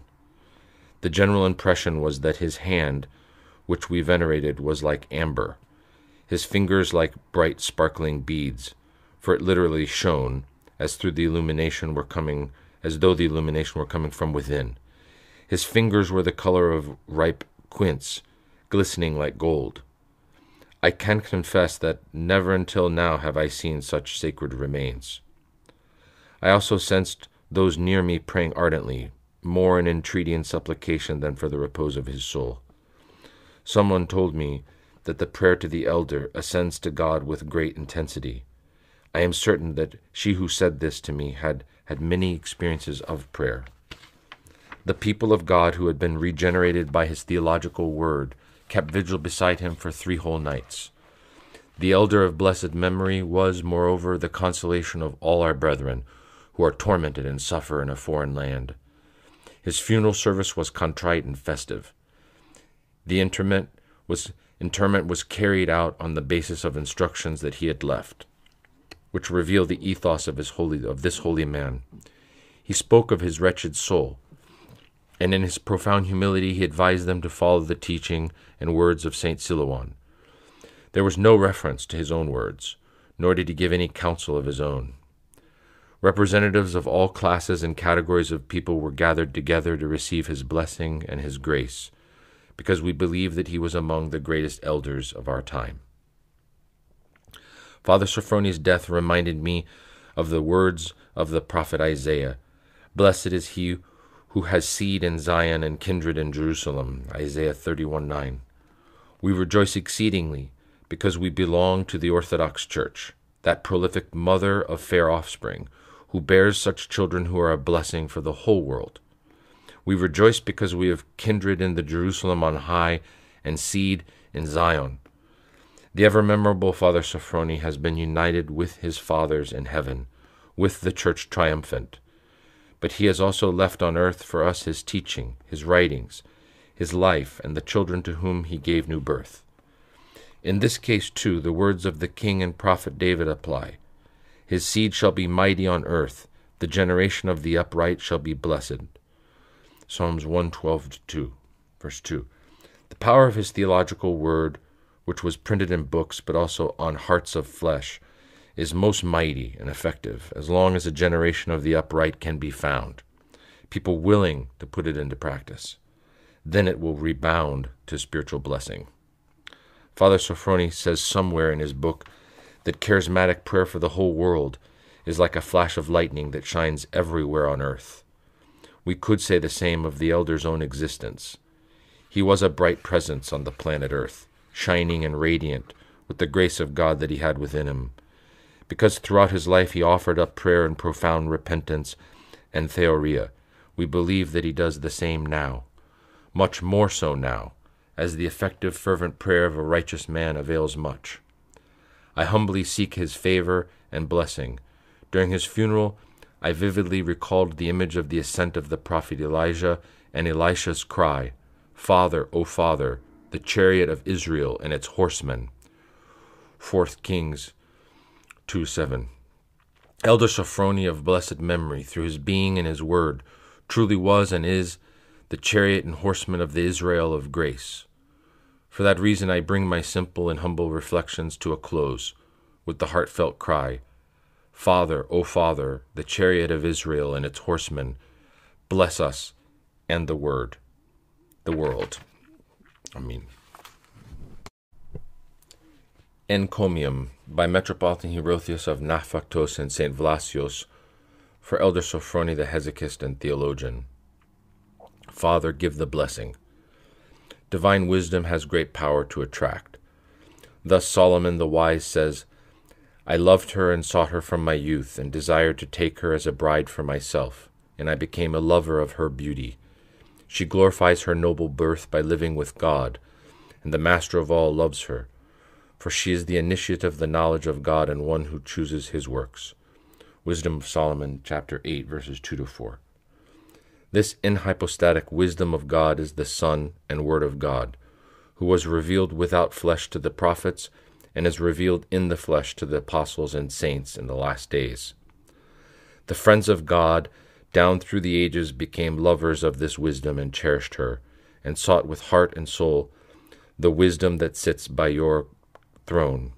And although they were weak, short lived men with little understanding of judgment and laws, having been filled with the Holy Spirit, they longed for the only beloved and sought the ultimately desirable. The theology of the Orthodox Church, which is identified with theoria of the uncreated light and knowledge of the wisdom that proceeds from this, is true wisdom. Theology as empirical knowledge, as the unknowing that is above knowledge, as knowledge that is the type of the age to come, for it takes delight solely in the mind's meditation upon the mystery of, of things to come. To use St. Isaac the Syrian's words, is the fruit of hesychia according to God. Thus, hesychia is the precondition for what is called Orthodox empirical theology. According to the great luminary of Caesarea, hesychia is the beginning of the soul's purification, whereas according to the saint of the Ladder, it is the science of thoughts and an unassailable mind. According to St. Gregory of Sinai, the beginning of hesychia is attentive waiting upon God, which from which come illuminative power and vision, theoria, and its final goal is ecstasy and the enraptured flight of the nous to God. According to St. Gregory Palamas, the shepherd of Thessaloniki, hesychia is forgetfulness of things below, initiation into things above, the laying aside of conceptual images, for what is better. This godly hesychia was greatly loved by those who longed for divine things, who hungered and thirsted for the things of heaven.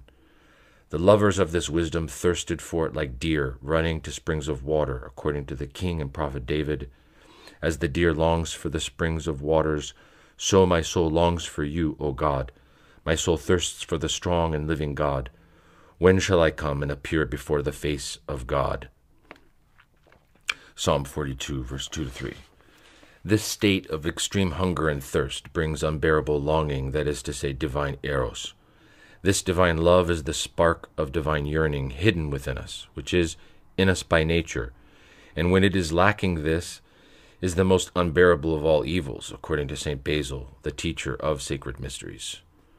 According to the third saint named after theology, Simeon the new theologian, Hesychia is an undisturbed state of the nous, the calm of the free and rejoicing soul, the untroubled and unwavering stability of the heart, theoria of light, rapture of the nous, pure converse with God, a vigilant eye, noetic prayer, union and oneness with God, and finally deification and painless repose in great ascetic labors.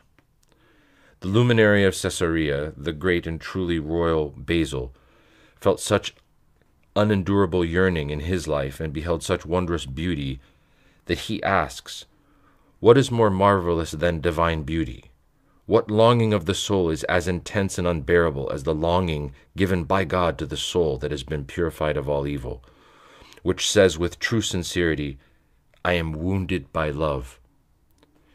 The fruit of this hesychia which by God's grace kindles the longing of divine eros, leads the deified, not to bring about deification, which is inappropriate for human beings as it belongs to God, but to undergo deification, to behold the uncreated light of God, which is invisible to those whose nous and heart are blind, but visible to the deified as far as this is possible for them.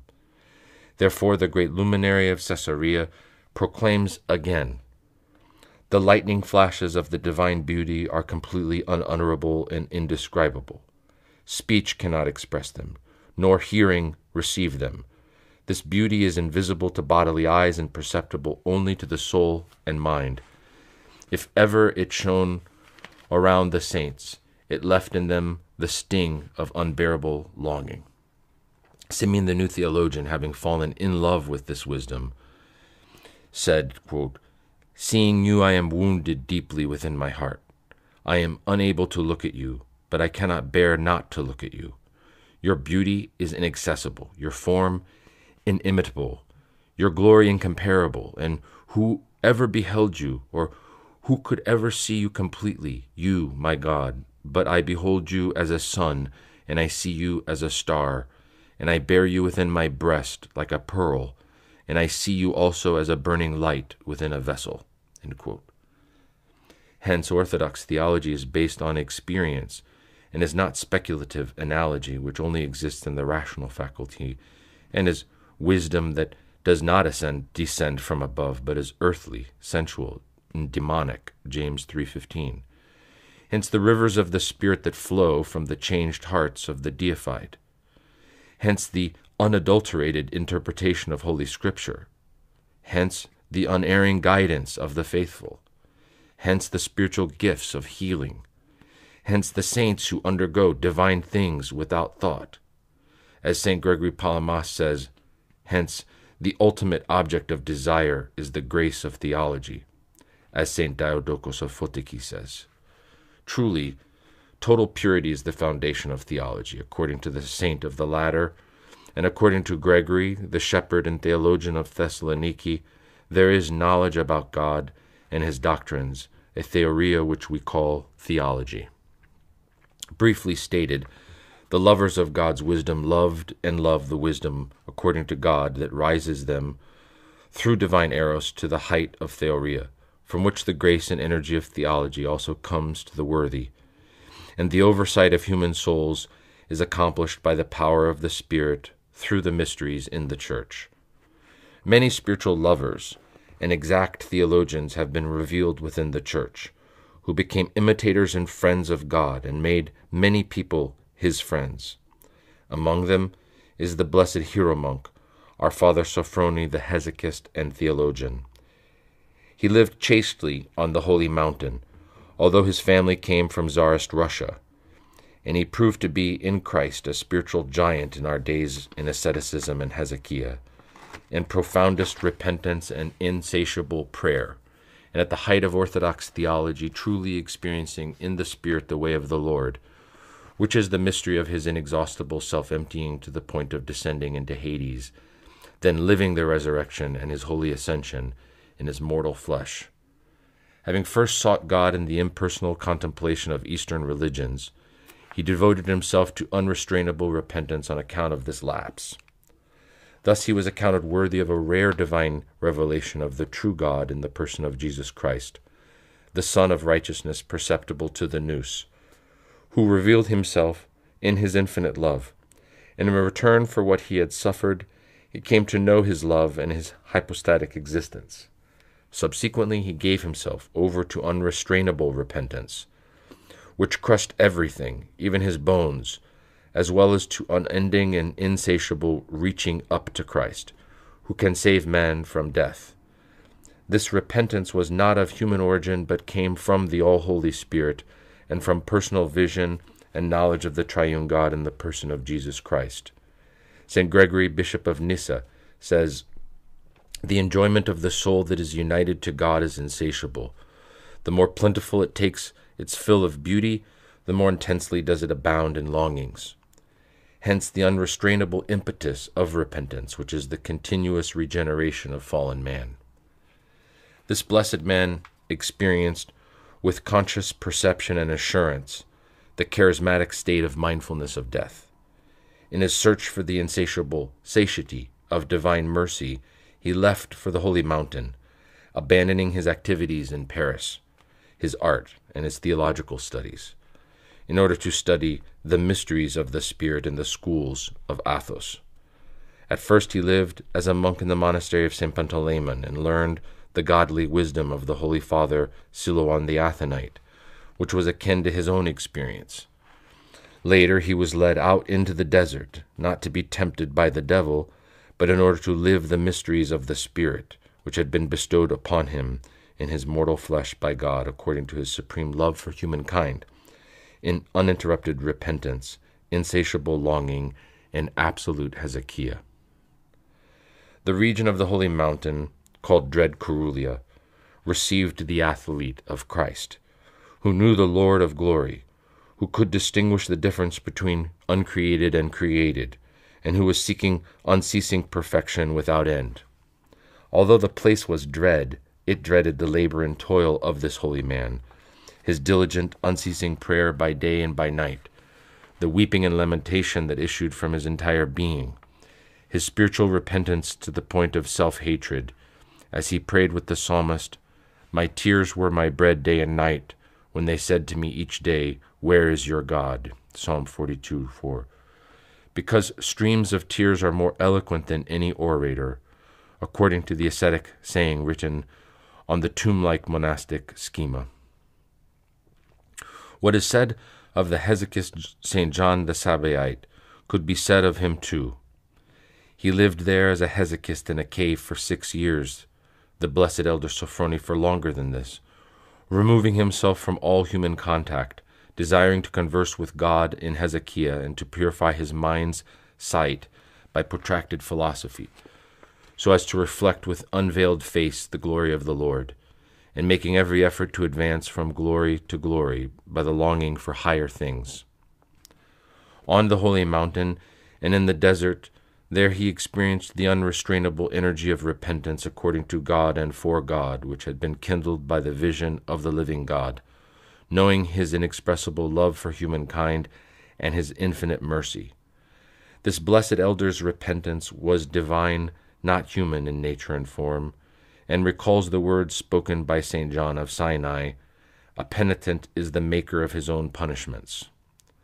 Thus the God loving elder experienced by grace the flames of hell, being the creator by grace of his own punishments. He was unsurpassed in the path of profoundest repentance and could repeat with the psalmist The pains of death have surrounded me, the pains of Hades encircled me. And my soul draws near to Hades. I am counted among those who go down into the pit. I am like a helpless man free among the dead.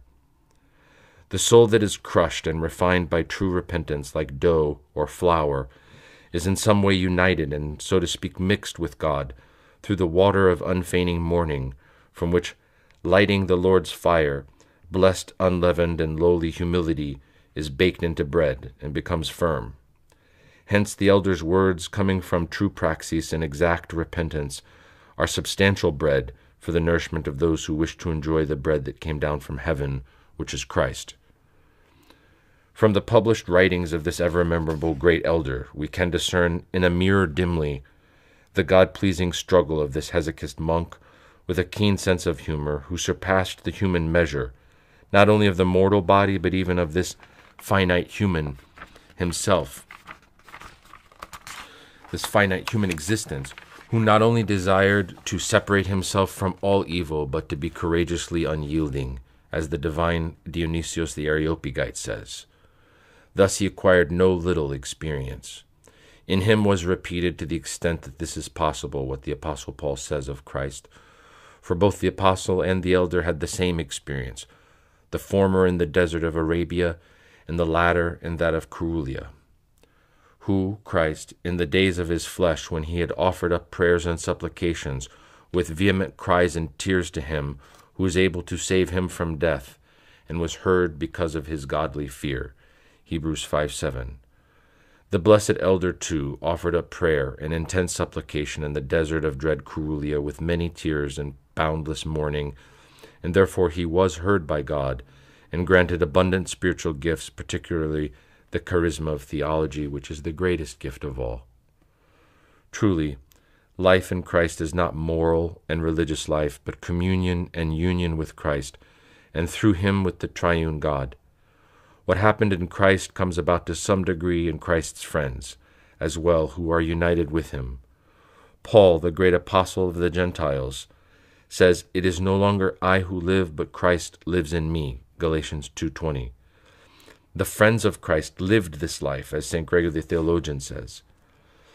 As we died in Adam, so we shall live in Christ, being born with Christ and crucified with him and buried with him and rising with him. For I must undergo the good reversal, and as painful things came from the more pleasant, so must more pleasant things return from the painful. Those who are united with Christ are born with him, crucified with him, descend to Hades with him, and rise again with him, becoming in Christ agents of salvation for the people and figures of indestructible life. When someone lives in Christ, no human or material passion lives in him, not pleasure, grief, anger, fear, cowardice, excitement, arrogance, insolence, resentment, envy, vindictiveness, avarice, nor anything else that defiles the soul by its contact with it, according to St. Gregory of Nyssa. Since God is love and beloved, who moves and thereby moves toward himself everything receptive of love, according to St. Dionysius the Areopagite and St. Maximus the Confessor, the one who loves God and is beloved of him longs incessantly for the ultimate object of desire, because God moves and is moved as thirsting to be thirsted for, and long to be longed for, and loving to be loved. For God is the ultimate desirable. Such a one is changed for the better, as his nous is caught up into the kingdom of heaven. As St. Maximus the Confessor says, his nous is caught up by the divine and infinite light, and he is not aware of himself, nor of anything else at all, but only of him who through love has brought about such radiance within him. This was the path, unerring and sure, but very difficult for the uninitiated and the weak, that blessed Sophrony followed by his prayers of his spiritual father Saint Silouan, with whom he shared the same spiritual experience and revelation. He was united with Christ. He lived his prayer in Gethsemane for the entire world. He was crucified with him, and he followed him to Hades, undergoing blessed and hallowed, self emptying, and tasting the flames of hell in his mortal flesh, not as a created event, but as a theological and a spiritual one. He saw the light of Christ's transfiguration and resurrection, and he knew Christ's divine ascension. The saint with the nous of an angel, Dionysius the Areopagite, says, We are persuaded that the divine Jesus is of transcendent fragrance, and fills up our noetic faculty by distributions of divine delight that are perceptible to the nous. Therefore, too, he who is drunk with the love of God in this world, which is a house of lamentation, forgets all his sorrows and afflictions, and becomes insensible to all sinful passions by reason of his inebriation, according to St. Isaac the Syrian.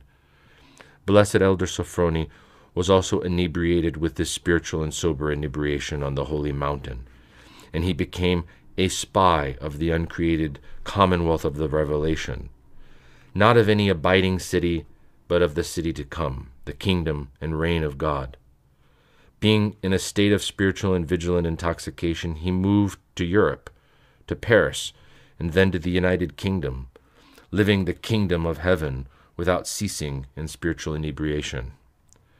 Having beheld God in his uncreated light, the words of St. Simeon the New Theologian, the elucidator of divine and heavenly things, were repeated in him as well.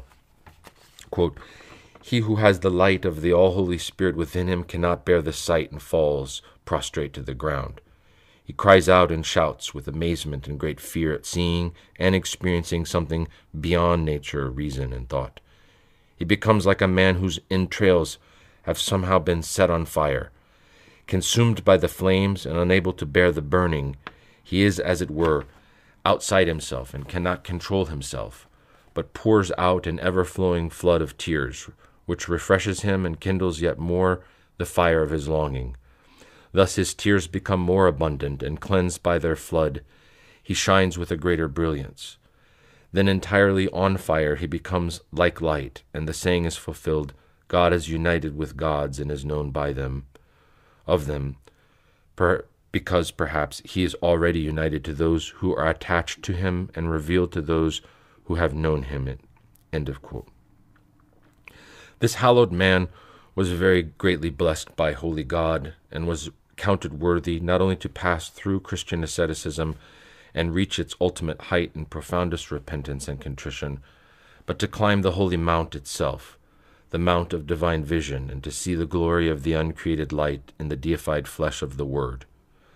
Thus he became a pure empirical theologian, according to the words of St. Gregory the theologian, who said, To philosophize about God is not for everyone, but for those who have been tested and are past masters in theoria, and more importantly, have undergone, or at least the very least, are undergoing purification of soul and body. As befitted the name Sophrony, which means chaste in Greek, he lived chastely, justly, and piously, experiencing and awaiting the kingdom of God. But he also made many others chaste, who came from every race, tongue, and nation, thus becoming a universal teacher, and escorting many to the bridal chamber adorned for the marriage of the Lamb of the Revelation.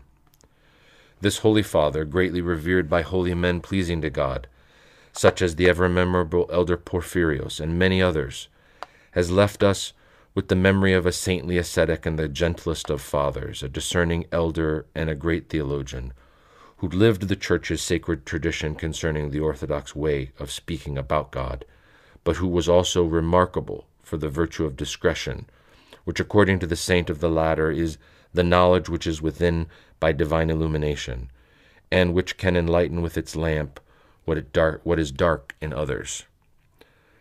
Through his God pleasing way of life and his exalted theology, he also became a spiritual magnet, drawing a host of people, both from academia and secular learning, and from among members of the church of every age and condition.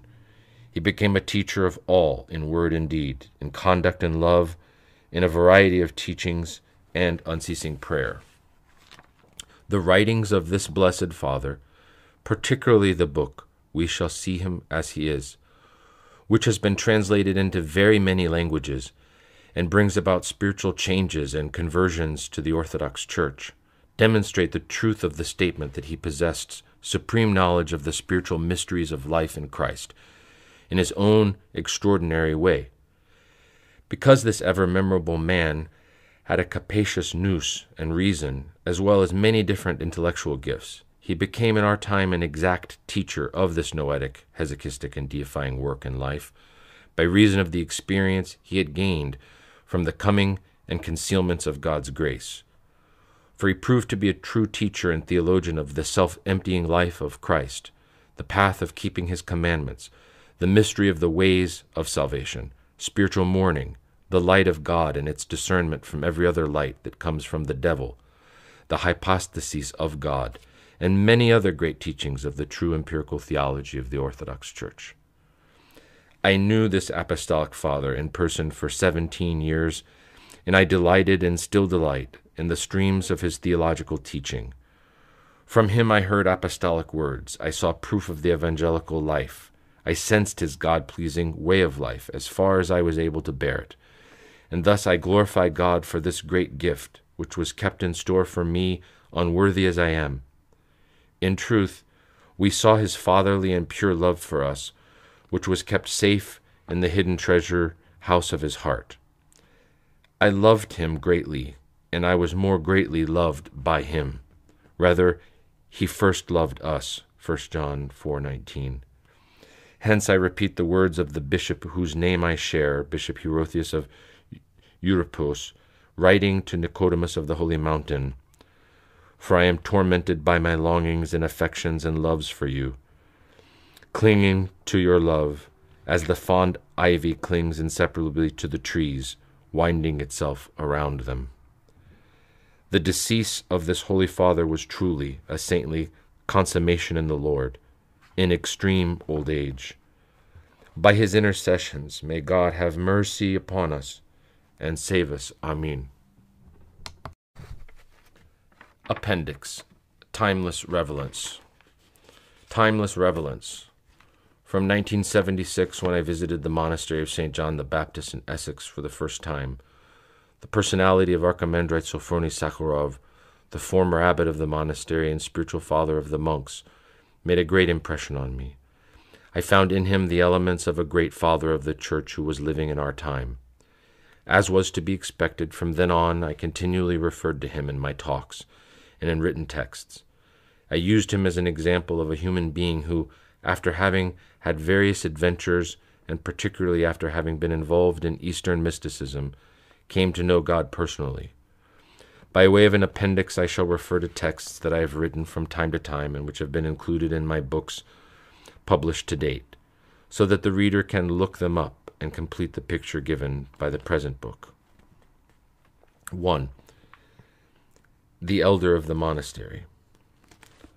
In 1976, when I returned from England, I wrote an article entitled In Orthodox Presence, which was published in the periodical Parish Priest and later in the book Time to Act. This piece presents the whole atmosphere of the monastery, set out in five chapters 1. Orthodox monasticism, 2. The elder of the monastery, 3. The brethren of the monastery, 4. Everyday life at the monastery, and 5. Life at the monastery on Sundays. The second of these chapters refers to Father Sophrony and will be summarized here. First of all, it explains that in Orthodox teaching, an elder is someone who has suffered divine things and learned divine things and because he has extensive experience of the spiritual life, he's able to cure monks and different people who turn to him. Next, a few biographical details of Father Sophrony are recorded from his birth, his move to Paris, and his ascetical life on the Holy Mountain. The article quotes the introduction written by Rosemary Edmonds for his book His Life is Mine, which she translated from Russian into English. Rosemary Edmonds, an Englishwoman who knew French and Russian, was an official translator for the President of France, Charles de Gaulle, during the Second World War. She had also translated books by Dostoevsky into English. Impressed by the personality of Father Sophrony, she was baptized Orthodox and translated many of his writings into English. In her introduction, she sets out Father Sophrony's quest and his personality. What she writes at the end of her text is significant. Quote from Introduction to His Life is Mine. The hours celebrating the liturgy give the day its sense and heart. He lives the liturgy, not in abstract fashion, but by commitment and loving in the very thick of human suffering. He is full to the brim with awareness of God. Often he gives the impression of a man in touch with unknown modes of being, who sees light deep in the silence. He is clear, merciful, and severe in his judgments, which stimulate one to new insights. He has the hard and gentle eyes of an ascetic.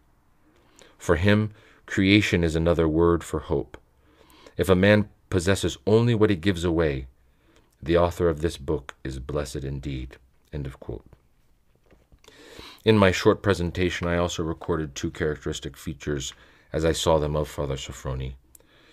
The first is that Father Sophrony is a bearer of the Orthodox tradition, because after great asceticism and experience, he acquired a patristic way of thinking, dogmatic consciousness, and he brings the spirit of the Fathers into our era. The other is that he has great love, which is essential for handing on that tradition.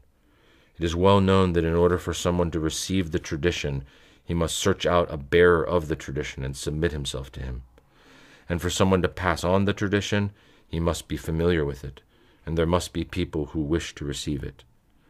In this article, I also describe my first impressions of the discussions that I had had with Father Sophrony and of the way in which he celebrated the liturgy. 2. Living Theology. In July of 1992, I wrote an analysis entitled Living Theology of Father Sophrony's book, We Shall See Him as He Is when this was published in Greek. I had the particular blessing of reading it, at Father Sophrony's suggestion, in manuscript when it was being translated from Russian into Greek by Father Zacharias. I remember that during the summer, when I was reading the text, I felt I was reading writings by St. Simeon the New Theologian. Having become familiar with the spirit of the book, not only from having read it previously, but also from discussions I had had with Father Sophrony, I wanted to tell Greek Christians about the precious treasure contained in it. In this article, written while the elder was still alive, I gave particular emphasis to five points. The first point referred to the fact that we shall see him as he is, is the elder's spiritual autobiography, in which he confides to members of the church the gifts bestowed on him by God. This spiritual autobiography describes the illuminations of the Holy Spirit in the Father Sophrony's heart, which are recorded with extreme humility and self accusation. The Holy Fathers were often compelled during their lifetime to use their spiritual experience to bear witness to the Church's teaching for the benefit of Christians. The second point is that the book describes the extraordinary experience that the elder acquired, beginning with the charisma of mindfulness of death and going as far as theoria of the uncreated light. It describes remembrance of death, holy mourning, and how it is distinguished from psychological mourning, the divine light and how it differs from demonic light, and the Church's teachings on the advent and concealment of divine grace. The third point is that it presents in a unique way the teaching about the hypostases of the triune God through the experience of the uncreated light. The fourth point that is underlined is that the book analyzes many different subjects, such as the grace of mindfulness of death, the fear of God, spiritual mourning, the quest for the unwavering, the privilege of knowing the way, the summation of our spiritual life, spiritual liberty, divine inspiration, self emptying, and God forsakenness, love to the point of self hatred, the uncreated light, the hypostatic principle in the Godhead and in the human being, liturgical prayer, liturgical language, the prayer of Gethsemane, and the prayer in which God is revealed as truth. What is significant is that these issues are analyzed through the mature and living theological and ascetic word of Father Sophrony. The fifth point underlies the value of the language used by Father Sophrony, which does not allow the reader to read hurriedly, but helps him to pray. Finally, I glorified God for this new gift and expressed my gratitude to Father Sophrony for the help he gives our nation by offering us this living testimony. I wrote, Reading this book, I easily reached the conclusion that Pentecost is the highest degree of the revelation and also that in every age there are those who participate in Pentecost. There are always witnesses to the revelation. I believe that this book, which is the fruit of ecclesiastical experience, will be adopted by the Church as its own, as it is an expression of its life, and that it will use it to nourish those who hunger and thirst for God's righteousness. 3. Elder Sophrony's personal participation in the mystery of the cross. This was one chapter of a long title, a longer text entitled The Mystery of the Cross and the Teaching of the Apostle Paul in relation to the experience of Elder Sophrony, which was originally published in 2001 in the volume Paul, First After the One, by the Publications Department of the Communication and Educational Service of the Church of Greece, and later in my book, Orthodox Monasticism as the Way of Life of Prophets, Apostles, and Martyrs. This text sets out the meaning of the mystery of the cross according to St. Isaac the Syrian and St. Gregory Palamas.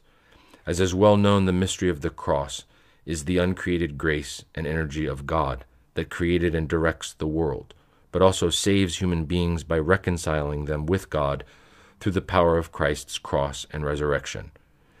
It then explains how the mystery of the cross is understood in the teaching of the Apostle Paul, namely that the mystery of the cross is participation in God's energy that purifies, illumines, and deifies man. After that, it sets out Elder Sophrony's personal participation in the mystery of the cross. In other words, the personal experience of the cross and resurrection as Father Sophrony lived it. It refers in particular to repentance. This is the path by which the kingdom of God comes and the way leading to the revelation of God, which brings awareness of eternal life. A few extracts from Father Sophrony's book, We Shall See Him as He Is, are cited, which show that the elder lived within the limits of his personal life the repentance and vision of the kingdom of God that the Apostle Paul experienced. For this reason, Father Sophrony in his writings interpreted passages from the Apostle Paul in an amazing and original way. This was because he had the same experience as the Apostle Paul, as he too had sought God outside Christ, had shown great repentance in the desert, and had lived the kingdom of God. 4. On Prayer, the new book by Archimandrite Sophrony. In January 1994, I commented on the elder's book on prayer, which had been published then in Greek. Prayer is the principal distinguishing feature of Christians, as it is connected with man's spiritual rebirth and his union with God. It is linked with many spiritual states, such as repentance, weeping, self accusation, grace filled despair, and the knowledge of God. Commenting on Father Sophrony's book on prayer, I wrote that this book is a special blessing from God because it is the author's spiritual experience and not a collection of patristic extracts. I emphasized that in an age when many people do not pray and others want to pray but do not know what true prayer is, this book by Father Sophrony is a real bombshell that explodes all the poor Im- imitations of the Christian life that we have created and all the corrupt interpretations of Christianity. At the same time, however, it is a very blessed bombshell that opens up the horizons of our spirit. It shows us what Christianity is. Thus, this book creates a new world. Father Sophrony is a real teacher of prayer because he experienced prayer in its truest form. His book is divided into three parts. The first part refers to prayer and is divided into specific chapters, such as prayer and ever new creation, prayer, the way to knowledge, prayer overcomes the dead end of tragedy, and on the painful prayer by which man is reborn into eternity. Prayer leads to the knowledge of God and makes man thirst for eternal life. Father Sophrony stresses in particular that prayer is painful because, on the one hand, man is reborn slowly, and on the other hand, his life on earth is extremely short. Second part of the book discusses the Jesus prayer, the dogmatic value of the name of Jesus, as the elder experienced it within the limits of his personal life and the asceticism of prayer. In the third and final part, Father Sophrony describes the spiritual life and the work of the spiritual father. In analyzing this book based on experience, I underlined the value of prayer for the departed and the sick, according to Father Sophrony. In conclusion, I wrote, when someone reads this book, it gives him inspiration, especially if he knew the elder in person. His nous clings for days and hours to the atmosphere of the analysis of these experiences. His nous is captivated by obedience to Christ. He feels great love for Christ, who became man and sacrificed himself for us to make it possible for us to live this life, but also love and admiration for Father Sophrony, who did not hesitate to step into the abyss of darkness and of Hades, who burned for years on end in the fire of hell, and thereafter enjoyed the theoria of paradise. He prayed powerfully and wondrously while living on earth. In fact, he was a fiery prayer for the whole world. I believe that now he prays much more. We too set our hope on these supplications of the saints. These supplications are our hope and our consolation. 5. From the morning watch until night. In February 2003, I spoke in the Cathedral of the Holy Protection Veil in Edessa at the invitation of His Eminence Metropolitan Joel of Edessa on the subject From the Morning Watch Until the Night. The talk was published in the book Hesychia in Theology.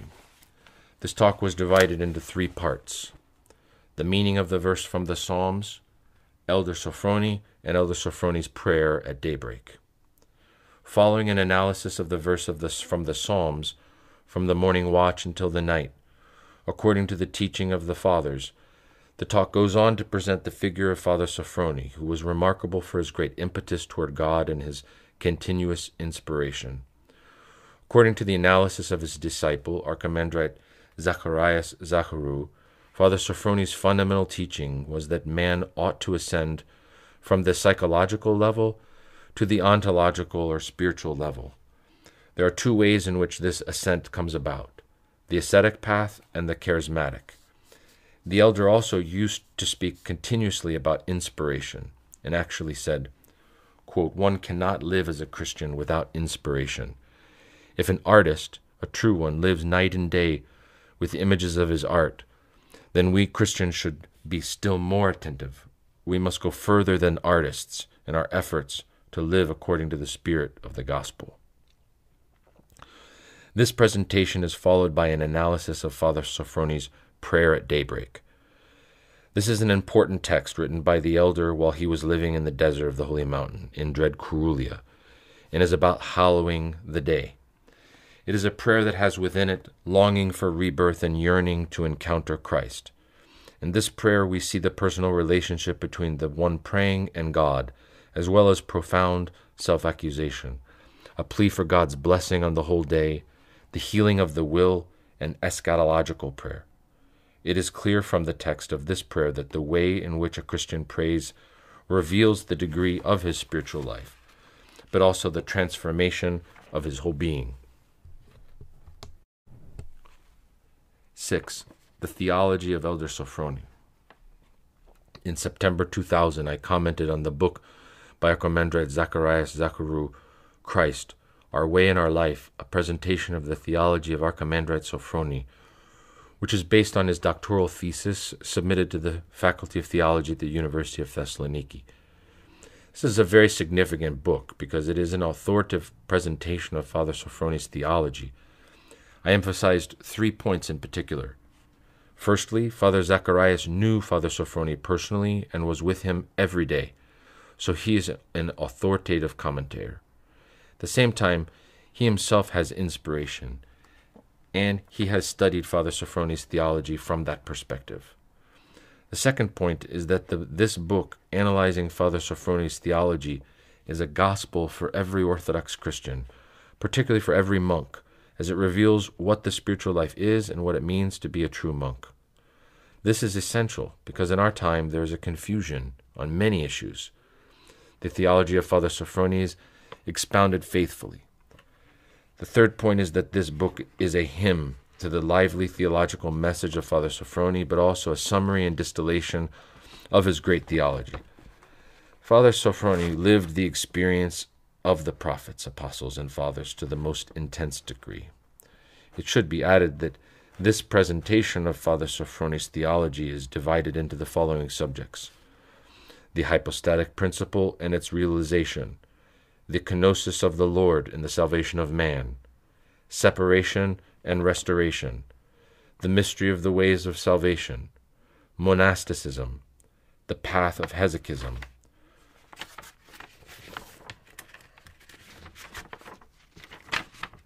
From the th- psychological to the ontological level, prayer is the fulfillment of creation, and keep thy mind in hell and despair not. This book by Father Zacharias serves as a good introduction to the study of all Father Sophrony's writings. 7. The Chariot and Horsemen of the Israel of Grace. The elder fell asleep in the Lord on the 11th July 1993. When they informed me of his death, I felt the urgent need to be present at the funeral service. Immediately afterwards, I wrote an article entitled the Chariot and Horsemen of the Israel of Grace, which was published in the journal Ecclesiastical Truth and was later included as a chapter in the book Interventions in Contemporary Society. The title of the, the piece is taken from Holy Scripture and refers to Elisha's exclamation when he saw the prophet Elijah going up to heaven. Father, O Father, the chariot of Israel and its horsemen. 4 Kings or 2 Kings 2 7. This quotation was used because Father Sophrony really was the chariot and horseman of the new Israel of grace in our age. I wrote in this text about the death of Father Sophrony, which was comparable with the death of the patriarchs and fathers. For that reason, I also called him the new patriarch of divine grace to the new people of God. I then referred to the funeral service and its contrite and festive atmosphere. I wrote, One saw his sacred remains in his simple coffin. The general impression was that his hand, which we venerated, was like amber, his fingers like bright sparkling beads, for it literally shone, as through the illumination were coming from within. His fingers were the color of ripe kints glistening like gold. I went on to refer to Father Sophrony's spiritual biography, his experience of hell and paradise, and I urged readers to study his writings, which are full of spiritual wisdom. Among other things, I wrote I retain many memories. I heard patristic words from his mouth. I tasted eternal life. He initiated me into the depths of Orthodox theology. I felt profoundly moved by his love, which often burnt me, but also introduced me to the inner mysteries of the spiritual life. How could anyone forget the lively theological discussions as we walked along? How could anyone forget the sweet theological words in his office, which you felt pouring over you like honey? How could anyone forget his divine liturgies full of contrition, especially when one concelebrated with him?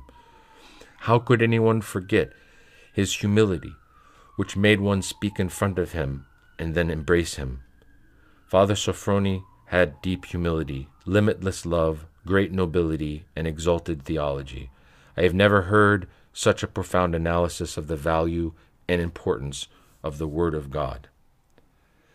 To acquaint readers with Father Sophrony's personality, I recorded some of the things I discovered during my long contact with him. Firstly, I ascertained that Father Sophrony combined theology and spiritual fatherhood very harmoniously. He was a great theologian whose theology flowed from divine vision, but at the same time, he was a spiritual father who regenerated people in the light of what he knew. Since he was a God seeing theologian, he also had the gift of bringing spiritual birth to his spiritual children. The next thing I realized was that Father Sophrony took an interest in things that were of concern to people, such as bringing up children and so on. But his nous was on another level, attached to God and free from all imagination. He directed people from another perspective. He came down to the human level and in some way experienced self emptying and incarnation, but subsequently he raised people up to exalted levels. In this way, we understand the purpose of the incarnation of the Word which was God's self emptying and man's deification. A third discovery was that Father Sophrony was a Catholic, a universal theologian. His theology was not fragmented. He did not have a theology of his own, but he was inspired by the theology of the Holy Spirit, which has fullness and is the theology of the Church. He would speak about noetic prayer, but at the same time about liturgical life. Thus, Noetic prayer did not detract from the Divine Liturgy, nor did the Divine Liturgy replace Noetic prayer. These two liturgies reinforced each other. That Father Sophrony was deified is clear from his written word, which is preeminently paternal and regenerates people, from the fact that he is not enclosed within national or any other divisions, and from the fact that his prayers were very powerful and even accomplished miracles. At the end of this piece, I quoted the prophet Isaiah's words Blessed is he who has seed in Zion and kindred in Jerusalem. Isaiah 31 9. And I expressed my joy that we belong to the Orthodox Church, that we have kindred in the Jerusalem on high and seed in Zion. I also stressed that the strength of Father Sophronius' theological message is truly a mighty seed on earth, according to the words of the king, prophet David. His seed shall be mighty on earth. The generation of the upright shall be blessed. Psalm 112:2. 8. Elder Sophrony. On the 10th of March 1994, a few months after Father Sophrony's glorious decease, the theologian and journalist Manolis Melinos invited me to the Church of Greece radio station to speak about this great figure. During the discussion, I was asked various questions about how I met Elder Sophrony, about his wanderings in Buddhism before God revealed himself to him, his move to the Holy Mountain from Russia, his life in Paris, the asceticism that he practiced on the Holy Mountain, the uncreated light, his relationship with St. Silouan, what exactly is meant by the experience of hell and paradise, and how the elder lived it in his personal life and about my own experience of acquaintance with him. In answer to these questions, I also set out his biographical details, but mostly I described the spiritual experience that he had acquired and which he taught. At the end of the discussion, I was asked to say a few of the things that I had heard from him. Among other things, I mentioned the hypostases, his teaching that the one who beholds God can pass on the experience, so that theology becomes narrative, and that we ought not to spy on ourselves. The value of the divine liturgy, love for monasticism, and keeping the commandments of Christ. Because the day when the discussion took place was Clean Monday, the first day of Great Lent, I was asked what Father Sophrony would have said if he had asked him to say something on that day. Naturally, I answered that he would have spoken to us about repentance, which is a basic element of the Orthodox ethos. 9. The person as truth in the teaching of Elder Sophrony. The teaching about the person is an important element in Father Sophrony's theological and ascetical life. God person is truth, as opposed to the transcendental concept of God, and man is a person as regards his salvation and his deification. Father Sophrony spoke a lot about the person. This was the outcome of his personal searching and experience because in his early youth he had sought the supra personal absolute in Eastern mysticism. The moment came, however, when God revealed himself to him as person with the words, I am that I am. Thus he arrived at the theology of the person as the unique truth through the experience of revelation. It should be also noted, although he used the term person, he always linked it with the hypostases and referred to God more often as hypostases. When Father Sophrony referred to the person hypostasis, he would emphasize three points. The first is that God person, Theanthropos, reveals himself to man. The second is that God's revelation is connected with man's rebirth. And the third, that the person is expressed as love. In the teaching of Father Sophrony about the person hypostasis, we also discover some interesting personal points contained in various expressions that, that the elder uses frequently such as the hypostatic principle, the suprapersonal absolute, the darkness of divestiture, the darkness of ignorance, suicide in the metaphysical sense, with strong crying, and the dawn of the resurrection. Father Sophrony spoke and wrote about the person hypostases in God and in man as truth, because for him the truth is not what a thing, an idea, or something impersonal, but who the person hypostases. This knowledge is the fruit of revelatory experience. Thus, the person as truth is not interpreted in a philosophical or psychological way, but on the basis of divine vision and revelation. This teaching about the person as truth is significant because it is expounded by Elder Sophrony, a God seeing ascetic who beheld God through hesychastic and neptic experience. With the exception of the last, all the above are summaries of texts that I have published in various books currently in circulation. These summaries cannot, of course, cover all the content, and the reader can refer to the books that have been mentioned above and study the texts in full. The aim of this synopsis was simply to mention and put on record what I have written about him. These pieces show that I have had Elder Sophrony continuously in my mind from 1976 until today.